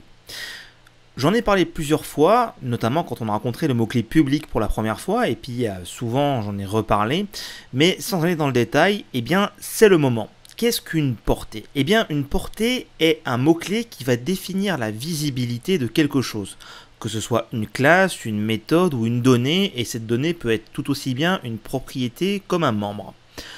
En fait, on a déjà travaillé avec les portées sans le savoir, et je vous ai montré dans une démo comment générer une propriété complète avec le mot-clé propfull, et vous avez vu une seconde portée. Il faut savoir qu'il existe 6 portées disponibles en C et tout laisse à penser que vous allez surtout en utiliser 3 d'entre elles, voire peut-être 4, mais cette vidéo se veut également être une vidéo de référence à laquelle vous pouvez revenir si jamais vous avez besoin d'utiliser une portée un petit peu plus particulière afin d'être sûr d'avoir toutes les informations. Voyons tout d'abord la première portée, c'est celle qu'on a vue jusqu'à présent, c'est le mot-clé public qu'on va mettre devant une classe, méthode ou une donnée. Et ce mot-clé public indique que la chose en question est visible par tous et n'importe où. C'est-à-dire qu'en fait, une fois que quelque chose est défini publiquement, il n'y a personne qui ne peut pas le voir. C'est-à-dire que les autres classes dans des espaces de nom ou dans le même espace de nom vont pouvoir voir l'information, les autres classes dans des autres projets vont pouvoir voir l'information. Bref, n'importe qui qui a connaissance du type a accès aux données et à tout ce qui est public. C'est, on va dire, la portée la plus permissive, et aujourd'hui, on a utilisé celle-là pour pas avoir de soucis. A contrario de public, on va avoir la portée private, qui elle est l'extrême opposé du public, à savoir c'est visible uniquement à l'intérieur de la classe. C'est-à-dire que private ne va s'utiliser généralement que sur une méthode ou une donnée, et rarement sur une classe. Ça n'a pas de sens sur une classe. En fait, quand vous déclarez quelque chose comme étant privé, ça veut dire que uniquement les éléments définis au sein de la même classe y auront accès. Par exemple, c'est très commun d'avoir une méthode qui est privée, qui contient uniquement quelque chose dont on veut appeler depuis l'intérieur de la classe, ou même un membre qui est privé et une propriété se charge de renvoyer et d'affecter la valeur de ce membre. C'est d'ailleurs exactement comme ça qu'est codé le snippet propful qui vous met un membre privé et une propriété publique. C'est quelque chose de très courant comme pattern d'avoir quelque chose de privé. Ensuite, nous avons la portée internal. Alors internal, c'est en quelque sorte public, mais uniquement dans le même projet. C'est-à-dire que si vous décrivez quelque chose, une classe ou autre, comme étant internal, à la place du public, ça veut dire que tous les éléments qui sont dans, le même projet, au sens les projets C donc là pour le moment, imaginons dans la même application, eh bien, ils pourront le voir. Par contre, si vous avez décidé de faire ce qu'on appelle une bibliothèque, on n'a pas encore eu l'occasion de le faire, mais on va y venir. C'est-à-dire que vous créez une DLL, un, fichier DLL qui contient vos classes et votre code qui est réutilisable dans d'autres projets, et eh bien le fait d'avoir mis quelque chose comme internal dans votre DLL ne va pas autoriser à ce que les autres projets aient accès à cette information-là. En fait, c'est la même notion que privé, pour faire simple, mais au niveau du projet et pas au niveau d'une classe. Maintenant, vient une portée qui est très intéressante, la portée protected. En fait, cette portée-là, c'est un peu l'équivalent de private, mais c'est pour la classe et toutes ses classes phi. En gros, vous allez déclarer quelque chose comme protected, et ce ne sera visible que par la classe elle-même et toutes ses classes phi, et non pas de l'extérieur. À l'inverse de private, qui n'est visible que dans la classe elle-même, et donc est invisible dans sa descendance. Donc protected, c'est le private pour l'héritage. Ça, ce sont, je vais dire, les quatre portées les plus classiques et celles que vous allez utiliser quasiment tout le temps. Même si internal, vous l'utiliserez probablement un peu moins que les trois autres. Public, c'est obligatoire. Private, ça l'est tout aussi. Protected, dès lors que vous faites de l'héritage ou autre, vous allez l'utiliser. Internal, ça va dépendre de votre façon de travailler. Mais en gros, ces quatre portées-là sont les portées, on va dire, par défaut standard. Maintenant, j'ai dit qu'il y en avait 6 des portées. Cela veut dire qu'on a deux portées qui sont un peu différentes et un peu particulières. Pas d'inquiétude, on va revenir sur ces deux-là en détail dans le prochain slide. Je vais juste vous les présenter ici dans un premier temps.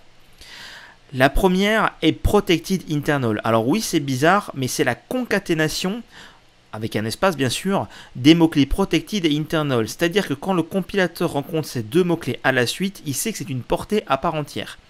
Il s'agit de la jonction de protected et internal. Et j'insiste bien sur la jonction. Ce qui veut dire que quelque chose marqué comme protected internal, même si la logique voudrait dire que eh c'est valide uniquement pour les classes phi qui sont, qui créées dans le même projet, ce n'est pas ça. C'est une portée qui permet de voir quelque chose dans les classes phi et dans le même projet. Parce que rien n'empêche d'avoir une classe phi qui serait dans un autre projet. Si vous avez défini votre classe mère dans un projet A et vous créez un projet B qui importe le projet A, vous pouvez très bien dans votre projet B créer une classe phi qui hérite de la classe mère qui est définie dans le projet A. Et avec Protecting Internal, ce sera visible. Parce que c'est la jonction des deux visibilités. A l'inverse de ça, nous avons Private Protected. Et Private Protected, là, on est sur l'union de protected et internal, c'est-à-dire l'union, ce qui se passe entre les deux portées. C'est-à-dire que même si je trouve que cette portée porte très mal son nom parce qu'il y a le mot-clé private qui est dedans, ça veut dire qu'en fait, on ne va avoir une visibilité que pour les classes phi qui sont définies dans le même projet et pas les classes phi des autres projets. Ce sont deux portées, comme je vous ai dit, qui sont très particulières et voire même, j'aurais presque envie de dire, assez compliquées. C'est pour ça que j'ai dédié la slide suivante à expliquer ce qui se passe. Néanmoins, si vous voulez aller plus vite et passer cette explication et directement aller à l'exercice, sentez-vous libre de le faire, parce que encore une fois, comme je vous l'ai dit, cette vidéo est une vidéo, on va dire, de référence, et à cet effet, la connaissance de ces deux portées en particulier n'est pas nécessaire pour l'exercice et n'est pas nécessaire pour la suite du cours. Donc sentez-vous libre d'y revenir plus tard quand vous vous sentez plus à l'aise avec le langage. Maintenant, voyons un exemple pour les portées Protected Internal et Private Protected. Nous avons ici deux assemblées. Une assembly est un projet au sens C Sharp. Et dans ces deux projets, nous avons un ensemble de classes. Ici, j'ai défini dans le projet 1 une classe que j'ai appelée A underscore class qui contient deux propriétés. La première A qui est private protected et la seconde B qui est protected internal.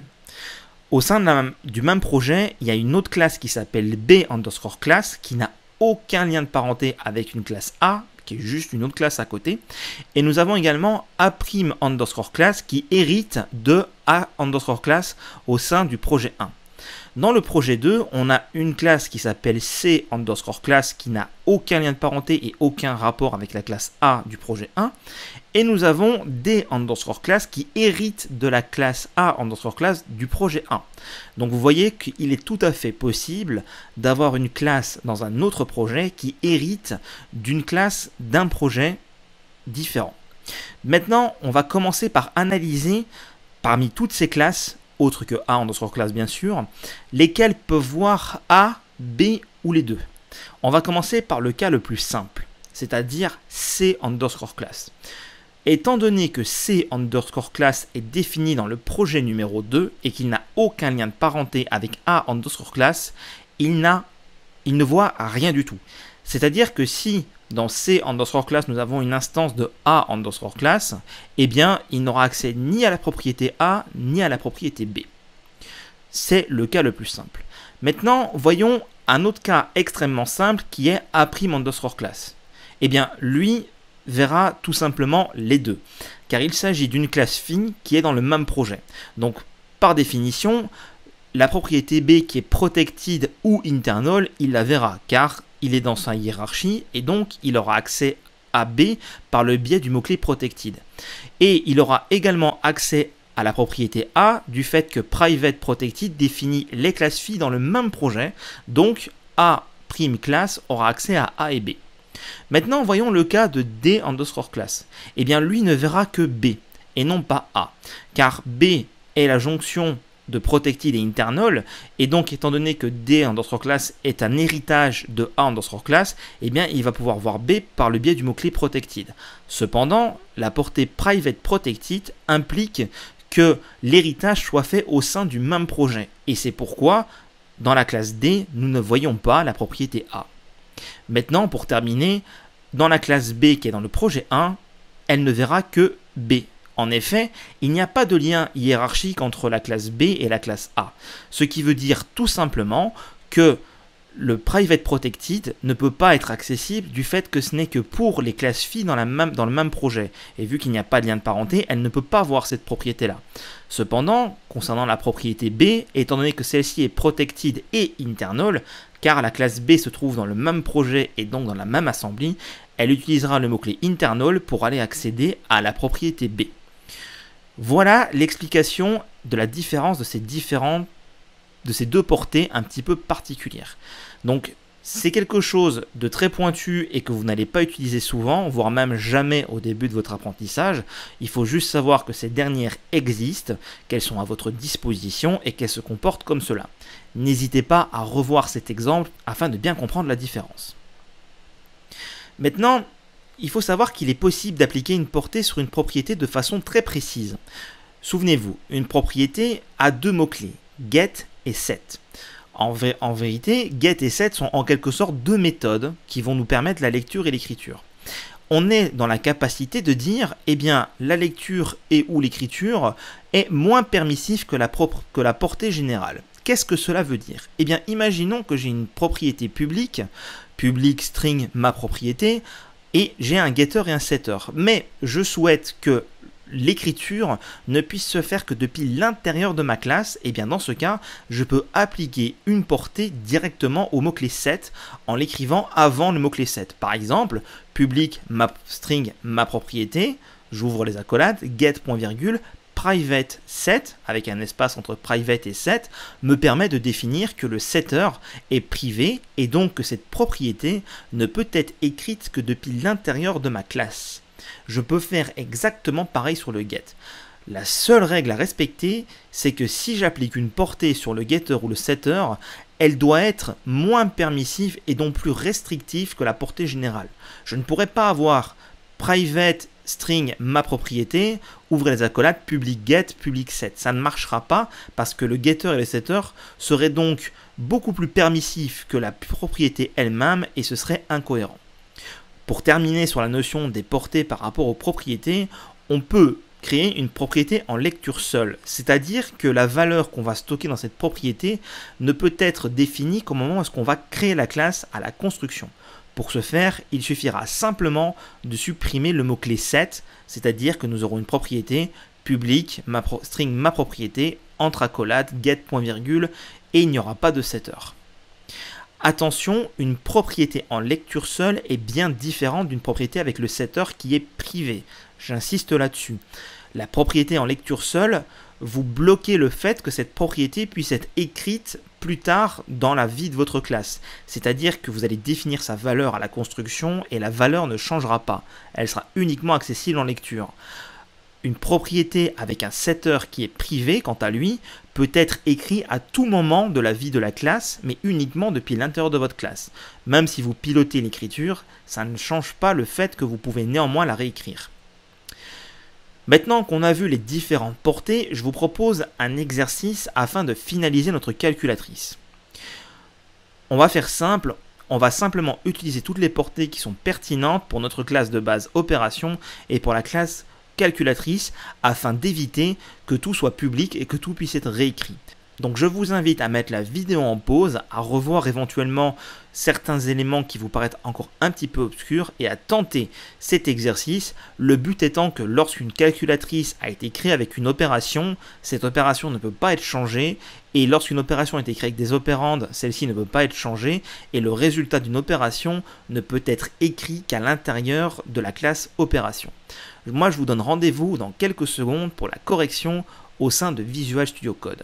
Comme nous l'avons vu dans les slides juste avant, il est tout à fait possible d'utiliser une des portées fournies par C Sharp pour rendre certains éléments moins visibles depuis l'extérieur. Si je reprends la classe opération, je peux voir ici par exemple que tout est absolument défini en public. Pour certaines choses, cela fait sens, comme en l'occurrence le résultat qui est exploité de façon publique, tout du moins en lecture, la méthode exécutée qui est définie de façon publique. Pour d'autres, par contre, ce n'est pas très important, voire même très intéressant. Par exemple, est-il nécessaire de pouvoir lire depuis l'extérieur l'opérande gauche ou l'opérande droite d'une opération? Si ça l'est, tant mieux, étant donné qu'ici, notre propriété est déjà définie comme étant en lecture seule, ce qui est déjà une très bonne chose, mais dans le cadre de notre exercice, il n'est pas nécessaire d'aller lire ces données depuis l'extérieur. Je vais donc définir que ces propriétés ne sont visibles que par les classes phi de la classe opération. Vous vous souvenez de quel mot-clé on doit utiliser pour définir cette portée, cette visibilité? Et oui, c'est le mot-clé protected. Donc ici, je vais définir protected sur opérande gauche et protected sur opérande droite. Ça veut tout simplement dire que ces deux propriétés ne sont visibles que aux classes phi et non pas depuis n'importe où. Par exemple, si je retourne sur le programme qui est ici et que j'essaye sur mon opération de faire l'affichage des propriétés, on peut voir que je n'ai plus que résultat. Là où avant j'avais opérande gauche et opérande droite qui étaient visibles en lecture, ici elles ne le sont plus, vu qu'elles sont dorénavant marquées comme protected. Bien entendu, si vous décidez d'afficher par exemple ici le résultat de x plus y dans le cadre d'une addition et résultat, vous devez avoir accès aux opérandes pour récupérer la valeur, et dans ce cas-là, il faut les laisser publics.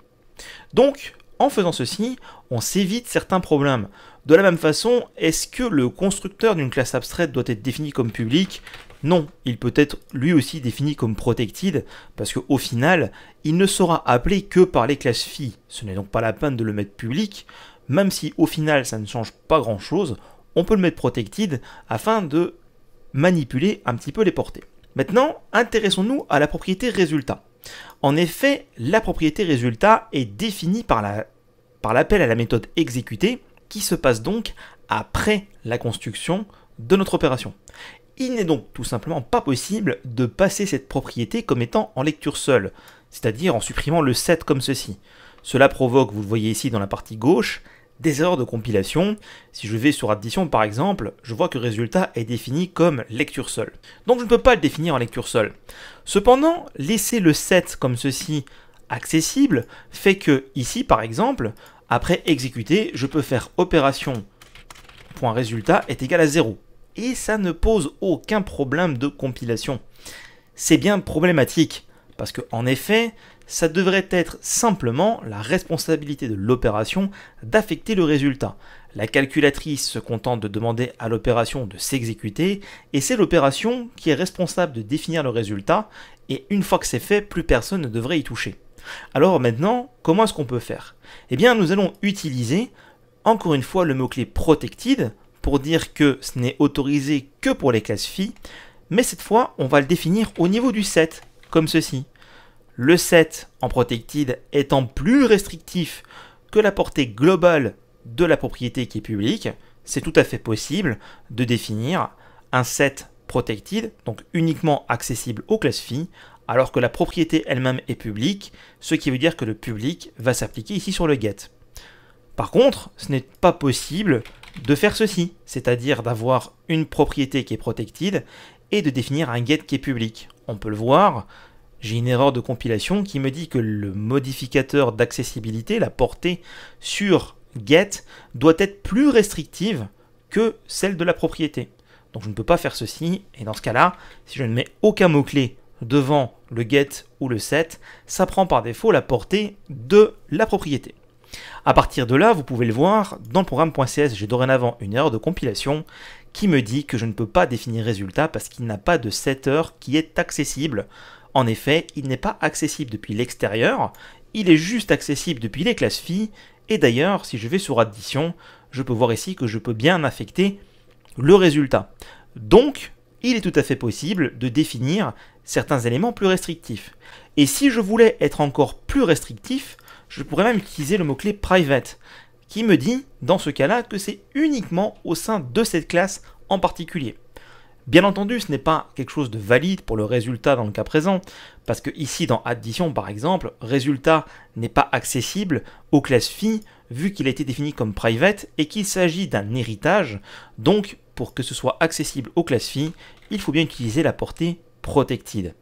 Cela vous permet donc de gérer finement les accès de qui a le droit de voir quoi, et donc d'éviter des erreurs malencontreuses de code, ou est-ce que quelqu'un qui n'aurait pas le droit à l'extérieur d'aller modifier une valeur puisse le faire parce qu'il manque simplement un modificateur de visibilité ou de portée comme c'est le cas ici.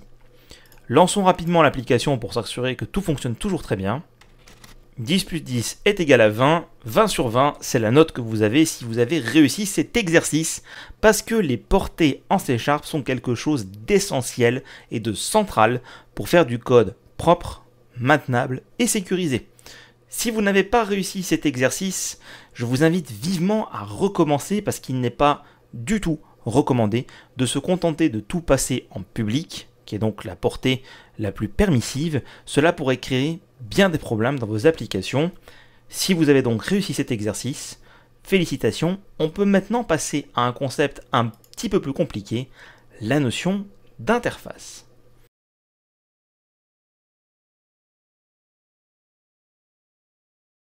Alors, on va commencer sans plus attendre avec la notion d'interface. Et attention, il s'agit bien d'interface en programmation orientée objet et non pas d'interface graphique. Ici, l'interface au sens programmation orientée objet est un petit peu particulière par rapport à ce qu'on a déjà vu, notamment par rapport à la notion de classe abstraite. En C Sharp, il n'est pas possible d'hériter de plusieurs classes. C'est pourquoi, si on veut définir un comportement commun différent dans deux classes différentes, et qu'on décide de faire deux classes abstraites différentes, on ne va pas pouvoir créer une classe qui hérite de deux classes abstraites, c'est impossible. C'est possible dans un langage comme C++, mais C Sharp ne l'autorise pas. Donc, on se retrouve un peu démuni dès lors qu'on veut avoir différents comportements et avoir différentes abstractions qui représentent ces différents comportements. Une stratégie est de tout regrouper dans une seule classe abstraite.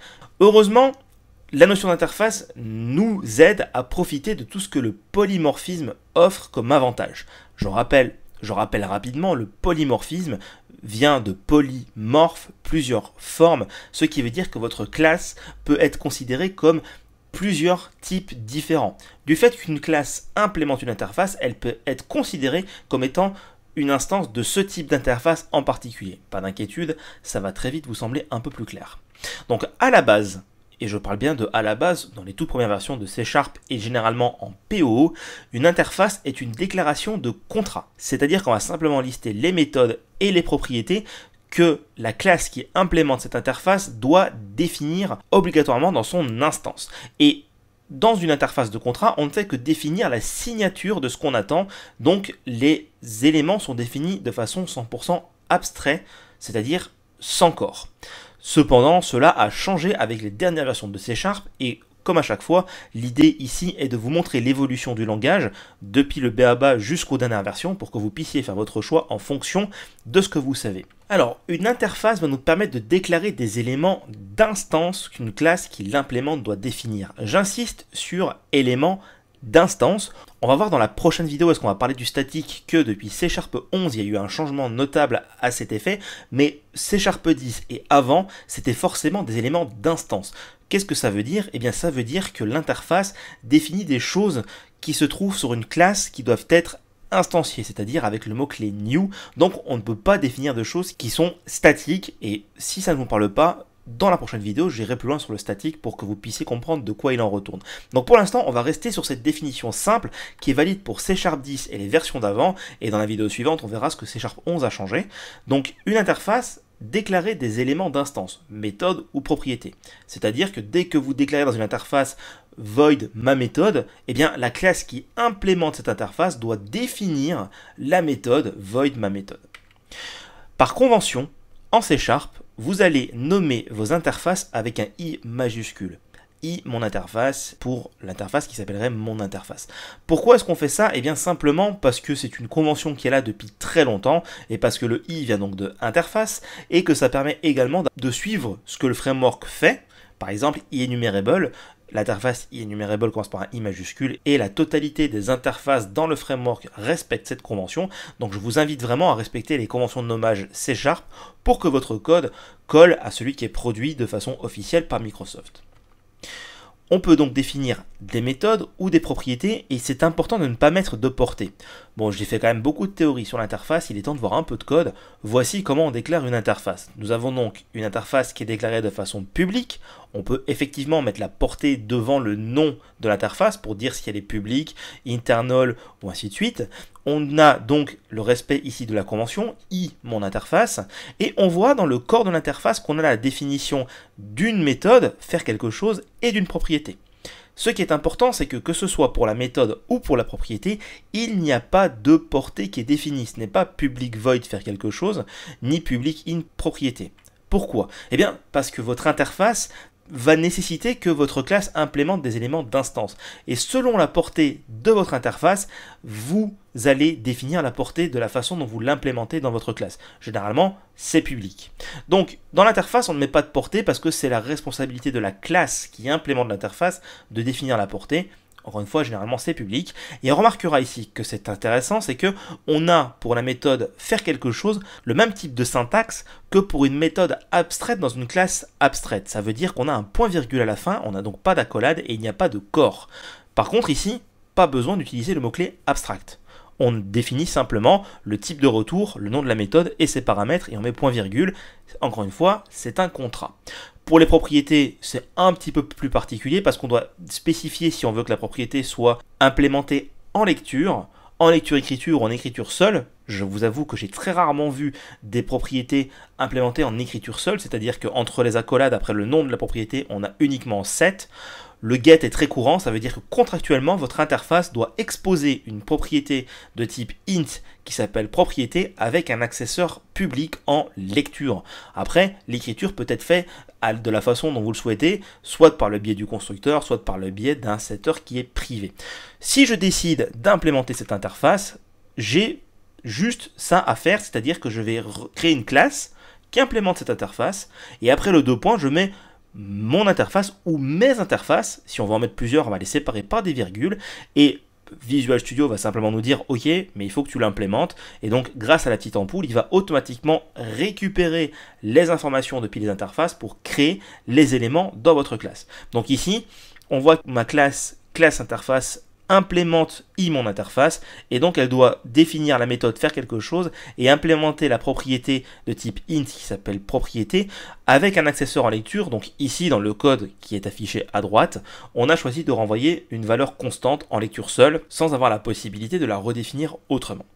Donc c'est assez simple de créer une interface, c'est également assez simple de l'implémenter et avec les outils comme Visual Studio, ça va très vite pour faire l'implémentation automatique. Maintenant, comme je l'ai déjà dit, une classe peut implémenter plusieurs interfaces et une interface peut elle-même hériter d'une ou plusieurs autres interfaces.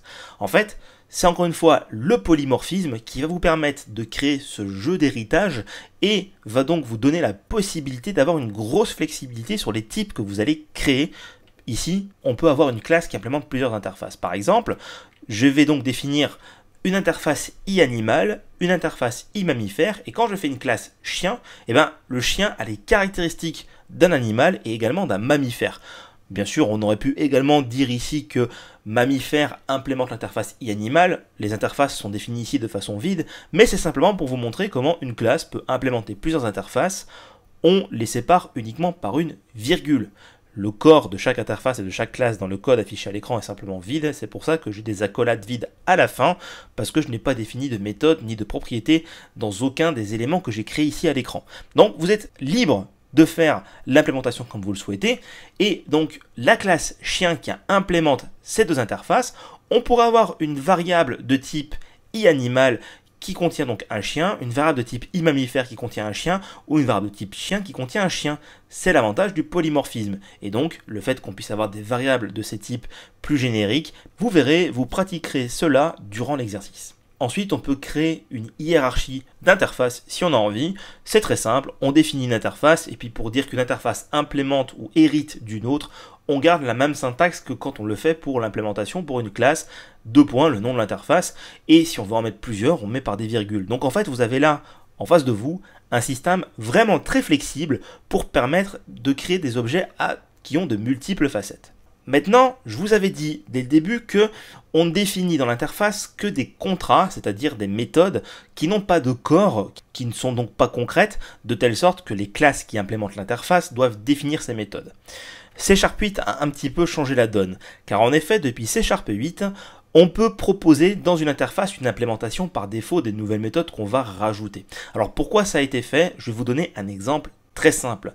Vous créez une librairie dans laquelle vous exposez une interface, mon interface, qui contient par exemple trois méthodes. Cette librairie est utilisée dans beaucoup de projets dans votre société ou même dans votre projet, et vous décidez qu'il faudrait idéalement rajouter une quatrième méthode à cette interface. Bien que cela, généralement, est plutôt du genre à casser les principes solides, notamment le principe O Open Close Principle, j'en ai parlé sur ma chaîne YouTube si ça vous intéresse, eh bien, c'est des cas qui peuvent arriver, notamment s'il y a un bug ou s'il y a vraiment une nécessité de faire évoluer l'API. Dans ce cas-là, eh bien, qu'est-ce qui va se passer? Vous allez créer une nouvelle méthode de contrat dans votre interface et tous les éléments qui implémentaient cette interface auront dorénavant une erreur de compilation, ce qui va être très dommage. Donc en C Sharp 8, ils ont prévu le fait qu'on puisse créer une nouvelle méthode dans notre interface et lui donner une implémentation par défaut. Donc on quitte un petit peu juste le contrat, on va un peu marcher sur les plates-bandes de la classe abstraite. C'est quelque chose qui est assez controversé selon certaines personnes qui sont adeptes de la POO mais qui peut être très pratique. Moi, je n'utilise jamais cette approche, mais je tenais quand même à vous la présenter pour que vous soyez au courant qu'elle existe. En fait, on va simplement écrire la méthode dans notre interface. Ici, j'ai mis à l'écran une interface e-logger qui avait donc à la base uniquement la méthode log. On va partir de ce principe-là, donc void log avec un message. Et on a décidé qu'on aimerait bien également loguer un message d'erreur avec une exception. Donc on veut créer une nouvelle méthode, logError, qui contient le message et l'exception. Eh bien, la problématique qu'on va avoir, c'est que si on ne fait que créer la méthode de contrat, logError, message, exception, point eh bien, tous les loggers qui implémentent notre interface vont devoir redéfinir cette méthode et l'implémenter. Donc pour éviter qu'on casse le comportement qui existe déjà, on crée une implémentation par défaut. Il y a également une autre raison d'utiliser l'implémentation par défaut, c'est de dire je crée une interface avec ces méthodes-là, et si tu n'as pas envie de te prendre la tête, j'ai déjà mis une implémentation par défaut dedans. Je suis très peu adepte de cette pratique, il faut savoir qu'elle existe. Je trouve que ça casse un peu le concept d'interface de contrat, on est presque sur une classe abstraite sans avoir les bénéfices de la classe abstraite, mais quoi qu'il en soit, ça existe, et voilà comment on le fait. Donc si je crée une classe logger qui implémente l'interface e-logger, le compilateur va me forcer à implémenter la méthode log avec message, et Visual Studio me le dira également, mais la méthode logError sera passée sous silence, et donc je serai obligé d'aller l'implémenter par moi-même. On va revenir sur ça dans la prochaine slide. Point important avant de passer, il reste impossible d'instancier une interface. Ça veut dire que même si ici j'ai des méthodes qui sont concrètes, avec une vraie implémentation dans mon interface. Je pourrais même, si je le souhaitais, faire une interface qui n'a que des implémentations par défaut. Je ne peux jamais faire mon interface est égale à new mon interface car c'est un type totalement abstrait quand bien même des implémentations par défaut sont mises dedans. Le compilateur fait juste le travail à votre place de faire descendre automatiquement l'implémentation par défaut. L'implémentation par défaut a quand même quelques différences avec celle d'une classe abstraite. On en a parlé brièvement dans la slide précédente. Je vais revenir dessus. Déjà, on ne doit pas utiliser le mot-clé override pour substituer l'implémentation. Donc, dans l'exemple précédent, si je fais un logger qui implémente e-logger, si je veux redéfinir la méthode logError, je n'ai pas besoin de mettre override devant, comme ça peut être le cas avec les méthodes abstraites dans les classes abstraites. Ensuite, il n'y a pas la possibilité d'appeler la méthode qui est définie dans l'interface si on la redéfinit. Quand on fait l'override d'une méthode qui a été marquée comme virtual, par exemple, avec une classe de base, on peut toujours faire base.la méthode pour rappeler la méthode et le corps de la méthode qu'il y avait défini dans la classe de base.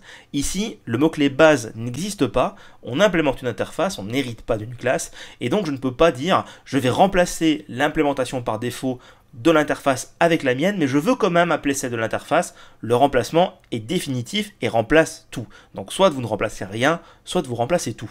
Il n'y a pas la possibilité de combiner avec ce qui existait déjà. Ensuite, la redéfinition de la méthode implique de connaître comment l'interface a été créée, car vu qu'on n'a pas le mot-clé override, on n'aura pas une liste fournie par Visual Studio qui va nous aider à trouver le nom de la méthode. On la trouvera quand on va commencer à taper public, suivi de par exemple void, log, error, on va la trouver dans la liste, mais vous n'avez pas le moyen facile, dans VS Code tout du moins, d'avoir la liste des méthodes définies avec une implémentation par défaut dans l'interface. Et pour finir, une interface n'a pas de constructeur. Il est donc impossible de forcer certaines informations à la création. C'est très important. C'est que si vous souhaitez dire, quand j'hérite de cette classe, je veux absolument renseigner telle valeur, telle propriété, même avec l'implémentation par défaut des interfaces, c'est impossible. Il faut passer par le constructeur d'une classe abstraite qui force le fait qu'on doit faire véhiculer l'information ça sort un petit peu du cadre de l'implémentation par défaut, mais c'est une grosse différence avec les classes abstraites. Donc vous avez ici un tour assez complet des interfaces, surtout pour C Sharp 10 et avant. On verra dans la prochaine vidéo quand on abordera le statique ce que C Sharp 11 a changé par rapport au statique. Et comme à chaque fois, pour pas que ça reste abstrait, c'est bien le mot qui va bien pour cette vidéo, je vous propose de faire un exercice. Cet exercice sera le suivant on va utiliser le concept d'interface et de polymorphisme, c'est-à-dire qu'au lieu d'avoir une interface de contrat simple, on va se servir d'une variable de type interface comme on l'a fait pour la classe abstraite. Cette interface va nous permettre de mettre en commun tous les éléments d'une opération qui sont censés être publics et communs, notamment la méthode exécutée et la lecture de la propriété résultat. J'insiste, sur la lecture, on n'a pas envie de mettre l'écriture. Dans la vidéo précédente, on a fait en sorte que le résultat ne puisse être défini que par les classes filles. Si on définit dans notre interface de contrat l'écriture comme étant contractuelle par l'interface, cela deviendra de fait public et ce n'est pas ce qu'on veut. On va donc aller modifier notre classe abstraite opération pour qu'elle implémente l'interface et on va modifier le code du programme.cs et de la calculatrice pour utiliser l'interface au lieu de la classe abstraite, car en effet, même si la classe abstraite apporte des avantages, il est toujours plus intéressant à un niveau objet de véhiculer l'interface de contrat plutôt qu'une implémentation, quand bien même cette dernière est abstraite. Je vous laisse donc revoir la vidéo si nécessaire et je vous retrouve dans quelques secondes pour le corriger dans Visual Studio Code. Au cours des vidéos précédentes, nous avons fait évoluer notre calculatrice pour créer notamment la classe de base opération et cette classe a beaucoup changé, elle est passée d'une classe concrète à une classe abstraite afin de mutualiser un certain comportement. C'est d'ailleurs là tout l'intérêt d'une classe abstraite ou non qui sert de classe mère à d'autres classes, c'est de mutualiser un comportement qui est commun. Bien que, comme je l'ai dit dans les slides, avec les toutes dernières versions de C Sharp, il est possible de mutualiser ou tout du moins d'avoir un comportement par défaut au sein des interfaces, c'est globalement reconnu comme étant une pratique à éviter et une interface doit servir de contrat dans l'immense majorité des cas. Qu'est-ce qu'un contrat de programmation? C'est simplement la garantie que tout ce qui va implémenter cette interface dispose de ces éléments. De plus, comme je l'ai dit dans les slides, et je tiens à le rappeler, en C Sharp, il est tout bonnement impossible d'hériter de plusieurs classes, alors qu'il est tout à fait possible d'implémenter plusieurs interfaces. Il sera donc judicieux et intéressant de créer de multiples interfaces et éventuellement d'avoir une classe qui implémente plusieurs interfaces pour répondre à plusieurs contrats. Dans le cadre de notre calculatrice, nous allons créer une interface de contrat pour une opération mathématique. Qu'y a-t-il dans ce contrat? Comme cela a été dit dans la slide d'exercice, il y a deux choses qui sont contractuelles, la lecture du résultat et la présence de la méthode exécutée. Je vais donc sans plus attendre rajouter ici une interface. Donc je vais choisir non pas classe cette fois-ci, mais bien interface. Et pour respecter la convention de nommage, je vais l'appeler iOpération. Toutes les interfaces en C Sharp, par convention, commencent par un i majuscule. Je fais donc entrer, je corrige l'espace de nom et je suis prêt à commencer à créer mon interface.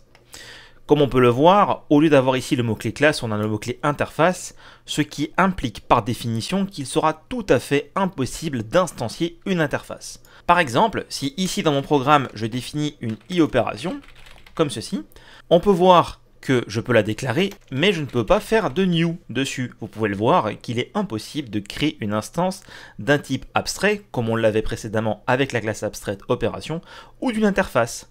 À l'instar de ce qu'on a fait avec la classe abstraite, on va pouvoir y ranger un type concret, mais on ne pourra pas l'instancier. Très bien, maintenant revenons à la définition de notre interface. Comme on l'a dit, elle va définir le contrat que chaque opération doit respecter. Ce qui veut tout simplement dire qu'à n'importe quel endroit dans mon code, quand j'aurai une variable de type iOpération, donc qui implémente l'interface iOpération, je suis certain que derrière, il y a un type concret qui va respecter ce contrat. Donc, au niveau de la calculatrice, je vais avoir besoin de garantir qu'une opération implémente la méthode exécutée et je vais avoir besoin qu'elle expose une propriété résultat en lecture. Donc au niveau de mon interface, je vais définir déjà qu'elle doit avoir une méthode exécutée. Remarquez que c'est intéressant, par définition, vu qu'on définit un contrat, tout ce qui est défini dedans est défini de façon publique. Il y a un cas un peu particulier qui est l'implémentation explicite d'interface qui permettrait éventuellement d'avoir des éléments qui ne sont pas publics au sens large, mais c'est un point assez complexe et assez avancé qu'on va volontairement laisser de côté. Ici donc, il n'y a pas besoin de mettre devant de public, comme ceci. Bien que ce soit possible depuis les dernières versions de C Sharp, il est préférable de simplement décrire qu'est-ce que cette méthode attend. Donc, le type de retour, le nom de la méthode de contrat et les éventuels paramètres. Et ce sera exactement pareil pour les propriétés. Je vais définir qu'elle a une propriété résultat avec un get, comme ceci. Remarquez que je n'ai donc pas de public et qu'on pourrait croire presque ici que c'est une propriété qui est définie directement dans l'interface, mais il s'agit simplement de mettre ici le contrat à respecter. Maintenant que j'ai fait cela, au niveau de ma calculatrice, je peux donc utiliser non plus une opération, mais une i-opération, et vous remarquerez que cela ne change absolument rien au code de ma calculatrice.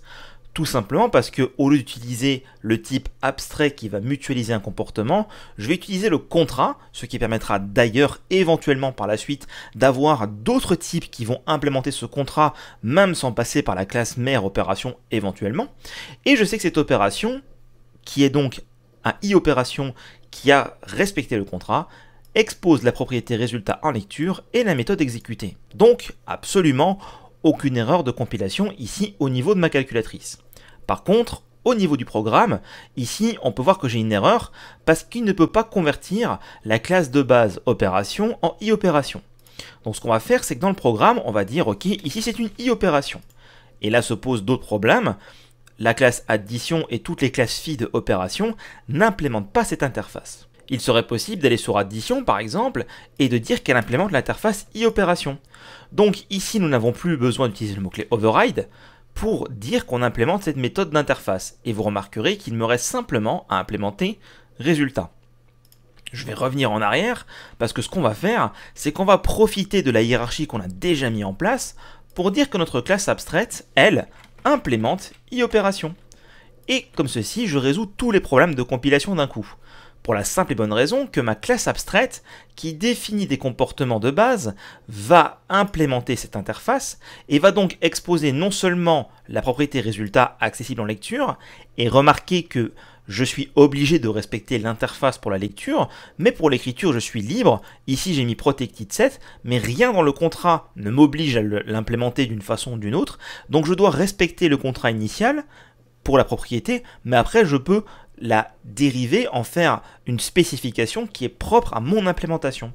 Quant à la méthode exécutée, je l'ai bien implémentée ici, quand bien même elle est faite de façon abstraite, ce qui me permet de garder le comportement de dire ok, quand on hérite d'opération, on doit réimplémenter exécuter. Et si je regarde dans mon programme, je peux voir dorénavant que tout est compatible, parce que addition hérite d'opération et opération implémente i-opération. Donc au final ici je travaille uniquement avec l'interface de contrat en disant que je veux une variable qui respecte ce contrat et je peux donc après l'utiliser librement dans ma calculatrice. L'interface nous sert à ça, à définir les bases d'un contrat que tout le monde doit respecter. Et vous avez donc ici la hiérarchie la plus complète en partant d'une interface de contrat qui est implémentée initialement par une classe abstraite et ensuite nous avons des classes concrètes qui héritent de cette classe abstraite et redéfinissent la méthode concernée. À partir de là, tout fonctionne très bien. Je vais rapidement lancer ma calculatrice pour m'en assurer. On peut voir que 10 plus 10 fait toujours 20. Ça fonctionne exactement comme avant. Alors une petite note avant de clôturer cette vidéo, le fait de définir une interface fait qu'on peut l'utiliser dans de multiples classes et il n'est en aucun cas obligatoire, bien entendu, de passer par une classe abstraite pour implémenter l'interface.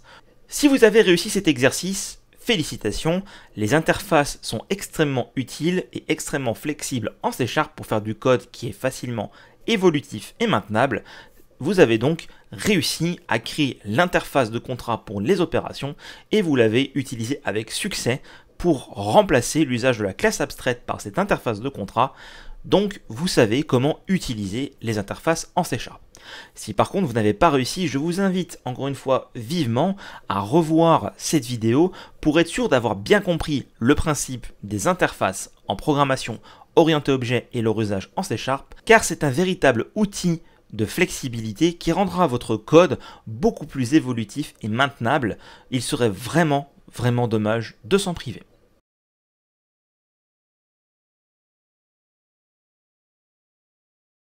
Dans cette vidéo, nous allons parler du statique, car en effet, C Sharp propose un mot-clé qui est le mot-clé statique. Vous l'avez peut-être déjà vu, ce mot-clé peut se placer avant une classe, avant une méthode, mais également avant d'autres choses comme un membre ou une propriété. On va faire le tour ensemble. En fait, on a déjà utilisé ce mot-clé auparavant quand on était dans le module link afin de créer des méthodes d'extension. On a eu besoin de déclarer notre méthode d'extension comme étant une méthode statique dans une classe statique et la méthode a un formalisme un peu particulier parce qu'on a dû utiliser le mot-clé this avant le premier paramètre. Mais statique va bien au-delà de, de simples méthodes d'extension.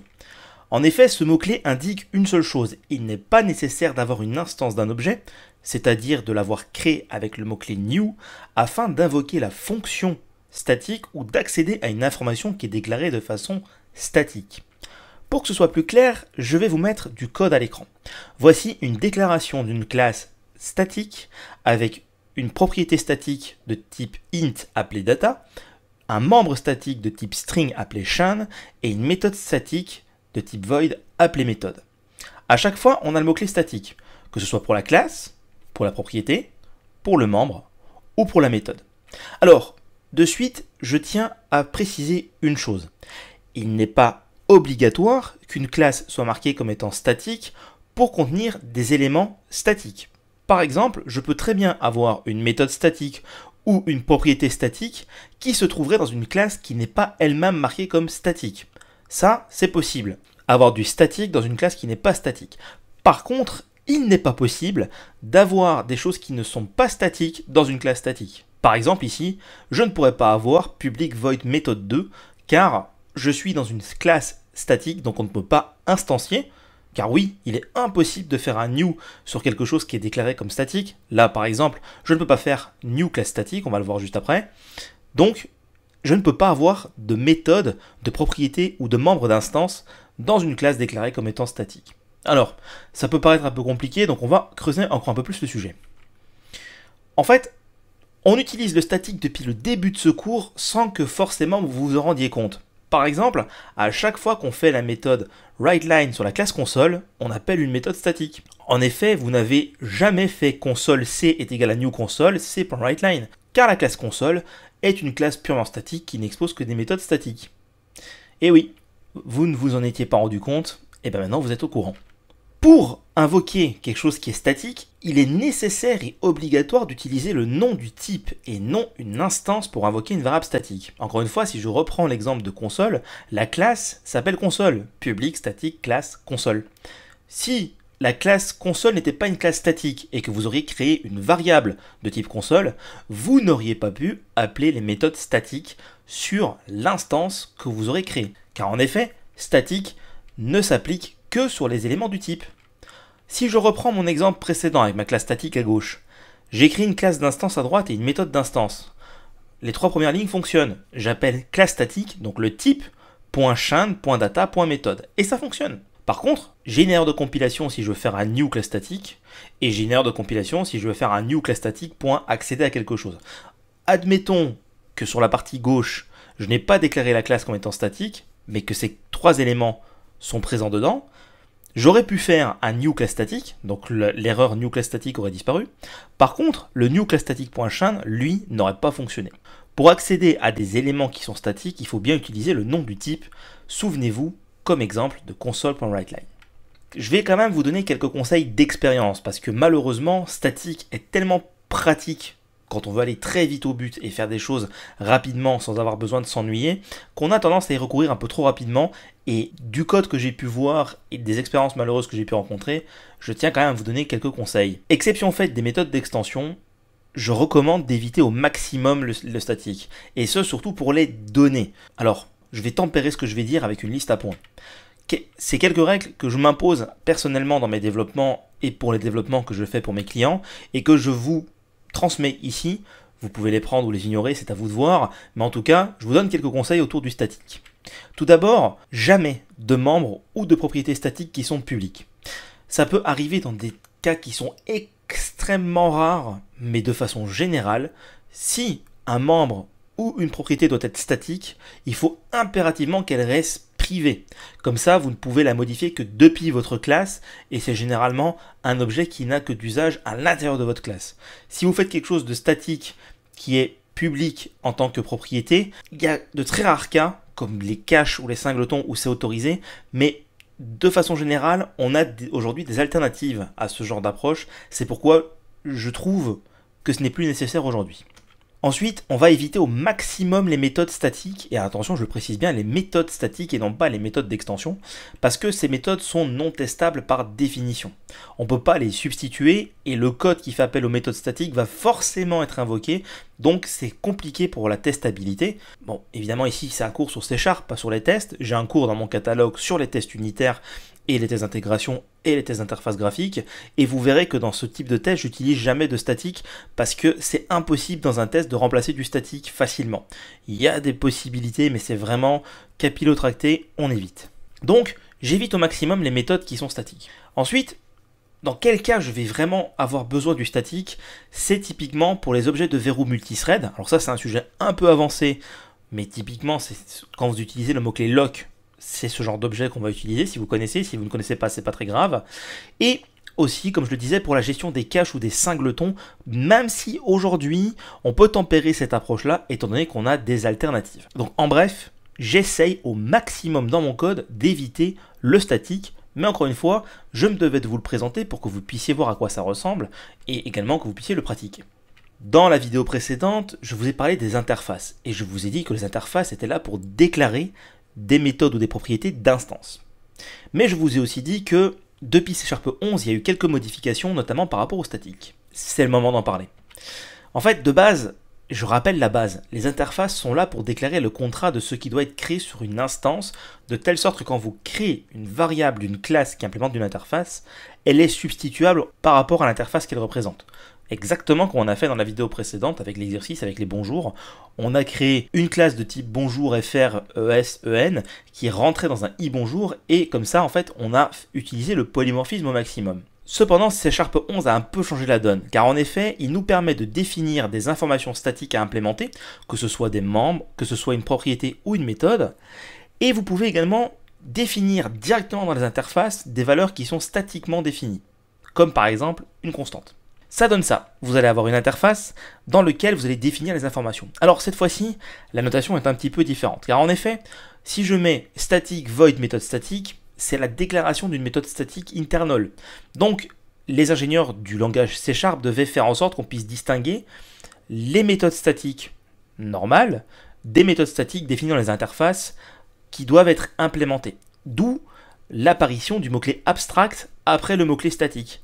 Ainsi, pour déclarer dans une interface une méthode statique, de telle sorte que quand votre classe va implémenter cette interface, elle devra forcément implémenter cette méthode statique, il faut utiliser static abstract et après vous déclarez votre méthode comme vous l'auriez fait dans n'importe quelle interface.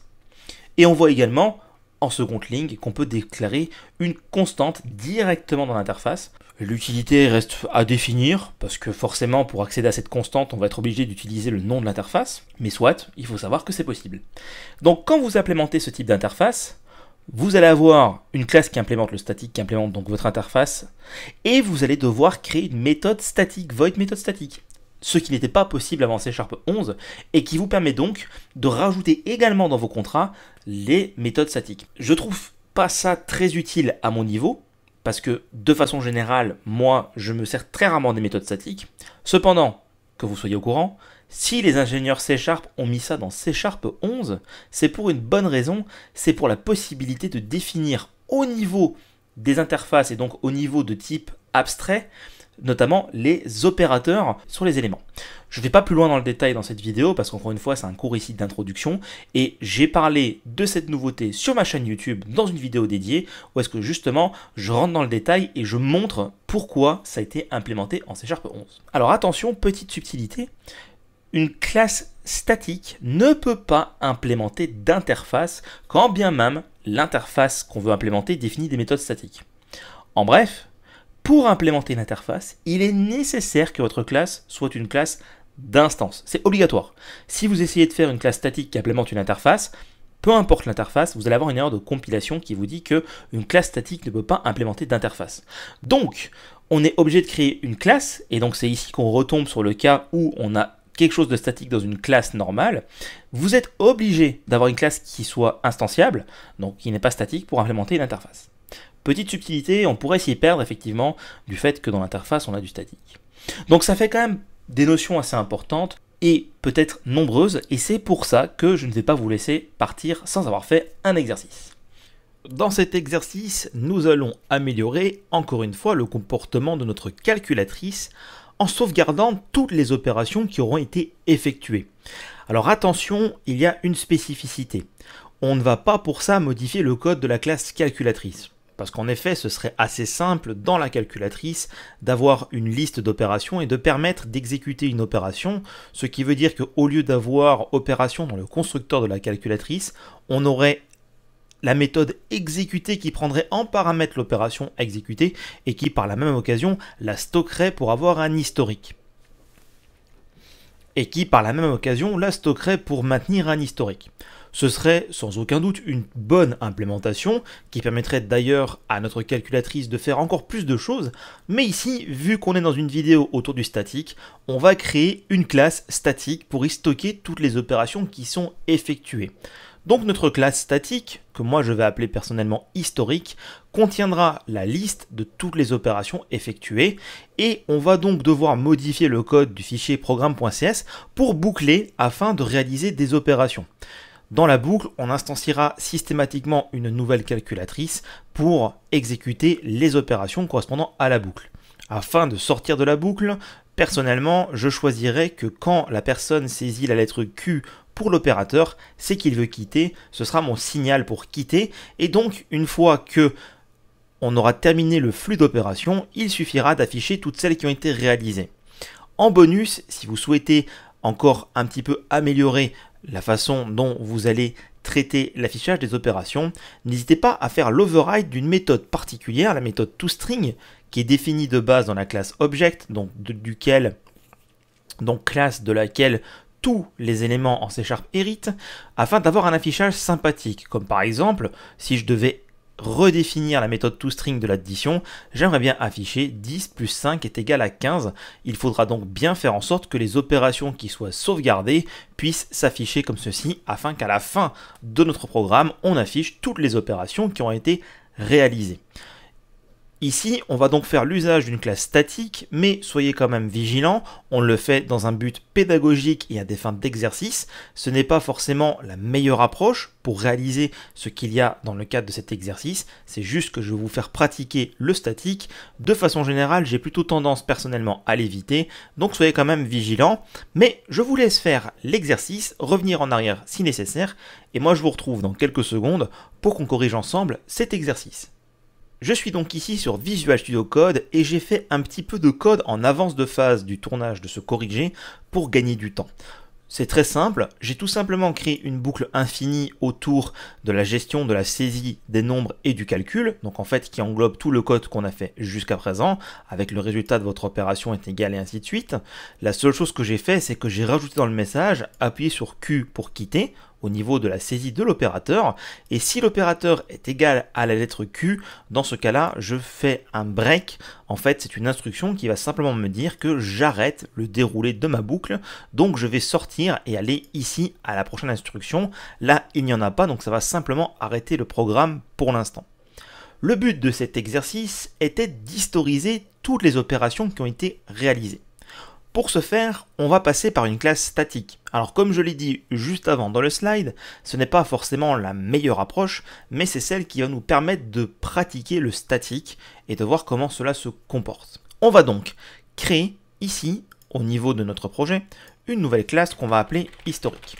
Je le mets à la racine, au même niveau que la calculatrice, car pour moi, cette classe n'a pas sa place dans le dossier d'opération dans le sens où ce n'est pas une opération supplémentaire, elle va juste nous permettre de travailler avec la calculatrice. Cette classe historique va être un petit peu particulière parce qu'on ne va pas vouloir l'instancier, mais on va vouloir l'exploiter depuis différents endroits sans avoir d'instance, c'est-à-dire sans avoir besoin de faire de new. Cela crée malgré tout ce qu'on appelle une dépendance implicite à une classe qui est en quelque sorte masquée, ce qui veut dire qu'en fait, de façon sous-jacente, quand quelqu'un utilise votre calculatrice pour exécuter des opérations, il ne le sait pas forcément, mais la classe historique est utilisée de façon sous-jacente sans que cela soit explicite.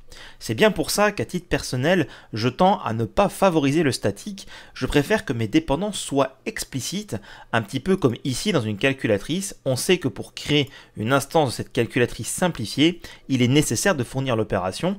Donc, ici, je serais tenté de mettre qu'il est nécessaire de fournir également l'historique à alimenter. Mais vu qu'on pratique le statique, on va passer cette classe historique en statique. C'est extrêmement simple à faire, il suffit de rajouter le mot-clé statique comme ceci. À partir de là, il devient donc impossible d'instancier cette classe, car une classe statique n'existe que de façon unitaire pour toute votre application de façon simplifiée.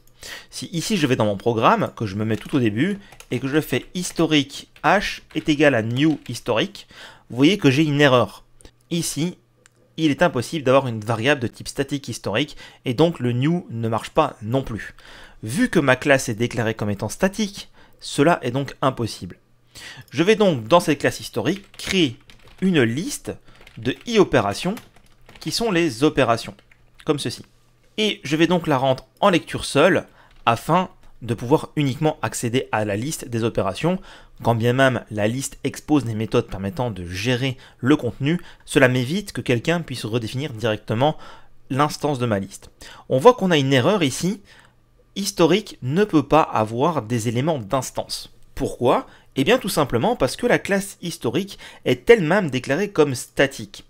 Et vu que une classe est statique, elle ne peut pas être instanciée, donc tout ce qui est défini dessus doit forcément à son tour être statique. Je suis donc obligé de rajouter ici le mot-clé statique. On remarquera également un autre warning qui me dit que l'opération n'est pas affectée. En bref, c'est ce que veut dire ce message, on viendra sur la notion de nullabilité dans le prochain module. Ici, il va donc falloir donner une valeur par défaut à cette liste. Je vais donc l'instancier comme ceci à la construction de la classe statique. Oh, oh, une minute. J'ai dit juste avant qu'on ne pouvait pas construire de classe statique. Alors pourquoi je viens de dire maintenant que je vais instancier cette liste à la construction de la classe statique? Eh bien tout simplement parce que statique veut dire que votre classe est accessible de partout, mais à un moment ou à un autre, la seule instance qui va exister doit bien être construite. Il y aura donc ce qu'on appelle un constructeur statique. Je n'en ai pas parlé dans les slides, en fait, ce constructeur statique est un petit peu particulier, il faudra reprendre statique avec le nom de la classe comme ceci, afin de faire ce qu'on appelle un constructeur statique. On conviendra qu'il est beaucoup plus simple d'affecter la propriété avec égal new comme ceci pour avoir une nouvelle instance de la liste. D'ailleurs, on peut aussi le faire comme ceci depuis C 12 en disant que c'est une collection vide pour éviter d'appeler le new qui pourrait parfois être un peu plus performant avec cette syntaxe qu'avec l'utilisation du constructeur. Mais en bref, la seule chose que j'ai envie, c'est que quand ma classe historique sera utilisée, la liste des opérations soit à minima créée pour que je puisse ajouter des éléments dedans. Petite subtilité, il est totalement impossible d'ajouter des membres concrets, des membres d'instance dans une classe statique. Pour autant, il n'est pas impossible dans une classe qui n'est pas statique d'ajouter quelque chose de statique. Ici, je pourrais très bien stocker les opérations directement au niveau de la classe, comme ceci, de telle sorte que calculatrice, non pas l'instance, mais la classe .opération contienne toutes les opérations. Le fait de passer par une classe historique me fait pratiquer à la fois le statique au niveau de la classe et à la fois au niveau de la propriété. Mais vous remarquez ici que je n'ai pas d'erreur de compilation, car il est tout à fait possible d'avoir quelque chose défini statiquement dans une classe d'instance, comme une méthode ou une propriété. Bref, je vais donc revenir ici en arrière, et ce qu'on va faire, c'est que quand on appelle la méthode exécuter, ou quand on crée une nouvelle instance de la calculatrice, au choix, je vais alimenter l'historique. Pour ça, je dois reprendre le nom de la classe, et si je fais un point, on remarquera que j'ai accès à opération, la propriété. Et oui, Ici, je n'ai pas besoin d'avoir d'instance, donc je n'ai pas besoin d'avoir une variable qui contient le type historique. Je vais directement utiliser le type en tant que tel, qui est statique et qui m'expose des éléments qui ne nécessitent pas d'instance. Et donc ici, je vais pouvoir faire add de l'opération dans la liste définie statiquement sur ma classe historique elle-même statique. À partir de là, dans mon programme ici, je vais pouvoir boucler à la fin avec la boucle for each par exemple, pour toutes les opérations dans historique.opération, je vais les afficher sur la console op.toString. Car oui, je vais vous montrer comment on peut faire l'override de la méthode toString pour avoir des éléments qui sont plus agréables visuellement. Donc au final, vous voyez qu'en fait, j'utilise la classe historique statique avec sa propriété opération statique, et ce, sans instance, à deux endroits différents, dans le programme.cs et dans la calculatrice. L'avantage, si je puis dire, c'est que vu que je n'ai qu'une seule instance, elle est partagée entre tous les éléments de mon code et de mon application, et donc je n'ai pas besoin de me trimballer une instance à droite et à gauche. Cependant, je le répète, très grand point de vigilance pour plusieurs raisons. Tout d'abord, ici, c'est exactement ce que je disais juste avant, on n'a pas depuis l'extérieur, ici, depuis mon programme, je n'ai pas d'information quand j'exécute ce code-là, ligne 51 et 52, que la calculatrice, de façon sous-jacente, alimente l'historique. Ce n'est pas du tout explicite. En l'occurrence, c'est ce qu'on appelle une dépendance implicite vers quelque chose de statique, donc une dépendance forte de surcroît. D'ailleurs, si vous êtes intéressé par les tests automatisés, j'ai également un cours à ce sujet dans mon catalogue que je vous inviterai à acquérir et à visionner quand vous aurez acquis assez de compétences en C Sharp si cela vous intéresse. Ce type de code est très peu testable et très difficilement testable. Donc il est recommandé d'éviter le statique au maximum. Pour terminer, une des raisons principales pour lesquelles je l'évite, c'est que l'instance et les éléments statiques sont partagés à un niveau unique en mémoire.